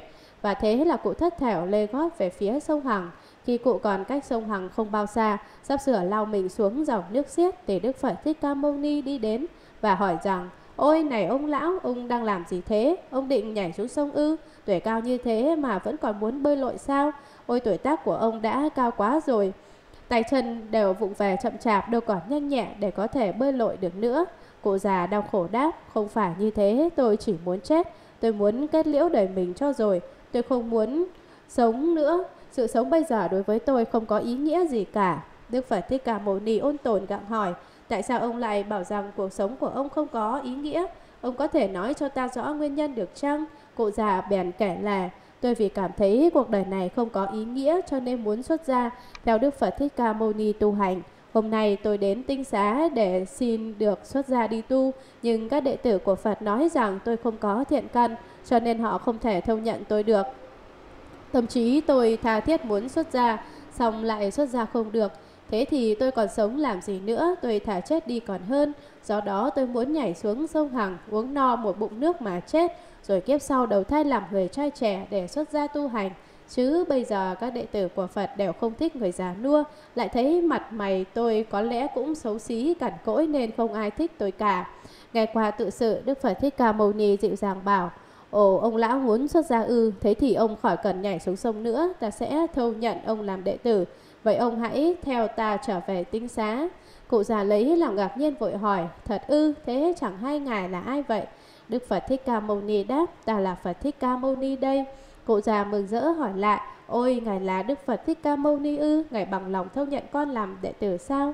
Đức Phật Thích Ca Mâu Ni gật đầu, phải, ta thấy ông than khóc rất đáng thương, thôi thì ta nhận ông làm lão đệ tử vậy. Sau đó Đức Phật Thích Ca Mâu Ni dẫn cụ già về kỳ hoàn tinh xá và thuyết pháp cho nghe. Vừa nghe thuyết pháp, cụ lập tức chứng được quả vị A-la-hán. Đức Phật còn trụ thế, có rất nhiều người chứng được A-la-hán quả. Bởi Đức Phật xem xét nhân duyên của họ mà thuyết pháp, cho nên Phật vừa giảng là họ liền tỉnh ngộ và chứng đắc quả vị. Bấy giờ có một số đệ tử của Phật thầm nghĩ rằng, thật là kỳ lạ, ông cụ này đã già như vậy, lại không có thiện căn gì cả thì làm thế nào lại chứng quả vị được? Do đó họ sanh lòng hoài nghi đối với Phật Pháp và tức tốc đến thỉnh vấn Phật. Bạch Đức Thế Tôn, ông lão này lẽ ra không thể xuất ra được. Này ông ta được Đức Thế Tôn cho phép xuất ra rồi lại chứng được quả vị nữa. Thật là vô cùng kỳ lạ. Việc này khiến chúng con sanh lòng hoài nghi đối với Phật Pháp. Đức Phật Thích Ca Mâu Ni giảng giải, hàng A-la-hán các ông chỉ biết được những việc nhân quả thiện ác nội trong tám vạn đại kiếp trở lại mà thôi. Còn nếu lâu xa hơn nữa, tức là ngoài tám vạn đại kiếp thì các ông không thể thấy được. Cũng như các ông ở trong căn phòng này thì những việc xảy ra trong phòng các ông đều rõ biết. Còn việc ở ngoài phòng thì các ông không thể nào biết được. Các ông phải biết hơn 8 vạn đại kiếp về trước, ông lão này vốn là một tiểu phu thường lên núi đốn củi. Một hôm ông tiểu phu gặp phải một con cọp trực vồ lấy ông để ăn thịt. Ngay chính lúc đánh mạng đang bị đe dọa đó, ông tiểu phu buột miệng niệm lên một tiếng Nam Mô Phật. Một tiếng niệm Nam Mô Phật trong khoảnh khắc đó cho đến hôm nay thì vừa chín mùi, do đó ông ấy được xuất ra và có thể chứng được quả vị. Vì thế, những người hiện tại được xuất gia thì không phải là việc ngẫu nhiên hay tình cờ, mà là nhờ trong quá khứ họ đã từng niệm rất nhiều tiếng Nam Mô Phật, bảo không tôi cũng chẳng thể thông nhận họ làm đệ tử. Kinh văn lại vô số kiếp nhiều như các sông Hằng về thuở quá khứ, có Đức Phật ra đời hiệu là Bảo Tánh Như Lai, như có người nam người nữ nào nghe đến danh hiệu của Đức Phật này và trong khoảnh khắc bằng khải móng tay liền phát tâm quy y, người đó sẽ vĩnh viễn không còn thối chuyển nơi đạo vô thượng. Lại về thủa quá khứ, có Đức Phật ra đời hiệu là Ba Đầu Ma Thắng Như Lai. Như có người nam người nữ nào nghe đến danh hiệu của Đức Phật này thoáng qua lỗ tai, người đó sẽ được một ngàn lần sanh trong lục dục thiên, huống chi là trí tâm xưng niệm. Lược giảng, Địa Tạng Vương Bồ Tát Bạch Tiếp, lại vô số kiếp nhiều như các sông Hằng về thuở quá khứ, có Đức Phật ra đời hiệu là Bảo Tánh Như Lai, Bảo là quý báu, Tánh nghĩa là tự tánh, Bảo tánh ngụ ý là tự tánh rất quý báu. Như có người nam người nữ nào nghe đến danh hiệu của Đức Phật này, Đức bảo tánh như lai và trong khoảnh khắc bằng khoảnh móng tay liền phát tâm quy y, nguyện quay về nương tựa Đức bảo tánh như lai, người đó sẽ vĩnh viễn không còn thối chuyển nơi đạo vô thượng mà sẽ mãi mãi an trụ nơi vô thượng bồ đề giác đạo. Lại về thuộc quá khứ có Đức Phật ra đời hiệu là ba đầu ma thắng như lai. Có ai biết ba đầu ma thắng nghĩa là gì không? Ba đầu ma là hồng liên hoa, tức là hoa sen màu đỏ. Thắng nghĩa là trội hơn, vượt bậc. Vậy hoa sen màu đỏ thì nổi bật hơn hẳn các hoa sen khác. Trội hơn cả hoa sen màu vàng, hoa sen màu trắng, hoa sen màu xanh. Màu đỏ là màu tối thắng nổi bật nhất trong các màu sắc, cho nên gọi là ba đầu ma thắng. Như có người nam người nữ nào nghe đến danh hiệu của Đức Phật này, Đức Ba Đầu Ma Thắng Như Lai thoáng qua lỗ tai, người đó sẽ được một ngàn lần sanh trong lục dục thiên, huống chi là trí tâm xưng niệm. Lục dục thiên là gì? Đó là sáu tầng trời ở cõi dục giới. Trời tứ thiên vương, trời đau lợi, trời dạ ma, trời đâu xuất, trời hóa lạc và trời thao hóa tự tại. Thiên ma thì cư ngụ ở cõi trời thao hóa tự tại. Chỉ nghe danh hiệu của Đức Ba Đầu Ma Thắng như lai thoáng qua lỗ tai mà đã có được công đức lớn lao dường ấy, thì huống chi là chính mình trí tâm xưng niệm danh hiệu của Ngài, công đức này hẳn càng to lớn hơn nữa. Hôm nay giảng đến danh hiệu của Đức Ba Đầu Ma Thắng Như Lai, như vậy là mọi người trong giảng đường này ai nấy đều được nghe danh hiệu của Ngài thoáng qua lỗ tai cả rồi. Thuở xưa có một người nọ đến chùa Ba La Đẻ Mộc Xoa, thấy cây Amala trổ hoa màu vàng kim rất đẹp, bèn hái một đóa mang về. Khi đi ngang qua tượng của Đức Phật Thích Ca Mâu Ni, nhận thấy pho tượng vô cùng vi diệu viên mãn, người ấy liền đem đóa hoa vừa hái đến cúng dường trước tượng. Sau đó người ấy đi hỏi một cụ già, Thưa cụ, tôi đem đóa hoa Amala cúng dường cho Đức Phật Thích Ca Mâu Ni, thế thì tôi có được bao nhiêu công đức? Cụ già trả lời, ồ điều này thì tôi không biết, ông nên đi hỏi các người xuất gia thì hơn. Người ấy bèn đi hỏi một thầy tỳ kheo rằng, bạch thầy con đem đóa hoa Amala đến cúng Phật công ước ấy, công đức ấy như thế nào? Thầy tỷ kheo nọ đáp, ồ điều này tôi không được rõ, ông phải đi hỏi những vị tu thiền định mà đã chứng đắc quả vị A-la-hán, những vị ấy mới có thể trả lời cho ông được. Thế là người ấy lại đi tìm gặp một vị đã chứng quả A-la-hán và hỏi rằng, Bạch Ngài, con đem đóa hoa Amala đến cúng Phật, công đức ấy rộng lớn như thế nào? Ngài có thể nói cho con rõ chăng? Vị A-la-hán đáp, hãy chờ ta quan sát xem, À, với công đức này suốt trong tám và đại kiếp ông sẽ được hưởng vô tận phước báo không thể nào tính đếm rõ ràng được. Còn ngoài tám vạn đại kiếp như thế nào tôi đây cũng không thể rõ biết. Ông phải thỉnh vấn Đức Phật mới được. Người ấy bèn đi hỏi Phật, Phật bảo rằng công đức này nhiều đến vô cùng vô tận, có thể choán đầy cả hư không và bao trùm khắp cả pháp giới. Người ấy đem một đóa hoa cúng dường cho Phật thì được hưởng phước báo to lớn như thế. Còn chúng ta được nghe danh hiệu của Phật thoáng qua lỗ tai mà thôi thì cũng có thể được một ngàn lần sanh về sáu tầng trời cõi dục. Công đức này thật không thể nghĩ bàn. Kinh văn lại không thể nói hết, không thể nói hết A Tăng kỷ kiếp về thuở quá khứ. Có Đức Phật ra đời hiệu là Sư Tử Hống Như Lai, có người nam người nữ nào nghe đến danh hiệu của Đức Phật này mà nhất niệm quy y, người ấy sẽ được gặp vô lượng chư Đức Phật xoa đảnh thọ ký cho. Lại về thuở quá khứ có Đức Phật ra đời hiệu là Câu Lưu Tôn Phật, như có người nam người nữ nào nghe đến danh hiệu của Đức Phật này mà trí tâm chiêm lễ hoặc lại tán thán, Người ấy nơi pháp hội của một ngàn Đức Phật trong thời hiển kiếp sẽ làm vị đại phạm vương, được thọ thượng ký. Lại về thủa quá khứ có Đức Phật ra đời hiệu là Tỳ Bà Thi Phật. Như có người nam người nữ nào nghe đến danh hiệu của Đức Phật này thì vĩnh viễn không đạo vào ác đạo. Thường được sanh vào trốn trời người, hưởng sự vui thủ thắng vi diệu, lại vô lượng vô số kiếp nhiều như các sông Hằng về thủa quá khứ. Có Đức Phật ra đời hiệu là Bảo Thắng Như Lai, như có người nam người nữ nào nghe đến danh hiệu của Đức Phật này thì sẽ không bao giờ bị đọa vào ác đạo, mà thường ở trên cõi trời hưởng sự vui thủ thắng vi diệu. Lại về thủa quá khứ, có Đức Phật ra đời hiệu là Bảo Tướng Như Lai, như có người nam người nữ nào nghe đến danh hiệu của Đức Phật này, bèn sanh lòng cung kính, thì người ấy không bao lâu sẽ đắc quả A-la-hán. Lại có vô lượng vô số kiếp về thủa quá khứ, có Đức Phật ra đời hiệu là Ca Sa Tràng Như Lai, như có người nam người nữ nào nghe đến danh hiệu của Đức Phật này thì sẽ siêu thoát tội sanh tử trong 100 đại kiếp. Được rằng, để Tạng Vương Bồ Tát bạch tiếp, lại không thể nói hết, không thể nói hết, A Tăng kỷ kiếp về thủa quá khứ. Các Đức Phật được kể ra ở đây đều là những Đức Phật trong quá khứ, A Tăng kỷ kiếp là số kiếp nhiều đến vô lượng vô biên, không thể nào tính đếm được. Bất khả thuyết tức là nói không xòe, không kể xiết được. Vô số kiếp về trước, thời gian lâu xa đến nỗi không thể nói được là bao lâu, có Đức Phật ra đời hiệu là Sư Tử Hống Như Lai. Thuở ấy có Đức Phật Sư Tử Hống xuất thế. Khi Đức Phật này thuyết pháp thì âm thanh giống như tiếng giống của Sư Tử vậy. Như có người nam người nữ nào nghe đến danh hiệu của Đức Phật này, Đức Sư Tử Hống Như Lai mà nhất niệm quy y, có thể trong một niệm mà dốc lòng quay về nương tựa tín thọ, người ấy sẽ được gặp vô lượng chư Phật xoa đảnh thọ ký cho. Lại về thuở quá khứ có Đức Phật ra đời hiệu là Câu Lưu Tôn Phật. Câu Lưu Tôn là phạm ngữ, Trung Hoa dịch là sở ưng đoạn, đáng đoạn dứt lại cũng dịch là trang tạng, hàm chứa hết sự trang nghiêm. Như có người nam người nữ nào nghe đến danh hiệu của Đức Phật này, Đức Phật câu lưu tôn, mà trí tâm chiêm lễ hoặc lại tán thán, người ấy nơi pháp hội của một ngàn Đức Phật trong thời hiện kiếp sẽ làm vị đại phạm vương được thọ thượng ký.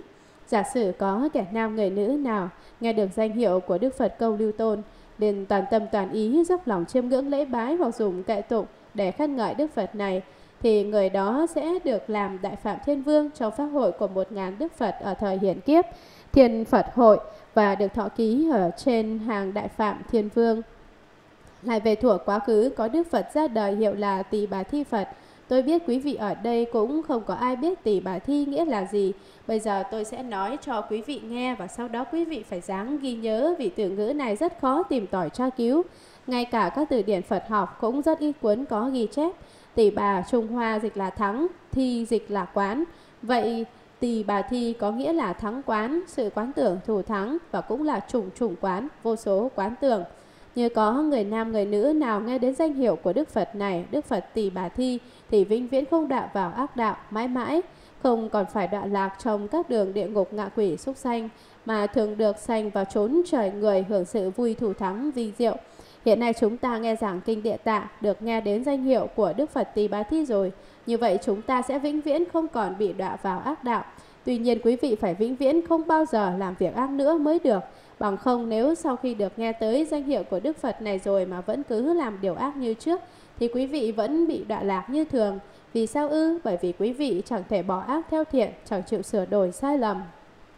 Do đó quý vị chớ nên nghĩ rằng Tôi đã được nghe đến danh hiệu của Đức Phật Tỷ Bà Thi rồi. Như thế tôi sẽ không bao giờ bị đọa vào ba đường ác, rồi bèn ung dung đi đốt nhà cướp của, giết chóc, hãm hại người khác, phạm đủ thứ tội ác chẳng chút e dè. Quý vị không nên suy nghĩ như vậy, bởi suy nghĩ như vậy là quá si mê ngu xuẩn. Phải biết rằng cho dù được nghe danh hiệu Phật, song nếu vẫn còn làm điều ác thì quý vị vẫn phải đọa vào ba ác đạo như thường. Vậy nếu sau khi nghe được danh hiệu Phật, quý vị phải không làm điều ác nữa, thì mới có thể không bị đọa lạc vào ba đường ác, thường được sanh trong cõi người cõi trời hưởng sự, an vui, thủ thắng, vì diệu. Lại vô lượng vô số kiếp nhiều như các sông Hằng về thủa quá khứ, có Đức Phật ra đời hiệu là Bảo Thắng Như Lai, theo tiếng Phạn bảo là La Đạt Nam và Thắng là Tỷ Bà. Như có người nam người nữ nào nghe đến danh hiệu của Đức Phật này, Đức Bảo Thắng Như Lai, thì sẽ không bao giờ bị đọa vào ác đạo mà thường ở trên cõi trời, hưởng sự vui thủ thắng vi diệu. Người ấy rốt ráo sẽ không bị đọa lạc trong đường ác, thường được ở tại cõi trời, thọ hưởng sự vui thủ thắng vì diệu nhất. Lại về thuở quá khứ, có Đức Phật ra đời hiệu là Bảo Tướng Như Lai, như có người nam người nữ nào nghe đến danh hiệu của Đức Phật này, Đức Bảo Tướng Như Lai bèn sanh lòng cung kính, thì người ấy không bao lâu sẽ đắc quả A-la-hán.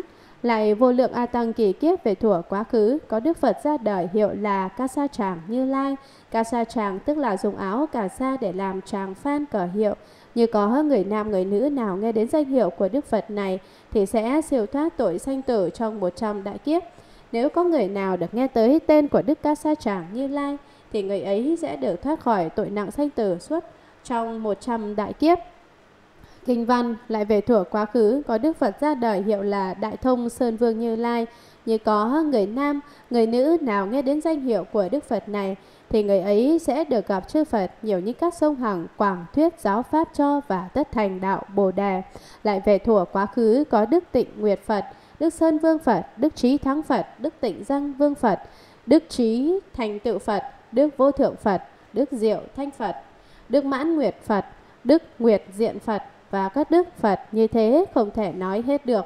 Bạch Đức Thế Tôn tất cả chúng sanh trong thời hiện tại cùng vị lai hoặc trời hoặc người hoặc nam hoặc nữ chỉ niệm được danh hiệu của một Đức Phật thôi thì sẽ được vô lượng công đức huống là niệm được nhiều danh hiệu.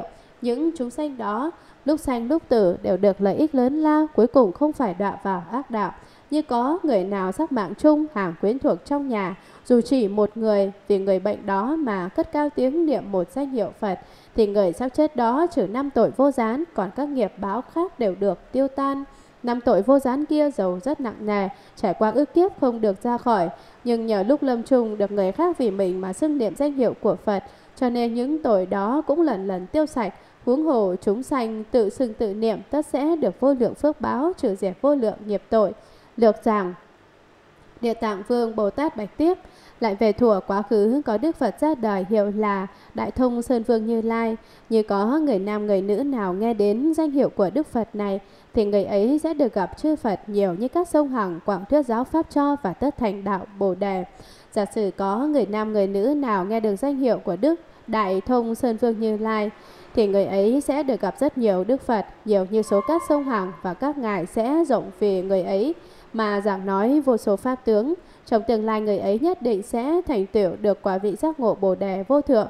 Lại về thuộc quá khứ có Đức Tịnh Nguyệt Phật, Đức Sơn Vương Phật, Đức Trí Thắng Phật, Đức Tịnh Danh Vương Phật, Đức Trí Thành Tựu Phật, Đức Vô Thượng Phật, Đức Diệu Thanh Phật, Đức Mãn Nguyệt Phật, Đức Nguyệt Diện Phật và các Đức Phật như thế hết không thể nói hết được. Trên đây chỉ nêu ra danh hiệu của vài Đức Phật mà thôi, chứ kỳ thật thì có tới rất nhiều Đức Phật đến nỗi không thể kể xiết. Để tặng Vương Bồ Tát lại bạch cùng Đức Phật Thích Ca Mâu Ni, bạch Đức Thế Tôn tất cả chúng sanh trong thời hiện tại cũng vị lai, hoặc trời hoặc người, hoặc nam hoặc nữ, chỉ niệm được danh hiệu của một Đức Phật thôi thì sẽ được vô lượng công đức huống là niệm được nhiều danh hiệu. Trong đời này hay đời sau, nếu có bất cứ chúng sanh nào ở cõi trời hoặc cõi người không cần phải niệm toàn bộ danh hiệu của các Đức Phật mà chỉ cần niệm danh hiệu của một Đức Phật mà thôi thì công đức tạo được đã là vô lượng vô biên rồi. Huống chi là chúng sanh đó còn niệm được danh hiệu của nhiều Đức Phật khác nữa. Những chúng sanh đó lúc sanh lúc tử đều được lợi ích lớn lao, cuối cùng không phải đọa vào ác đạo, không bị đọa vào địa ngục, không bị đọa làm ngạ quỷ và cũng không bị đọa làm súc sanh. Địa tạng vương Bồ Tát bạch tiếp, như có người nào sắp mạng chung, hàng quyến thuộc trong nhà dù chỉ một người vì người bệnh đó mà cất cao tiếng niệm một danh hiệu Phật, thì người sắp chết đó trừ năm tội vô gián, còn các nghiệp báo khác đều được tiêu tan. Năm tội vô gián kia dầu rất nặng nề, trải qua ước kiếp không được ra khỏi. Nhưng nhờ lúc lâm chung được người khác vì mình mà xưng niệm danh hiệu của Phật, cho nên những tội đó cũng lần lần tiêu sạch. Huống hồ chúng sanh tự xưng tự niệm, tất sẽ được vô lượng phước báo trừ diệt vô lượng nghiệp tội. Dù trong gia quyến có một người thay cho người bệnh đang hấp hối kia mà lớn tiếng niệm một danh hiệu Phật thì ngay cả năm tội vô gián mà kẻ sắp chết đó chót tạo lúc sanh thời cũng đều được tiêu trừ.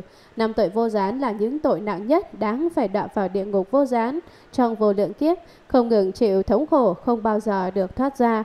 Tuy nhiên nhờ lúc người đó sắp mạng chung được người khác thay mặt mà xưng niệm danh hiệu Phật và tụng kinh giúp cho, nên tất cả những nghiệp tội của người đó đều dần dần được tiêu diệt.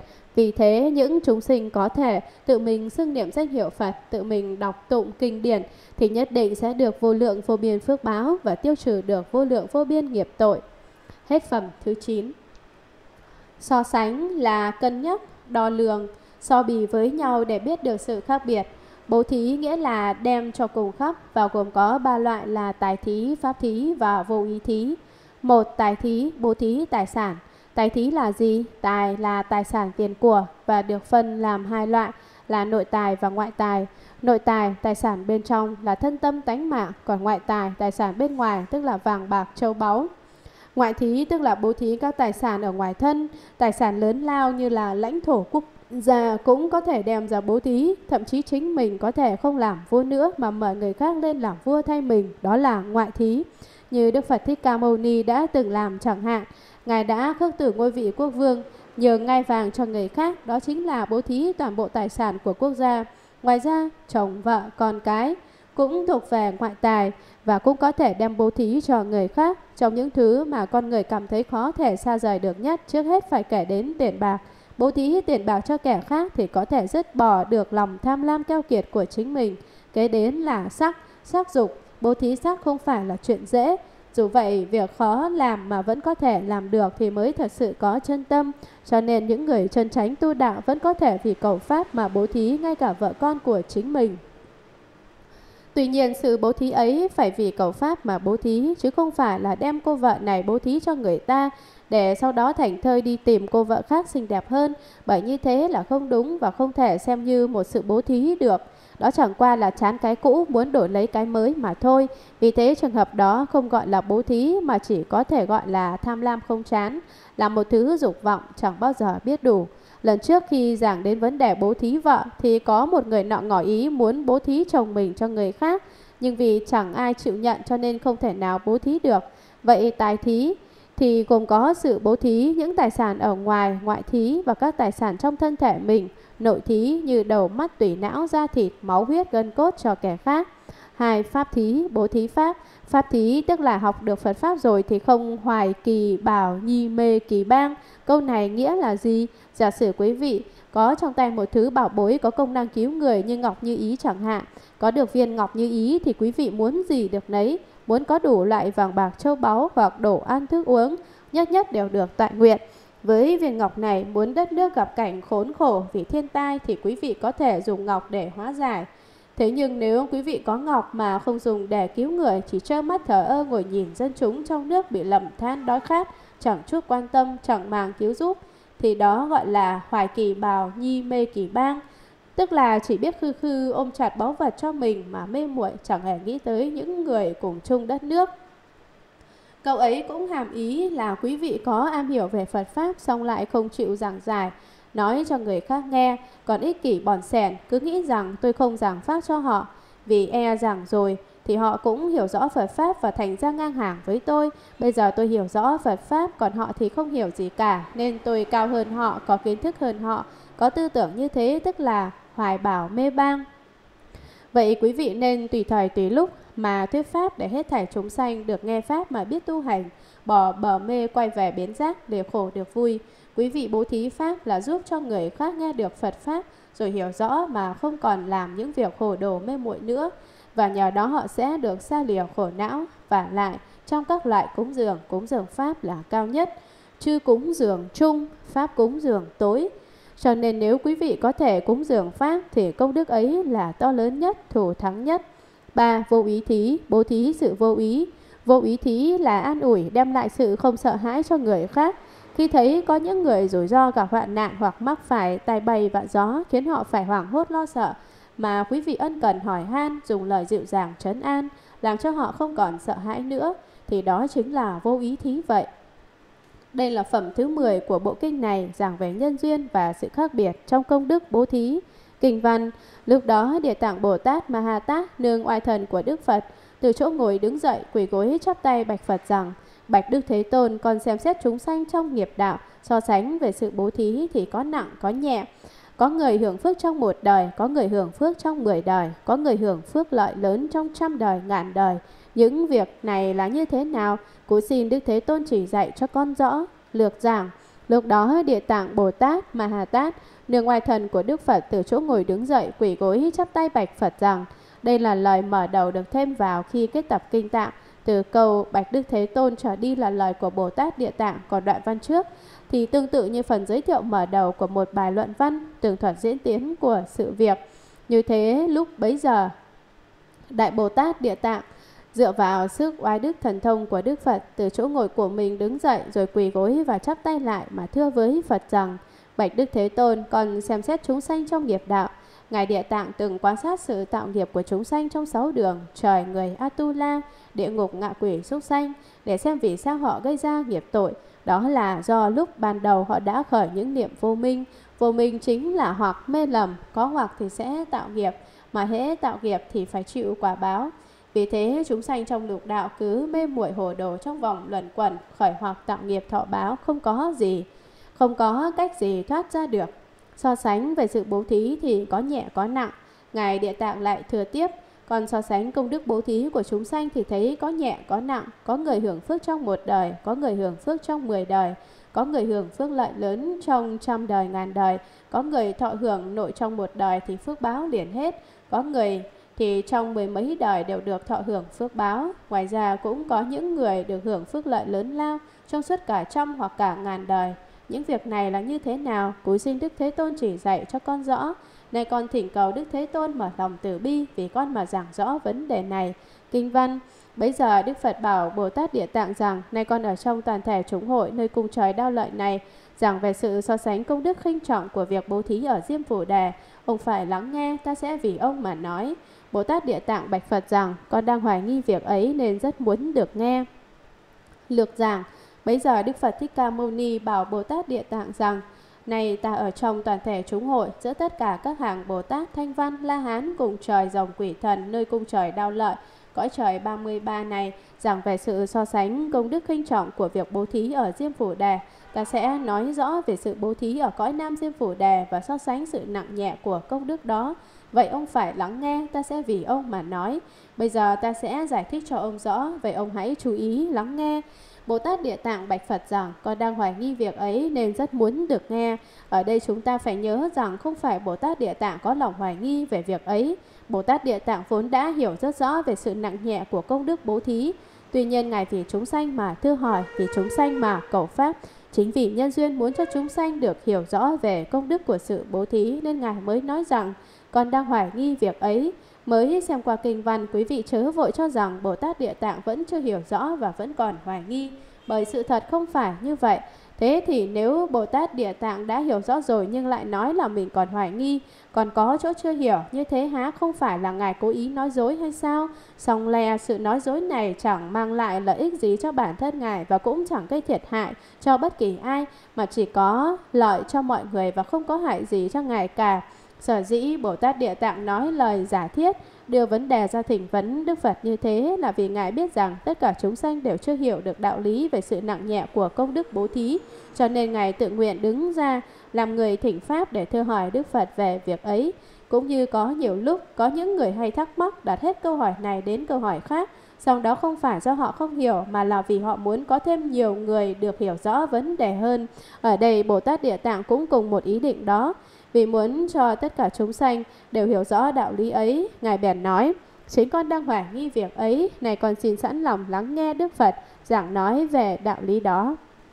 Kinh văn Đức Phật bảo Bồ Tát Địa Tạng rằng ở cõi Nam Diêm Phủ Đề có các quốc vương, hàng tể phụ, đại thần, đại trưởng giả, đại sát lợi, đại bà la môn vân vân gặp những kẻ bần cùng thấp kém nhất, cả đến những kẻ gù lưng tàn phế, ngọng cầm điếc ngu si, không mắt, những người không được vẹn toàn như thế khi các đại quốc vương đó muốn bố thí và nếu có thể đủ lòng đại từ bi, mỉm cười hạ mình tự tay bố thí cùng khác hoặc sai bảo người khác bố thí, lại dùng lời ôn hòa dịu dàng an ủi, thì các quốc vương đó sẽ được phước lợi bằng phước lợi của công đức cúng dường cho chư Phật nhiều như số cát 100 sông Hằng.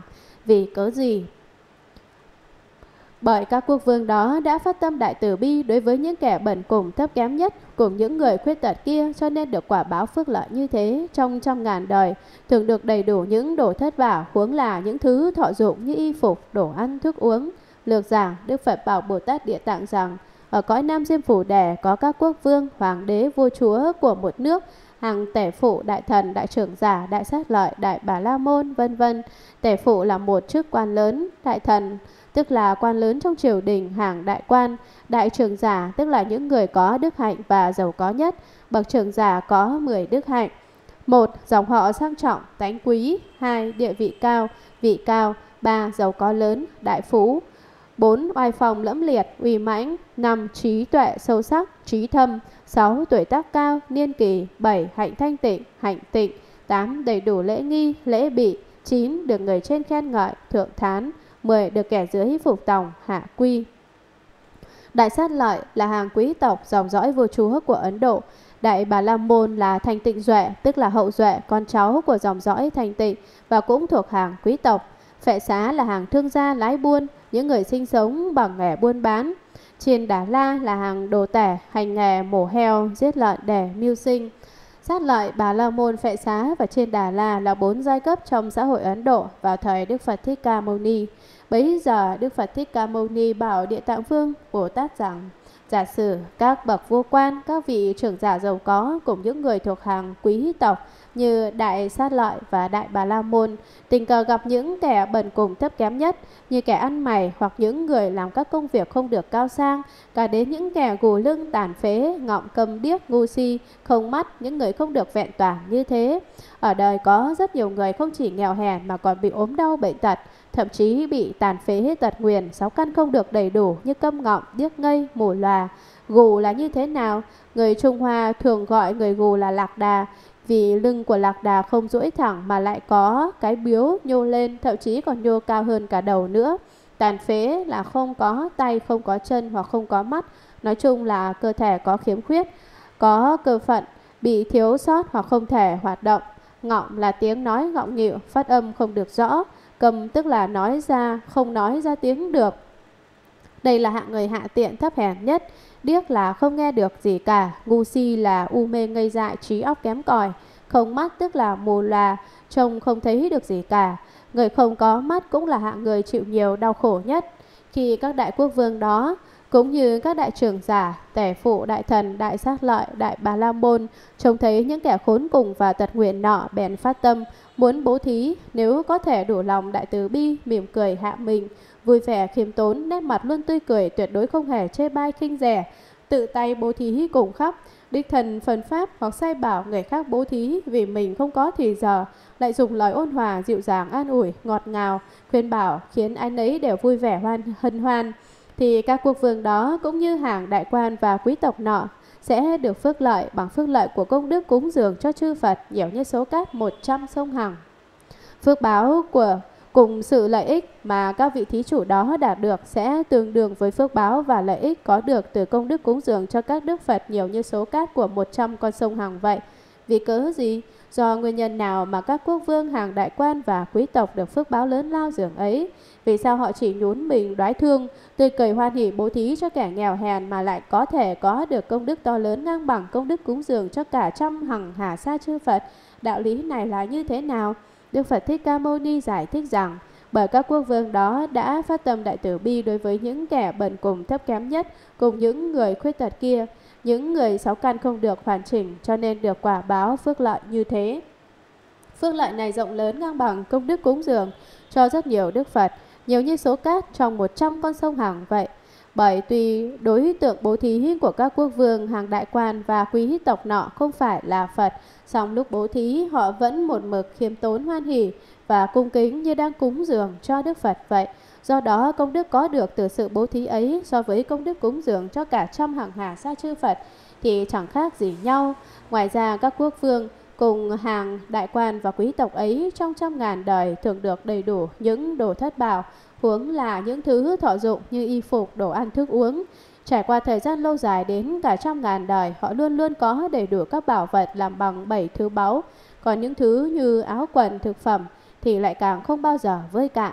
Kinh văn lại nữa, này địa tạng, trong đời vị lai nếu có các quốc vương cho đến hàng Bà La Môn vân vân gặp chùa tháp thờ Phật hoặc hình tượng Phật cho đến tượng Bồ Tát Thanh Văn hoặc Bích Chi Phật, bèn đích thân thu xếp sửa sang cúng dường bố thí thì các quốc vương đó sẽ được trong ba kiếp làm thân đế thích, thọ hưởng sự vui sướng thủ thắng vi diệu. Nếu có thể đem phước lợi bố thí này hồi hướng cho pháp giới, thì các đại quốc vương đó trong 10 kiếp thường được làm vị đại phạm thiên vương. Lại nữa, này địa tạng, trong đời vị lai nếu có các quốc vương cho đến hàng Bà La Môn vân vân gặp tháp miếu của chư Phật thuở trước hoặc cả kinh điển hình tượng bị hủy hoại rách nát để có thể phát tâm tu bổ lại. Các quốc vương đó hoặc tự mình lo liệu sửa sang hoặc khuyến hóa người khác, thậm chí cả trăm ngàn người cùng bố thí để kết pháp duyên, thì các vị quốc vương đó trong trăm ngàn đời thường được làm thân chuyển luân vương còn những người cùng chung làm việc bố thí đó trong trăm ngàn đời thường được làm thân tiểu quốc vương. Nếu lại có thể ở trước chùa tháp mà phát tâm hồi hướng thì các quốc vương cho đến những người đó thể đều thành Phật đạo bởi quả báo ấy là vô lượng vô biên. được giảng lại nữa này địa tạng, này ta lại giảng thêm về nhân duyên bố thí cho ông rõ. Ông phải biết rằng giả sử trong đời vị lai nếu có các quốc vương cho đến hàng bà la môn sát lợi vân vân gặp chùa tháp thờ Phật hoặc hình tượng Phật cho đến tượng Bồ Tát Thanh Văn hoặc Bích Chi Phật. Bích Chi Phật là tiếng Phạn, Trung Hoa dịch là duyên giác hoặc độc giác.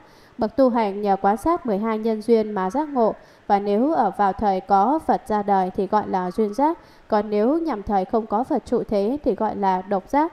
Bây giờ nếu các quốc vương hoặc hàng quý tộc nọ bèn đích thân thu xếp sửa sang, tự đứng ra lo liệu việc sửa chữa cúng dường bố thí thì các quốc vương đó cùng hàng bà la môn sát lợi vân vân sẽ được trong ba kiếp làm thân đế thích, thiên chủ cõi trời 33, thọ hưởng sự vui sướng thủ thắng vì diệu. Giả sử các vị quốc vương đó không muốn riêng mình thọ hưởng phước lợi bố thí ấy, và nếu có thể đem phước lợi bố thí này hồi hướng cho Pháp giới, mang tất cả công đức có được ấy mà hồi hướng cho tất cả chúng sanh trong toàn Pháp giới. Hồi tự hướng tha thì các đại quốc vương đó trong 10 kiếp thường được làm vị đại phạm thiên vương, thiên chủ cõi trời đại phạm.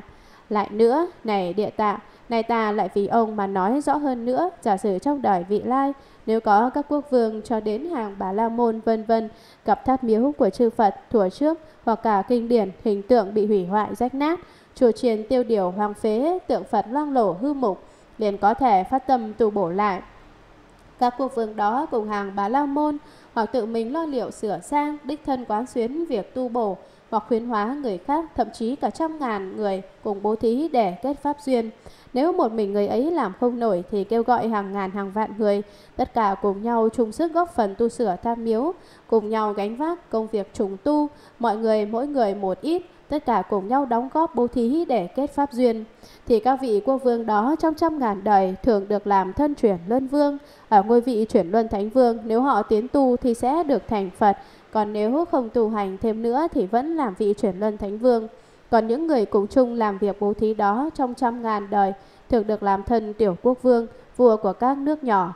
Nếu lại có thể ở trước tháp miếu mà phát tâm hồi hướng, nguyện đem tất cả công đức mình tạo được hồi hướng cho pháp giới hoặc toàn thể chúng sanh, thì các quốc vương đó cho đến những người đó, những người cùng làm việc bố thí, cùng kết pháp duyên thầy đều thành Phật đạo, tất cả đều được thành Phật, bởi quả báo ấy là vô lượng vô biên. Nhờ phước báo có được từ việc bố thí đó trong tương lai, họ sẽ được hưởng vô số lợi lạc không thể nào kể xiết. Kinh văn lại nữa, này địa tạng, trong đời vị lai như có các vị quốc vương cùng hàng bà la môn vân vân gặp những người già yếu, tật bệnh và kẻ phụ nữ sinh đẻ, nếu trong một niệm mà đầy đủ lòng đại từ, đem thuốc men, đồ ăn thức uống, mền chiếu bố thí cho, khiến cho họ được an vui, thì phước lợi đó không thể nghĩ bàn. Trong 100 kiếp thường được làm thiên chủ trời tịnh cư, trong 200 kiếp thường được làm thiên chủ cõi lục dục thiên và rốt giáo sẽ được thành Phật, vĩnh viễn không còn đọa vào ác đạo. Thậm chí trong trăm ngàn đời, tai không hề nghe đến tiếng khổ. Lại nữa, này địa tạng trong đời vị lai như có các vị quốc vương cùng hàng bà la môn vân vân có thể làm những việc bố thí như thế sẽ được vô lượng phước lành. Nếu lại có thể đem hồi hướng thì không kể là nhiều hay ít, rốt giáo đều sẽ thành Phật, huống gì là những quả báo thích phạm, chuyển luân. Vì thế này địa tạng, ông nên khuyến hóa chúng sanh đều phải học theo như thế. Lược giảng, Đức Phật Thích Ca Mâu Ni lại gọi, lại nữa này địa tạng, bây giờ ta lại vì ông mà giảng nói thêm, này địa tạng Bồ Tát, trong đời vị lai như có các vị quốc vương cùng hàng bá la môn, những kẻ có thế lực nhất, gặp những người già yếu tật bệnh cùng kẻ phụ nữ sinh đẻ, nếu trong một niệm mà đầy đủ lòng đại từ, đem thuốc men, đồ ăn, thức uống, mền chiếu bố thí cho, làm cho họ được an vui. Giả sử các quốc vương hoặc hàng bà la môn có thế lực nhất ấy, động mối từ tâm, chỉ trong một niệm có thể phát khởi một lòng từ bi thật bao lớn, rộng lớn, tràn trề, viên mãn mà bố thí cho những người già cả, cùng cũng như các bệnh nhân và sản phụ đó một ít tiền bạc, hoặc tặng thuốc men, thực phẩm, chăn đệm, mùng men, khiến họ cảm thấy an vui vì được chăm sóc giữa lúc khổ sở khốn đốn nhất, thì phước lợi đó thật không thể nghĩ bàn. Công đức phước lợi tạo được từ sự bố thí ấy thì rộng lớn đến nỗi không thể nào mường tượng ra được. Phước lợi đó ra sao? Trong tương lai các vị quốc vương và hàng bà la môn ấy trong 100 kiếp thường được làm thiên chủ trời tịnh cư, trong 200 kiếp thường được làm thiên chủ cõi lục dục thiên và rốt giáo sẽ được thành Phật vĩnh viễn không còn đọa vào ác đạo, thậm chí trong trăm ngàn đời ta không hề nghe đến tiếng khổ. Lại nữa, này địa tạng, bây giờ ta sẽ nói tường tận hơn nữa. Này Bồ Tát địa tạng, giả sử trong đời vị lai như có các vị quốc vương cùng hàng bà la môn vân vân có thể làm những việc bố thí như thế thì sẽ được vô lượng phước báo. Nếu họ có thể làm các việc bố thí như ta vừa nói ở trên thì phước báo mà họ sẽ được hưởng vô lượng vô biên nếu lại có thể đem hồi hướng thì không kể là nhiều hay ít, rốt giáo đều sẽ thành Phật, huống gì là những quả báo thích phạm chuyển luân. Ngoài ra, nếu các quốc vương cùng hàng bà la môn đó có thể đem công đức ấy hồi hướng cho pháp giới cho tất cả chúng sanh, thì bất luận công đức họ tạo được là nhiều hay ít, tương lai nhất định họ đều sẽ thành Phật. Thì có xá gì các quả báo làm đế thích đại phạm thiên vương hoặc chuyển luân thánh vương, vì thế này địa tạng, ông nên khuyến hóa chúng sanh đều phải học theo như thế. Ông cần phải khuyến khích nhắc nhở khắp cả chúng sanh, khuyên họ phải học hỏi và tập làm các việc bố thí như thế, trở nên có tâm keo kiệt bòn sèn. Kinh văn lại nữa, này địa tạng, trong đời vị lai nếu có kẻ thiện nam, người thiện nữ nào ở trong Phật Pháp, mà gieo trồng chút ít thiện căn chừng bằng mảy lông, sợi tóc, hạt cát, hạt bụi thì phước lợi được thọ hưởng, sẽ không thể ví dụ thế nào cho được. Lại nữa, này địa tạng, trong đời vị lai, nếu có kẻ thiện nam, người thiện nữ nào gặp hình tượng Phật, hình tượng Bồ Tát, hình tượng Bích Chi Phật, hình tượng vua chuyển luân mà bố thí cúng dường, thì sẽ được vô lượng phước báo, thường ở cõi người, cõi trời hưởng sự vui thủ thắng vi diệu, như có thể đem hồi hướng cho pháp giới thì phước lợi của người ấy sẽ không thể ví dụ thế nào cho được. Lại nữa, này địa tạng, trong đời vị lai, nếu có kẻ thiện nam, người thiện nữ nào gặp kinh điển đại thừa, hoặc nghe thấy một bài kệ, một câu kinh, rồi phát tâm ân cần, trân trọng, cung kính, ngợi khen, bố thí cúng dường, thì người ấy sẽ được đại quả báo vô lượng vô biên. Nếu có thể đem hồi hướng cho pháp giới, thì phước báo này sẽ không thể ví dụ thế nào cho được. Lược giảng Đức Phật Thích Ca Mâu Ni nói tiếp, lại nữa, này địa tạng, chồng đời vị lai, nếu có kẻ thiện nam, người thiện nữ nào ở trong Phật Pháp mà gieo trồng chút ít thiện căn, không cần phải trồng thật nhiều cội phước lành, mà chỉ trồng chút ít mà thôi. Chút ít là bao nhiêu ư, chừng bằng mảy lông, sợi tóc, hạt cát, hạt bụi thì phước lợi được thọ hưởng sẽ không thể ví dụ thế nào cho được. Mặc dù căn lành, mà những thiện nam hoặc thiện nữ đó gieo trồng chỉ nhỏ nhoi như thế, sòng phước báo mà họ sẽ gặt được trong đời sau là không thể nào kể cho hết được. Lại nữa, này địa tạng, trong đời vị lai, nếu có kẻ thiện nam, người thiện nữ nào, những người thọ trì ngũ giới và tu hành thập thiện, gặp hình tượng Phật, hình tượng Bồ Tát, hình tượng Bích Chi Phật, hình tượng vua chuyển luân mà bố thí cúng dường thì sẽ được vô lượng phước báo. Nếu những thiện nam tín nữ ấy có thể đối trước các hình tượng này mà phát tâm bố thí cúng dường thì họ sẽ có được vô lượng vô biên phước báo, thường ở cõi người cõi trời thọ hưởng sự vui thủ thắng vì diệu. Ngoài ra, như có thể đem hồi hướng cho pháp giới thì phước lợi của người ấy sẽ không thể ví dụ thế nào cho được nếu họ lại có thể đem công đức của sự bố thí cúng dường ấy hồi hướng cho tất cả chúng sanh trong toàn pháp giới thì phước báo cùng sự lợi ích mà họ được thọ hưởng sẽ không thể kể xiết cũng không có cách gì có thể dùng để so sánh được. Lại nữa, này địa tạng, này ta sẽ nói cặn kẽ hơn cho ông rõ. Này địa tạng Bồ Tát, trong đời vị lai, nếu có kẻ thiện nam người thiện nữ nào gặp kinh điển đại thừa, kinh điển đại thừa là gồm các bộ kinh như kinh địa tạng, kinh lăng nghiêm, kinh kim cang, kinh pháp hoa. Các kinh sách mà chúng ta hiện đang nghiên cứu đều là kinh điển đại thừa. Điều này cho thấy rằng quý vị đều là những người có thiện căn, bởi nếu không có thiện căn thì muốn nghe đến tên của các bộ kinh điển đại thừa cũng không thể nào nghe được. Quý vị hãy thử tính xem trên thế giới này có bao nhiêu người không hiểu Phật Pháp, bao nhiêu người chưa từng được biết đến tên của các bộ kinh điển đại thừa. Thậm chí có những người đã đến đây để nghe giảng kinh, xong vừa bắt đầu giảng thì họ liền quay đầu bỏ chạy. Vì sao? Là vì họ không có thiện căn. Vừa rồi trong lúc thọ trai tôi có nói là những người đang tham dự khóa tu học này chớ cho rằng mình là người Mỹ chính cống. Thật ra đa số trong quý vị là người Trung Hoa. Những người này chạy sang nước Mỹ là do đời trước đã từng phát nguyện sẵn sàng giúp tôi Hoàng Dương Phật Pháp. Đầu tiên là quả mỗ, quý vị nhìn xem trông anh ta rất giống người Trung Hoa. Bởi chưa quên nhân duyên đời trước cho nên bây giờ anh ta cảm thấy yêu thích Trung Văn một cách đặc biệt, còn muốn cưới vợ gửi Trung Hoa nữa. Quý vị chưa có thiên nhãn thông cho nên không biết được mối quan hệ này. Nếu có thiên nhãn thông thì quý vị sẽ biết được ngay. À thì ra là như vậy. Hoặc nghe thấy một bài kệ, một câu kinh như lục tổ đại sư chẳng hạn, Ngài nghe được một câu ưng vô sở trụ, nhi sanh ký tâm và tức khắc được khai ngộ.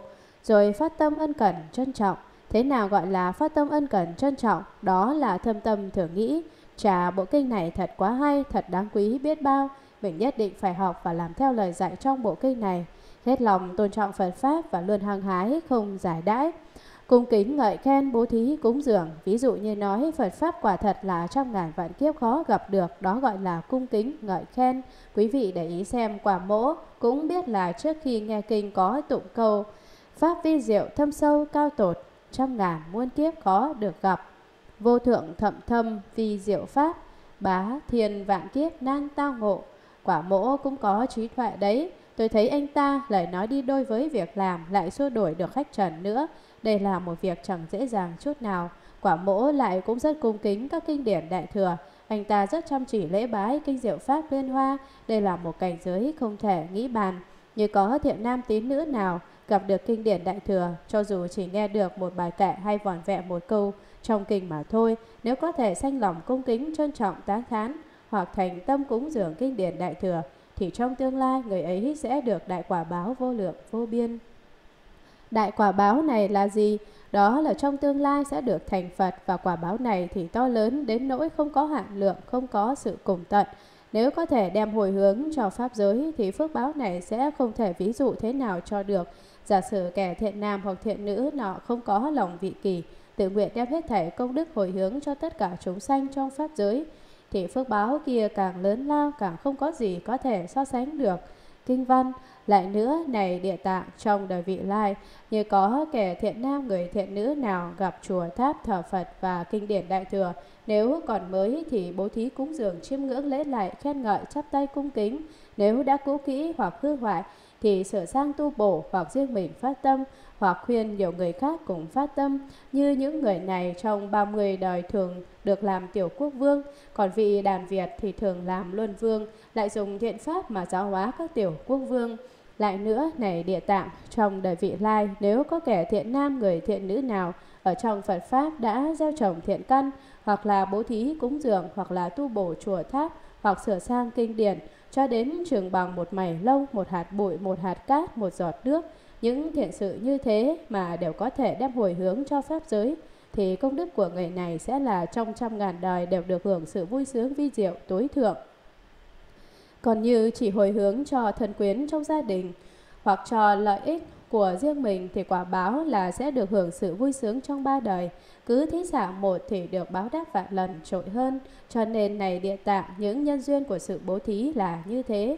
Lược giảng lại nữa, này địa tạng, này ta nói cho ông biết thêm rằng trong đời vị lai, như có kẻ thiện nam người thiện nữ nào gặp chùa tháp thờ Phật và kinh điển đại thừa, nếu còn mới thì bố thí cúng dường chiêm ngưỡng lễ lại khen ngợi chắp tay cung kính. Phạm hễ gặp chùa triền hoặc tháp miếu còn mới thì chúng ta nên bố thí cúng dường thành tâm lễ bái, tán thán ngôi tam bảo Phật Pháp Tăng và chắp tay lại để tỏ lòng cung kính. Nếu đã cũ kỹ hoặc hư hoại, thì sửa sang tu bổ. Nếu gặp chùa hoặc tháp đã cũ kỹ hư mục hoặc hoang phế đổ nát, thì chúng ta nên phát tâm trùng tu lại cho khang trang. Vậy người thiện nam hay thiện nữ đó hoặc riêng mình phát tâm, nếu đủ tiền đủ sức thì một mình mình phát tâm hoặc khuyên nhiều người khác cùng phát tâm. Như những người này, những kẻ đồng phát tâm ủng hộ việc trùng tu trong 30 đời thường được làm tiểu quốc vương, vua của các nước nhỏ. Chẳng hạn có một người nọ muốn được làm tiểu hoàng đế, song đáng tiếc là ông ta chưa hề cúng dường cho các chùa hoặc tháp thờ chư Phật thuở trước. Nếu khi xưa ông ta có cúng dường cho chùa tháp thờ chư Phật thuở trước thì bây giờ có thể được làm vua rồi. Lại nữa, còn vị đàn Việt thì thường làm luân vương, lại dùng thiện pháp mà giáo hóa các tiểu quốc vương. Đàn có nghĩa là bố thí, Việt có nghĩa là vượt qua sanh tử. Vị đàn Việt tức là thí chủ, người đứng ra để sướng việc phát tâm cúng dường. Vị đàn Việt này thường được làm chuyển luân vương và có thể dùng các thiện pháp như ngũ giới thập thiện để giáo hóa các vị vua nước nhỏ. Đức Phật Thích Ca Mâu Ni nói tiếp, lại nữa này địa tạng, ta lại nói thêm cho ông rõ trong đời vị lai, nếu có kẻ thiện nam người thiện nữ nào ở trong Phật Pháp đã gieo trồng thiện căn hoặc là bố thí cúng dường hoặc là tu bổ chùa tháp thờ Phật hoặc sửa sang kinh điển, có quyển kinh sách nào bị rách hoặc sút bìa thì chỉnh đốn sắp xếp đóng tập lại đàng hoàng cho đến chừng bằng một mảy lông, một hạt bụi, một hạt cát, một giọt nước. Những thiện sự như thế, những việc thiện, tuy nhìn thì nhỏ nhoi dường ấy mà có thể đem hồi hướng cho Pháp giới, thì công đức của người này sẽ là trong trăm ngàn đời đều được thọ hưởng sự vui sướng vi diệu tối thượng, không thể nghĩ bàn. Còn như chỉ đem hồi hướng cho thân quyến trong gia đình hoặc cho lợi ích của riêng mình, thì quả báo là sẽ được hưởng sự vui sướng trong ba đời. Cứ thí xả một thì được báo đáp vạn lần trội hơn, cứ bố thí một thì sẽ được hưởng quả báo đền bù nhiều gấp vạn lần. Đó chính là xả nhất đắc vạn báo vậy. Cho nên này địa tạng những nhân duyên của sự bố thí là như thế. Ông phải biết rằng nhân duyên công đức, phước báo đạt được của sự bố thí là như đã giảng nói ở trên. Hết phẩm thứ 10 Vị địa thần thần đất được đề cập đến trong phẩm này có tên là Kiên Lao Địa Thần. Kiên Lao có nghĩa là vừa kiên cố vừa bền vững. Cái gì kiên cố? Đất kiên cố. Cái gì bền vững cũng là đất, đất rất vững chắc. Chúng ta hiện nay ở trên mặt đất ví như những con kiến trên chiếc thuyền lớn. Cả đàn kiến mấy ngàn vạn con cũng chẳng thể làm cho thuyền bị tròng trành trao đảo được. Bởi vì chúng ta không đủ sức để làm chuyện đó. Địa cầu nằm trời vời giữa không gian nhưng nhờ có tầng đại khí quyền cùng khung khí giữ hút cho nên không bị rớt bè mà như chiếc thuyền lớn trôi nổi giữa biển khơi vậy. Có rất nhiều vị thần đất khi Đức Phật Thích Ca Mâu Ni thuyết kinh A Hàm, thần đất kiên lao hiện thân đến nghe Pháp, nhưng vị thần đất này rất kiêu căng ngạo mạn, kiêu căng ngạo mạn như thế nào? Thần đất nói khắp cả vũ trụ này chỉ có một mình thần đất ta đây mà thôi, ngoài ta ra chẳng có vị thần nào khác nữa. Thế nhưng Đức Phật Thích Ca Mâu Ni bảo chẳng phải chỉ có một mình thần đất ông thôi đâu, mà còn có thần nước, thần lửa, thần gió nữa. Vị thần đất nghe vậy liền xanh lòng đại ngã mạn, vô cùng kiêu ngạo nói rằng làm sao có thể có thần nào khác nữa được, tất cả mọi sự trên thế gian này đều là do thần đất tôi đây gánh vác cả, bọn họ đều không phải là thần linh. Đức Phật Thích Ca Mâu Ni phải giảng giải cặn kẽ thần nước thì ra sao, thần lửa thì như thế nào, thần gió ra làm sao, rồi lại dùng nhiều phương pháp nữa mới thuyết phục được thần đất. Về sau vị thần đất này quy y tam bảo, từ bỏ mọi thói kiêu căng ngã mạn. Trong hư không có các vị thần tứ đại là thần đất, thần nước, thần lửa và thần gió. Con người là do tứ đại giả hợp mà thành, tức là do bốn vị thần này phân chia san sẻ cho mỗi người một chút nước, một chút lửa, một chút gió, một chút đất, rồi gộp lại mà hình thành một thân thể. Ở đây đất bao hàm hai ý nghĩa. Ý thứ nhất của chữ đất thì về mặt sự, đất có thể trưởng dưỡng vạn vật, muôn loài đều nương nhờ nơi đất mà sinh tồn. Còn xét theo mặt lý thì đất cũng có tứ đức, thường lạc, tịnh ngã. Một thường, thế nào gọi là thường? Đất vĩnh viễn chẳng biến thiên, địa dĩ chế độ vi môn, mãi mãi không rời đổi, do đó gọi là thường. Vậy thần đất có đức thường. Hai là đất có thể gánh vác vạn vật, địa năng phụ hà vạn vật. Muôn loài đều nhờ vào sức mạnh của đất mà được tồn tại, cho nên đây là đức lạc, đất vô cùng vui sướng. Ba tịnh, đất sanh trưởng vạn vật, địa năng sanh trưởng vạn vật, muôn vật đều do đất sanh ra, và lúc sanh ra thì tất cả đều thanh tịnh, không ô nhiễm, đây là đức tịnh. Bốn ngã, cái nghĩa của đất thì vô cùng tự tại, địa nghĩa phi thường tự tại. Sự tự tại này thuộc về đức ngã, vậy thường lạc tịnh ngã là bốn đức tánh của thần đất ý nghĩa thứ hai của chữ đất là nói về phương diện pháp. Lúc đức phật thuyết kinh địa tạng phẩm thứ 11 này thì thần đất phát nguyện sẽ ủng hộ tất cả những người trì niệm danh hiệu của Địa Tạng Bồ Tát cũng như những người trì tụng kinh Địa Tạng và hết thảy chúng sanh có thiện căn, cho nên đây gọi là phẩm địa thần hộ pháp, phẩm thứ 11. Hôm nay là một ngày đặc biệt, cũng là ngày mãn khóa của khóa tu học mùa hè này năm 1969. Thời giờ trôi nhanh vô cùng, 6 tuần lễ qua mau như chớp mắt. Muốn níu kéo 6 tuần lễ này hoặc lặp lại 6 tuần lễ như vậy một lần nữa là chuyện hoàn toàn không thể được. Phải đợi đến sang năm quý vị mới lại có dịp nghỉ hè.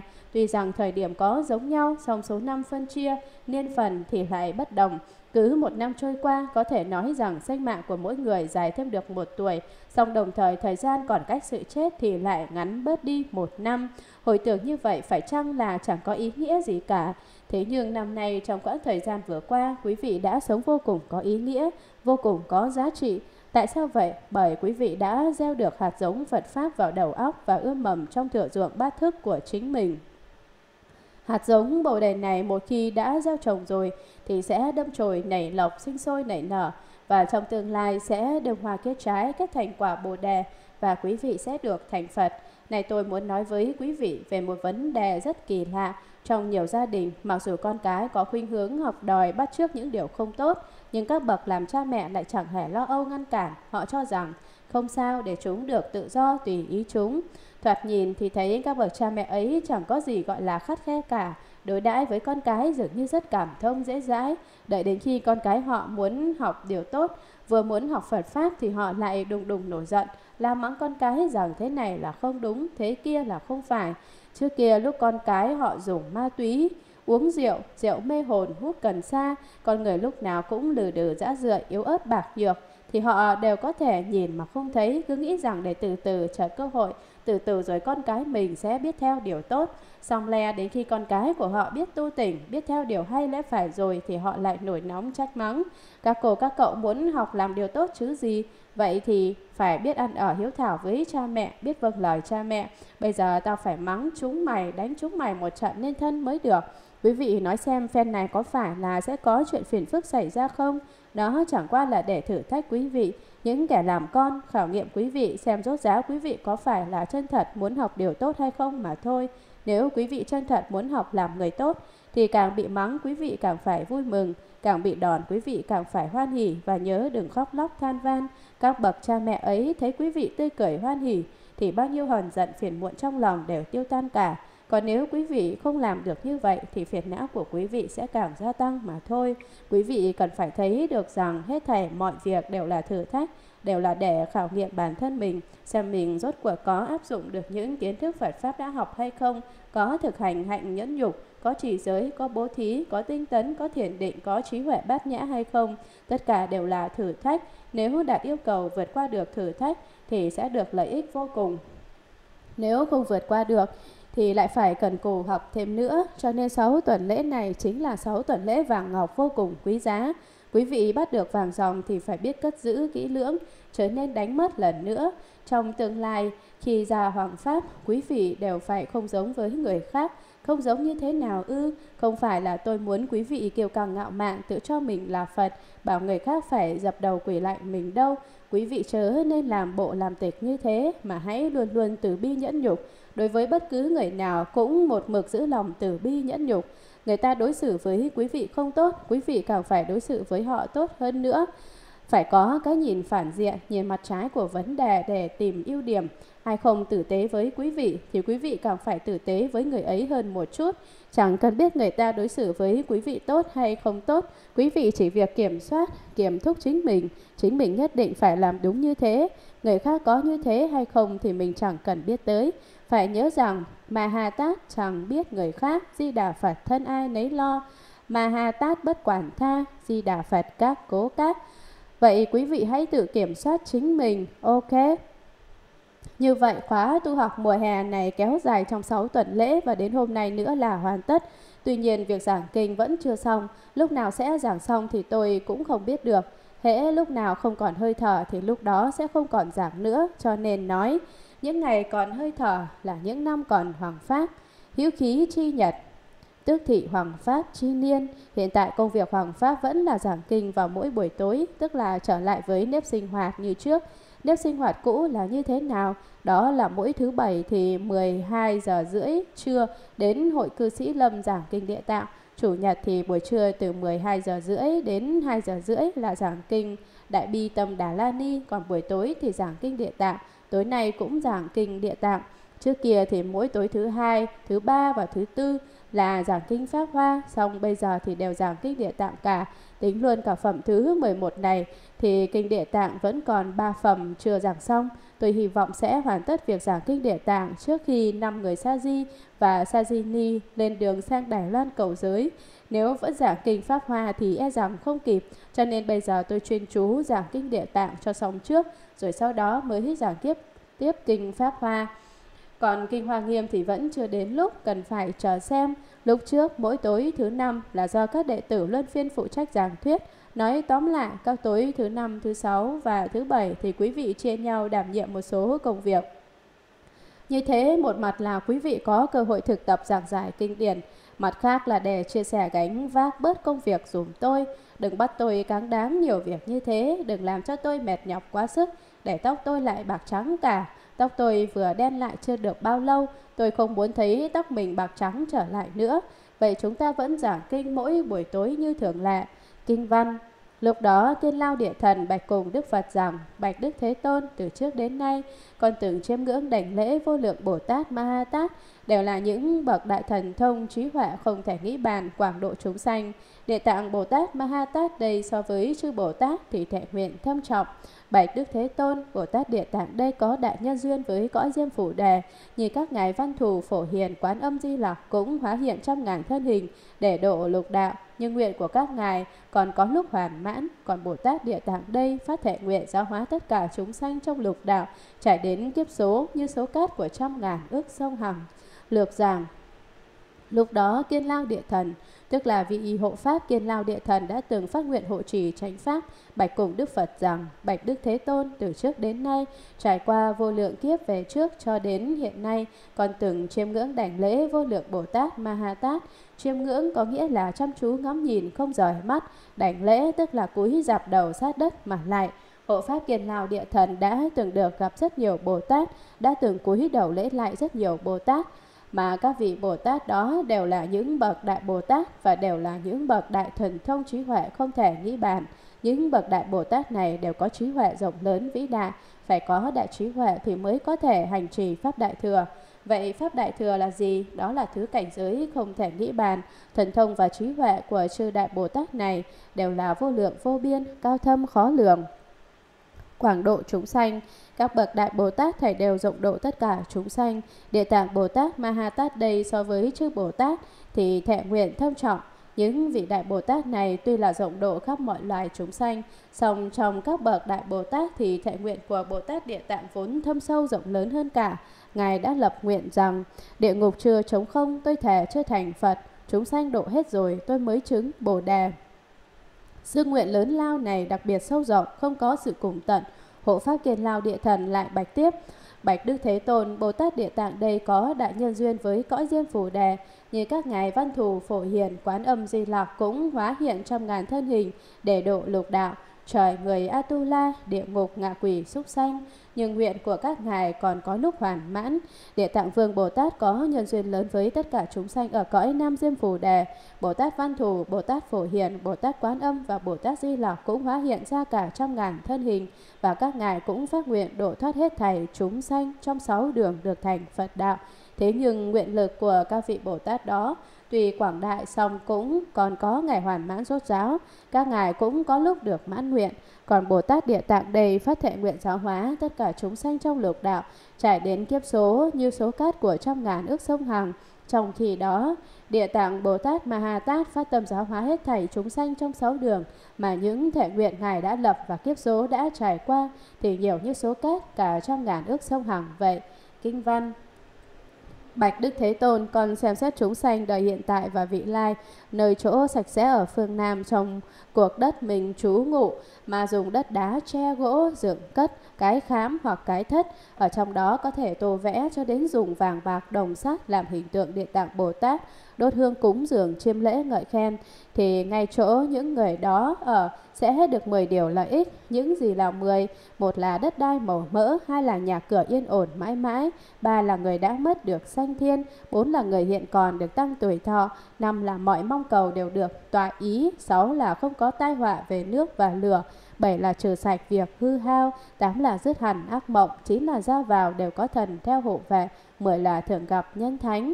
Lược giảng, kiền lao địa thần lại bạch cùng Đức Phật rằng, Bạch Đức Thế Tôn con xem xét chúng sanh đời hiện tại và vị lai, nơi chỗ sạch sẽ ở phương Nam trong cuộc đất mình trú ngụ, mà dùng đất đá che gỗ dựng cất cái khám hoặc cái thất để thờ địa tạng vương Bồ Tát. Ở trong đó có thể tô vẽ cho đến dùng vàng bạc đồng sắt làm hình tượng địa tạng Bồ Tát. Trong đời này và đời sau có những chúng sanh cất cái khám thờ địa tạng phương Bồ Tát bằng đất bằng đá, bằng gỗ hay bằng tre, ngay trên một khoảnh đất sạch sẽ thanh tịnh về phía nam của nơi mình cư ngụ.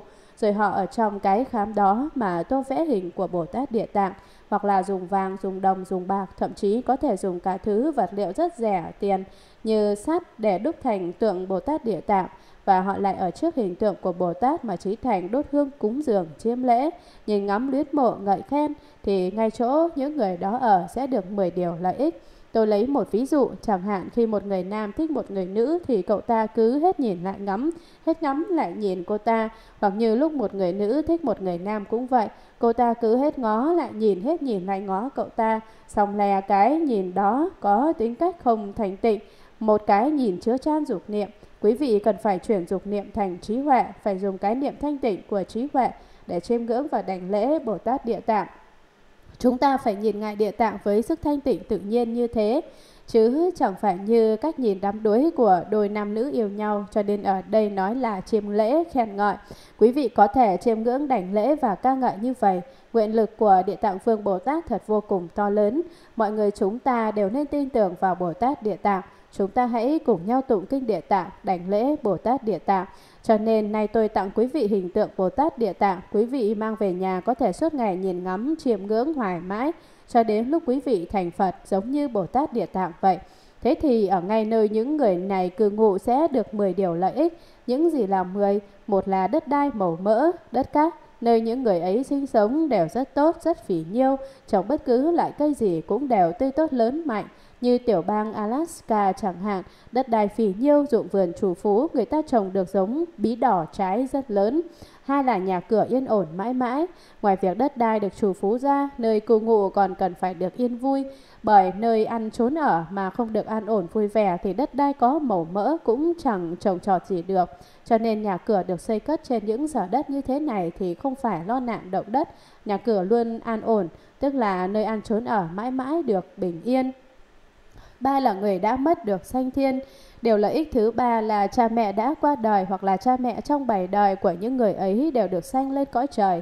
Vì sao họ được sanh lên cõi trời? Chính là nhờ con cái của họ chiêm ngưỡng Địa Tạng Phương Bồ Tát, đảnh lễ Địa Tạng Phương Bồ Tát, tín ngưỡng Địa Tạng Phương Bồ Tát. Bốn là người hiện còn được tăng tuổi thọ. Đây là điều lợi ích thứ tư. Có người hoài nghi rằng về việc người đã chết được sanh lên cõi trời tôi vẫn còn có chỗ hoài nghi, không thấy là chắc chắn lắm. Có sanh thiên hay không điều này vẫn còn rất đáng ngờ, đây chẳng qua là thầy giả như vậy mà thôi. Chứ còn chuyện sanh thiên hoặc không sanh thiên thì tôi cũng chưa hề thấy. Quý vị muốn thấy ư, thế thì hãy dụng công tu tập. Khi nào đắc thiên nhãn thông thì quý vị sẽ nhìn thấy được ngay. Những việc mà quý vị không thấy được thì hãy khoan nói tới. Bây giờ tôi sẽ nói tới điều mà quý vị có thể nhìn thấy được. Lấy thí dụ, cha mẹ của quý vị rõ ràng là mạng số chỉ tới 50 tuổi mà bây giờ sống được 80 tuổi, hoặc rõ ràng mạng số là 80 tuổi mà nay sống tới 100 tuổi. Như vậy là thọ mạng được gia tăng. Để tôi kể cho quý vị nghe một sự việc có thật. Đó là chuyện của thân sinh ông cư sĩ họ Đàm. Năm ông cụ được 79 tuổi thì bói toán nói rằng nội trong năm đó cụ nhất định sẽ tạ thế. Thế là ông cụ sợ hãi bèn chạy đến xin quy y với tôi. Lúc quy y cụ còn ra điều kiện với tôi. Vì sao cụ chịu quy y ư? Ông cụ muốn tôi bảo đảm là cụ sẽ được sống thêm 10 năm nữa. Tôi nói được 10 năm chuyện nhỏ thôi và thế là tôi nhận lời. Sau khi tôi hứa nhận ông ta sống tới bao nhiêu tuổi? 91 tuổi, tức là sống thêm được 12 năm. Lúc nhận lời cho ông cụ sống thêm 12 năm tôi có nói Được thôi, chỉ cần ông nghe lời tôi y giáo phụng hành thì tôi có thể bảo đảm là ông sẽ sống thêm 12 năm nữa. Tôi tuyên bố như thế cũng không biết là thật hay giả, nhưng quả nhiên ông cụ không chết vào năm 79 tuổi mà còn thọ thêm được 12 năm nữa. Ông cụ qua đời ở tuổi 91, sau đó vợ ông ta cùng hai người con gái đều tin theo đạo Phật. Năm là mọi mong cầu đều được tọa ý. Quý vị nói rằng từ nãy đến giờ chỉ thấy nói đến những điều lợi ích cho tha nhân, chứ chưa thấy đề cập đến bản thân mình gì cả ư. Thế thì bây giờ điều này là lợi ích cho bản thân quý vị đây. Quý vị muốn gì được nấy, mọi điều mong cầu đều được tọa nguyện. Hãy nói về một vấn đề thường tình nhất đối với người đời như chuyện hôn nhân chẳng hạn. Một người con gái mơ gặp được một người chồng tốt, một người con trai mong cưới được một người vợ tốt, nhất định đều được tọa nguyện. Đó là nói về người tại gia. Còn đối với người xuất gia thì sao? Nếu người ấy cầu mong được trở thành một vị sư giỏi hoặc một ni sư tốt thì chắc chắn cũng sẽ được tại tâm mãn nguyện. Sáu là không có tai họa về nước và lửa. Điều lợi ích thứ sáu là không bị nước lụt cuốn trôi, cũng không bị hỏa hoạn thiêu đốt. Vừa rồi tôi có đề cập đến bốn vị thần tứ đại trong hư không, song tôi chưa nói về hình dạng của họ. Bây giờ nhân nhắc đến thần lửa, chúng ta hãy tìm hiểu đôi chút về vị thần này. Thần lửa có hình dáng như thế nào? Thần lửa trông giống như loài chim sẻ, toàn thân đều màu đỏ và chỉ có một chân. Thần lửa tuy có tên nhưng khi quý vị gọi đến tên ấy thì thần sẽ bỏ chạy mất dạng. Không như chúng ta hễ gọi tên ai thì người đó liền đến. Thần lửa tên là gì? Thần có tên là Phương Miễn, họ Phương tên Miễn. Hễ nghe quý vị gọi Phương Miễn thì thần lửa sẽ bỏ đi nơi khác không ở đây nữa. Còn nếu quý vị không gọi đến tên của thần thì thần cứ ở lại đây, bảo thế nào cũng không đi. Vị thần lửa này thật lạ đời như thế. Lại nói về thần đất, thần đất có hình dáng như thế nào? Thần đất trông giống như một cậu bé có cặp mắt màu đỏ, tai dài thậm thượt chấm đất. Quý vị đã từng trông thấy đứa bé nào giống như thế chưa? Đó là thần đất đấy. Thần đất cũng có tên là gì ư? Thần đất tên là Võng Tượng. Rất khó mà gặp mặt vị thần đất này. Nhưng khi gặp được thần, nếu quý vị có thể bắt giữ thần lại mà đem nấu chín rồi ăn thịt của thần, quý vị sẽ biến thành vị thần đất kế tiếp. Đây là việc có thật chứ chẳng phải chuyện đùa đâu. Bảy là trừ sạch việc hư hao. Điều lợi ích thứ bảy là không có các thứ hư hao. Hư hao tức là hư kinh quái dị. các thứ tai nạn, các sự việc kinh khủng mà quý vị không tưởng tượng ra được, không ngờ tới được. Điều lợi ích thứ bảy là những việc hư hao này đều tiêu trừ không còn nữa. Tám là dứt hẳn ác mộng. Có nhiều người lúc ngủ thường mơ thấy những việc dữ, mộng thấy có người đánh mình, giết mình, hoặc có con cọp muốn ăn thịt mình, hoặc là quỷ vô thường muốn bắt mình đến gặp Diêm La Vương. Có người thì mộng thấy quỷ yểm mị kêu bàn trà đè trên mình, ú ớ nói không ra tiếng, toàn thân cứng đơ, không nhúc nhích được. Song lè nếu quý vị cúng dường Bồ Tát Địa Tạng trì niệm danh hiệu của Ngài thì những việc như thế sẽ không còn xảy ra nữa. Dứt hẳn ác mộng, tức là cắt đứt hẳn, dứt tuyệt, hoàn toàn không còn chiêm bao thấy ác mộng nữa. Chính là ra vào đều có thần theo hộ vệ. Quý vị Ví dụ quý vị đi trên đường phố rõ ràng là bị xe đụng hất văng ra xa cả mấy thước Thế mà quý vị không hề hấn gì cả Đứng dậy đi tiếp như không có chuyện gì xảy ra Lẽ thường hễ bị xe đụng văng ra xa như thế Thì nhất định sẽ bị gãy xương đứt gân Thế mà quý vị lại không việc gì cả Vẫn có thể đứng dậy phủi phủi áo quần rồi đi tiếp như thường Không cần phải đến bệnh viện Đó là vì sao? Chính là nhờ có thần linh che chở phù hộ Ra vào đều có thần theo hộ vệ có nghĩa là khi quý vị ra đường hoặc lúc ở nhà, khi ra lúc vào đều có thần linh âm thầm đi theo bảo hộ. Mười là thường gặp nhân thánh. Nhân thánh là gì? Là cái mầm mống để trở thành bậc thánh, cái nhân hạnh dẫn đến thánh quả. Như khóa tu học hè của chúng ta ở đây chẳng hạn, đây chính là nhân thánh vậy. Cho nên trong 6 tuần lễ này chúng ta chuyên chú giảng kinh thuyết pháp chăm chửi, cần cù dụng công tu hành. Chỉ có thể nói là quý vị tìm khắp cả thế giới cũng không thể nào tìm ra được một khóa tu học hè cam go như thế này. Nếu quý vị nói rằng mình không muốn bản thân phải phấn đấu cực khổ vất vả đến thế, thì quý vị sẽ không thể nào gặp được nhân thánh. Quý vị hiện nay tuy có vất vả, có chịu khổ, chịu cực, song đây chính là cơ hội để gieo trồng nhân thánh, và đây là lợi ích thứ 10 vậy. Kinh văn Bạch Đức Thế Tôn chúng sanh trong đời vị lai cùng hiện tại nếu có thể ở nơi mình trú ngụ mà làm ra sự cúng dường như thế thì sẽ được sự lợi ích như vậy.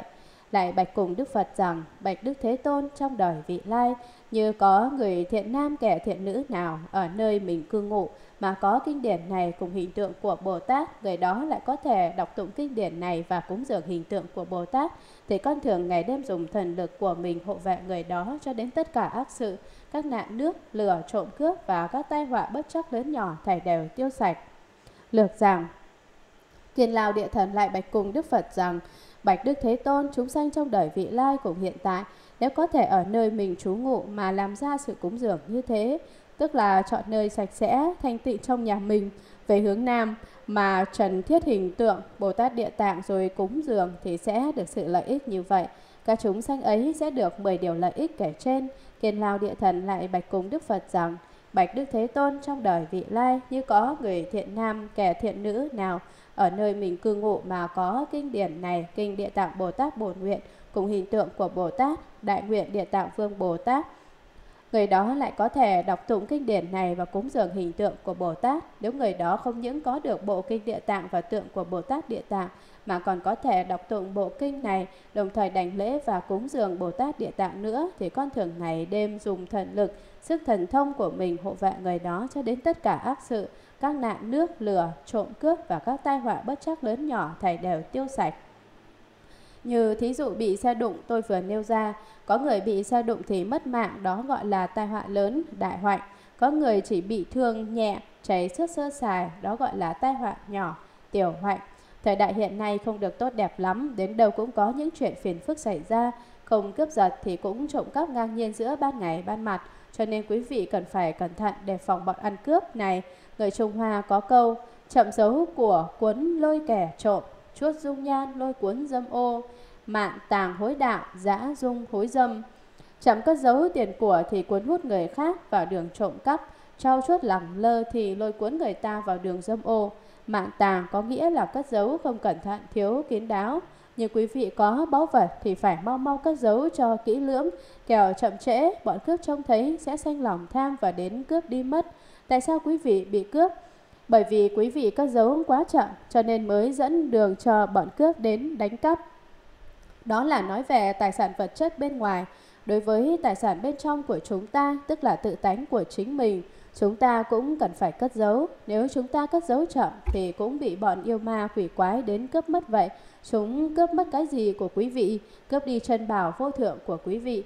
Nói như thế thì chúng ta phải cất giấu món chân bảo tự tánh của mình như thế nào? Cách cất giấu này thì không giống như cách cất giấu những tài sản có hình có tướng như đem chôn ở một nơi bí mật hoặc cất giữ trong kết bảo hiểm. Không phải như thế. Thế thì phải cất giấu tài sản quý báu tự tánh như thế nào? Phải chính mình không sanh vô minh. Quý vị phải biết rằng mắt tai mũi lưỡi thân và ý đều thuộc loại đại tặc là những tên giặc rất lợi hại. Đừng tưởng rằng con mắt giúp đỡ chúng ta, sở dĩ hiện nay trừ quý vị chưa thể thành Phật, cũng chính là vì bị con mắt này tác oai tác quái, không những mắt là giặc mà tai cũng là giặc, mũi cũng là giặc, lưỡi cũng là giặc, thân thể cũng là giặc, ý cũng là giặc. Mắt tai mũi lưỡi thần ý chính là sáu tên giặc, chỉ có linh tánh của quý vị là pháp bảo, là bảo bối vô cùng chân quý. Nếu mắt mà phân tán đi một chút thì quý vị bị thiếu mất một chút, tai mà phân tán đi một chút thì thiếu mất một chút, mũi mà phân tán đi một chút thì thiếu mất một chút, lưỡi mà phân tán đi một chút thì thiếu mất một chút, thân mà chia bớt đi một bộ phận thì lại thiếu mất một chút, ý mà chia bớt đi một phần thì quý vị lại thiếu mất một chút. Đối với mắt tai mũi lưỡi thần ý, nếu quý vị không thống nhất chúng trở về được, tức là quý vị thả lòng chúng đấy. Mỗi tên chạy rồng mỗi nơi, lo những chuyện không liên can. Mắt trông thấy vật gì đều muốn thấy cho tận tường thêm nữa, đó gọi là lo chuyện tào lao. Tai nghe thấy việc gì dù chẳng liên quan tới mình cũng tò mò muốn nghe lần nữa cho thỏa thích. Như thế cũng gọi là bị cảnh giới lay truyền, đều do bọn giặc gây ra. Thế nên quý vị đừng để cho sáu tên giặc này thừa cơ cướp đoạt mất bảo bối tự tánh của mình.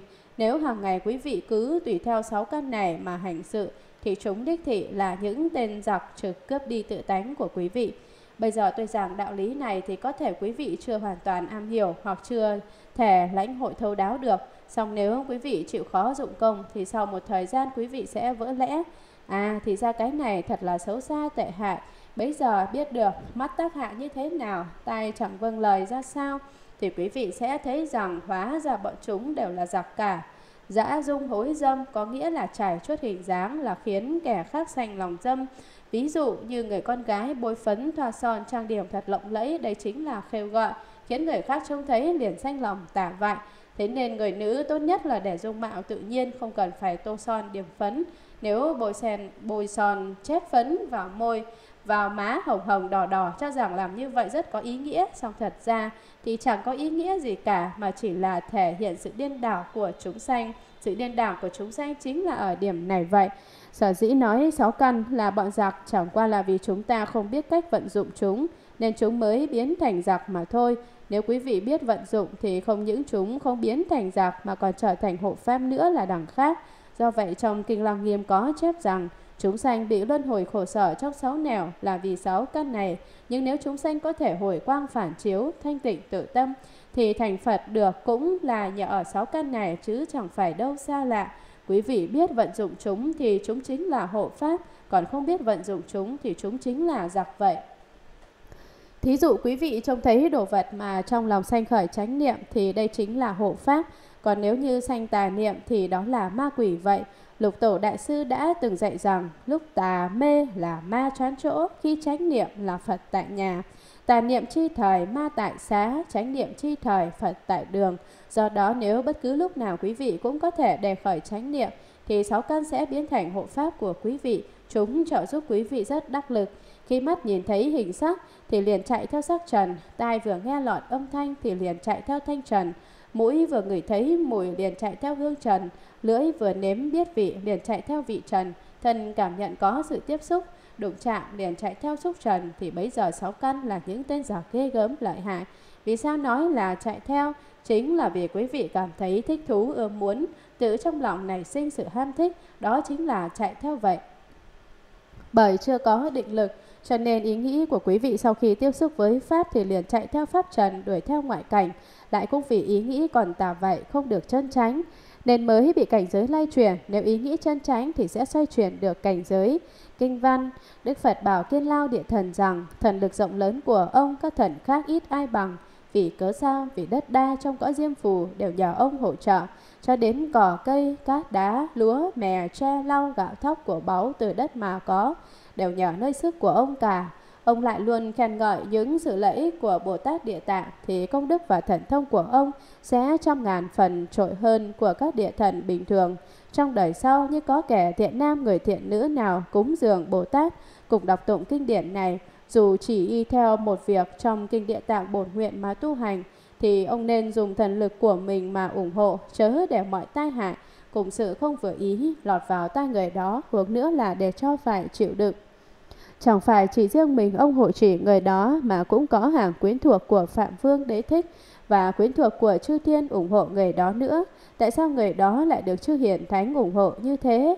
Ấy đều là do chiêm lượng chiêm lễ hình tượng của Bồ Tát Địa Tạng cùng đọc tụng kinh bổn nguyện này, nên tự nhiên được rốt giáo xa lìa biển khổ, chứng được niết bàn yên vui, vì thế mà được sự ủng hộ lớn lao lược giảng Đức Phật bảo kiên lao địa thần, thần lực rộng lớn của ông các thần khác ít ai bằng, hiếm có vị thần nào có được sức thần thông đặc biệt lớn lao như ông.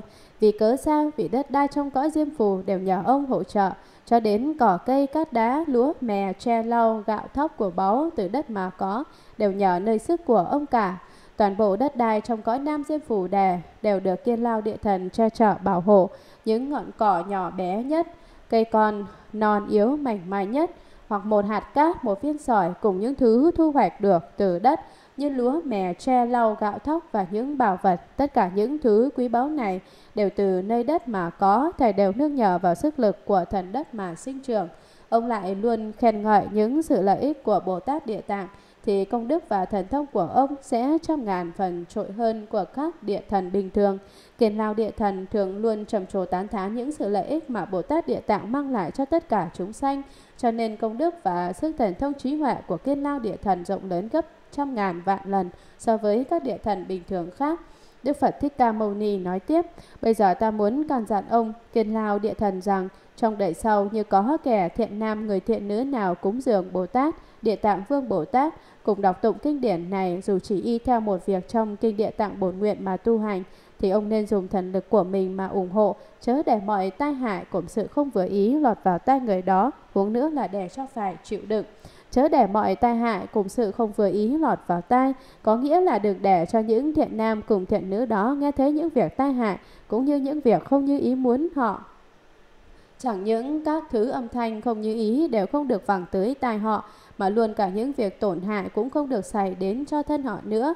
Họ không phải lãnh chịu bất cứ một tai họa nào cả. Đối với những thiện nam tín nữ chỉ ngũ giới và hành thập thiện mà biết cúng dường Bồ Tát, Bồ Tát Địa Tạng, đọc tụng kinh Địa Tạng và lại có thể y chiếu theo một việc trong kinh Địa Tạng đã dạy mà tu hành thì kiên lao địa thần sẽ dùng sức mạnh thần thông vốn có của mình để ủng hộ những người đó, không để cho các sự tai hại và những việc không như ý thấu đến tai họ. Chẳng phải chỉ riêng mình ông hộ trì người đó mà cũng có hàng quyến thuộc của Phạm Vương Đế Thích và quyến thuộc của Chư Thiên ủng hộ người đó nữa. Ta lại bảo cho ông biết rằng chẳng phải chỉ mỗi một mình ông là kiên lao địa thần, đơn độc bảo hộ những người như thế mà thôi đâu. Vì sao vậy? Vì còn có quyến thuộc của Thích đẻ Hoàn Nhân và Đại Phạm Thiên Vương, cho đến thiền lòng bát bộ trên cõi trời và quyến thuộc của chư thiên. Tất cả cũng đều đến để ủng hộ, bảo vệ những người đó. Đức Phật lại dạy, tại sao người đó lại được chư hiển thánh ủng hộ như thế? Vì sao những người đó lại được đông đảo chư vị thánh hiền, thiên long bát bộ, đại phạm thiên vương, thích đại hoàn nhân từ cõi trời đến bảo hộ như vậy? Ấy đều do chiêm lễ hình tượng của Bồ Tát Địa Tạng cùng đọc tụng kinh bổn nguyện này nên tự nhiên được rốt ráo xa lìa biển khổ, chứng được niết bàn yên vui. Vì thế mà được sự ủng hộ lớn lao chính là nhờ nhân duyên chiêm ngưỡng đảnh lễ hình tượng của Địa Tạng Vương Bồ Tát và nhân duyên đọc tụng kinh Địa Tạng Bồ Tát bổn nguyện mà trong tương lai những người đó chắc chắn sẽ tự nhiên được xa lìa mọi khổ não, chứng được sự an vui của Niết Bàn. Do duyên cớ này nên họ mới nhận được sự ủng hộ lớn lao như thế, được hết thảy các bậc thánh hiền đến ủng hộ che chở. Hết phẩm 11 Thấy là mắt trông thấy, nghe là tai nghe thấy, trông thấy và nghe thấy đều được lợi ích. Trông thấy cái gì mà được lợi ích, nghe thấy cái gì mà được lợi ích. Trông thấy hình tượng của Địa Tạng Vương Bồ Tát, trông thấy quyền kinh Địa Tạng Bồ Tát Bổn Nguyện thì đều được lợi ích. Cho dù chúng ta không trông thấy mà chỉ nghe đến danh hiệu của Bồ Tát Địa Tạng và nghe đến kinh Địa Tạng Bồ Tát Bổn Nguyện thì cũng đều được lợi ích. Vậy đây là phẩm thứ 12, thấy nghe đều được lợi ích. Kinh văn Lúc đó từ trên đảnh môn Đức Thế Tôn phóng ra cả trăm ngàn vạn ước tướng tia sáng lớn, lược giảng. Lúc đó lúc Đức Phật Thích Ca Mâu Ni nói chuyện với kiền lao địa thần và căn dặn địa thần, hãy ủng hộ các chúng sanh trong đời vị lai xong. Từ trên đảnh môn Đức Thế Tôn phóng ra cả trăm ngàn vạn ước tướng tia sáng lớn, đảnh môn, cửa đỉnh đầu, nằm ở đâu? Ở ngay trên đỉnh đầu, Đức Phật Thích Ca Mâu Ni có tướng vô kiến đảnh, tướng đỉnh đầu không thấy được, chính là ở đảnh môn này vậy. Chúng ta mỗi người đều có đảnh môn. Nếu quý vị tinh tấn dụng công chân chánh có công phu tu hành thì khi chết Phật tánh của quý vị sẽ từ đảnh môn ở trên đỉnh đầu mà đi ra và sau đó quý vị có thể đến bất cứ nơi nào mình muốn. Tuy nhiên quý vị cần phải chăm chỉ tu hành, nỗ lực dụng công cho thật tốt mới được. Chứ dụng công hời hợt thì không thể nào có được cảnh giới đó. Vậy Đức Phật Thích Ca Mâu Ni từ trên đỉnh đầu của mình phóng ra hàng trăm ngàn vạn ức tia sáng lớn trăm ngàn và đức tia sáng này đều hỗ tương soi chiếu, chẳng hề ngăn ngại nhau. Ánh sáng này không phải là từ một đạo hào quang mà là từ cả trăm ngàn vạn đức đạo hào quang tỏa ra. Và ánh sáng này cũng không phải chỉ có một màu mà có tới hàng trăm ngàn vạn ước màu sắc khác nhau. Đức Phật phóng ra tướng hào quang rộng lớn, và hào quang này soi chiếu đến hết thảy chúng sanh trong chín pháp giới. Tuy rằng Phật cũng là chúng sanh song không nằm trong chín pháp giới, những đạo hào quang rộng lớn này không chỉ soi sáng một thế giới mà còn chiếu rọi đến hàng trăm ngàn vạn đức thế giới và khắp các cõi nước của chư Phật trong mười phương. Đức Phật Thích Ca Mâu Ni dùng hào quang của mình soi sáng chiếu rọi khắp tất cả các quốc độ của chư Phật. Đức Phật thị hưởng thị hiện tướng hào quang rộng lớn này cũng là để cho chúng sanh chúng ta biết rằng kinh địa tạng là đặc biệt quan trọng. Mọi người đều phải dốc lòng dốc sức mà giảng giải biên chép ấn hành để phổ biến Chúng ta cần phải giảng giải kinh địa tạng, in chép kinh địa tạng, phổ biến kinh địa tạng. Chúng ta phải làm sao cho đồng loại thân thích bạn bè của chúng ta đều hiểu rõ kinh địa tạng. Chúng ta không được sao lãng việc phổ biến kinh điển. Nếu quý vị có thể góp phần in kinh điển, truyền bá kinh điển rộng rãi, thì trí huệ của quý vị sẽ được khai mở và tăng trưởng. Hôm nay tôi có nói chuyện với hai đệ tử của tôi và bảo họ rằng chúng ta sẽ cố gắng hoàn tất việc duyệt sửa và nhận sắp bản thảo chú giải kinh địa tạng và lục tổ đàn kinh để khi sang Đài Loan thọ giới họ có thể mang theo, rồi đặt in cùng xuất bản ở bên đó. Ở phương Tây này khi kinh sách có chú giải bằng tiếng Anh, quá hiếm hoi. Ví như mùa màng bị hạn hán đang khát khao mong đợi trận mưa rào tưới mát Chúng ta hãy mau mau ấn lát kinh sách và phát hành rộng rãi để cho mọi người đều được thông hiểu, thấm nhuần Phật Pháp. Đây là một phần của công cuộc Hoàng Dương Phật Pháp và cũng là một công trình hết sức thiết yếu trong việc truyền Đại Pháp Luân. Vì sao tôi hy vọng có thể đem bộ kinh địa tạng và lục tổ đàn kinh phiên dịch sang tiếng Anh rồi lại ấn hành tại Đài Loan bởi vì chi phí ấn lát ở Đài Loan rất rẻ. Chuyến đi lần này năm 1969 của quý vị là để thọ giới đồng thời cũng là làm việc công đức. Đây là cơ hội để Hoàng Dương Phật Pháp cho nên ai nấy đều tuyệt đối không được lơ đễnh. Kinh văn như là tia sáng tướng màu trắng, tia sáng tướng màu trắng lớn, tia sáng tướng tốt lành, tia sáng tướng tốt lành lớn, tia sáng tướng ngọc, tia sáng tướng ngọc lớn, tia sáng tướng màu tía, tia sáng tướng màu tía lớn, tia sáng tướng màu xanh, tia sáng tướng màu xanh lớn, tia sáng tướng màu xanh biếc, tia sáng tướng màu xanh biếc lớn, tia sáng tướng màu đỏ, tia sáng tướng màu đỏ lớn, tia sáng tướng màu lục, tia sáng tướng màu lục lớn, tia sáng tướng màu vàng y, tia sáng tướng màu vàng y lớn, tia sáng tướng mây lành, tia sáng tướng mây lành lớn, tia sáng ngàn vòng tròn, tia sáng ngàn vòng tròn lớn, tia sáng vòng tròn báu, tia sáng vòng tròn báu lớn, tia sáng vầng mặt trời, tia sáng vầng mặt trời lớn, tia sáng vầng mặt trăng, tia sáng vầng mặt trăng lớn, tia sáng cung điện, tia sáng cung điện lớn, tia sáng mây biển, tia sáng mây biển lớn, từ trên đảnh môn phóng ra những tướng tia sáng như thế xong, lại nói ra tiếng vi diệu mà bảo đại chúng, thiên lòng bát bộ, nhân cùng phi nhân, vân vân rằng Hãy lắng nghe hôm nay ta tại cung trời đau lợi tuyên bày ngợi khen Bồ Tát Địa Tạng về những sự lợi ích trong hàng trời người, những sự không thể nghĩ bàn, những sự siêu vượt nhân thánh, những sự chứng quả thập địa, những sự rốt ráo không thối chuyển nơi an nậu Đà La Tam Miệu Tam Bồ Đề. Lược giảng Vậy, lúc bấy giờ thì trên đỉnh đầu của Đức Phật Thích Ca Mâu Ni phóng ra những tia sáng như là một tia sáng tướng màu trắng, tia sáng tướng màu trắng lớn. Đức Phật Thích Ca Mâu Ni phóng hào quang màu trắng soi sáng tất cả những nơi tối tăm, ngụ ý rằng Bồ Tát Địa Tạng và Kinh Địa Tạng có thể chiếu rọi xua tan mọi hắc ám tăm tối của thế gian. 2. Tia sáng tướng tốt lành, tia sáng tướng tốt lành lớn ba tia sáng tướng ngọc tia sáng tướng ngọc lớn có lại hào quang trông giống như ngọc thạch vậy 4. Tia sáng tướng màu tía, tia sáng tướng màu tía lớn. 5. Tia sáng tướng màu xanh, tia sáng tướng màu xanh lớn. Lại có những đạo hào quang màu xanh và nhiều hào quang lớn cũng có màu xanh như thế nữa. 6. Tia sáng tướng màu xanh biếc, tia sáng tướng màu xanh biếc lớn. 7. Tia sáng tướng màu đỏ, tia sáng tướng màu đỏ lớn. 8. Tia sáng tướng màu lục, tia sáng tướng màu lục lớn.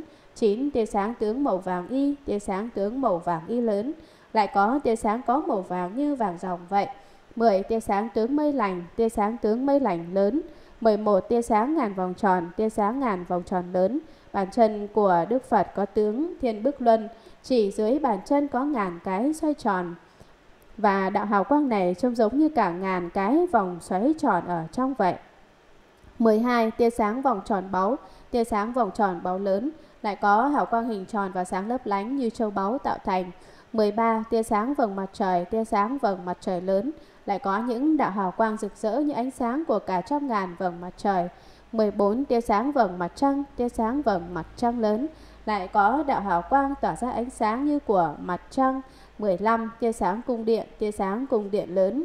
Trong đạo hào quang này hiện ra nhiều cung điện làm bằng bảy thứ báu rất trang nghiêm. 16. Tia sáng mây biển, tia sáng mây biển lớn, lại có những đạo hào quang trông giống như đám mây vọt lên từ mặt biển. Hôm qua có người hỏi rằng, hào tướng là gì? Hào tướng cũng chính là quang tướng, tức là tướng ánh sáng, là tia sáng tỏa ra từ trong thân của Đức Phật. Vậy hào là hào quang, hào tướng quang là tướng của tia sáng, tia sáng biến hóa ở trong tia sáng. Bây giờ sau khi Đức Phật Thích Ca Mâu Ni từ trên đảnh môn phóng ra những tướng tia sáng như thế xong, lại nói ra tướng vi diệu. Tiếng vi diệu Đức Phật có tứ biện bát âm, tứ biện là gì? Đó là tứ vô ngại biện, tức là bốn khả năng biện luận lưu loát không hề gặp trở ngại và gồm có biện luận nghĩa không trở ngại, biện luận pháp không trở ngại, biện luận từ không trở ngại và biện luận vui thuyết không trở ngại. Nghĩa vô ngại biện, pháp vô ngại biện, từ vô ngại biện và nhạo thuyết vô ngại biện. Một, biện luận nghĩa không trở ngại, nghĩa vô ngại biện, giải bày nghĩa lý một cách trôi chảy không trở ngại, nghĩa là nghĩa lý, ý tứ, Ví như xưa nay chưa có nghĩa lý, nhưng khi Đức Phật vừa thuyết Pháp thì nghĩa lý ý tứ tuyên trào vô cùng vô tận.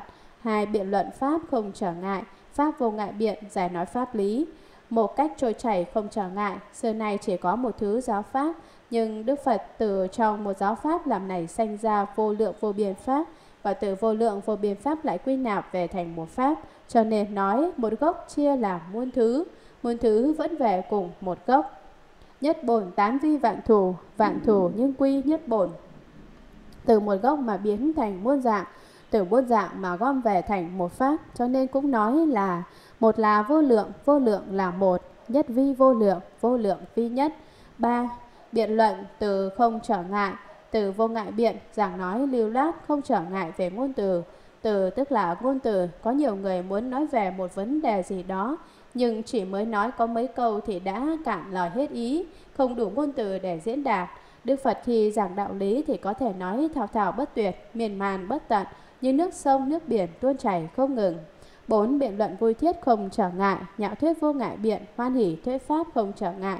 Nhạo thuyết là vui thích việc giảng kinh thuyết pháp, rất hoan hỷ nói pháp để giáo hóa chúng sanh. Mỗi khi nói pháp là trong lòng thấy hân hoan vui vẻ, đó là nói về tứ biện, còn bát âm, tám thứ tiếng là gì? Trước đây tôi cũng đã nhiều lần giảng về tứ vô ngại biện nhưng chưa hề nói tới bát âm. Mặc dù chưa giảng tới nhưng những người chịu khó dụng công có lẽ đều biết cả rồi. Đức Phật có tám thứ âm thanh dùng để thuyết pháp. Một tiếng tối hảo, tiếng tốt nhất. Loại âm thanh thứ nhất của Phật là như thế nào? Đó là loại âm thanh hay nhất, tốt nhất, tốt đến cực điểm và cũng gọi là cực hảo âm. Giọng nói của Phật thì càng nghe càng thấy thích thú, càng muốn lắng nghe, chứ chẳng phải như nhiều người nói nghe rèn dĩ như tiếng kéo cưa vậy. Giọng nói của Phật thì trong trẻo, thánh thót. Hai tiếng nhu nhuyễn, tiếng êm dịu, giọng nói của Phật âm vang, êm tai như tiếng nước chảy dịu dàng uyển chuyển. Ba tiếng hòa thích, tiếng thích hợp, thích là thích hợp vừa đúng. Thứ âm thanh này rất ôn nhu mềm mỏng hài hòa. Người nào đã được nghe rồi thì chẳng còn ao ước nghe tiếng gì khác nữa. Bốn tiếng tôn huệ, tiếng tôn kính trí huệ. Âm thanh của Phật rất tôn quý. Đừng nói là nghe rõ từng lời từng chữ, chỉ cần nghe được âm thanh tiếng nói của Phật thì chúng ta cũng có được vô lượng trí huệ rồi. năm Tiếng bất âm, tiếng chẳng có âm tính. Có nhiều người giọng nói mang đầy âm tính, tức là giọng nói như phái nữ, thường là thé thé hoặc uốn éo nũng nịu. Giọng của Phật thì không phải là giọng âm. 6. Tiếng bất ngu, tiếng chẳng đùa giỡn. Cho dù là khi nói chuyện vui, giọng nói của Phật khiến người nghe cảm thấy vô cùng tránh đáng, đúng đắn, không đượm vẻ giỡn hớt, đùa cợt. 7. Tiếng thầm viễn, tiếng vang sâu và xa.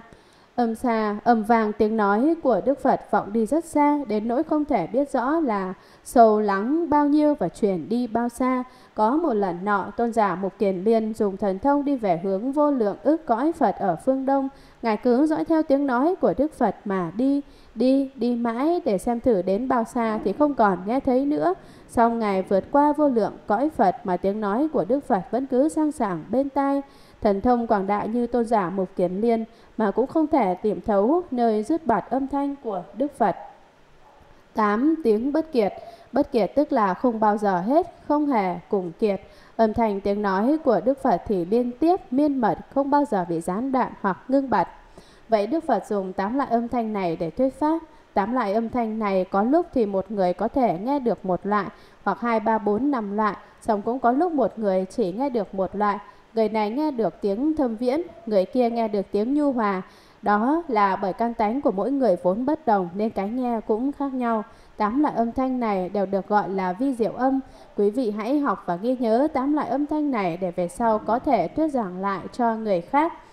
Vậy lúc bấy giờ Đức Phật Thích Ca Mâu Ni từ trên đảnh môn phóng ra những luồng hào quang rực rỡ chiếu sáng như thế xong mà lại thốt ra thứ tiếng rất vi diệu mà bảo đại chúng thiên long bát bộ, nhân cùng phi nhân vân vân. Hiện đang có mặt tại Đao Lợi Thiên Cung rằng Hãy lắng nghe hôm nay ta tại cung trời Đao Lợi tuyên bày ngợi khen Bồ Tát Địa Tạng về những sự lợi ích trong hàng trời người, những sự không thể nghĩ bàn, những sự siêu vượt nhân thánh, những sự chứng quả thập địa, những sự rốt giáo không thối chuyển, nơi An Đậu Đa La Tam Miệu Tam Bồ Đề, bát bộ, tức là tám bộ chúng quỷ thần, tròi rồng dạ xoa, cản thát bà, Atula, khẩn na la, ma hầu la già, ca lô la, siêu vượt, tức là vượt quá, vượt lên trên, nhân thánh, thì như lúc trước đã giảng, quý vị đến đây để nghe giảng kinh, ngồi thiền học Phật Pháp như thế đều là chồng nhân thánh. Siêu vượt tức là sự bán công bội, có nghĩa là bỏ công sức rất ít mà lại thành được việc lớn. Ví dụ, quý vị ngồi thiền lẽ ra thì phải mất một năm mới được tỏ ngộ, xong kết quả lại chỉ nội trong hai ngày là được khai ngộ rồi, hết sức mau chóng, đó gọi là những việc siêu vượt nhân thánh. Chứng quả thập địa, chứng là chứng đắc, thập địa là quả vị của hàng Bồ Tát. Thập trụ, thập hạnh và thập hồi hướng được gọi chung là tam hiền vị, tức là quả vị của tam hiền. Quả vị của Bồ Tát thập địa gồm có một hoàn hỷ địa, hoàn hỷ là vô cùng vui vẻ, lúc nào cũng vui tươi hớn hở, không bao giờ khóc lóc dầu dĩ. Những bậc Bồ Tát đạt đến cảnh giới này rồi thì không khóc nữa.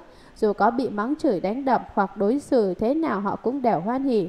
Quý vị nói họ không tốt họ cũng hoan hỷ, mắng chửi họ họ cũng hoan hỷ, ngược đãi họ như thế nào thì họ cũng đều hoan hỉ cả. Vậy đây gọi là sơ địa, tức là địa thứ nhất.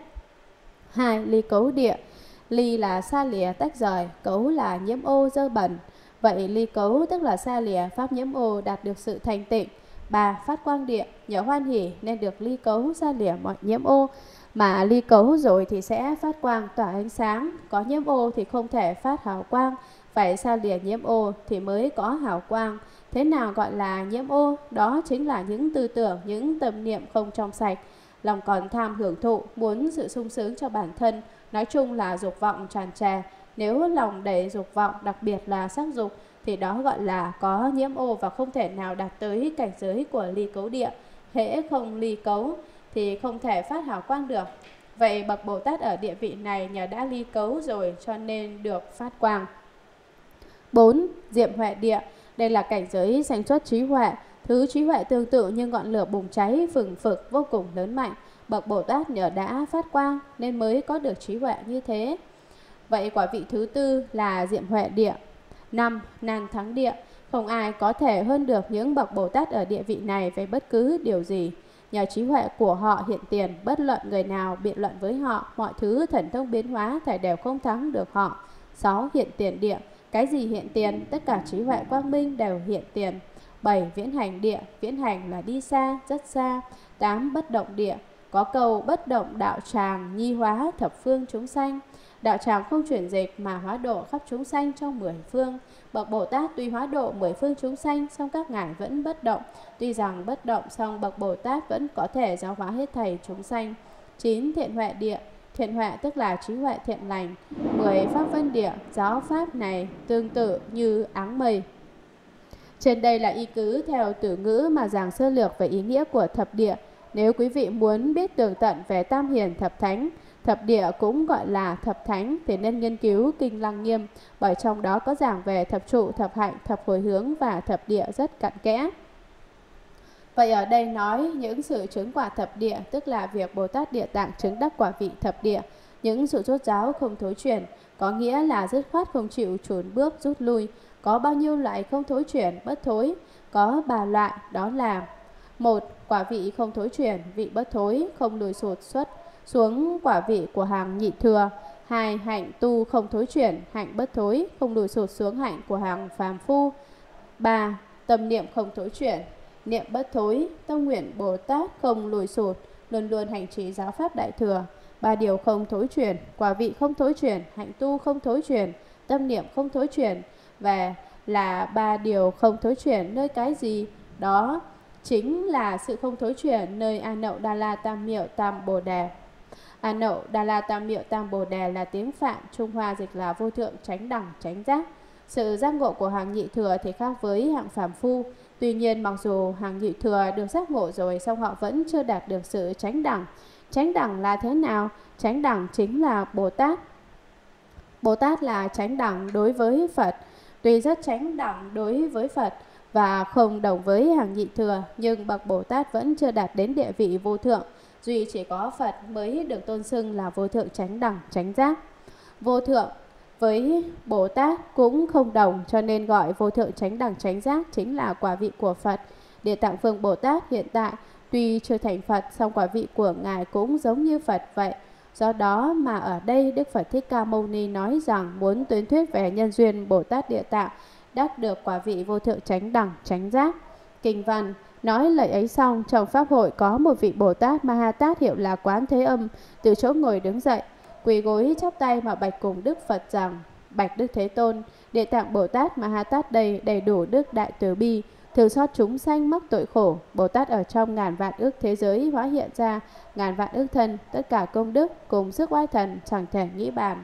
Con được nghe Đức Thế Tôn cùng vô lượng chư Phật trong mười phương khắc miệng đồng lời ngợi khen Bồ Tát Địa Tạng rằng dầu cho chư Phật trong thuở quá khứ, hiện tại và vị lai đều tuyên nói về công đức đó vẫn chẳng thể nói hết được. Vừa rồi lại được Đức Thế Tôn bảo khắp đại chúng rằng muốn tuyên nói các sự lợi ích của Bồ Tát Địa Tạng, cúi mong Đức Thế Tôn vì tất cả chúng sanh ở hiện tại và vị lai mà tuyên nói những sự chẳng thể nghĩ bàn của Bồ Tát Địa Tạng khiến cho Thiên Long Bát Bộ chiêm lễ được phước. Lược giảng Lúc Đức Phật Thích Ca Mâu Ni nói lời ấy xong, trong pháp hội có một vị Bồ Tát Ma Ha Tát hiệu là Quán Thế Âm. Đây không phải là một vị Bồ Tát tầm thường, mà là một vị Đại Bồ Tát và tên của Ngài là Quán Thế Âm, Đại Bồ Tát Quán Thế Âm. Quán là trí năng quán, cái trí huệ có khả năng quán xét. Thế âm là cảnh sở quán, tức là cảnh giới được quán xét. Quán Thế Âm Bồ Tát dùng trí huệ tử bi của Ngài để dõi tìm những tiếng kêu gào của hết thảy chúng sanh đang chịu thống khổ trong khắp mười phương thế giới. Ngài luôn bận rộn tầm thanh cứu khổ. Vậy lúc bấy giờ, Đại Bồ Tát Quán Thế Âm từ chỗ ngồi đứng dậy, quỳ gối, gối phải chạm đất, chắp tay mà bạch cùng Đức Phật rằng Bạch Đức Thế Tôn, Địa Tạng Bồ Tát Ma Ha Tát đây, đầy đủ đức đại từ bi, thương xót chúng sanh mắc tội khổ. Bồ Tát ở trong ngàn vạn ước thế giới hóa hiện ra ngàn vạn ước thân, tất cả công đức cùng sức oai thần chẳng thể nghĩ bàn. Quán Thế Âm Bồ Tát bạch tiếp, Bạch Đức Thế Tôn còn được nghe Đức Thế Tôn cùng vô lượng chư Phật trong mười phương khắc miệng đồng lời ngợi khen Bồ Tát Địa Tạng rằng Tuy rằng khắc miệng, song lời nói thì tương đồng, ai nấy đều nói cùng một lời như nhau. Chư Phật trong mười phương đều cùng một lời khen ngợi Bồ Tát Địa Tạng. Ở đây còn một hàm ý nữa là vào thuở quá khứ, Bồ Tát Quán Thế Âm đã từng được nghe vô lượng chư Phật trong mười phương khen ngợi Bồ Tát Địa Tạng. Tuy rằng các ngài không phải nói cùng một lúc, song đều nói một lời giống nhau. Chư Phật đều nói rằng Bồ Tát Địa Tạng có trí huệ thần thông chẳng thể nghĩ bàn. Dầu cho chư Phật trong thuở quá khứ, hiện tại và vị lai để tuyên nói về công đức đó vẫn chẳng thể nói hết được. Giả sử tất cả chư Phật, chư Phật đời quá khứ, chư Phật đời hiện tại, chư Phật đời vị lai, Hết thảy chư Phật trong mười phương ba đời đều nói về công đức của Bồ Tát Địa Tạng thì vẫn không thể nào nói cho hết được. Quán Thế Âm Bồ Tát bạch tiếp vừa rồi lại được Đức Thế Tôn bảo khắp đại chúng rằng muốn tuyên nói các sự lợi ích của Bồ Tát Địa Tạng. Cuối mong Đức Thế Tôn vì tất cả chúng sanh ở hiện tại và vị lai mà tuyên nói những sự chẳng thể nghĩ bàn của Bồ Tát Địa Tạng. Quán Thế Âm Bồ Tát thỉnh cầu Đức Phật Thích Ca Mâu Ni tuyên nói về công đức trí huệ bất khả tư nghì của Bồ Tát Địa Tạng nhằm khiến cho thiền lòng bát bộ, chiêm lễ, được phước. Công đức chiêm ngưỡng cùng đảnh lễ chư Phật và Bồ Tát vốn vô lượng vô biên, nếu giảng cặn kẽ thì khó mà giảng cho hết được. Bây giờ chỉ nói sơ lược về năm loại công đức tiêu biểu từ sự lễ bái chư Phật và Bồ Tát. Một, tướng mạo đan tránh viên mãn, ai gặp cũng say lòng ai kính và có thiện cảm. Hai, giọng nói vi diệu trong trẻo, âm vang như tiếng chuông đồng. Ba, giàu có sở hữu nhiều của cải châu báu. Bốn, sanh trưởng trong những nhà, những gia đình, cao sang quyền quý, có địa vị, có đức hạnh. Năm, được sanh lên các cõi trời. Trên đây là năm loại công đức có được nhờ chiêm ngưỡng và lễ bái chư Phật cùng trừ Bồ Tát.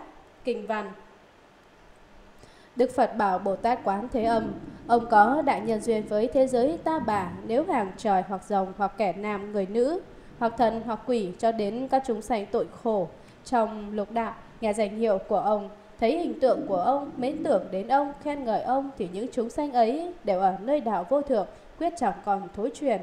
Thường được sanh vào cõi người cõi trời hưởng đủ sự vui vi diệu, nhân khi nhân quả sắp thành thục liền được gặp Phật thọ ký trò. Này ông sẵn lòng đại từ bi, thương xót các chúng sanh cùng thiên long bát bộ mà muốn nghe ta tuyên nói những sự lợi ích chẳng thể nghĩ bàn của Bồ Tát Địa Tạng. Ông hãy lắng nghe, nay ta sẽ nói rõ. Ngài Quán Thế Âm bạch rằng, vâng bạch Đức Thế Tôn, con xin ưa muốn nghe. Lược giảng, Đức Phật bảo Bồ Tát Quán Thế Âm, ông có đại nhân duyên với thế giới ta bà. Đối với cõi khổ kham nhẫn ở Nam Diêm Phù Đền này, ông có nhân duyên đặc biệt sâu dày, nếu hàng trời hoặc rồng hoặc kẻ nam người nữ hoặc thần hoặc quỷ cho đến các chúng sanh tội khổ trong lục đạo, trời người Atula, địa ngục ngạ quỷ súc sanh, nghe danh hiệu của ông, quán thế âm Bồ Tát, thấy hình tượng của ông bao gồm tất cả mọi hình tượng bằng đất, vàng, gỗ, đá cho đến tranh vẽ, mến tưởng đến ông, khen ngợi ông thì những chúng sanh ấy đều ở nơi đạo vô thượng quyết chẳng còn thối chuyển, thường được sanh vào cõi người, cõi trời, hưởng đủ sự vui vi diệu, khi nhân quả sắp thành thục, liền được gặp Phật thọ ký cho. Đến lúc cái nhân mà họ đã gieo được kết thành quả, chín mùi thì họ đều sẽ được gặp Phật và được Phật thọ ký. Tương lai họ đều có thể thành Phật. Đức Phật Thích Ca Mâu Ni nói tiếp, này ông sẵn lòng đại từ bi, thương xót các chúng sanh cùng thiên long bát bộ, mà muốn nghe ta tuyên nói những sự lợi ích chẳng thể nghĩ bàn của Bồ Tát Địa Tạng. Bây giờ ông lại phát lòng từ bi hết sức vĩ đại, từ bi thương xót tất cả chúng sanh, cùng trời rồng và tám bộ quỷ thần. Vậy nay ông hãy lắng nghe, ta nói về cảnh giới không thể nghĩ bàn của Bồ Tát Địa Tạng, những việc lợi ích cho nhân thiên, cùng chúng sanh trong lục đạo. Ông hãy lắng nghe, ông nên đặc biệt chăm chú lắng nghe, này ta sẽ, ta sẽ nói cho rõ. Bấy giờ Ngài Quán Thế Âm bạch rằng, vâng bạch Đức Thế Tôn, con xin ươm muốn nghe, con thỉnh cầu Đức Thế Tôn vì chúng con mà giảng nói, toàn thể đại chúng, chúng con trong pháp hội này đều khao khát được nghe về cảnh giới bất khả tư nghì của Bồ Tát Địa Tạng. Kinh văn Đức Phật bảo Bồ Tát Quán Thế Âm, trong các thế giới về thuở hiện tại và vị lai, có vị thiên nhân nào phước trời thọ hưởng đã hết, có ngũ suy tướng hiện ra, hoặc có vị phải đoạn lạc nơi trốn ác đạo, các vị thiên nhân đó hoặc nam hoặc nữ, đừng lúc tướng suy hiện ra, mà hoặc thấy được hình tượng của Bồ Tát Địa Tạng hoặc nghe được danh hiệu của Bồ Tát Địa Tạng, rồi một lần chiêm ngưỡng, một lần đảnh lễ thì các vị thiên nhân đó được sự phước trời, được phước trời thêm lớn, hưởng nhiều sự vui sướng, vĩnh viễn không phải đoạn lạc vào ba ác đạo nữa. Huống chi là được thấy hít tượng, được nghe tên của Bồ Tát rồi đem các thức hương hoa y phục, đồ ăn, thức uống, vật báu, chỗ an lạc mà bố thí cúng dường thì công đức phước lại có được sẽ vô lượng vô biên. Được giảng, Đức Phật bảo Bồ Tát Quán Thế Âm và tất cả đại chúng trong các thế giới về thuở hiện tại và vị lai, có vị thiên nhân nào phước trời thọ hưởng đã hết, có ngũ su tướng, ngũ suy tướng hiện ra. Các thiên nhân ở cõi trời được hưởng phước báo sung sướng vô cùng. So với cõi nhân gian thì ở cõi trời quá vui vẻ sung sướng, thế nhưng thiên nhân lại có ngũ suy tướng, tức là sự xuất hiện của năm tướng suy hao nơi thân thể khi họ sắp hưởng hết thiên phước của mình. Năm tướng suy hao là gồm những gì? Đó là một mũ hoa héo rũ, hoa quan ủy tạ. Các thiên nhân đều đội mũ kết bằng hoa tươi không bao giờ khô héo, xong đến lúc năm tướng suy hao hiện ra thì những mũ hoa này sẽ héo úa tàn dụng. Hai, y phục dính bụi, y trước trần ai. Áo quần của thiên nhân thường thì không phải giặt rũ mà vẫn luôn sạch sẽ. Nhưng đến lúc quần áo của họ bắt đầu bị bụi bám thì họ biết là mình sắp chết. Ba, hai nách tiết mồ hôi, lưỡng dịch hãm xuất. Thân thể của thiên nhân không giảm mồ hôi, xong đến lúc phước trời của họ đã hết thì dưới hai nách có mồ hôi tiết ra. Bốn, thân thể hôi hám, thân thể xú uế. Thân thể của thiên nhân thường tỏa hương thơm, đến lúc thiên phước của họ đã cạn hết thì xú khí nhập thể, thân mình tiết ra mùi hôi hám. Năm không thích chỗ ngồi của mình, bất lạc bổn tòa. Thiên nhân thường hay ngồi có tướng thiền định, xong đến lúc hết thiên phước thì họ không còn tướng thiền định nữa. Bấy giờ họ đứng ngồi không yên, bồn chồn bất dứt, hết đứng lại ngồi, hết ngồi lại đứng. Đây chính là lúc thiên nhân phải đoạn lạc, có thể chuyển làm thân ngạ quỷ súc sanh xuống địa ngục hoặc sanh làm người, tất cả đều không nhất định. Trên đây là năm tướng suy hào lớn, đại ngũ suy tướng. Ngoài ra thiên nhân còn có sự xuất hiện của năm tướng suy hào nhỏ, tiểu ngũ suy tướng nữa. Năm tướng suy nhỏ là những gì? Đó là một tiếng không còn trong thanh và vui vẻ nữa, lạc thanh bất khởi. Giọng nói của thiên nhân vốn vô cùng thanh tao vi diệu, xong đến lúc năm tướng duy hiện ra thì tiếng nói trở nên thô nặng khàn đục không còn réo rắt thánh thoát nữa. Hai, ánh sáng trên thân bị mở tối, thân quang vì ám. Toàn thân của thiên nhân thường đều có tỏa hào quang, xong đến lúc năm tướng duy hào nhỏ hiện ra thì hào quang nơi thân trở nên lu mờ ảm đạm không còn sáng chói nữa. ba Nước tắm động dính trên thân, dục thủy trước thân. Thân thể của thiên nhân vốn không bị dính nước, tương tự như mặt pha lê vậy, nước chảy tuột đi chứ không động lại. Nhưng khi năm tướng suy nhỏ hiện ra thì khi tắm nước sẽ dính lại trên thân họ. 4. Chấp trước vào cảnh giới không buông xả, trước cảnh bất xả. Lúc năm tướng suy nhỏ hiện ra, thiên nhân gặp cảnh giới gì thì bám chấp lấy cảnh giới đó không thể buông bỏ được. 5. Thân suy yếu, mắt láo liên, thân hư nhãn thuấn. Lúc năm tướng suy nhỏ hiện ra thì thân thể của thiên nhân trở nên vô cùng suy nhược, không còn cường tráng, không còn sức lực nữa. Thiên nhân vốn rất ít khi mở trừng mắt, còn người không thường chuyển động. Nhưng khi năm tướng suy nhỏ hiện ra thì trong mắt của họ luôn chuyển động qua lại. Trên đây là năm, năm tướng suy hao nhỏ. Ngoài ra thiên nhân còn có 7 tướng suy hao, trong đó bao gồm 5 tướng suy hao lớn. Một, ánh sáng bị mất, quang diệt. Hào quang của thiên nhân không còn nữa. Hai, hoa héo úa, hoa ủy, mũ hoa trên đầu bị héo tàn. 3. sắc tướng biến đổi, biến sắc. Tướng mạo của thiên nhân vốn rất viên mãn, nhưng khi năm tướng suy hiện ra thì liền bị biến đổi ngay. Trước kia vốn rất tốt đẹp, bây giờ thì không còn đẹp nữa. 4. Y phục dính bụi dơ, y trước trần ai. năm Hai nách ra mồ hôi, lưỡng dịch xuất hãn. Hai bên nách của thiên nhân, chỗ dưới hai cánh tay có mồ hôi tiết ra.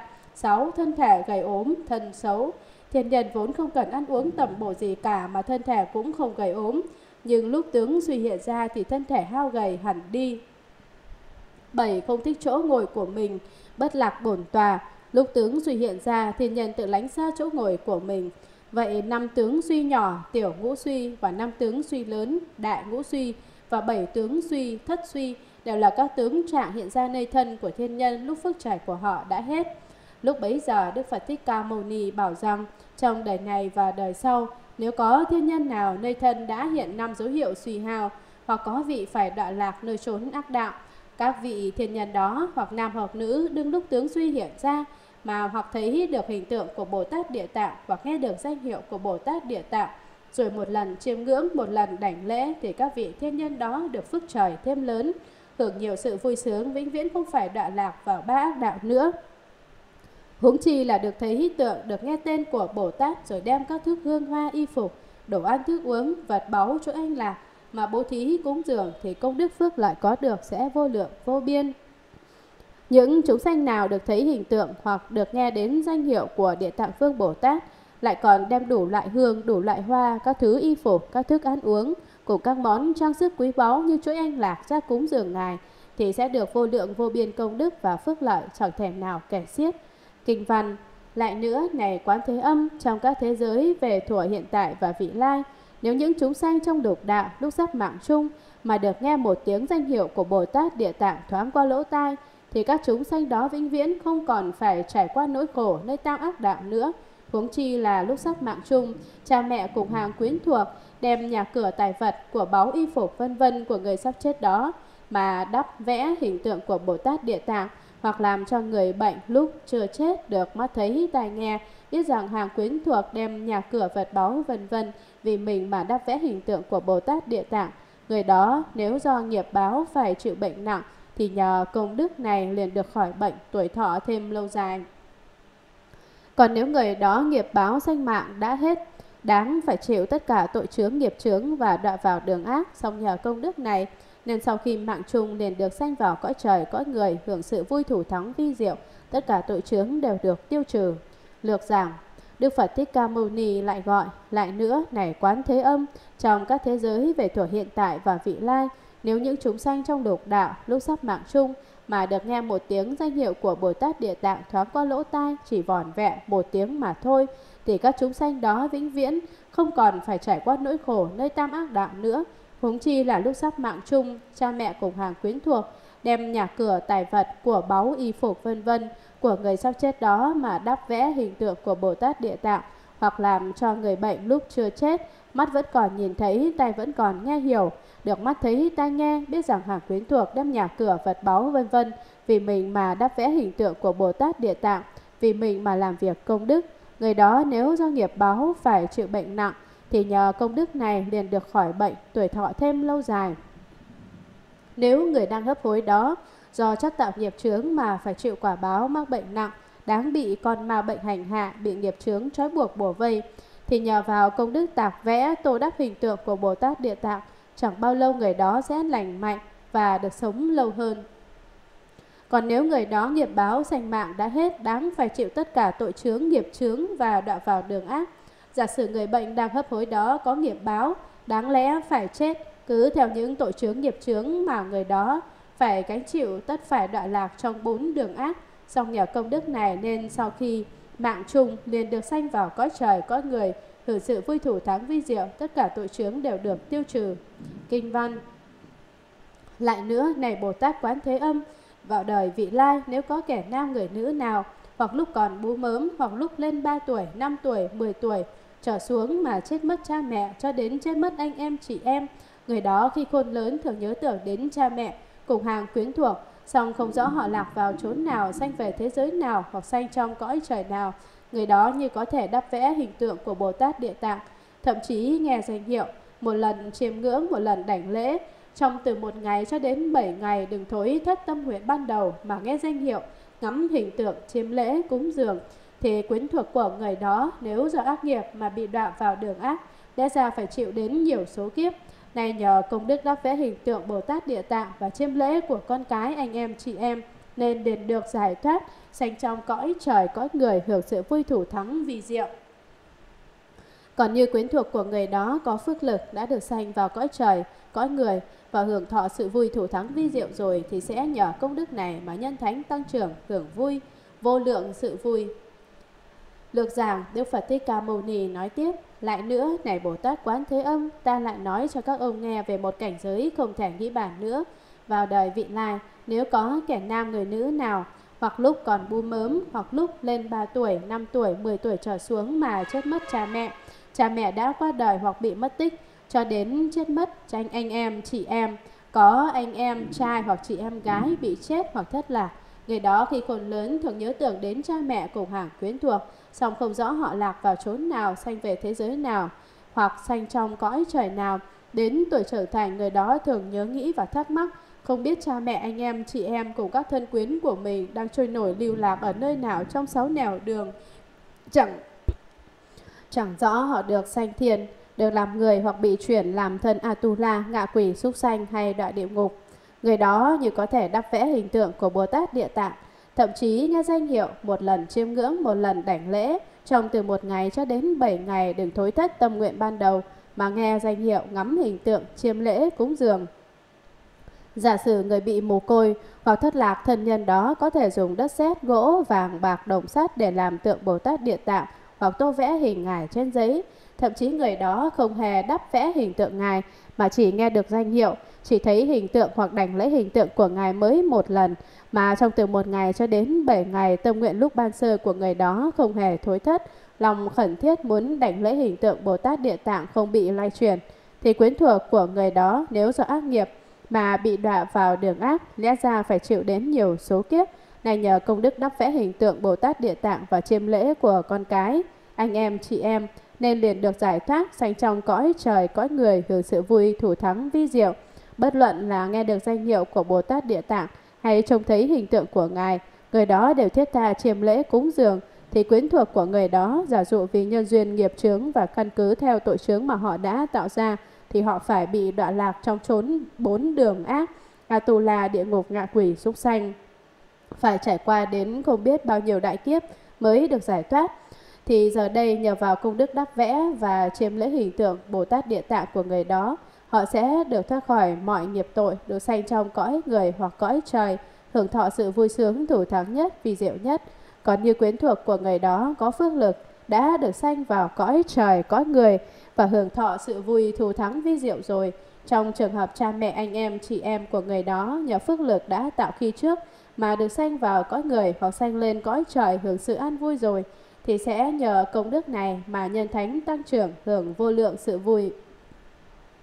Nhờ công đức đắp vẽ hình tượng cùng chiêm lễ Bồ Tát Địa Tạng của người này, nên công đức phước lực của hàng quyến thuộc càng gia tăng, Lúc trước đã hưởng thọ sự vui sướng thắng diệu, bây giờ lại càng được an vui hơn nữa.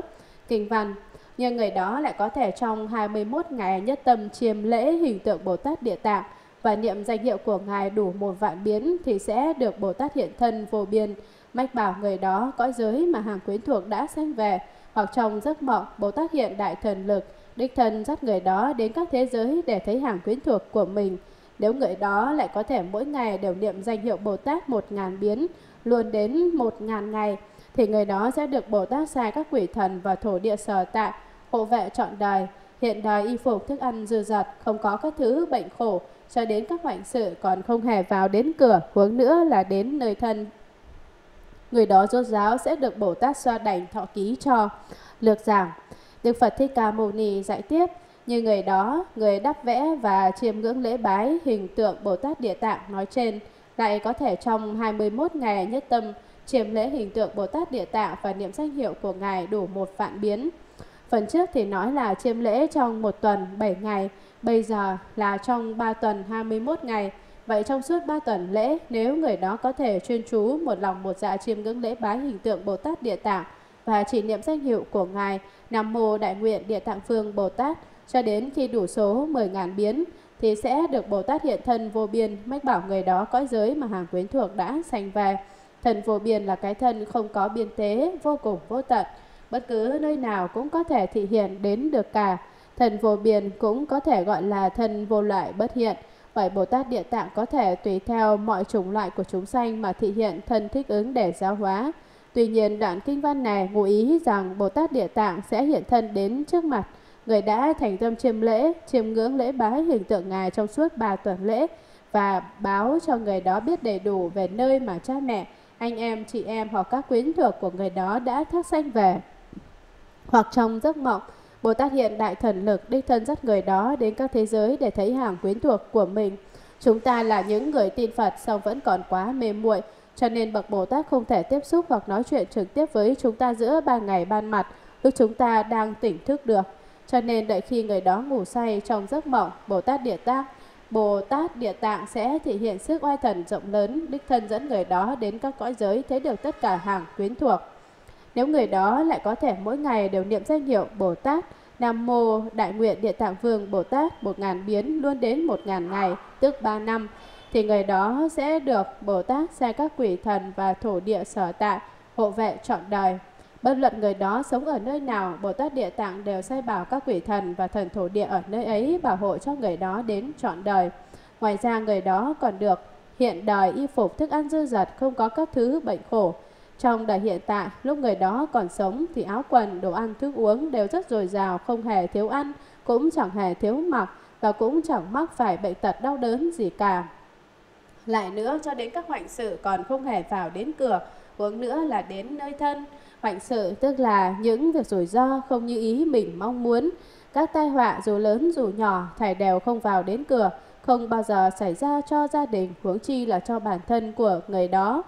Người đó rốt giáo sẽ được Bồ Tát Sa đảnh thọ ký cho và bảo rằng Này thiện nam tử, ông đã phát tâm Bồ Đề rộng lớn, tương lai ắt sẽ kết thành quả Bồ Đề đấy.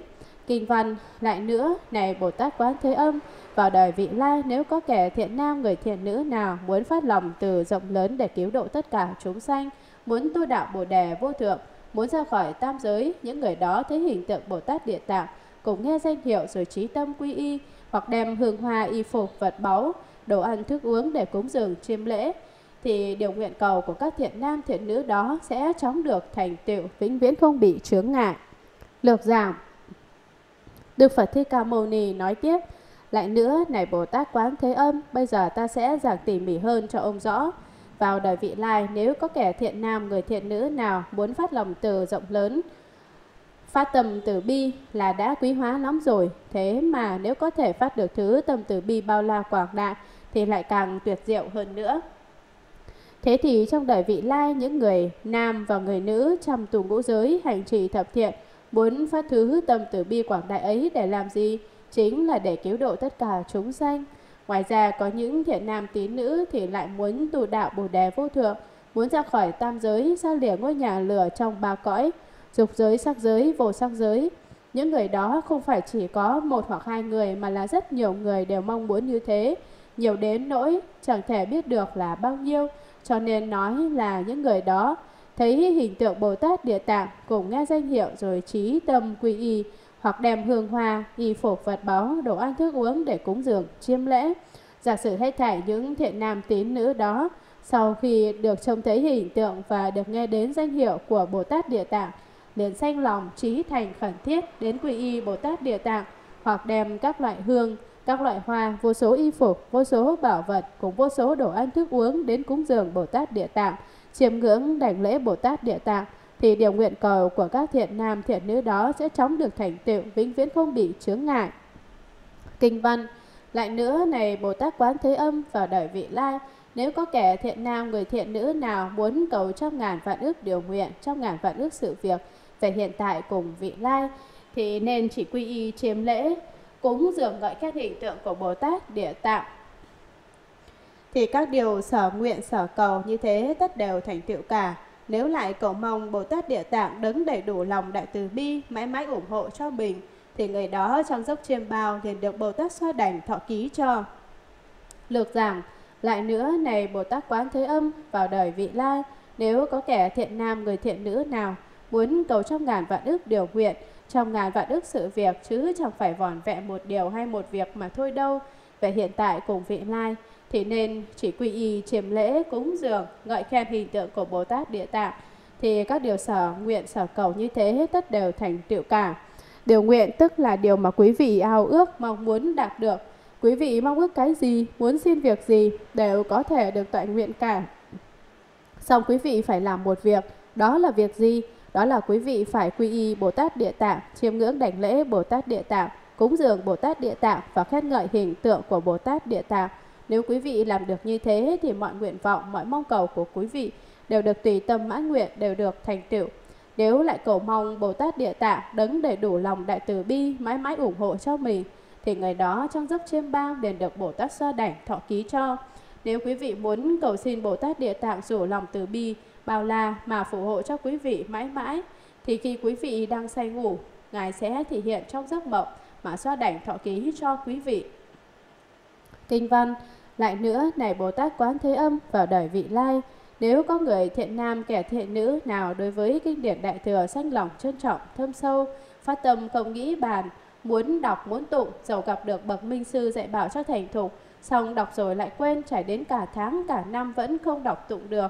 Những kẻ thiện nam này vì có nghiệp chướng đời trước chưa trừ sạch, cho nên đối với kinh điển Đại Thừa không có tánh đọc tụng.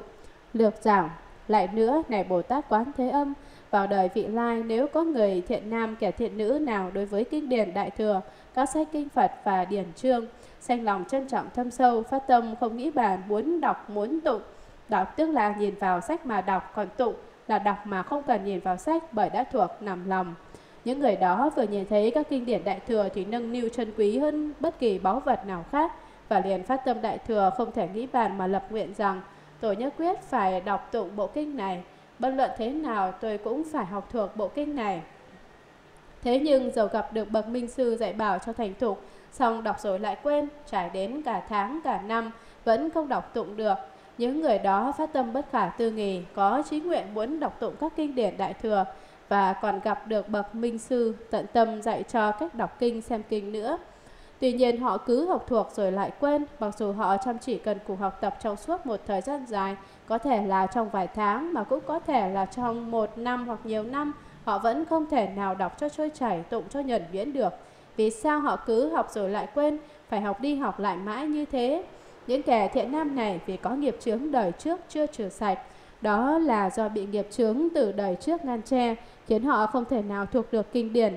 Vì nghiệp chướng mà họ cảm thấy lười biếng không muốn tụng kinh, vì nghiệp chướng mà lúc họ học kinh thì cơn buồn ngủ ập đến, vì nghiệp chướng mà lúc họ muốn đọc tụng thì đầu óc lại hôn trầm. Tuy nhiên cũng thật là kỳ lạ, khi không tụng kinh thì họ thấy đầu óc rất tỉnh táo, nhưng hết tụng kinh thì họ lại cảm thấy buồn ngủ. Cứ đặt quyển kinh xuống không tụng nữa thì con ma ngủ bỏ đi, mà hễ cầm quyển kinh lên để tụng thì con ma ngủ lại kéo tới. Tôi tin rằng vài người trong quý vị đã có kinh nghiệm về việc này. Quý vị muốn nghe kinh ư, ngay tức khắc cơn buồn ngủ xâm chiếm quý vị. Ngược lại nếu quý vị nói chuyện thị phi, nói những chuyện vô ích, thì càng nói càng hăng say, càng nói càng hào hứng. Nói đến nỗi nước miếng văng tới tấp như mưa vậy mà cũng chẳng thấy mệt mỏi hoặc buồn ngủ chút nào. Cho nên đối với kinh điển Đại Thừa không có tánh đọc tụng, do vì nghiệp chướng chưa được tiêu trừ nên họ không có khả năng đọc tụng, không có được sức nhớ dai, không thể học thuộc kinh điển Đại Thừa, kinh văn. Những hạng người này khi nghe danh hiệu của Địa Tạng Bồ Tát cũng thấy hình tượng của Địa Tạng Bồ Tát thì nên đem hết bổn tâm mà cung kính bày tỏ, rồi dùng hương hoa y phục, đồ ăn thức uống cùng tất cả đồ chơi cúng dường Bồ Tát. Lại đem một chén nước trong, đặt trước Bồ Tát một ngày một đêm, sau đó chắp tay thỉnh để uống, mặt dai về, hướng Nam. Khi nước sắp vào miệng phải trí tâm trịnh trọng, uống nước xong phải kiêng cữ ngũ tân, rượu thịt, tà dâm, vọng ngữ và các việc giết hại trong 7 ngày hoặc 21 ngày. Những người thiện nam thiện nữ này trong giấc chiêm bao sẽ thấy Bồ Tát Địa Tạng hiện thân vô biên đến chỗ họ, à, mà dưới nước quán đành cho những người này thức dậy liền được thông minh các kinh điển một phen lọt vào nhĩ căn thì liền nhớ mãi, không còn quên một câu kinh hay một bài kệ nữa lược giảng, đức phật thích ca mâu ni nói tiếp, những hạng người này khi nghe danh hiệu của Địa Tạng Bồ Tát cùng thấy hình tượng của Địa Tạng Bồ Tát thì nên đem hết bổn tâm mà cung kính bày tỏ. Bày tỏ tức là trình bày nói rõ ý kiến của mình. Bày tỏ ý kiến gì? Những người đó trở nên buồn bã yêu sầu vì sự kém nhớ dễ quên, học đâu quên đó của mình. Chỉ cần khi họ nghe được danh hiệu của Bồ Tát Địa Tạng, trông thấy hình tượng của Bồ Tát Địa Tạng, họ nên dốc trọn vẹn bổn tâm, tức là diệu minh chân tâm, cái tâm chân thật vi diệu sáng suốt của chính mình, chứ không phải cái tâm gian dối xảo trá, mà cung kính thưa trình với Địa Tạng Vương Bồ Tát, khấn nguyện rằng, Nam Mô Địa Tạng Vương Bồ Tát, xin Ngài từ bi giúp con dẹp trừ con ma ngủ, xua tan mọi ma chướng đang ngăn che trí nhớ của con để cho đầu óc con được sáng suốt, minh mẫn, có khả năng ghi nhớ thật tốt. Rồi dùng hương hoa y phục, đồ ăn, thức uống, cùng tất cả đồ chơi cúng dường bồ tát. Thức uống ở đây không phải là rượu, mà là nước lọc, nước đã đun sôi để uống. Quý vị chớ lầm thức uống này là rượu, không phải vậy đâu. Nếu quý vị uống rượu thì trí nhớ của quý vị sẽ càng tệ hại hơn nữa đấy. Quý vị đem các món đồ chơi cúng dường Bồ Tát để làm gì? Bồ Tát cũng cần đồ chơi sao? Bồ Tát cũng thích đồ chơi sao? Thật ra ngay cả các đồ chơi như trái banh của trẻ con đều có thể đem cúng dường cho Bồ Tát Địa Tạng được cả. Địa Tạng Phương Bồ Tát không nhất thiết là sẽ chơi đá banh, nhưng nếu quý vị đem những đồ vật mà mình yêu thích đến cúng dường Ngài thì Ngài rất hoan hỉ. Lại đem một chén nước trong, phải là thứ nước thật tinh khiết, không được dùng nước dơ, đặt trước Bồ Tát một ngày một đêm. Những người đó nên lấy một chén nước trong đặt trước mặt địa tạng phương Bồ Tát để cúng dường suốt một ngày và một đêm. Sau đó chắp tay thỉnh để uống mặt dày về hướng nam. Khi nước sắp vào miệng thì phải trí tâm trịnh trọng. Lúc uống chén nước này, họ phải ngoảnh mặt về hướng Nam và phải hết sức cung kính, trân trọng, phải đem lòng trí thành khẩn thiết mà quán tưởng rằng Địa Tạng Vương Bồ Tát đã gia trì chén nước này. Tôi nhận thấy rằng điều này vô cùng quan trọng. Uống nước xong phải cữ, ngũ tân, rượu, thịt tá dâm vọng ngữ cùng các việc giết hại trong 7 ngày hoặc 21 ngày. Sau khi uống chén nước đó rồi thì đừng ăn năm thứ có mùi vị hăng nồng gọi là ngũ tân, tỏi, hành, hẹ, kiệu, nén, hương cừ. Năm thứ này đều làm gia tăng sự hôn trầm, khiến con người trở nên ngu si thêm và tâm dâm dục càng lớn mạnh hơn. Cho nên chúng ta cần phải kiêng cữ. Cữ tức là kiêng cữ, không nên dùng. Những người đó phải cẩn thận tránh dùng năm món hăng nồng này. Đừng dùng rượu thịt, đừng có hành vi sắc dục, đừng nói dối và đừng làm những việc giết hại. Sau khi kiên cữ ngăn ngừa như thế trong một tuần lễ hoặc ba tuần lễ, những người thiện nam thiện nữ này trong giấc chiêm bao sẽ thấy Bồ Tát Địa Tạng hiện thân vô biên, pháp thân vô biên, đến chỗ họ ở mà dưới nước quán đảnh cho.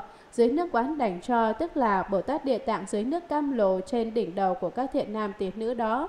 Trong 42 thủ nhãn có một ấn pháp gọi là tay cam lồ, cam lồ thủ. Đây chính là ấn pháp Bồ Tát dùng để quán đảnh cho quý vị. Tay cam lồ này hễ duỗi ra thì quý vị sẽ cảm thấy như được tắm mát, có nước xối xuống đầu mình gột rửa mọi cấu trược, trừ sạch hết thảy, nghiệp chướng. Nếu quý vị tu tập ấn pháp tay cầm lỗ đến chỗ thành tựu, thì trong tương lai quý vị cũng có thể quán đảnh cho người khác. Người tu tập theo pháp môn này quyết không được lười biếng, một ngày cũng không được gián đoạn, một ngày cũng không được trễ nải việc tu tập. Nếu bỏ sót một ngày không tu thì phải lặp lại lần nữa. Những người này thức dậy liền được thông minh, Quý vị có thấy kỳ lạ không? Họ ngủ một giấc, nằm mộng thấy mình được quán đảnh và khi thức dậy thì trở nên thông minh mẫn tiệp. Quý vị nói có tuyệt diệu hay không chứ? Quý vị có muốn mình cũng được như thế không? Nếu muốn được như thế thì quý vị hãy làm thử xem sao. Các kinh điển một phen lọt vào nhĩ căn biển nhớ mãi, không còn quên một câu kinh hay một bài kệ nữa. Trước kia thì họ hay quên, xong bây giờ thì không còn quên nữa. Cho dù họ muốn quên cũng chẳng thể nào quên được. Những người này ngay cả một câu kinh, một bài kệ tụng cũng không hề quên. Quý vị xem đấy thật là mầu nhiệm không thể nói được. Cũng như có người tìm cách để đừng đến Phật giáo giảng đường nữa, xong không nghĩ ra cách nào cả nên vẫn cứ đến đều đặn kỳ lạ như thế đó.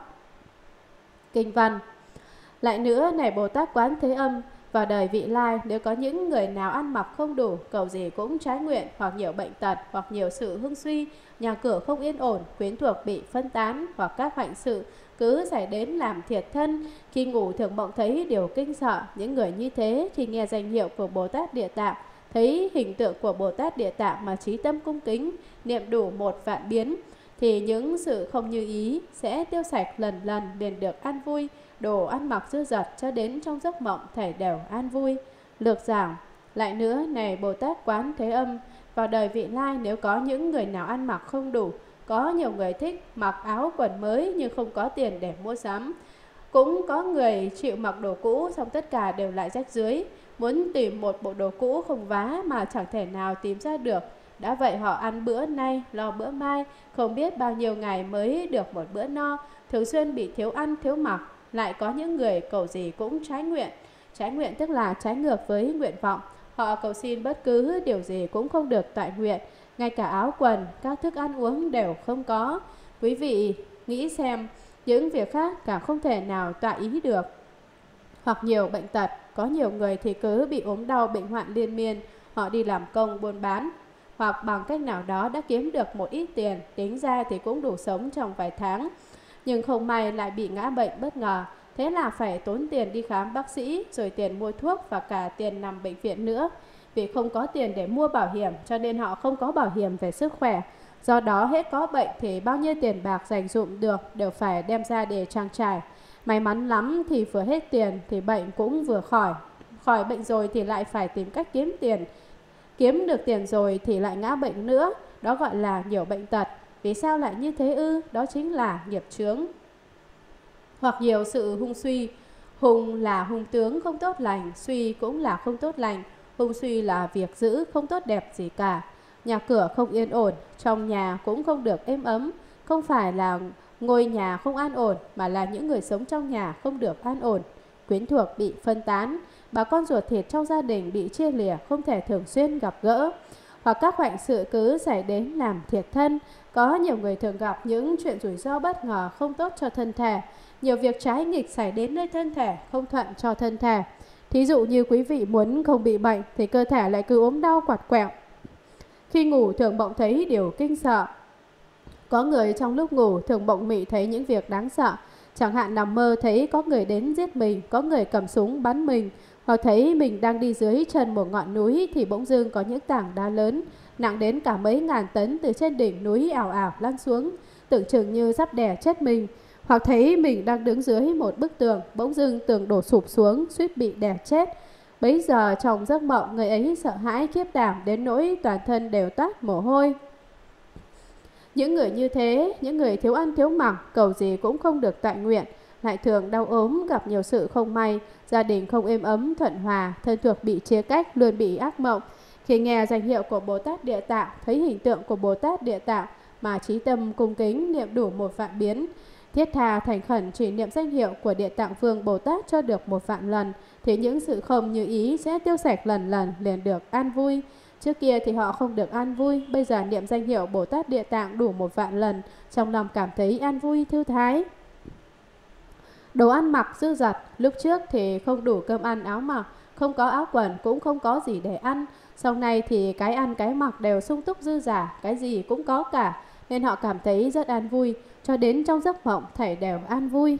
Kinh văn, lại nữa này Bồ Tát Quán Thế Âm vào đời vị lai, nếu có người thiện nam thiện nữ nào hoặc vì việc làm ăn sinh sống, hoặc vì việc công chuyện tư, hoặc vì sự sanh sự tử, hoặc vì việc khẩn cấp mà phải vào rừng lên núi, qua sông vượt biển cho đến gặp nước lớn hoặc đi ngang hiểm đạo, người đó trước tiên nên niệm danh hiệu của Địa Tạng Bồ Tát bộ phạm biến, thì đi qua nơi nào cũng có các vị quỷ thần hộ vệ, đi đứng nằm ngồi mãi mãi được an lạc, cho đến dẫu gặp cọp sói sư tử cùng tất cả mọi thứ độc hại cũng đều không thể làm thương tổn đến được.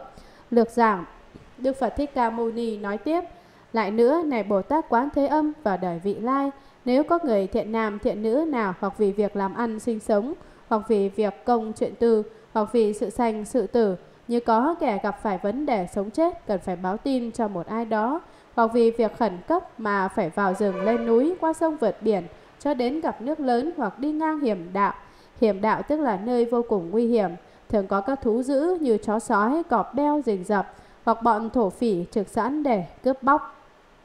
Người đó trước tiên nên niệm danh hiệu của Địa Tạng Bồ Tát một vạn biến.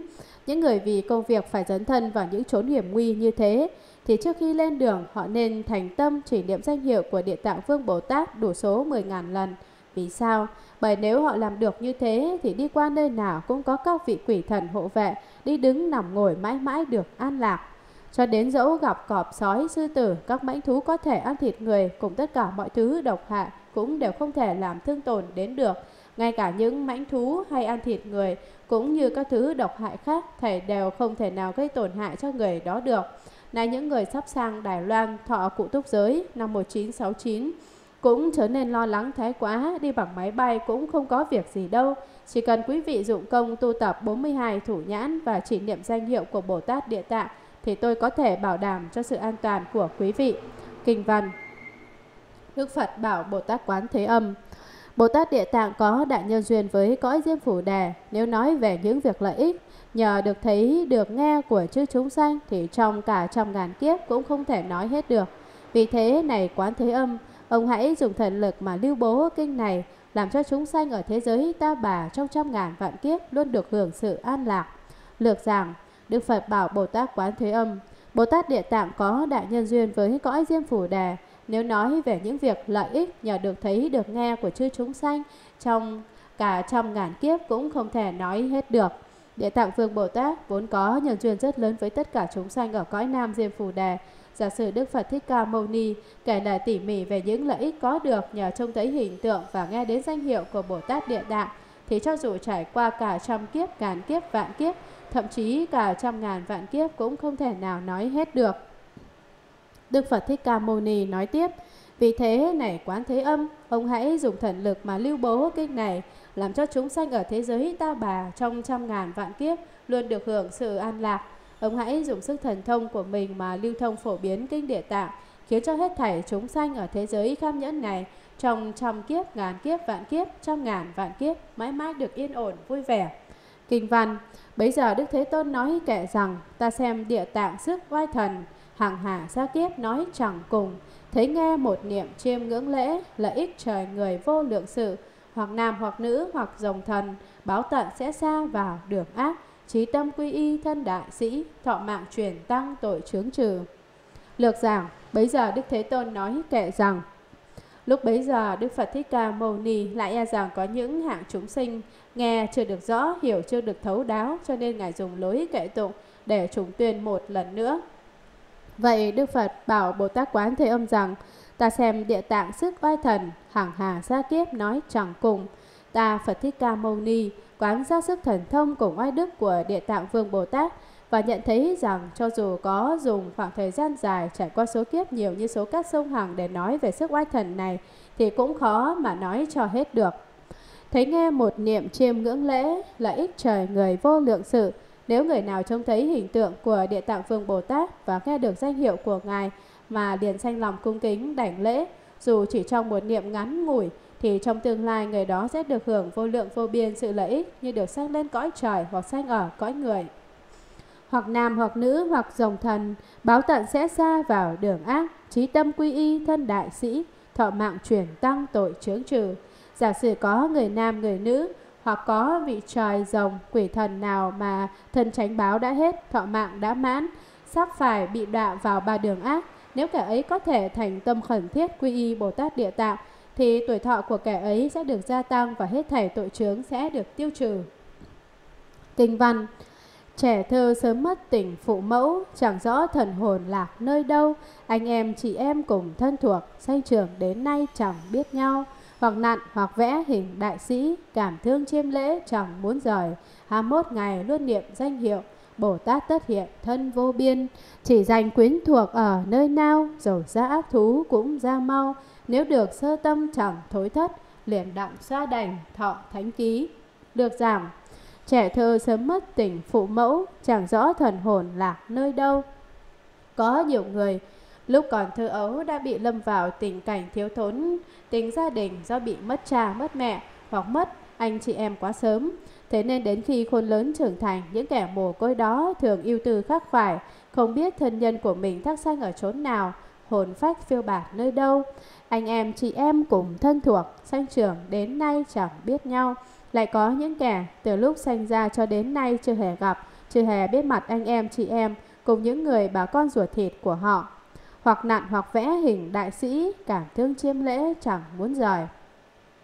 Những người ấy hoặc dùng đất sét, gỗ, đá, đồng sắt, vàng bạc để tạo tượng Bồ Tát Địa Tạng hoặc tô vẽ hình Bồ Tát Địa Tạng trên giấy. Bấy giờ trong lòng họ nảy sinh cảm giác buồn giàu, đau xót, cứ lưu luyến ngắm nhìn và thường xuyên thành tâm đảnh lễ hình tượng Bồ Tát Địa Tạng không muốn xa rời. 21 ngày luôn niệm danh hiệu Bồ Tát tất hiện thân vô biên chỉ dành quyến thuộc ở nơi nào Dầu xa ác thú cũng ra mau. Trong suốt thời gian ba tuần lễ Nếu những người đó có thể lúc nào cũng một lòng chỉ niệm danh hiệu của Địa Tạng Vương Bồ Tát Thì Ngài sẽ thể hiện pháp thân vô biên Mà báo cho biết nơi thác sanh của cha mẹ hoặc anh em chị em của họ. Trong trường hợp thân nhân của họ đang bị đọa lạc trong bốn đường ác Thì cũng sẽ mau chóng được thoát ra. Nếu được sơ tâm chẳng thối thất, liền đặng xa đành thọ thánh ký.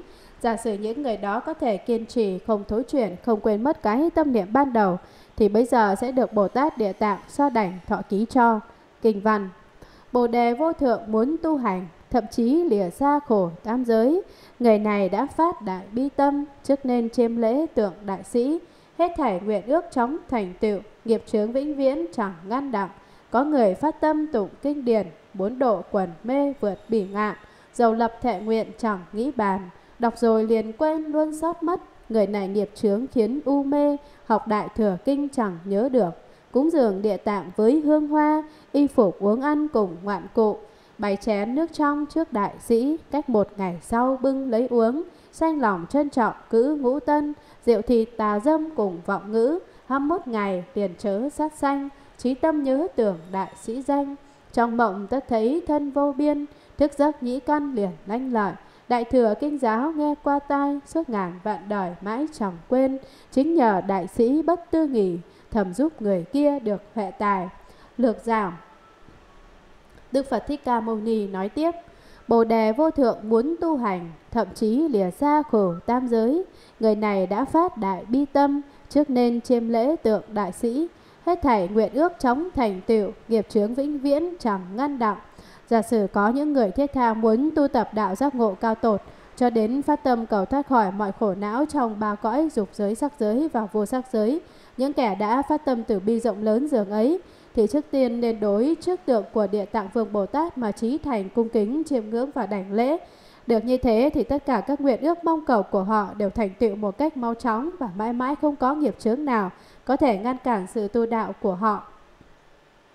Có người phát tâm tụng kinh điển, muốn độ quẩn mê vượt bỉ ngạn, dầu lập thệ nguyện chẳng nghĩ bàn, đọc rồi liền quên luôn sót mất.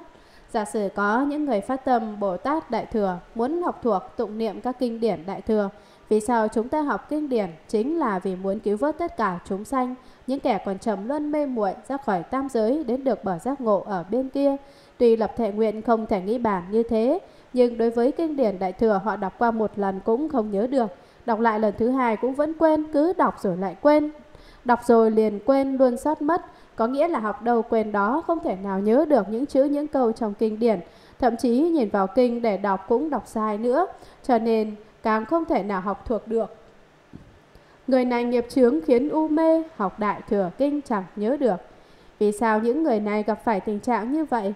Bởi vì họ bị nghiệp chướng rất nặng nề ngăn che, khiến họ không thể nhớ được kinh điển. Đối với kinh điển đại thừa, họ làm cách nào cũng không thể học thuộc được. Vậy thì phải làm thế nào? cúng dường địa tạng với hương hoa, y phục uống ăn cùng ngoạn cụ.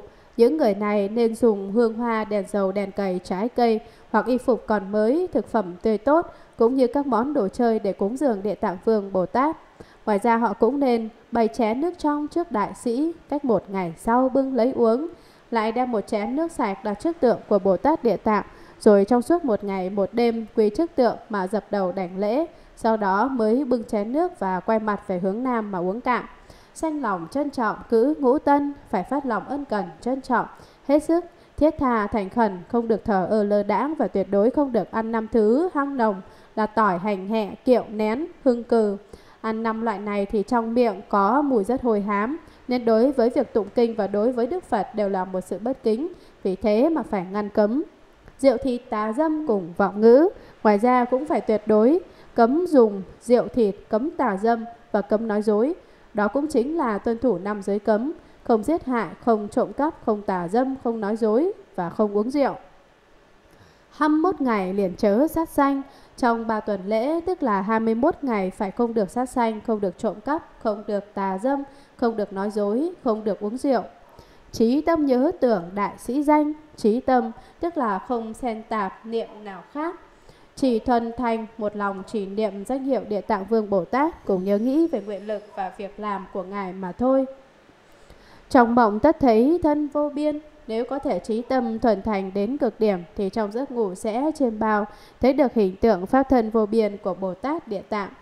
Thức giấc nhĩ can liền lanh lợi, đại thừa kinh giáo nghe qua tai, suốt ngàn vạn đời mãi chẳng quên, và đến lúc thức dậy thì sẽ được nhĩ căn lành lợi nhạy bén. Điều gì cũng chỉ nghe một lần là nhớ mãi, vĩnh viễn không bao giờ quên.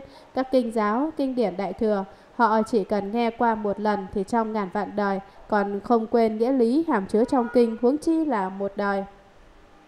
Chính nhờ đại sĩ bất tư nghỉ thẩm giúp người kia được huệ tài. Những nhân duyên đã nói ở trước là do thần thông không thể nghĩ bàn, cảnh giới không thể nghĩ bàn của Bồ Tát Địa Tạng mà có được. Ngài Địa Tạng có thần lực cảm ứng đạo giao, có thể khiến cho người kém trí nhớ có được trí nhớ tốt, kẻ ngu si kém cỏi được trở thành thông minh lanh lợi. Kinh văn Chúng sinh nghèo khổ lại bệnh tật, nhà cửa hung suy quyến thuộc lìa, ngủ mê mộng mị không an giấc, cầu chi cũng hỏng chẳng toại lòng, trí tâm chiêm lễ tượng địa tạng. Tất cả việc ác thầy tiêu trừ cho đến mộng mị đều an ổn, quỷ thần ủng hộ dư ăn mặc, muốn vào núi rừng qua sông biển, cầm thú độc dữ cùng người ác, ác thần ác quỷ với ác phong, hết thảy tai nạn mọi khổ não, chỉ cần chiêm lễ cùng cúng dường, địa tạng Bồ Tát đại sĩ tượng, núi rừng biển cả dẫu có vào, tất cả sự ác đều tiêu sạch. Quán âm hãy lắng nghe ta nói, địa tạng vô tận không nghĩ bàn, trăm ngàn muôn kiếp chẳng kẻ xiết, rộng tuyên đại sĩ sức như vậy. Như người nghe đến địa tạng danh, thậm chí thấy hình cùng chiêm lễ hương hoa thực phẩm và y phục cúng dường trăm ngàn, hưởng diệu lạc. Nếu đem hồi hướng khắp pháp giới, rốt giáo thành Phật thoát sanh tử. Vì thế quán âm ông hãy nên bảo khắp hàng xa các cõi nước, lược giảng. Chúng sanh nghèo khổ lại bệnh tật, nhà cửa hung suy quyến thuộc lìa, ngủ mê mộng mị không an giấc. Giả sử có những chúng sanh rất nghèo nàn khốn khổ, thường ốm đau bệnh hoạn, nhà cửa xảy ra nhiều tai họa, lắm việc không may, gia cảnh xa sút lộn bại, hoặc họ hàng thân thuộc bị chia lìa xa cách, khiến cho họ trong lúc ngủ cứ gặp toàn ác mộng, trên bao thấy những việc hung hiểm đáng sợ. Cầu chi cũng hỏng chẳng tọa lòng. tọa lòng tức là vừa lòng hợp ý, cầu chi được nấy. Có nhiều người bất luận phát thệ nguyện gì hoặc mong cầu điều gì thì đều bị trái nghịch không được tại nguyện, không được như ý mình mong đợi. Thậm chí trong lúc nằm mộng mà cầu xin việc gì cũng bị trái với tâm nguyện của mình. Trí tâm chiêm lễ tượng địa tạng, tất cả việc ác thầy tiêu trừ, cho đến mộng mị đều an ổn, bất luận có vấn đề khó khăn nan dài gì. Chỉ cần quý vị trí thành khẩn thiết đến trước tượng Bồ Tát Địa Tạng mà cúi đầu đảnh lễ thì mọi việc xấu, mọi điều ác vô hình chung đều được tiêu tan, tất cả sẽ trở nên kết tường thuận lợi. Thậm chí trong giấc ngủ mộng mị cũng đều bình an tốt lành. Quỷ thần ủng hộ dư ăn mặc. Quý vị thường chiêm ngưỡng lễ lại Bồ Tát Địa Tạng thì hết thảy quỷ thần đều theo bảo vệ và khiến cho tất cả sự việc của quý vị đều được như ý tốt đẹp, y phục, vật thực đều được dồi dào, dư ăn, dư mặc. Muốn vào núi rừng qua sông biển, cầm thú độc dữ cùng người ác. Giả sử có những người phải dấn thân vào hiểm đạo như vào rừng sâu, núi cao, hoặc vượt qua biển cả, gió to, sóng lớn, nơi có người ác, giặc cướp hoặc rồng độc, thú dữ, hổ beo luôn rình rập. Ác thần ác quỷ với ác phong, đừng cho rằng các vị thần đều là thiện thần cả đâu, thần cũng có thiện thần ác thần và quỷ cũng có thiện quỷ ác quỷ. Ngay cả gió cũng có gió dữ ác phong, tức là sóng gió do yêu ma quỷ quái gây nên. Hết thầy tai nạn mọi khổ não chỉ cần chiêm lễ cùng cúng dường, địa tạng, Bồ Tát, Đại Sĩ Tượng. Trước khi phải đối diện với những tai nạn, những sự thống khổ như thế, quý vị nên chiêm lễ Bồ Tát Địa Tạng và cúng dường thánh tượng của Bồ Tát Địa Tạng, thì núi rừng biển cả dẫu có vào, tất cả sự ác đều tiêu sạch. Bây giờ các ác nhân, ác thú, ác cầm ở chốn núi rừng cùng các ác long, ác quỷ, ác thần nơi biển cả, hết thảy sự ác đều sẽ bị tiêu diệt, bạt tâm, bạt tích. Đức Phật Thích Ca Mâu Ni dạy tiếp, Quán âm hãy lắng nghe ta nói, địa tạng vô tận không nghĩ bàn, trăm ngàn muôn kiếp chẳng kẻ xiết, rộng tuyên đại sĩ sức như vậy. Này Bồ Tát Quán Thế Âm, ông hãy trí tâm lắng nghe ta nói đây, oai thần nguyện lực và hết thảy mọi thứ của Bồ Tát Địa Tạng đều là bất khả tư nghị, không thể suy lường, không thể bàn luận. Chớ bảo rằng ta tuyên nói trong một thời gian ngắn ngủi như thế, cho dù có nói suốt cả thời gian dài bằng cả trăm ngàn vạn ức kiếp đi chăng nữa cũng chẳng thể nào nói cho xiết được. Nhưng người đến, người nghe đến địa tạng danh, thậm chí thấy hình cùng chiêm lễ, hương hoa, thực phẩm và y phục. Nếu có người nghe đến danh hiệu của Bồ Tát Địa Tạng, hoặc không chỉ nghe danh mà còn thấy tượng của Bồ Tát Địa Tạng nữa, hoặc là đối trước tượng của Bồ Tát Địa Tạng mà chiêm ngưỡng lễ bái, dùng đủ thứ hương hoa y phục, đồ ăn thức uống để cúng dường, thì cúng dường trăm ngàn hưởng diệu lạc. Bởi cúng dường Bồ Tát Địa Tạng thì thủ thắng hơn cúng dường các Bồ Tát khác gấp trăm ngàn vạn ước lần, cho nên trong tương lai nhất định sẽ được hưởng sự diệu lạc thủ thắng. Nếu đem hồi hướng khắp pháp giới, rốt giáo thành Phật thoát sanh tử, nếu quý vị có thể đem công đức có được từ sự cúng dường Bồ Tát Địa Tạng, lễ bái Bồ Tát Địa Tạng hoặc xưng niệm danh hiệu Bồ Tát Địa Tạng mà hồi hướng cho tất cả chúng sanh trong pháp giới, thì tương lai quý vị nhất định sẽ thành Phật, liễu sành thoát tử. Vì thế quán âm ông hãy nên bảo khắp hàng xa các cõi nước. Thế nên này Bồ Tát quán thế âm, ông cần phải biết rằng ông nên đi tuyên nói công đức thần thông diệu dụng của Bồ Tát Địa Tạng, phổ cáo cho khắp chúng sanh trong hàng hà sa số cõi nước được biết rõ. Thay thế Bồ Tát Địa Tạng hoàng dương nguyện lực của ông ấy, đó chính là việc mà ông cần phải làm vậy. Đây là phẩm giao phó cho trời người Trúc Lị Nhân Thiên, phẩm thứ 13 và cũng là phẩm cuối cùng của bộ kinh Địa Tạng. Thế nào gọi là trúc? Trúc là trúc phó, có nghĩa là giao phó ủy thác cho. Lụy là lao lụy, tức là khó nhọc, mệt nhọc.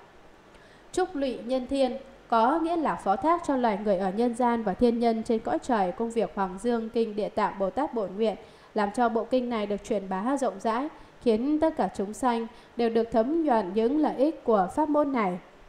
Kinh văn Lúc đó Đức Thế Tôn giơ cánh tay sắc vàng xoa đảnh Địa Tạng Bồ Tát Ma Ha Tát mà bảo rằng Này Địa Tạng, Địa Tạng, thần lực của ông không thể nghĩ bàn, đức từ bi của ông không thể nghĩ bàn, trí huệ của ông không thể nghĩ bàn, biện tài của ông không thể nghĩ bàn, dầu cho chư Phật ở mười phương khen ngợi tuyên nói những sự không nghĩ bàn của ông, trong ngàn vạn kiếp cũng chẳng nói hết được.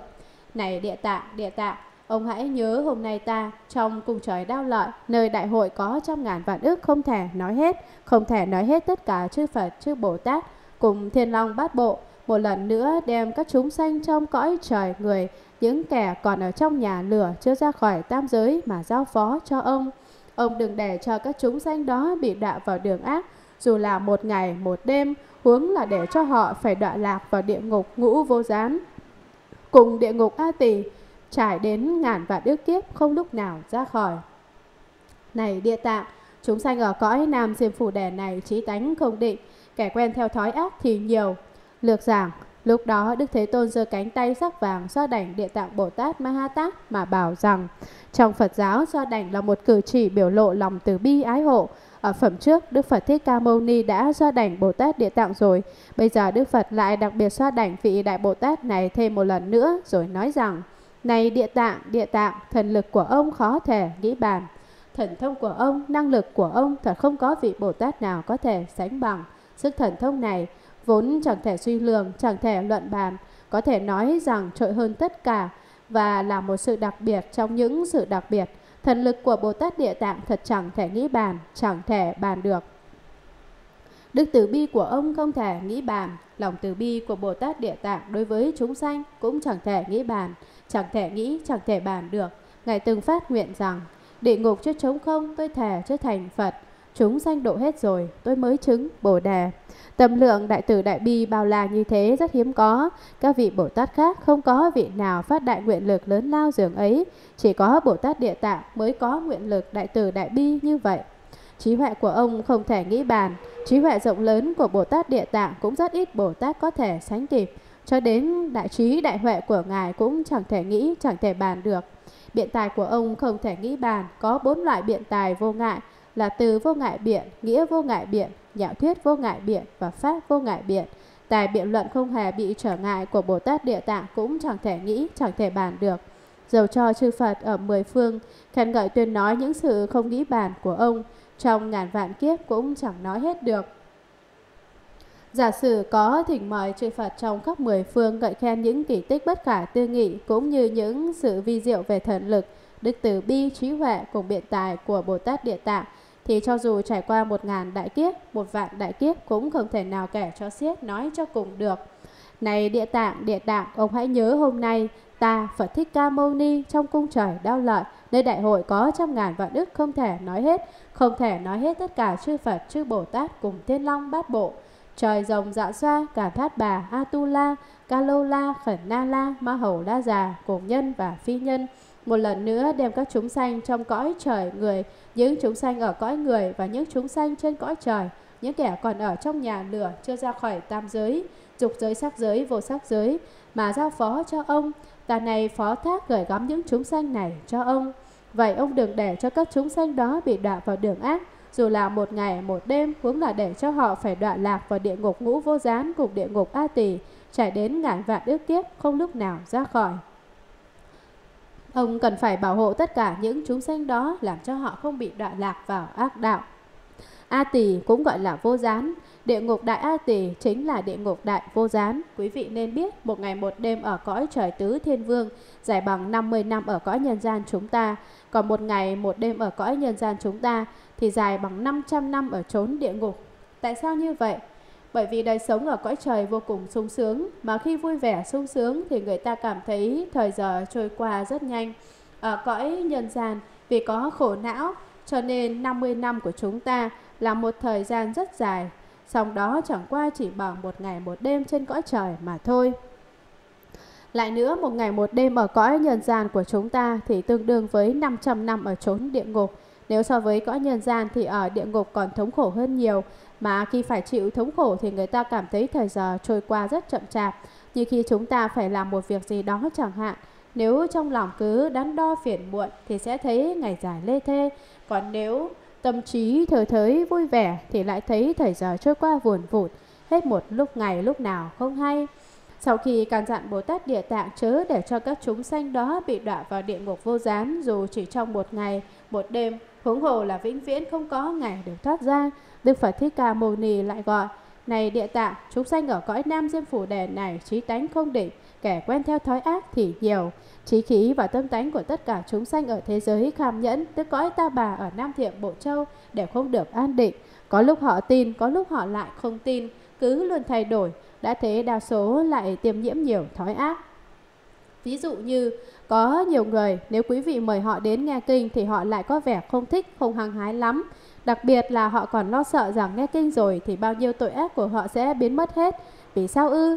Đó là vì họ đã quen làm điều ác, lại còn tìm cách che đậy tội lỗi của mình, không muốn sửa đổi, chẳng chịu hối cải. Ví dụ trò cờ bạc, nhiều người chẳng cần phải có ai bày vẽ cho cả, chỉ đến dòng bài nhìn lướt qua một lượt là tự nhiên biết cách bấm máy, thắng hay thua được hay mất, cứ từ từ tự rút kinh nghiệm. Những người thường đến các sòng bài ở Reno, Las Vegas đều rất thông minh. Họ chỉ nhìn thoáng qua là biết cách chơi ngay, chẳng cần ai chỉ dẫn mà vẫn rất thành thạo. Tuy nhiên nếu quý vị bảo họ học điều hay lẽ phải, thì dù có tận tâm dạy dỗ đến thế nào đi nữa họ cũng không lãnh hội được. Cho nên nói kẻ theo thói ác thì nhiều. Đức Phật đã sớm biết rõ mọi thứ thói hư tật xấu của chúng sanh chúng ta. Nhìn chúng sanh chúng ta Ngài thấu rõ được đến tận xương tủy, biết được những gì đang tiềm ẩn trong tận cùng tâm tánh của chúng ta. Kinh văn Dầu phát hiện tâm nhưng chốc lát liền thối thất, nếu gặp ác duyên thì niệm niệm tăng trưởng. Vì thế cho nên ta phải phân thân này ra làm trăm ngàn ước để hóa độ, tùy theo căn tánh mà độ thoát cho họ. Lược giảng, dầu phát hiện tâm nhưng chốc lát liền thối thất. Chốc lát là khoảng thời gian hết sức ngắn ngủi, chỉ trong một thoáng là liền thối thất thiện tâm không còn gì cả. Nhiều người phát tâm làm việc thiện nhưng chẳng được bao lâu lại hối tiếc. Ôi tôi bố thí nhiều như vậy chẳng biết có được đền bù cái gì không? Như vua lường võ đế cũng đã từng thắc mắc. Tôi cất biết bao nhiêu là cảnh chùa, giúp độ được biết bao nhiêu là tăng sĩ, lại từng bố thí cúng dường nhiều vô số kẻ. Vậy chẳng hay công đức của tôi to lớn đến cỡ nào, chẳng hay tôi có được công đức hay chăng? Và sau đó thì nhà vua lại xanh lòng thối truyền. Nếu gặp ác duyên thì niệm niệm tăng trưởng. Ác duyên tức là duyên bất tịnh, mà duyên bất tịnh lại chính là nhân duyên đọa lạc. Phạm quý vị gây ra những nhân duyên đọa lạc thì đều được xem như là gây tạo ác duyên, chẳng hạn như làm những việc ngu xuẩn, khởi lòng sân hận hoặc sanh lòng tham vậy. Nếu quý vị có tâm tham dục thì sẽ tham tài tham sắc, có tâm sân hận thì sẽ muốn giết người đốt nhà, có tâm ngu si thì sẽ muốn đạt được những điều không thể đạt được. Đó đều là những ác duyên. Một khi gặp phải ác duyên thì thói ác mỗi niệm mỗi tăng trưởng, cái niệm xấu ác, cái tâm xấu ác mỗi lúc mỗi lớn mạnh hơn. Đức Phật Thích Ca Mâu Ni nói tiếp, vì thế cho nên ta phải phân thân này ra làm trăm ngàn ước để hóa độ, bởi chúng sanh khó độ như vậy, dầu họ có phát hiện tâm đi nữa, thì cũng chỉ trong khoảnh khắc là liền thối thất. Nếu lại gặp ác duyên thì tâm ác càng lúc càng tăng trưởng, cho nên ta phải thích ca mâu ni, phải phân chia thân hình của ta, dùng trăm ngàn vạn ước pháp môn phương tiện để giáo hóa chúng sanh, tùy theo căn tánh mà độ thoát cho họ, khiến cho tất cả đều được ly khổ, đắc lạc.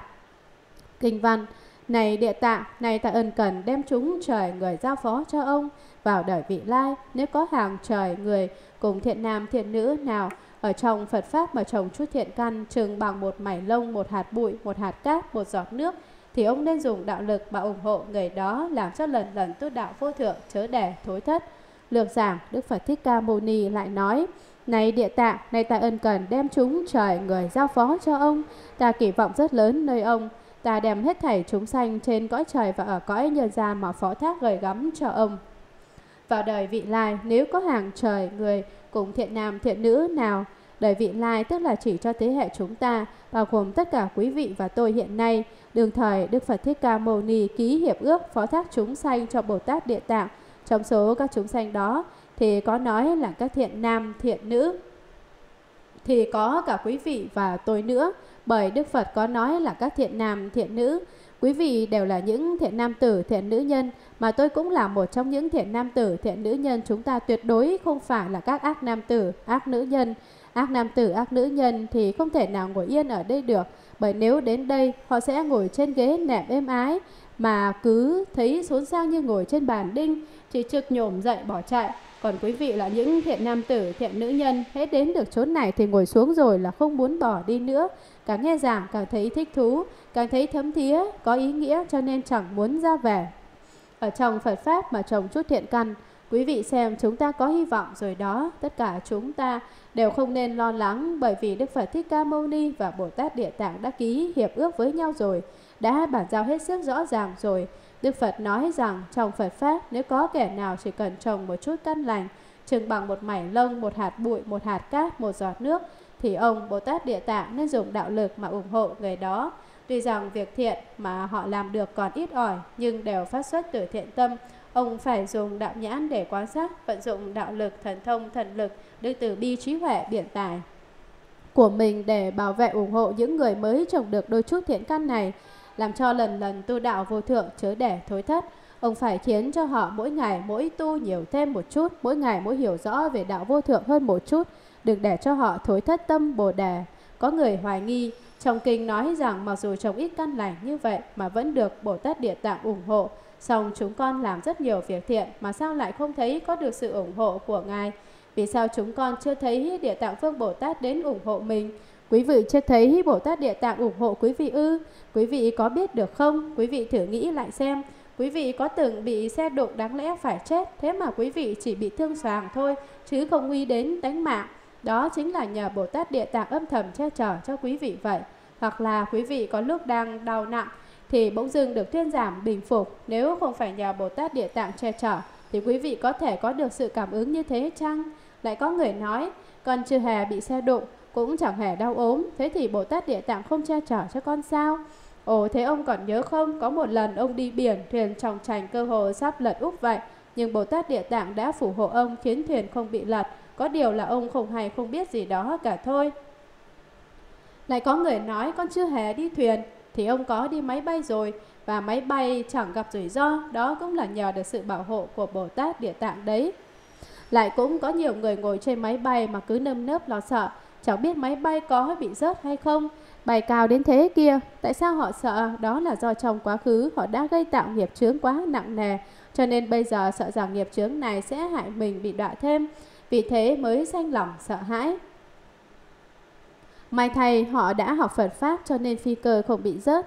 Có người lại nói tôi không sợ gì cả, ông không sợ gì cả ư. Đó là nhờ Bồ Tát Địa Tạng phù hộ và ban cho ông lòng can đảm đấy. Trên đây là một vài trường hợp điển hình về sự linh cảm của Địa Tạng Vương Bồ Tát. Bất luận quý vị là ai, tất cả quý vị đều nên tin tưởng Địa Tạng Vương Bồ Tát bởi vì Đức Phật Thích Ca Mâu Ni và Ngài đã ký hiệp ước tại cùng trời đào lợi. Ngài sẽ bảo hộ quý vị, tôi và tất cả chúng sanh đời hiện tại bởi vì đó là trách nhiệm của Ngài, quý vị không thể không tin tưởng. Kinh văn, lại nữa này địa tạng trong đời vị lai hoặc trời hoặc người phải tùy theo nghiệp mà thọ báo ứng đọa lạc vào ác đạo, lúc sắp bị đọa ác đạo hoặc vừa đến ngưỡng cửa những chúng sanh đó nếu có thể niệm được danh hiệu của một đức Phật, danh hiệu của một vị Bồ Tát cùng một câu kinh, một bài kệ của kinh điển Đại thừa thì ông hãy dùng thần lực phương tiện để cứu vớt các chúng sanh đó và chỗ của các người đó hiện thân vô biên vì họ mà phá tan địa ngục, làm cho họ được sanh thiên, hưởng sự vui thủ thắng vi diệu. Bấy giờ Đức Thế Tôn liền nói kệ rằng, lược giảng, lại nữa này địa tạng, ta lại bảo thêm cho ông rõ một đôi điều nữa. Trong đời vị lai hoặc trời hoặc người, phải tùy theo nghiệp mà thọ báo ứng đọa lạc vào ác đạo, lúc sắp bị đọa ác đạo hoặc vừa đến ngưỡng cửa, Giả sử vào đời sau có những thiên nhân trên cõi trời hoặc những người ở cõi nhân gian vì nghiệp chướng mình chót gây tạo nên phải chịu quả báo bị đọa vào ba đường ác. Thì ngay khi họ sắp sửa đọa lạc trong đường ác hoặc vừa đến trước cửa địa ngục, những chúng sinh đó nếu có thể niệm được danh hiệu của một Đức Phật, danh hiệu của một vị Bồ Tát, cùng một câu kinh, một bài kệ của kinh điển Đại Thừa, thì ông hãy dùng thần lực phương tiện để cứu vớt các chúng sanh đó. Ông hãy vận dụng sức thần thông của mình, đồng thời khéo dùng các quyền xảo phương tiện để cứu độ họ. Đồng thời ở chỗ của các người đó hiện thân vô biên, ngay tại nơi mà những người đó đang cư ngụ, ông hãy hiển bày thân vô biên, thị hiện thần thông với đại oai thần, đại oai đức vô biên của mình. Ông hãy vì họ mà phá tan địa ngục, làm cho họ được sanh thiên. Ông hãy vùng tích trượng, mở tan cửa địa ngục, phóng thích loài ngạ quỷ, khiến những chúng sanh đang chịu tội khổ đều được sinh về cõi trời, hưởng sự vui thủ thắng vi diệu. Bấy giờ Đức Thế Tôn liền nói kệ rằng, lúc đó Đức Phật Thích Ca Mâu Ni dùng kệ tụng để chúng tuyên lại nghĩa trên như sau. Kinh văn Hiện tại vị lai chúng thiên nhân, nay ta ân cần dạy bảo ông, dùng đại thần thông phương tiện độ, chớ để đọa vào các ác đạo.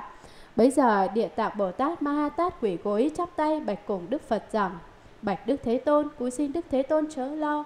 Trong đời vị lai, nếu có người thiện nam kẻ thiện nữ nào đối với trong Phật Pháp mà có một niệm cung kính, con cũng dùng trăm ngàn phương tiện để độ thoát người đó, làm cho mau được giải thoát trong đường sanh tử. Hướng nữa là nghe các thiện sự, rồi niệm niệm tu hành, thì sẽ tự nhiên ở nơi đạo vô thượng vĩnh viễn được không còn thối chuyển. Lược giảng. Lúc bấy giờ Đức Phật Thích Ca Mâu Ni nói kệ rằng Hiện tại vị lai chúng thiên nhân Đây ta ân cần dạy bảo ông Ta hiện nay với lòng hy vọng to lớn nhất Rất ân cần, rất trịnh trọng Giao phó cho ông một việc. Ta đem tất cả thiên nhân trên cõi trời Loài người ở nhân gian Cùng hết thảy chúng sanh trong đời hiện tại Và vị lai mà phó thác cho ông Bồ Tát Địa Tạng.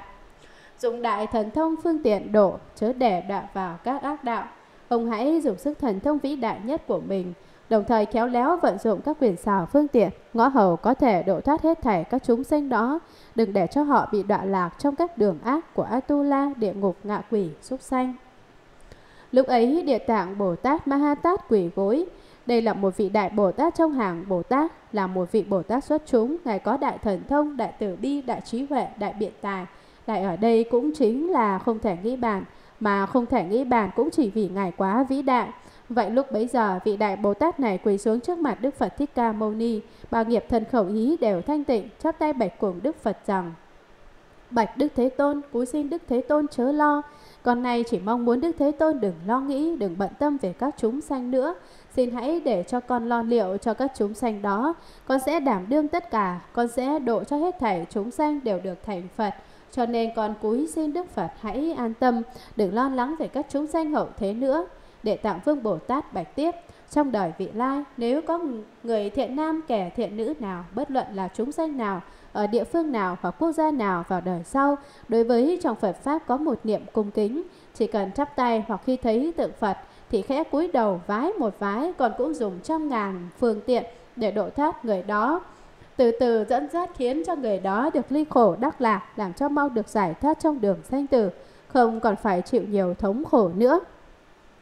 Chúng ta mỗi người đều nên tự hỏi chính mình trong đời này kiếp này, mình sanh ra ở cõi đời này rốt ráo là để làm gì, vì cái gì, mình cần phải làm những việc gì, phải chăng mình đến thế giới này là để sống buông thả, sống lay lắt, ăn no chờ chết, cứ ăn rồi ngủ, ngủ rồi lại ăn, ăn ngủ chán chê rồi thì chờ chết.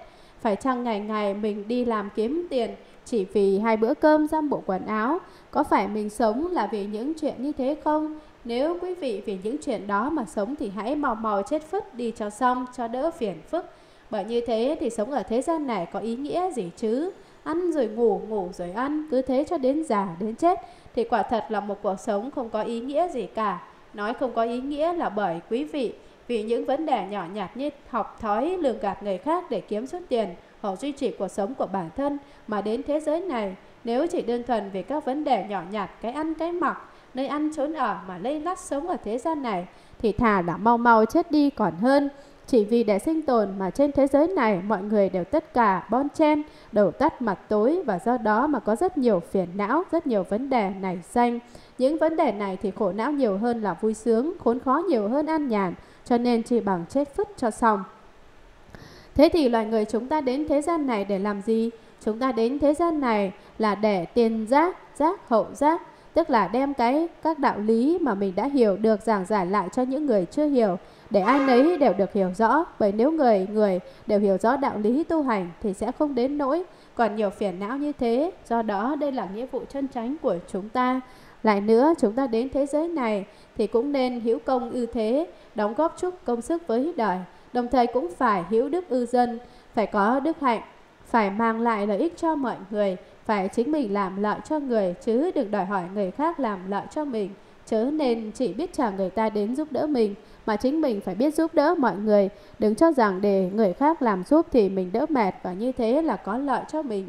Kỳ thật đó là bị hố to. Quý vị giúp đỡ người khác tức là làm việc tốt. Chúng ta nên làm những việc tốt, có ích cho thiên hạ, thậm chí lợi ích cho cả thiên hạ trong muôn đời sau nữa. Đức Phật Thích Ca Mâu Ni toàn làm lợi lạc cho hết thảy chúng sanh chúng ta và lịch đại tổ sư. Cùng trừ đại Bồ Tát cũng vậy, tất cả các ngài đều vì lợi ích của chúng sanh. Chúng ta muốn học Phật Pháp thì nên học theo gương của Đức Phật Thích Ca Mâu Ni cũng như của chư tổ sư, cùng chư đại Bồ Tát đừng xem Phật Pháp như những lời nói suông, đưa đãi ngoài cửa miệng mà nhất định phải làm cho tất cả mọi người đều hiểu rõ Phật Pháp, khiến cho ai nấy đều mau chóng được giải thoát. Đây là việc quan trọng nhất. Hướng nữa là nghe các thiện sự rồi niệm niệm tu hành. Ví dụ quý vị nghe nói có người muốn in kinh thì trong lòng vô cùng hoan hỷ.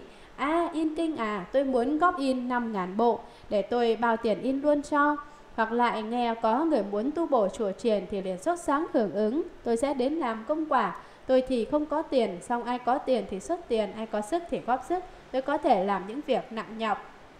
Hôm nay có người nói rằng anh ta dự tính rằng năm nhất định sẽ giúp xây một ngôi chùa. Có được một người phát tâm như thế rồi, nếu có thêm 10 người rồi hàng ngàn hàng vạn người đều phát tâm góp phần thì việc cất chùa sẽ mau chóng hoàn thành. Đây là việc lợi ích cho mọi người. Niệm niệm tu hành tức là trong từng niệm một đều không quên tu hành, luôn luôn tu hành thanh tịnh chứ không phải là niệm niệm muốn đi tạo nghiệp chướng thì sẽ tự nhiên ở nơi đạo vô thượng vĩnh viễn được không còn thối chuyển. Nếu người thiện nam cùng kẻ thiện nữ đó nghe các việc lành rồi luôn luôn tu hành thì tự nhiên họ sẽ không bao giờ còn thối chuyển đối với đạo quả Bồ đề vô thượng. Kinh văn Lúc nói lời ấy xong, trong pháp hội có một vị Bồ Tát tên là Hư Không Tạng bạch cùng Đức Phật rằng Bạch Đức Thế Tôn, con đến cung trời đau lợi, nghe Đức Như Lai ngợi khen oai thần, thế lực không thể nghĩ bàn của Bồ Tát Địa Tạng. Trong đời vị lai, nếu có người thiện nam, kẻ thiện nữ nào, cho đến tất cả hàng trời rồng nghe kinh điển này, cùng danh tự của Ngài Địa Tạng hoặc chiêm lễ hình tượng, thì sẽ được bao nhiêu điều phước lợi. Cuối mong Đức Thế Tôn vì tất cả chúng sanh ở hiện tại và vị lai mà được nói việc ấy cho. Lược giảng, lúc nói lời ấy xong, trong pháp hội có một vị Bồ Tát tên là Hư Không Tạng, đây là vị Bồ Tát mà trên đỉnh đầu có một bảo tàng Đó là một viên ngọc như ý. Với viên ngọc như ý này, người ta có thể muốn cái gì thì được cái nấy. Bởi viên ngọc này ở trên đầu của Bồ Tát, cho nên Ngài được coi là Bồ Tát hư không tạng. Quý vị có nhận ra Ngài không? Vị Bồ Tát mà trên đầu có đính một viên ngọc quý, viên ngọc tùy tâm như ý chính là Bồ Tát hư không tạng. Đó là biểu thị rằng các bảo bối của Ngài đều ở trong hư không, được tồn giữ trong hư không. Nếu quen biết được vị Bồ Tát này, tôi tin rằng quý vị chắc chắn sẽ không bao giờ bị nghèo túng nữa. Tại sao ư? Vì vị Bồ Tát này sẽ đem các bảo vật trong hư không tặng tặng cho quý vị. Và như thế đời đời kiếp kiếp quý vị sẽ không thể nào dùng cho hết được. Vậy lúc Bồ Tát Địa Tạng vừa dứt lời thì trong đại hội ở cung trời đau lợi có Bồ Tát hư không tạng bước ra và bạch cùng Đức Phật rằng Bạch Đức Thế Tôn còn đến cung trời đau lợi nghe Đức Như Lai ngợi khen oai thần thế lực không thể nghĩ bàn của Bồ Tát Địa Tạng từ cõi nước của mình, còn vượt qua có đến 8 vạn ước cõi nước để đến dự pháp hội tại cung trời đau lợi này. Còn được nghe Đức Thế Tôn tấm tắc ngợi khen Bồ Tát Địa Tạng về oai đức thần thông, cùng thế lực lớn lao chẳng thể nghĩ bàn. Đây là điều mà từ trước đến nay con chưa từng được nghe qua. Bồ Tát hư không tạng bạch tiếp, trong đời vị lai, nếu có người thiện nam kẻ thiện nữ nào cho đến tất cả hàng trời, rồng hoặc hết thảy tám bộ quỷ thần. Nghe kinh điển này, kinh địa tạng cũng danh tự của ngài địa tạng hoặc chiêm lễ hình tượng, thành kính, chiêm ngưỡng và lễ bái hình tượng của bồ tát địa tạng thì sẽ được bao nhiêu điều phước lợi, bao nhiêu loại phước báo, bao nhiêu sự lợi ích. Cuối mong đức thế tôn vì tất cả chúng sanh ở hiện tại và vị lai mà được nói việc ấy cho. Còn này thỉnh cầu Đức Thế Tôn xin Ngài hãy vì hết thảy chúng sanh đời hiện tại và đời vị lai mà nói sơ qua cho chúng con được rõ. Kinh văn. Đức Phật bảo Bồ Tát hư không tạng, lắng nghe, lắng nghe, ta sẽ vì ông mà nói rõ. Vào đời vị lai nếu có người thiện nam kẻ thiện nữ nào trông thấy hình tượng của Bồ Tát Địa Tạng cùng nghe kinh này cho đến đọc tụng, dùng hương hoa, đồ ăn thuốc uống, y phục châu báu mà bố thí cúng dường, ngợi khen chiêm lễ thì sẽ được 28 điều lợi ích. Lược giảng Đức Phật bảo Bồ Tát hư không tạng, lắng nghe, lắng nghe, đây là biểu thị của sự phải đặc biệt chú ý, Vậy Đức Phật Thích Ca Mâu Ni bảo Bồ Tát Hư Không Tạng rằng, Ông hãy thận trọng mà lắng nghe cho kỹ Hãy chú ý lắng nghe, Ta sẽ vì ông mà nói rõ Ta sẽ vì các ông mà phân biệt giảng nói. Này, ta sẽ nói rõ cho các ông. Nếu ông chẳng chú ý lắng nghe thì ta sẽ không nói nữa. Ta sẽ giảng giải cặn kẽ. Nhưng nếu ông chẳng chịu lắng nghe thì nào có ích lợi gì. Cũng như hiện tại tôi đang giảng kinh ở đây vậy. Quý vị cần phải chăm chú lắng nghe. Chú ý lắng nghe. Nếu chẳng lắng nghe mà cứ ngồi ngủ gà ngủ gật.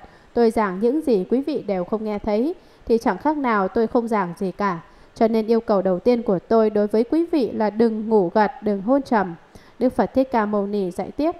Vào đời vị lai, nếu có người thiện nam kẻ thiện nữ nào trông thấy hình tượng của Bồ Tát Địa Tạng, cùng nghe kinh này, kinh Địa Tạng, cho đến đọc tụng bộ kinh này, nhìn ngắm tượng của Bồ Tát Địa Tạng, tức là biểu thị sự thành khẩn của căn mắt, nhãn căn, sự thành khẩn được biểu lộ bằng mắt, nghe kinh Địa Tạng, tức là tỏ sự thành khẩn bằng căn tai, nhĩ căn, đọc tụng là tỏ sự thành khẩn của căn lưỡi, thiệt căn. Dùng hương hoa, đồ ăn thức uống, y phục, châu báu, cúng dường, hương hoa là biểu thị sự thành khẩn của căn mũi, tỳ căn. Cúng dường các thức ăn uống cũng thuộc về sự thành khẩn của căn lưỡi. Cúng dường y phục, đồ vật quý báu là sự thành khẩn của căn thân, thân căn. Mà bố thí cúng dường ngợi khen chiêm lễ thì sẽ được 28 điều lợi ích. Sự bố thí cúng dường ngợi khen chiêm lễ từ mắt tai mũi lưỡi và thân là thuộc về sự thành khẩn của căn ý, ý căn. Do sự thành khẩn của 6 căn này hợp lại mà chúng ta có được 28 điều lợi ích. 28 điều lợi ích đó là gì? Kinh văn một là thiên long thưởng hộ niệm, hai là thiện quả ngày càng tăng, ba là tích tập các nhân thánh thượng, bốn là tâm bồ đề không thối chuyển, năm là y phục thực phẩm đầy đủ, sáu là dịch bệnh, bệnh không đến nơi thân, bảy là xa lìa các tai nạn về nước và lửa, tám là không bị tay ách trộm cướp, chín là người khác thấy đều cung kính, mười là quỷ thần đều hộ trì. Lược giảng, một là thiên long thưởng hộ niệm, khi quý vị tụng kinh địa tạng thì loài rồng từ trên trời và luôn cả loài Atula trên cõi trời cũng đến bảo hộ quý vị. Loài Atula ở cõi trời tuy có phước trời thiên phước, song không có quyền hành như một vị trời và họ cũng phát nguyện muốn đến bảo hộ che chở người tụng kinh. Ngoài ra Càn Thát Bà, Kalula, Ma Hầu La Già cũng đều đến để che chở những người tụng kinh địa tạng. Càn Thát Bà là thần âm nhạc, nhạc thần, có nhiệm vụ tấu nhạc cho Ngọc Hoàng Đại Đế nghe và còn được gọi là thần ngửi mùi hương, văn hương thần. Ngọc Hoàng Đại Đế có một loại hương khi đem đốt thì tỏa mùi thơm ngào ngạt. Thần Càn Thát Bà ngửi được mùi hương thì liền đến hầu. Càn Thát Bà cũng có nam có nữ. Thần Càn Thát Bà nam thì trên đầu có một cái sừng giống như con kỳ lân vậy. Khi thần ngửi được mùi hương đó thì sẽ vừa nhảy múa vừa đàn ca hát sướng, tiếng nhạc réo rắt giữa không trung. Nghe quý vị tụng kinh địa tạng thì thần Càn Thát Bà cũng ở trên không trung khen ngợi. Ca Lâu La chính là đại bàng kim xí điểu, tức là chim đại bàng cánh vàng. Khẩn Na La cũng là nhạc thần, Ma Hầu La Già là con rắn lớn, đại mãng xà. Hai là thiện quả ngày càng tăng, nhiều người tu đạo có lúc thì phát tâm bổ đề rất dũng mãnh, làm công đức rất nhiều. song cũng có lúc thì lại thụt lùi nhụt trí, cảm thấy mình ở trong Phật giáo làm việc công đức dường như không có cảm ứng rõ rệt thật sự, nên tâm bồ đề liền thối chuyển. Thiện quả ngày càng tăng, tức là ở trong Phật giáo mà càng ngày càng tinh tấn hướng về phía trước, chăm chỉ vun bồi phước huệ, siêng năng làm việc thiện, làm công quả, lập công đức, mãi mãi không lùi về phía sau. Làm thế nào mà được như vậy? Đó là do thành tâm niệm danh hiệu của Bồ Tát Địa Tạng, tụng kinh Địa Tạng Bồ Tát bổn nguyện, lại còn lễ bái chiêm ngưỡng hình tượng của Bồ Tát Địa Tạng nữa, cho nên có được cảm ứng là thiện quả ngày càng tăng. Ba là tích tập các nhân thánh thượng. Thế nào là tích tập các nhân thánh thượng? Đó là làm đủ loại Phật sự như in kinh, xây chùa, sửa cầu, đắp đường, chuyển đại pháp luân. Tất cả những việc tốt, tu đạo Bồ Đề đều là tích tập các nhân thánh thượng. Bốn là tâm Bồ Đề không thối chuyển. Chúng ta tu hành có lúc thì siêng năng tinh tấn, có lúc lại lười biếng giải đãi. Lúc siêng năng thì đối với mọi việc đều rất hăng hái, dũng mãnh. Khi lười biếng thì cảm thấy ở trong Phật giáo làm Phật sự mà chẳng có cảm ứng gì rõ rệt cả, bèn sinh ra chán nản thối chuyển đạo tâm. Nếu quý vị có thể tụng kinh địa tạng, niệm danh hiệu của Bồ Tát địa tạng, lễ bái cúng dường Bồ Tát địa tạng, thì tâm bồ đề của quý vị sẽ không còn lùi sụt, tâm giác đạo mãi mãi hướng về phía trước và càng ngày càng tăng trưởng, không bao giờ thối chuyển. Năm là y phục vật thực đầy đủ. Điều lợi ích thứ năm là không bao giờ bị thiếu thốn về cơm ăn áo mặc. Người đời chỉ vì ba bữa ăn mà làm lụng vất vả, chịu cực chịu khổ. Bởi sợ bị chết đói, chết lạnh nên lúc nào họ cũng nghĩ đến việc kiếm thêm tiền. Trước kia lúc chưa có tiền thì ao ước có được 10.000 đồng. Xong đến khi được tọa nguyện có được 10.000 đồng trong tay rồi thì lại cảm thấy như thế vẫn còn chưa đủ. Bây giờ lại nghĩ nếu mình có được 100 ngàn đồng thì sẽ chẳng phải làm lụng gì nữa. Thế rồi đến khi có được 100 ngàn đồng, nghĩ tới học phí của con cái thì thấy không đủ. Muốn sắm chiếc xe hơi thì thấy chẳng còn được bao nhiêu, mà tính tậu chiếc du thuyền thì lại thiếu trước hụt sau. Cả mơ ước những thứ to lớn hơn như muốn mua chiếc máy bay chẳng hạn, thì 100 ngàn đồng cũng chẳng thấm vào đâu. Và thế là lại phải lo kiếm tiền, kiếm tiền phải kiếm cho được một triệu đồng. Đến khi có được một triệu đồng trong tay, những tưởng là phép này có thể làm chủ một chiếc máy bay thì máy bay lại lên giá. Ban đầu thì chỉ cần 990 ngàn là có thể mua được một chiếc máy bay. Bây giờ giá cả leo thang tăng vọt lên đắt gấp 10 lần tới 9 triệu 900 ngàn một chiếc lại không mua nổi nữa. Cho nên cứ chạy theo không kịp, càng đeo đuổi thì lại càng cách xa. Đó đều là do lòng tham tác oai tác quái. Trước kia chỉ ao ước có được một triệu đồng là thấy đủ rồi, nhất định sẽ về hưu. Xong đến khi có được một triệu đồng rồi thì lại lui mà chưa dứt, vẫn chưa trí túc, vẫn không thấy đủ. Vậy điều lợi ích thứ năm là nếu quý vị có thể chỉ niệm danh hiệu Bồ Tát Địa Tạng, tụng kinh Địa Tạng, lễ bái, cúng dường Bồ Tát Địa Tạng thì quý vị sẽ được y phục vật thực dồi dào, luôn luôn dư giả. Bây giờ quý vị chỉ muốn mua một chiếc máy bay, xong tiền kiếm được lại nhiều đến nỗi mua hai chiếc cũng còn dư, kỳ diệu như thế đấy. Có người nói như thế thì tôi cũng mau mau niệm danh hiệu Bồ Tát Địa Tạng, dùng lòng tham lam, muốn mua hai chiếc máy bay để niệm danh hiệu Bồ Tát Địa Tạng thì e rằng sẽ không linh nghiệm. Vì tham vọng quá lớn, chúng ta chỉ nên hết lòng chỉ niệm có được cảm ứng hay không thì cũng chẳng nên so đo tính toán. Có người lại nói giảng kinh theo cách của sư phụ lại làm cho con bị hố nữa rồi. Bị hố thì sao mà không bị hố thì sao? Cho nên con người nếu biết đủ thì thường được an vui, biết nhẫn nhục thì luôn được yên ổn, tri túc thường lạc, năng nhẫn, đắc an. Sáu là dịch bệnh không đến nơi thân. Dịch bệnh tức là bệnh ôn dịch, bệnh truyền nhiễm. Đáng lẽ ra thì mọi người đều bị truyền nhiễm mắc phải chứng bệnh nào đó. Nhưng nhờ quý vị niệm danh hiệu Bồ Tát Địa Tạng nên giống như có một danh giới vô hình, quý vị không bị lây bệnh. Lúc tôi ở Đông Bắc có lần bệnh ôn dịch lan tràn, có một gia đình nọ 11 người mà chỉ nội trong 3 ngày đã có 13 người bị chết. Tại sao gia đình 11 người mà lại có tới 13 người chết? Tại sao lại có thêm hai người nữa? Bởi hai người đưa tiễn. Đó là hai người đưa tiễn. Bởi vì 11 người có lẽ là chưa đủ số cho nên phải chết thêm hai người nữa vậy. Hai người này, một người thì làm công cho gia đình nọ, còn người kia là bà con từ xa đến thăm. Cả hai người cùng chết chung với gia đình nọ cho đủ số. Do đó trong vòng 3 ngày mà gia đình 11 người lại có tới 13 người tử vong và tất cả đều do bị lây bệnh truyền nhiễm mà ra. Bây giờ tôi đang ở địa phương đó, tôi bèn dẫn theo bốn đệ tử nhỏ tuổi và bảo họ rằng chúng ta phải đi cứu người ngay. Cứu như thế nào ư? Tôi căn dặn các đệ tử, chúng ta hãy chỉ niệm chú đại bi để đối phó với thần ôn dịch. Chúng tôi đến thôn làng đang có bệnh dịch hoành hành nọ, đi quanh làng ba vòng, vừa đi vừa niệm chú đại bi. Sau khi chúng tôi niệm xong chú đại bi và đi khỏi rồi, thì trong làng không còn bệnh dịch nữa. Thế nên chú đại bi thật vô cùng linh nghiệm, hết sức nhiệm màu. Bảy là xa lìa các tai nạn về nước và lửa. Quý vị chỉ niệm danh hiệu của Bồ Tát Địa Tạng thì sẽ không gặp nạn nước cũng chẳng mắc nạn lửa. Vào nước không bị chìm, vào lửa không bị cháy. Thậm chí quý vị có bị té xuống biển thì tự nhiên sẽ được gặp chỗ cạn tấp vào bờ bình yên. Và nếu bị lửa thiêu đốt thì tự nhiên sẽ có người đến cứu giúp. Tám là không bị tai ách trộm cướp. Tại sao quý vị bị trộm bị cướp? Đó là do khi trước quý vị đã bất chấp đạo lý cưỡng đoạt tài sản của người khác làm của riêng mình. Bởi xưa kia đã từng lừa gạt người khác cho nên đời nay phải bị người ta cướp đoạt tài sản, phải trả nợ. Vì thế chúng ta bị trộm cắp, cướp đoạt đều là có tiền nhân hậu quả, chẳng có gì là kỳ lạ cả. Nếu quý vị thật sự hiểu rõ thì gặp bất cứ cảnh giới nào đều phải nhận ra nhân quả của nó. Hễ nhận chân được nhân quả của vấn đề thì sẽ chấm dứt được sự tuần hoàn, luẩn quẩn. Chín là người khác thấy đều cung kính. Nếu quý vị thường cung kính niệm danh hiệu của Bồ Tát Quán Thế Âm và Bồ Tát Địa Tạng thì những người khác khi gặp quý vị đều cảm thấy có thiện duyên với quý vị và đều tỏ ra kính trọng quý vị. Người ta trông thấy quý vị mà như gặp được người thân đã tám đời nay, có cảm giác thân thiết gần gũi như được về nhà vậy.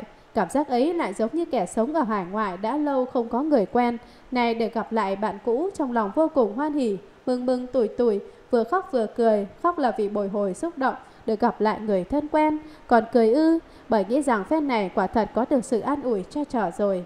Quý vị niệm danh hiệu Bồ Tát Địa Tạng thì được mọi người kính trọng, không ai là không đối xử tốt với quý vị cả, không cần quý vị phải tự giới thiệu. Này quý vị biết không, tôi là một cư sĩ tu hành tại gia đấy.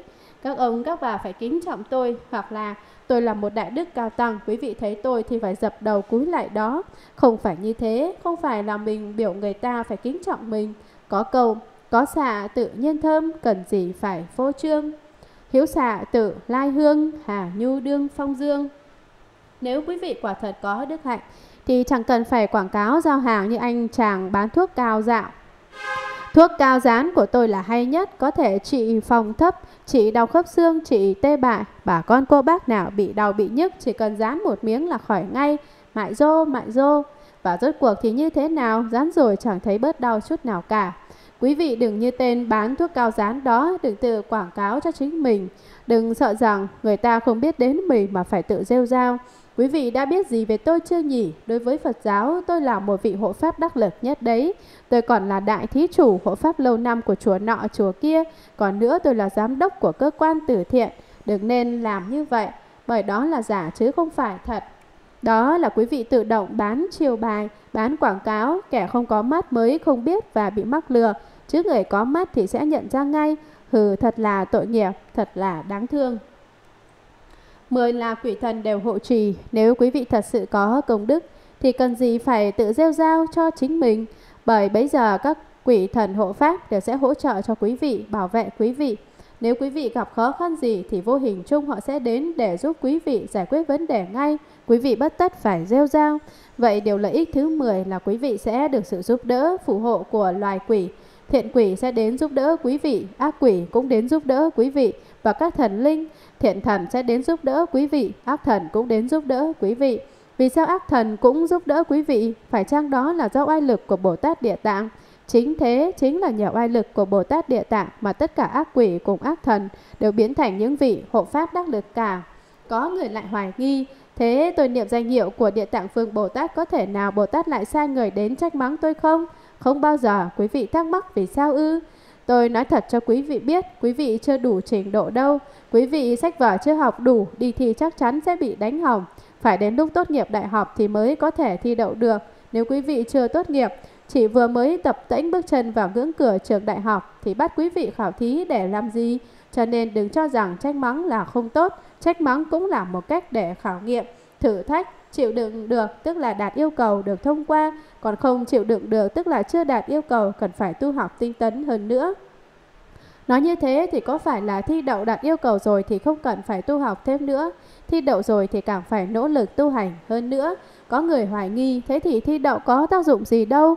Thế thì tôi hỏi lại, quý vị học tiến sĩ có tác dụng gì? Đạo lý cũng như nhau thôi, quý vị hiểu được thì hiểu, không hiểu được thì tôi cũng chẳng có biện pháp nào cả.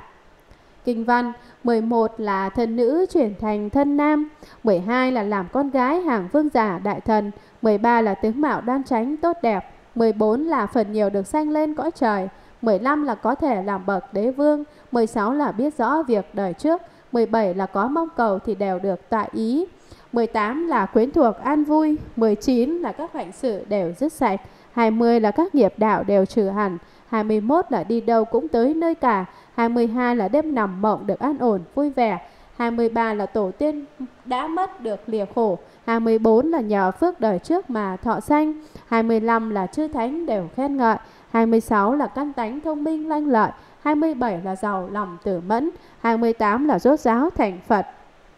Lại nữa này hư không tạng Bồ Tát như hàng trời rồng quỷ thần ở hiện tại và vị lai, nghe danh hiệu của địa tạng, lễ bái hình tượng của địa tạng hoặc nghe các việc về bổn nguyện tu hành của địa tạng mà ngợi khen chiếm lễ thì sẽ được 7 điều lợi ích. Lược giảng 11 là thân nữ chuyển thành thân nam.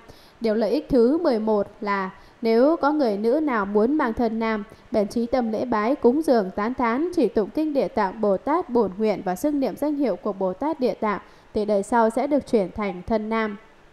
Sự chuyển thân nữ thành thân nam này là hoàn toàn không phải vì chán ghét thân nữ mà chỉ vì tự cảm thấy làm thân nữ lắm lúc cũng bất tiện cho nên muốn mang thân nam để được thuận tiện hơn. Vì thế mới có nguyện vọng này. Những người có trí nguyện như thế chắc chắn sẽ được Bồ Tát Địa Tạng giúp cho tùy tâm tọa ý trí nguyện được thành tựu.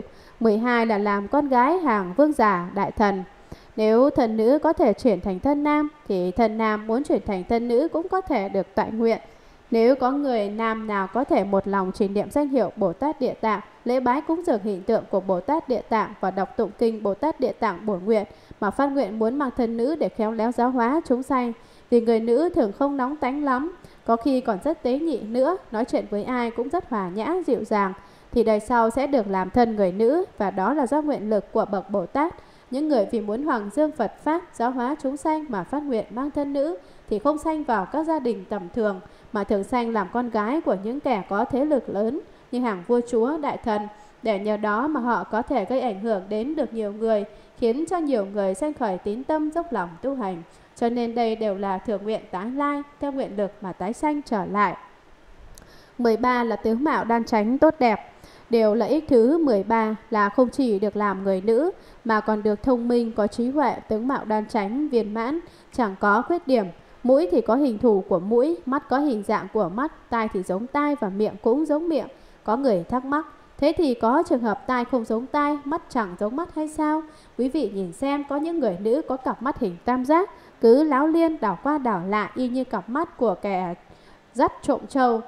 Đó là con mắt có vẻ hơi thô kệch, cục mịch, không được thanh tú, không đoan tránh, không viên mãn. Có người thì mũi lại mọc trên trán, lỗ mũi ngước lên trời. Quý vị nói như thế là giống cái gì? Chào ôi, thế nhưng lại có những người dị dạng như thế đấy. Có người thì con mắt, một con mắt nằm ở trên, còn một con lại tụt xuống dưới. Lỗ tai thì mọc tận đằng sau ót. Miệng lại nằm dưới cằm biến thành dở ngô dở phai, người không ra người, quỷ không ra quỷ, mà khỉ cũng chẳng giống khỉ nữa. Theo tiến hóa luận thì con người đã từ loài khỉ tiến hóa thành. Như thế trong trường hợp này thì sao? Vì sao mọi người lại không giống như vậy? Chỉ có cá nhân người đó là như thế mà thôi. Vậy đó là các trường hợp thí dụ về tướng mạo không đoan tránh, không viên mãn. Thế thì quý vị phát nguyện muốn làm người nữ thì tướng mạo cũng cần phải viên mãn, phải đoan tránh nữa.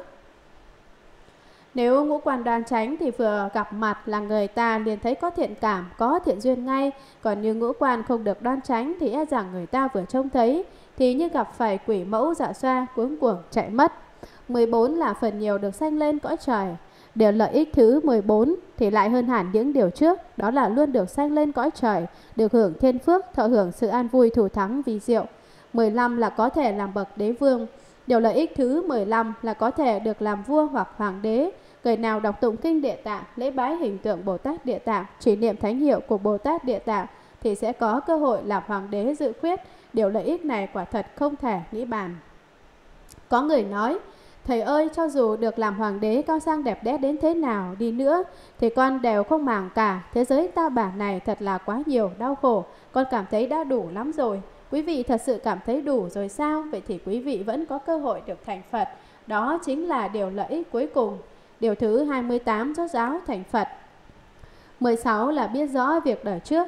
Biết rõ việc đời trước tức là nhớ biết được những gì mình đã làm trong đời trước như làm quan, làm học trò hoặc làm lái buôn. Ngoài ra cũng biết được trong đời trước mình họ gì, tên gì, sinh quán ở đâu, bao nhiêu tuổi thì chết.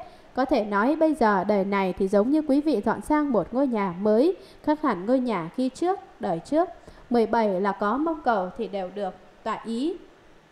Điều lợi ích thứ 17 là cầu chi được nấy, Cầu giàu sang thì được giàu sang, cầu có con trai tất được con trai, cầu có con gái tất được con gái, cầu đồ ăn thức uống thì được đồ ăn thức uống. Nếu quý vị thích phát tài thì sẽ có được không biết cơ man nào là vàng bạc ngọc ngà châu báu, nhiều đến nỗi không thể nào đếm xuể. Thế nhưng quý vị đừng bắt trước một người nọ kiếm được rất nhiều tiền mà chẳng dám tiêu xài, rốt cuộc chưa hưởng thụ được chút nào thì đã chết rồi, chết rồi thì lại hai bàn tay không, thật là chẳng có ý nghĩa, chẳng có giá trị gì cả. Do đó quý vị chớ nên buồn xỉn keo kiệt, đừng làm nô lệ cho đồng tiền, bởi quý vị có muốn cất giữ cũng không thể cất giữ mãi được. 18 là quyến thuộc vui vẻ. Điều lợi ích thứ 18 là trong gia đình, bà con quyến thuộc, bạn bè thân thích đều êm ấm hạnh phúc, vui vẻ hòa thuận, không hề cãi cọ hay gây gổ lẫn nhau. Trong gia đình, mối quan hệ giữa vợ chồng, giữa cha mẹ, con cái, giữa anh em, giữa chị em hoặc giữa chị em dâu lắm lúc cũng nảy sinh nhiều vấn đề phức tạp. Ở đời thông thường thì thân tình nhất là cha với con, song cũng có những khi cha con bất đồng ý kiến khiến người con nghĩ Ồ, người già thì đầu óc cũng già, tri thức cũng xưa, cách làm việc lại vô cùng cổ hủ, không theo kịp thời đại tân tiến, không thể ứng phó với thế giới hiện đại hóa ngày nay và cho rằng người già là một chướng ngại. Tuy nhiên suy nghĩ như thế là không tốt. Còn người già thì sao? Đối với con cái vì quan tâm quá đáng cho nên dù biết rằng con cái không đúng, bậc cha mẹ vẫn sẵn sàng tha thứ, lấy lòng bao dung mà đối đãi với con cái. Xong lè con cái chẳng biết ơn thì chớ, lại còn dám cho rằng cha mẹ mình không đúng nữa. Tại sao có nhiều người nuôi dưỡng con cái mà lại không dạy dỗ chúng cho đàng hoàng? Đó là bởi những kẻ làm cha làm mẹ này đều thiếu hiểu biết, không ăn tưởng đạo lý, cho nên không muốn để ý tới con cái. Còn con cái thì lại không biết chăm sóc cho cha mẹ. Vì thế giữa cha mẹ và con cái nảy sinh nhiều mâu thuẫn, có nhiều vấn đề không giải quyết được. Quan hệ vợ chồng là một mối quan hệ tương thân tương ái hơn nữa.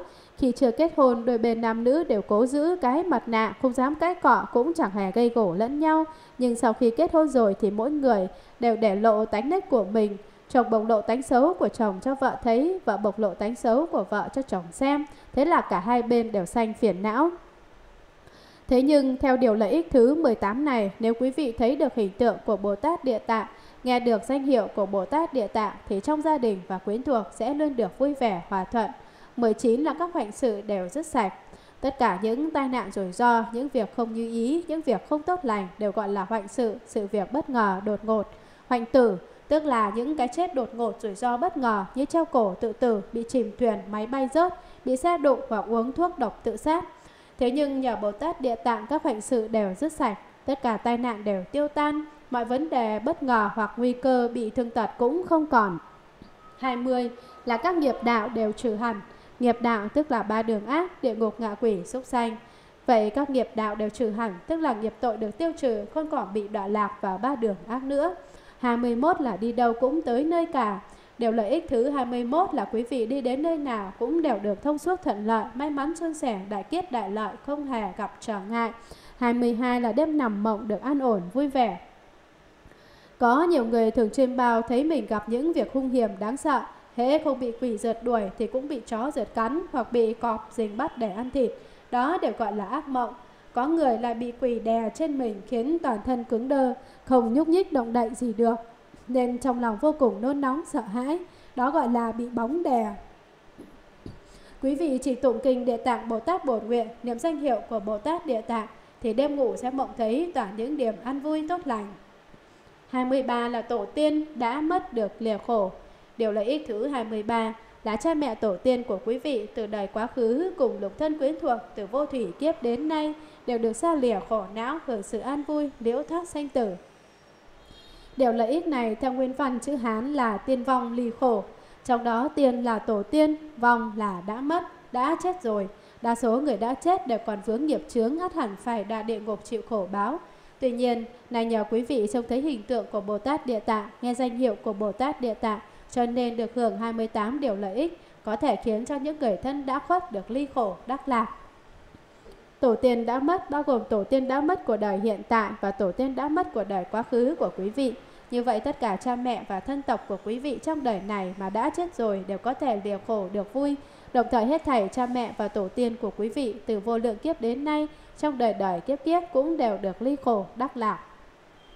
24 là nhờ phước đời trước mà thọ sanh. Điều lợi ích thứ 24 là đời trước quý vị có chồng thiện căn, có được phước báo cho nên đời này đương nhờ phước báo đó mà thọ sanh.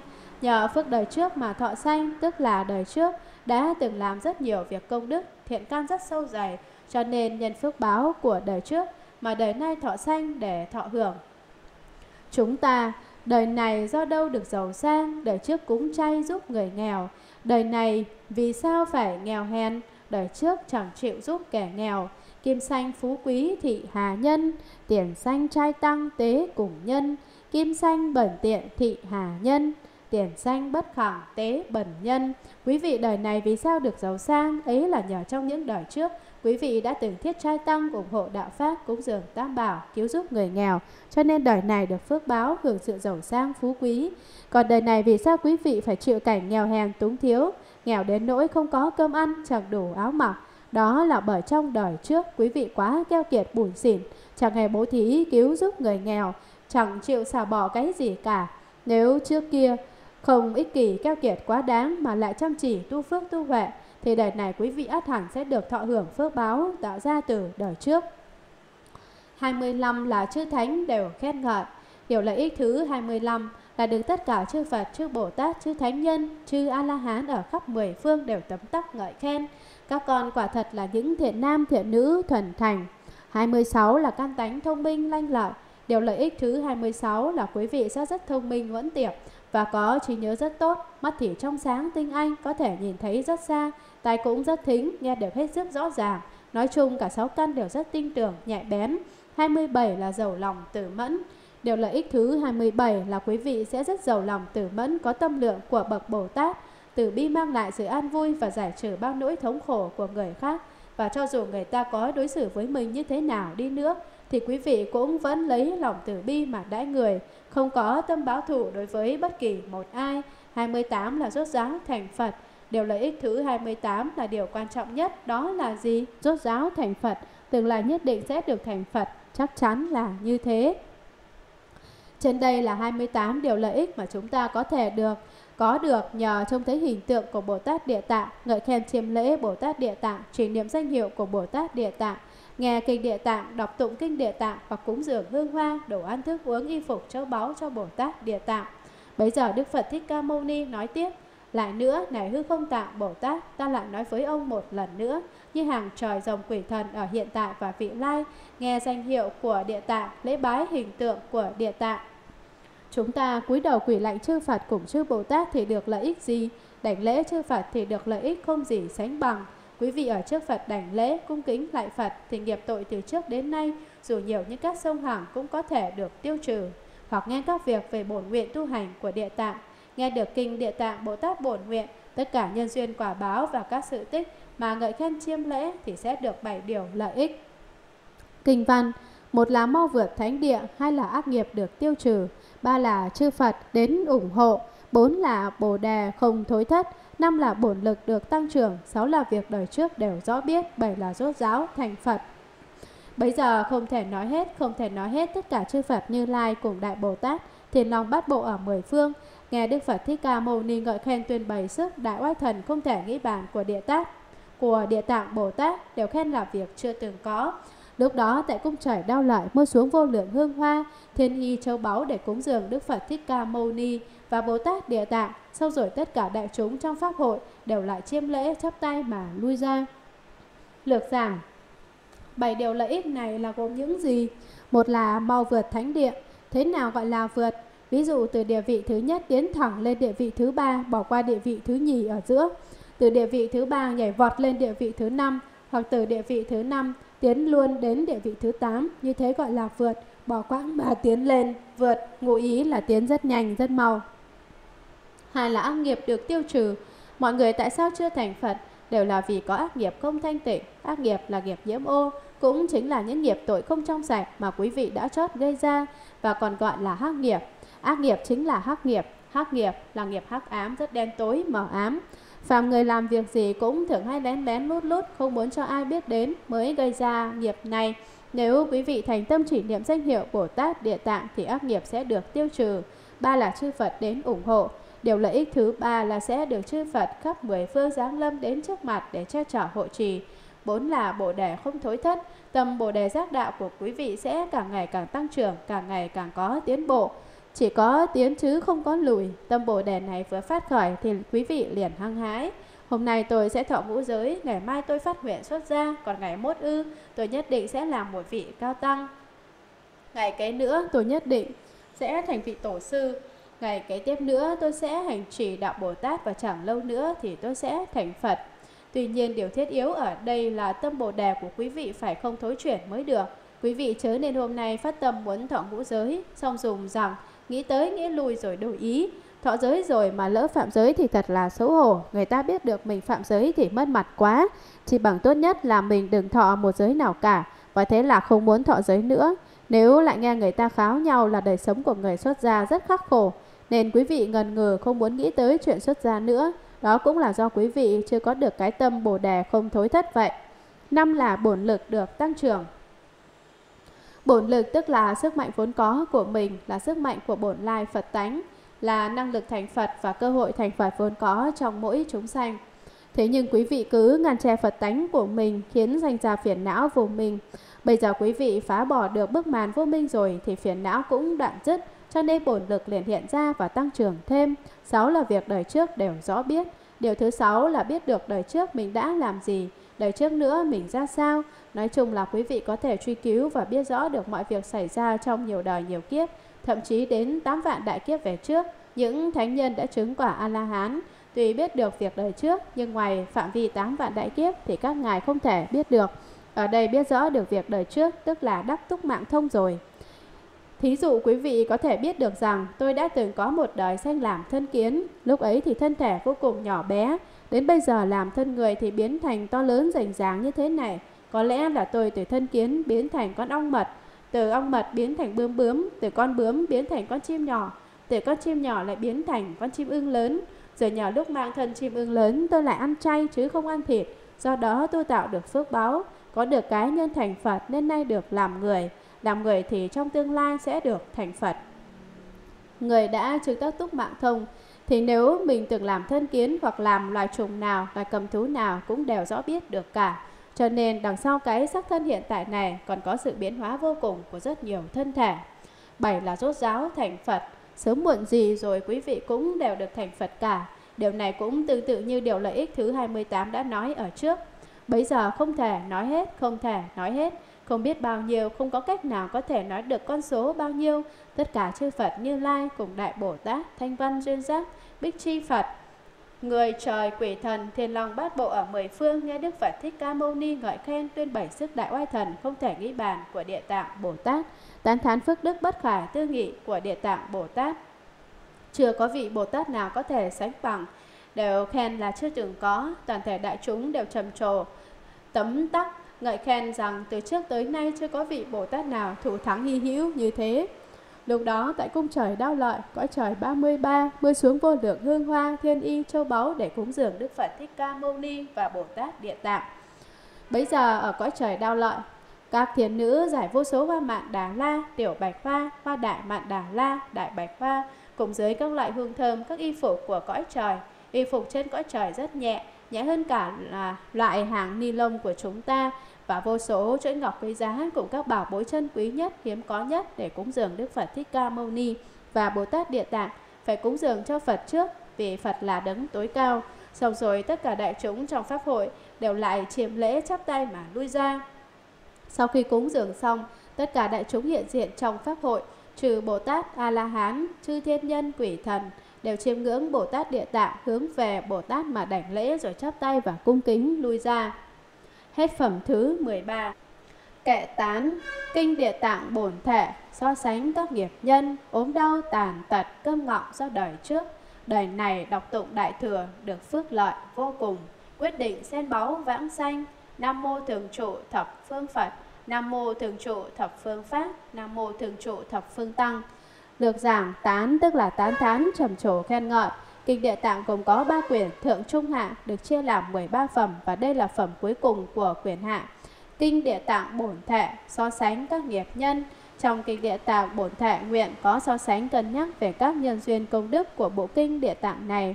ốm đau tàn tật câm ngọng do đời trước. Có nhiều người thường ốm đau quạt quẹo bị tật nguyền khuyết tật hoặc mắc bệnh bại liệt chân tay tê dại. Tàn tật tức là người bị không có tay, không có chân, không có mũi, không có mắt hoặc không có tai Nói tóm lại là sáu căn không được đầy đủ vẹn toàn. Vì sao họ lại bị bệnh tật, bị tàn phế, bị công ngọng?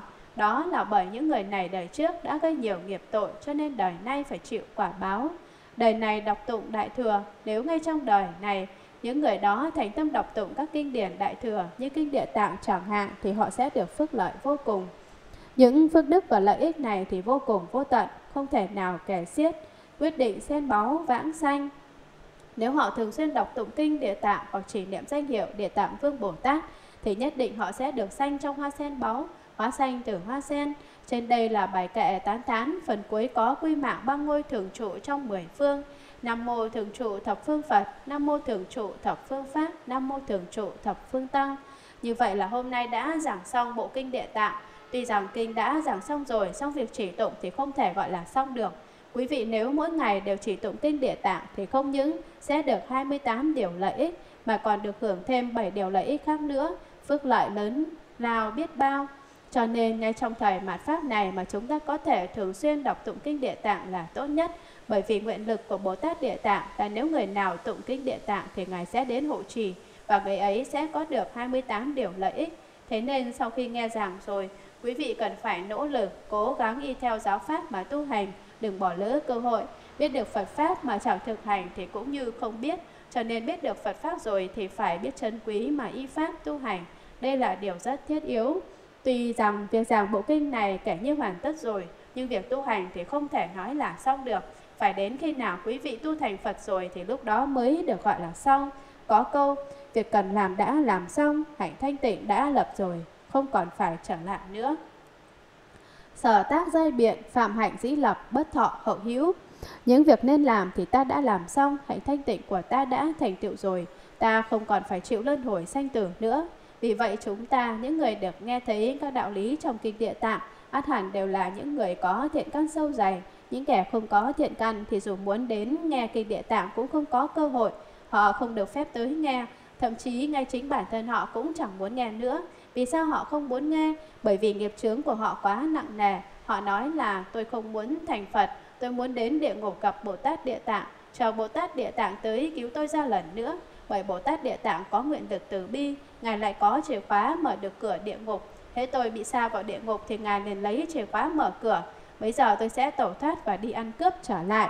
Thế nên quý vị xem họ dự tính thoát khỏi địa ngục, rồi thì lại đi làm kẻ cướp nữa song Bồ Tát Địa Tạng có tha tâm thông nên Ngài biết được ý đồ của họ.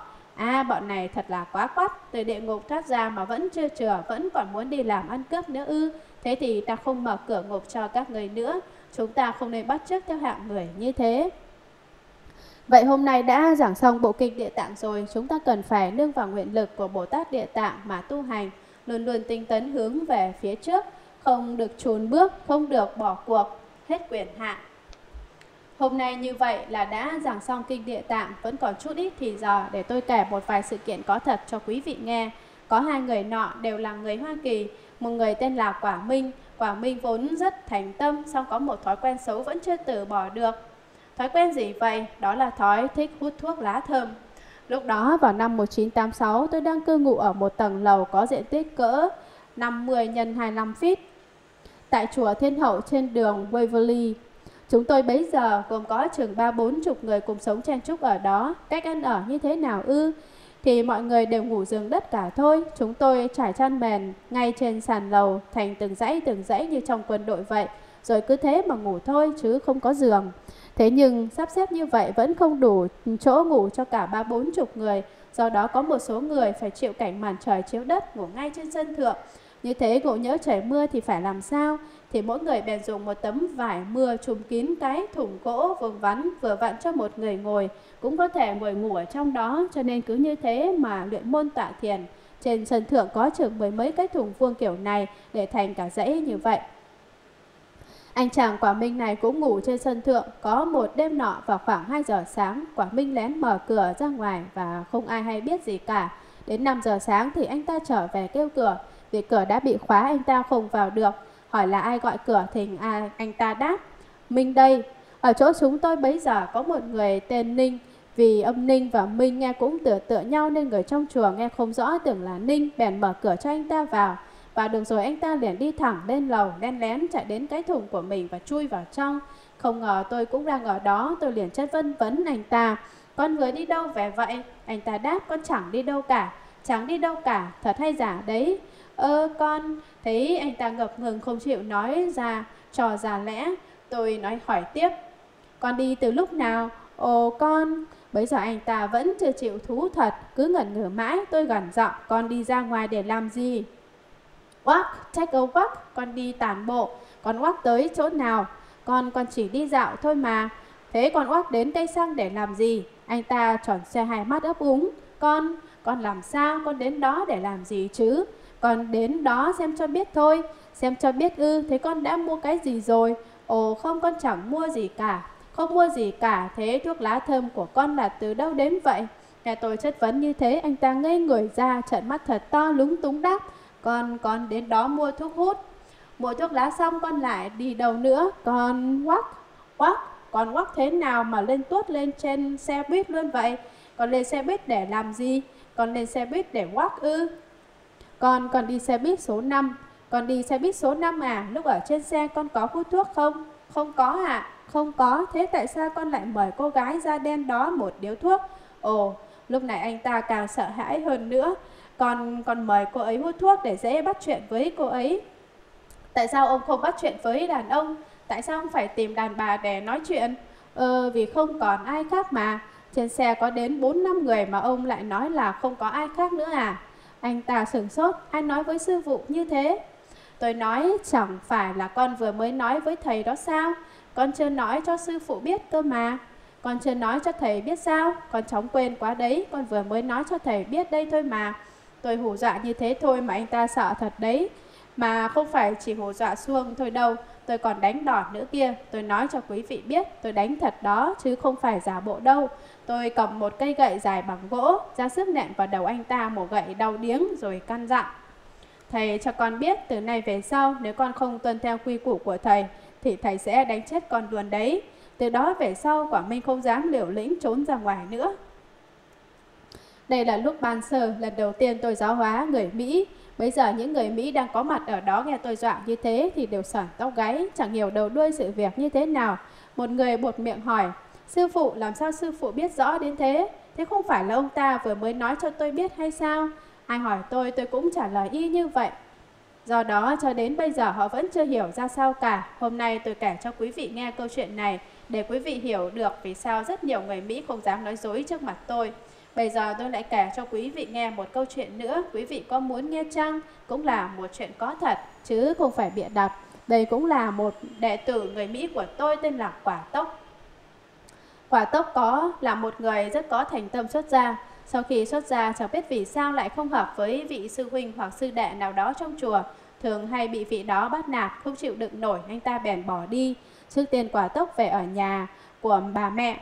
Được một thời gian cảm thấy sống một mình cũng chẳng có gì thú vị, lại cũng chưa thấy khai ngộ. Anh ta bèn tìm đến một ngọn núi, dường như ở về phía bắc của vạn Phật Thành bây giờ thì phải, và ở lại trên núi đó luôn. Có một hôm anh ta về gặp tôi và hỏi, Bây giờ con muốn về lại đây, thật ra con cũng không biết là con nên ở đó hay là về lại đây. Tôi nói lúc con bỏ đi con chẳng bằng hỏi ý thầy, thì tại sao khi muốn trở về con lại hỏi? Con đi đã không hỏi thầy thì con có về lại cũng đừng hỏi thầy. Nghị ngụ ý của tôi là anh muốn trở về thì cứ việc trở về. Lúc đi là do anh tự ý đi, khi về cũng tùy ý anh, đừng hỏi tôi bởi tôi không thể nói anh hãy về đây đi. Nếu tôi bảo anh ta về đây thì anh ta sẽ ra vẻ như mình có thế lắm, cho nên tôi không thể nói như vậy được. Trong khi quả tóc quỷ trước mặt tôi nói chuyện, tôi chợt thấy trên bàn tay ông ta có vướng một sợi tóc dài khoảng 3 tấc. Không phải 3 tấc thì cũng hai tấc rưỡi. Tôi hỏi, ủa ở đâu mà con mang về được một bảo bối như thế này? Về việc này, về sau có một người đệ tử viết thành bài văn, bài ký về một sợi tóc, không biết có quỷ quý vị nào xem qua chưa? Tôi nói tiếp, con đi đâu về mà lại mang theo bảo bối này thế? Nếu nói sợi tóc này là từ chùa Kim Sơn mang về thì vô lý. Bởi ở chùa Kim Sơn chẳng có ai có tóc dài như thế cả. Và lại ông nhận ra sợi tóc này là của ai mà. Nó đến từ nơi ông đang ở. Tại sao ông lại mang sợi tóc này về? Ông có nhận ra sợi tóc này không? Con nhận ra. Nhận ra hả? Đó là tóc của ai? Là tóc của một cô gái. Tóc của cô ta làm sao lại chạy đến vành tay của ông được? Ông nói thử xem. Dạ chẳng có gì cả ạ. Tôi gặng hỏi, chẳng có gì cả ư? Thế thì vì sao cô ấy muốn xách súng bắn chết ông? Ồ. Quả tông lúc này sợ hãi đến nỗi trợn to, đôi mắt cứng họng, không dám nói thêm tiếng nào. Tôi dịu giọng, Còn hãy nói cho thành thật, rốt cuộc đã xảy ra chuyện gì? Các con vì sao lại đi báo cảnh sát đến đuổi cô ta? Còn hãy màu màu thú thật hết đi. Đừng để Lúc này anh ta mới kể lẻ, bởi vì con tạm trú trên núi được một thời gian thì có một thanh niên đến ở chung. Chẳng bao lâu sau lại có một cô gái đến ở nữa, cô ta là bạn gái của anh thanh niên kia. Cuộc sống trung đụng này có ảnh hưởng đến người thanh niên nọ, vì anh ta không thích cô bạn gái này nữa mà chỉ thích tu hành. Cuối cùng anh ta đã đuổi cô ấy đi. Cô bạn gái bị làm nhục đến thế nên tức tối quyết tâm phải giết cả người thanh niên và quả tốc cho bằng được. Lần thứ hai trở lại, cô ta vừa lăm lè khẩu súng trong tay vừa hỏi quả tốc Tại sao anh lại cướp bạn trai của tôi? Cô ấy cho rằng quả tốc chiếm đoạt bạn trai của mình nên muốn bắn chết cả người bạn trai lẫn ông đệ tử này của tôi. Lúc bấy giờ cả hai người sợ hãi quá chẳng biết làm gì hơn. Bèn gọi điện thoại cho cảnh sát cầu cứu. Và cảnh sát đã đến thật, đến để bảo vệ họ. Có đến 4 năm viên cảnh sát cùng đến và bắt giải cô gái này đi. Vì thế mà quả tốc không dám ở đó nữa. Trở về hỏi ý kiến tôi là anh ta nên về đây hay cứ ở lại đó. Đó là nguyên nhân khiến hôm nay quả tóc có mặt ở đây. Thế nhưng khi nói xong câu chuyện thì sợi tóc cũng không còn, không biết nó lạc đi đâu, chẳng có gió thổi, chẳng có gì cả, mà sao tìm không thấy sợi tóc nữa. Đó gọi là bài ký về một sợi tóc. Vấn đáp Hỏi có thể cúng dường thuốc men cho Phật được không? Đáp Cúng dường món gì cho Phật cũng đều được cả. Những gì mà quý vị yêu thích thì quý vị có thể đem cúng dường cho chư Phật và Bồ Tát. Hỏi như có khi con nghe được một bài hát hoặc một khúc nhạc rất hay thì con có thể cúng dường các khúc đó cho chư Phật và Bồ Tát được không? Nếu được thì phép cúng dường phải như thế nào? Đáp thì cũng là hát ca khúc đó lên thôi, nhưng quý vị cần phải biết chắc là ca khúc đó không có tính cách dâm đãng, không gợi ý tả dâm thì mới được, mới là tránh đáng. Hiện nay vạn Phật Thánh Thành của chúng ta cũng có những ca khúc về Phật giáo, quý vị đều có thể đem cúng dường chư Phật Chúng ta sướng những bài tán trước tượng Phật thì đó cũng là dùng các khúc để cúng Phật vậy. Trong Kinh Pháp Hòa đã có nói rất rõ ràng rằng các ca khúc âm nhạc, bài tán có tính cách thanh tịnh trang nghiêm để có thể được dùng để cúng Phật. Hỏi, tuần lễ thứ ba của tháng sau là sinh nhật của sư phụ, chúng con có thể tổ chức lễ mừng sinh nhật cho sư phụ chăng? Đáp, tôi không ăn mừng sinh nhật, về sau tôi đều không có sinh nhật, ngày nào mà quý vị làm sinh nhật cho tôi thì tôi sẽ chết nếu quý vị muốn cho tôi chết thì cứ làm, còn nếu không muốn cho tôi chết thì đừng làm. Nói tóm lại, tổ chức lễ mừng sinh nhật là điều không nên. Vì sao lại không nên? Bởi vì sinh nhật là ngày chúng ta được sinh ra đời, song đồng thời cũng là ngày thập tử nhất sanh của mẹ chúng ta. Đó là nạn nhật, một ngày mà người mẹ lâm nạn, nguy hiểm đến tánh mạng. Nạn nhật của mẹ thì chúng ta phải niệm Phật nhiều hơn, làm công đức nhiều hơn, làm điều tốt nhiều hơn. Nếu chúng ta tụ tập ăn uống linh đình, ồn ào, náo nhiệt, lại còn thâu nhận đồ cúng dường, quà cát của người khác, thì đây là một việc rất không đúng. Có điều tôi không muốn nói ra, vì nếu tôi nói ra thì sẽ làm cho rất nhiều người trong quý vị không được vui, lại còn phàn nàn. Chúng con ai nấy đều có làm sinh nhật cả, sư phụ nói như vậy khiến cho chúng con không biết nên làm thế nào cho phải. Tôi lại hỏi quý vị, Quý vị có biết tổ chức ăn mừng sinh nhật, bất luận là người xuất gia hay tại gia, ai nấy cũng đều có tham cái gì không? Tham náo nhiệt đó là điều thứ nhất. Còn điều thứ hai là gì? Ấy là tham quà tặng, tham lễ vật. Mừng sinh nhật mà, người thì đem tặng món quà này, kẻ thì biếu cho món quà nọ. Cha mẹ cũng tặng quà sinh nhật cho con cái. Sinh nhật của đứa trẻ con ít nhất cũng phải tặng cho nó vài món đồ chơi khiến cho nó mừng rỡ, thích thú. Thật ra đây là việc không cần thiết, sinh nhật là ngày mình sinh ra đời, vì sao cần phải ăn mừng? Chúng ta vừa đến cõi đời này là bật khóc ngay, thế thì có gì đáng để ăn mừng nữa chứ? Quý vị cũng thấy đó, trẻ con vừa mở mắt chào đời là khóc thét lên. Khổ a, khổ a. Lúc đó đứa bé vì chưa biết nói cho nên chỉ biết dùng tiếng khóc để bày tỏ nỗi niềm khổ a, khổ a. Đây là khổ a. Vì vậy tôi muốn sửa đổi tập tục này, quý vị đừng nên cố chấp, chúng ta cần phải phá bỏ mọi chấp trước mới được. Quý vị nghĩ xem, tôi dạy quý vị đừng tham lam, đừng tranh giành, đừng truy cầu, đừng ích kỷ, đừng tự lợi, đừng nói dối. Thế mà nếu chính tôi lại mượn cớ làm sinh nhật để nhận phong bì đỏ, đựng tiền cúng dường của mọi người thì quả thật là chẳng có giá trị gì cả. Có một đệ tử quy y của tôi nói rằng, sư phụ không ăn mừng sinh nhật khiến con không có cơ hội để bày tỏ lòng thành của mình được. Vậy thì con phải làm sao đây? Tôi mách cho quý vị một biện pháp, quý vị hãy niệm danh hiệu Địa Tạng Bồ Tát, có thế âm Bồ Tát cho thật nhiều. Mỗi ngày quý vị hãy thay tôi mà niệm danh hiệu của các ngài 10 vạn tiếng. Như thế chính là chúc mừng sinh nhật cho tôi vậy. Quý vị có làm được không? Đó mới là thật sự làm sinh nhật cho tôi. Người tính không bằng trời tính vậy.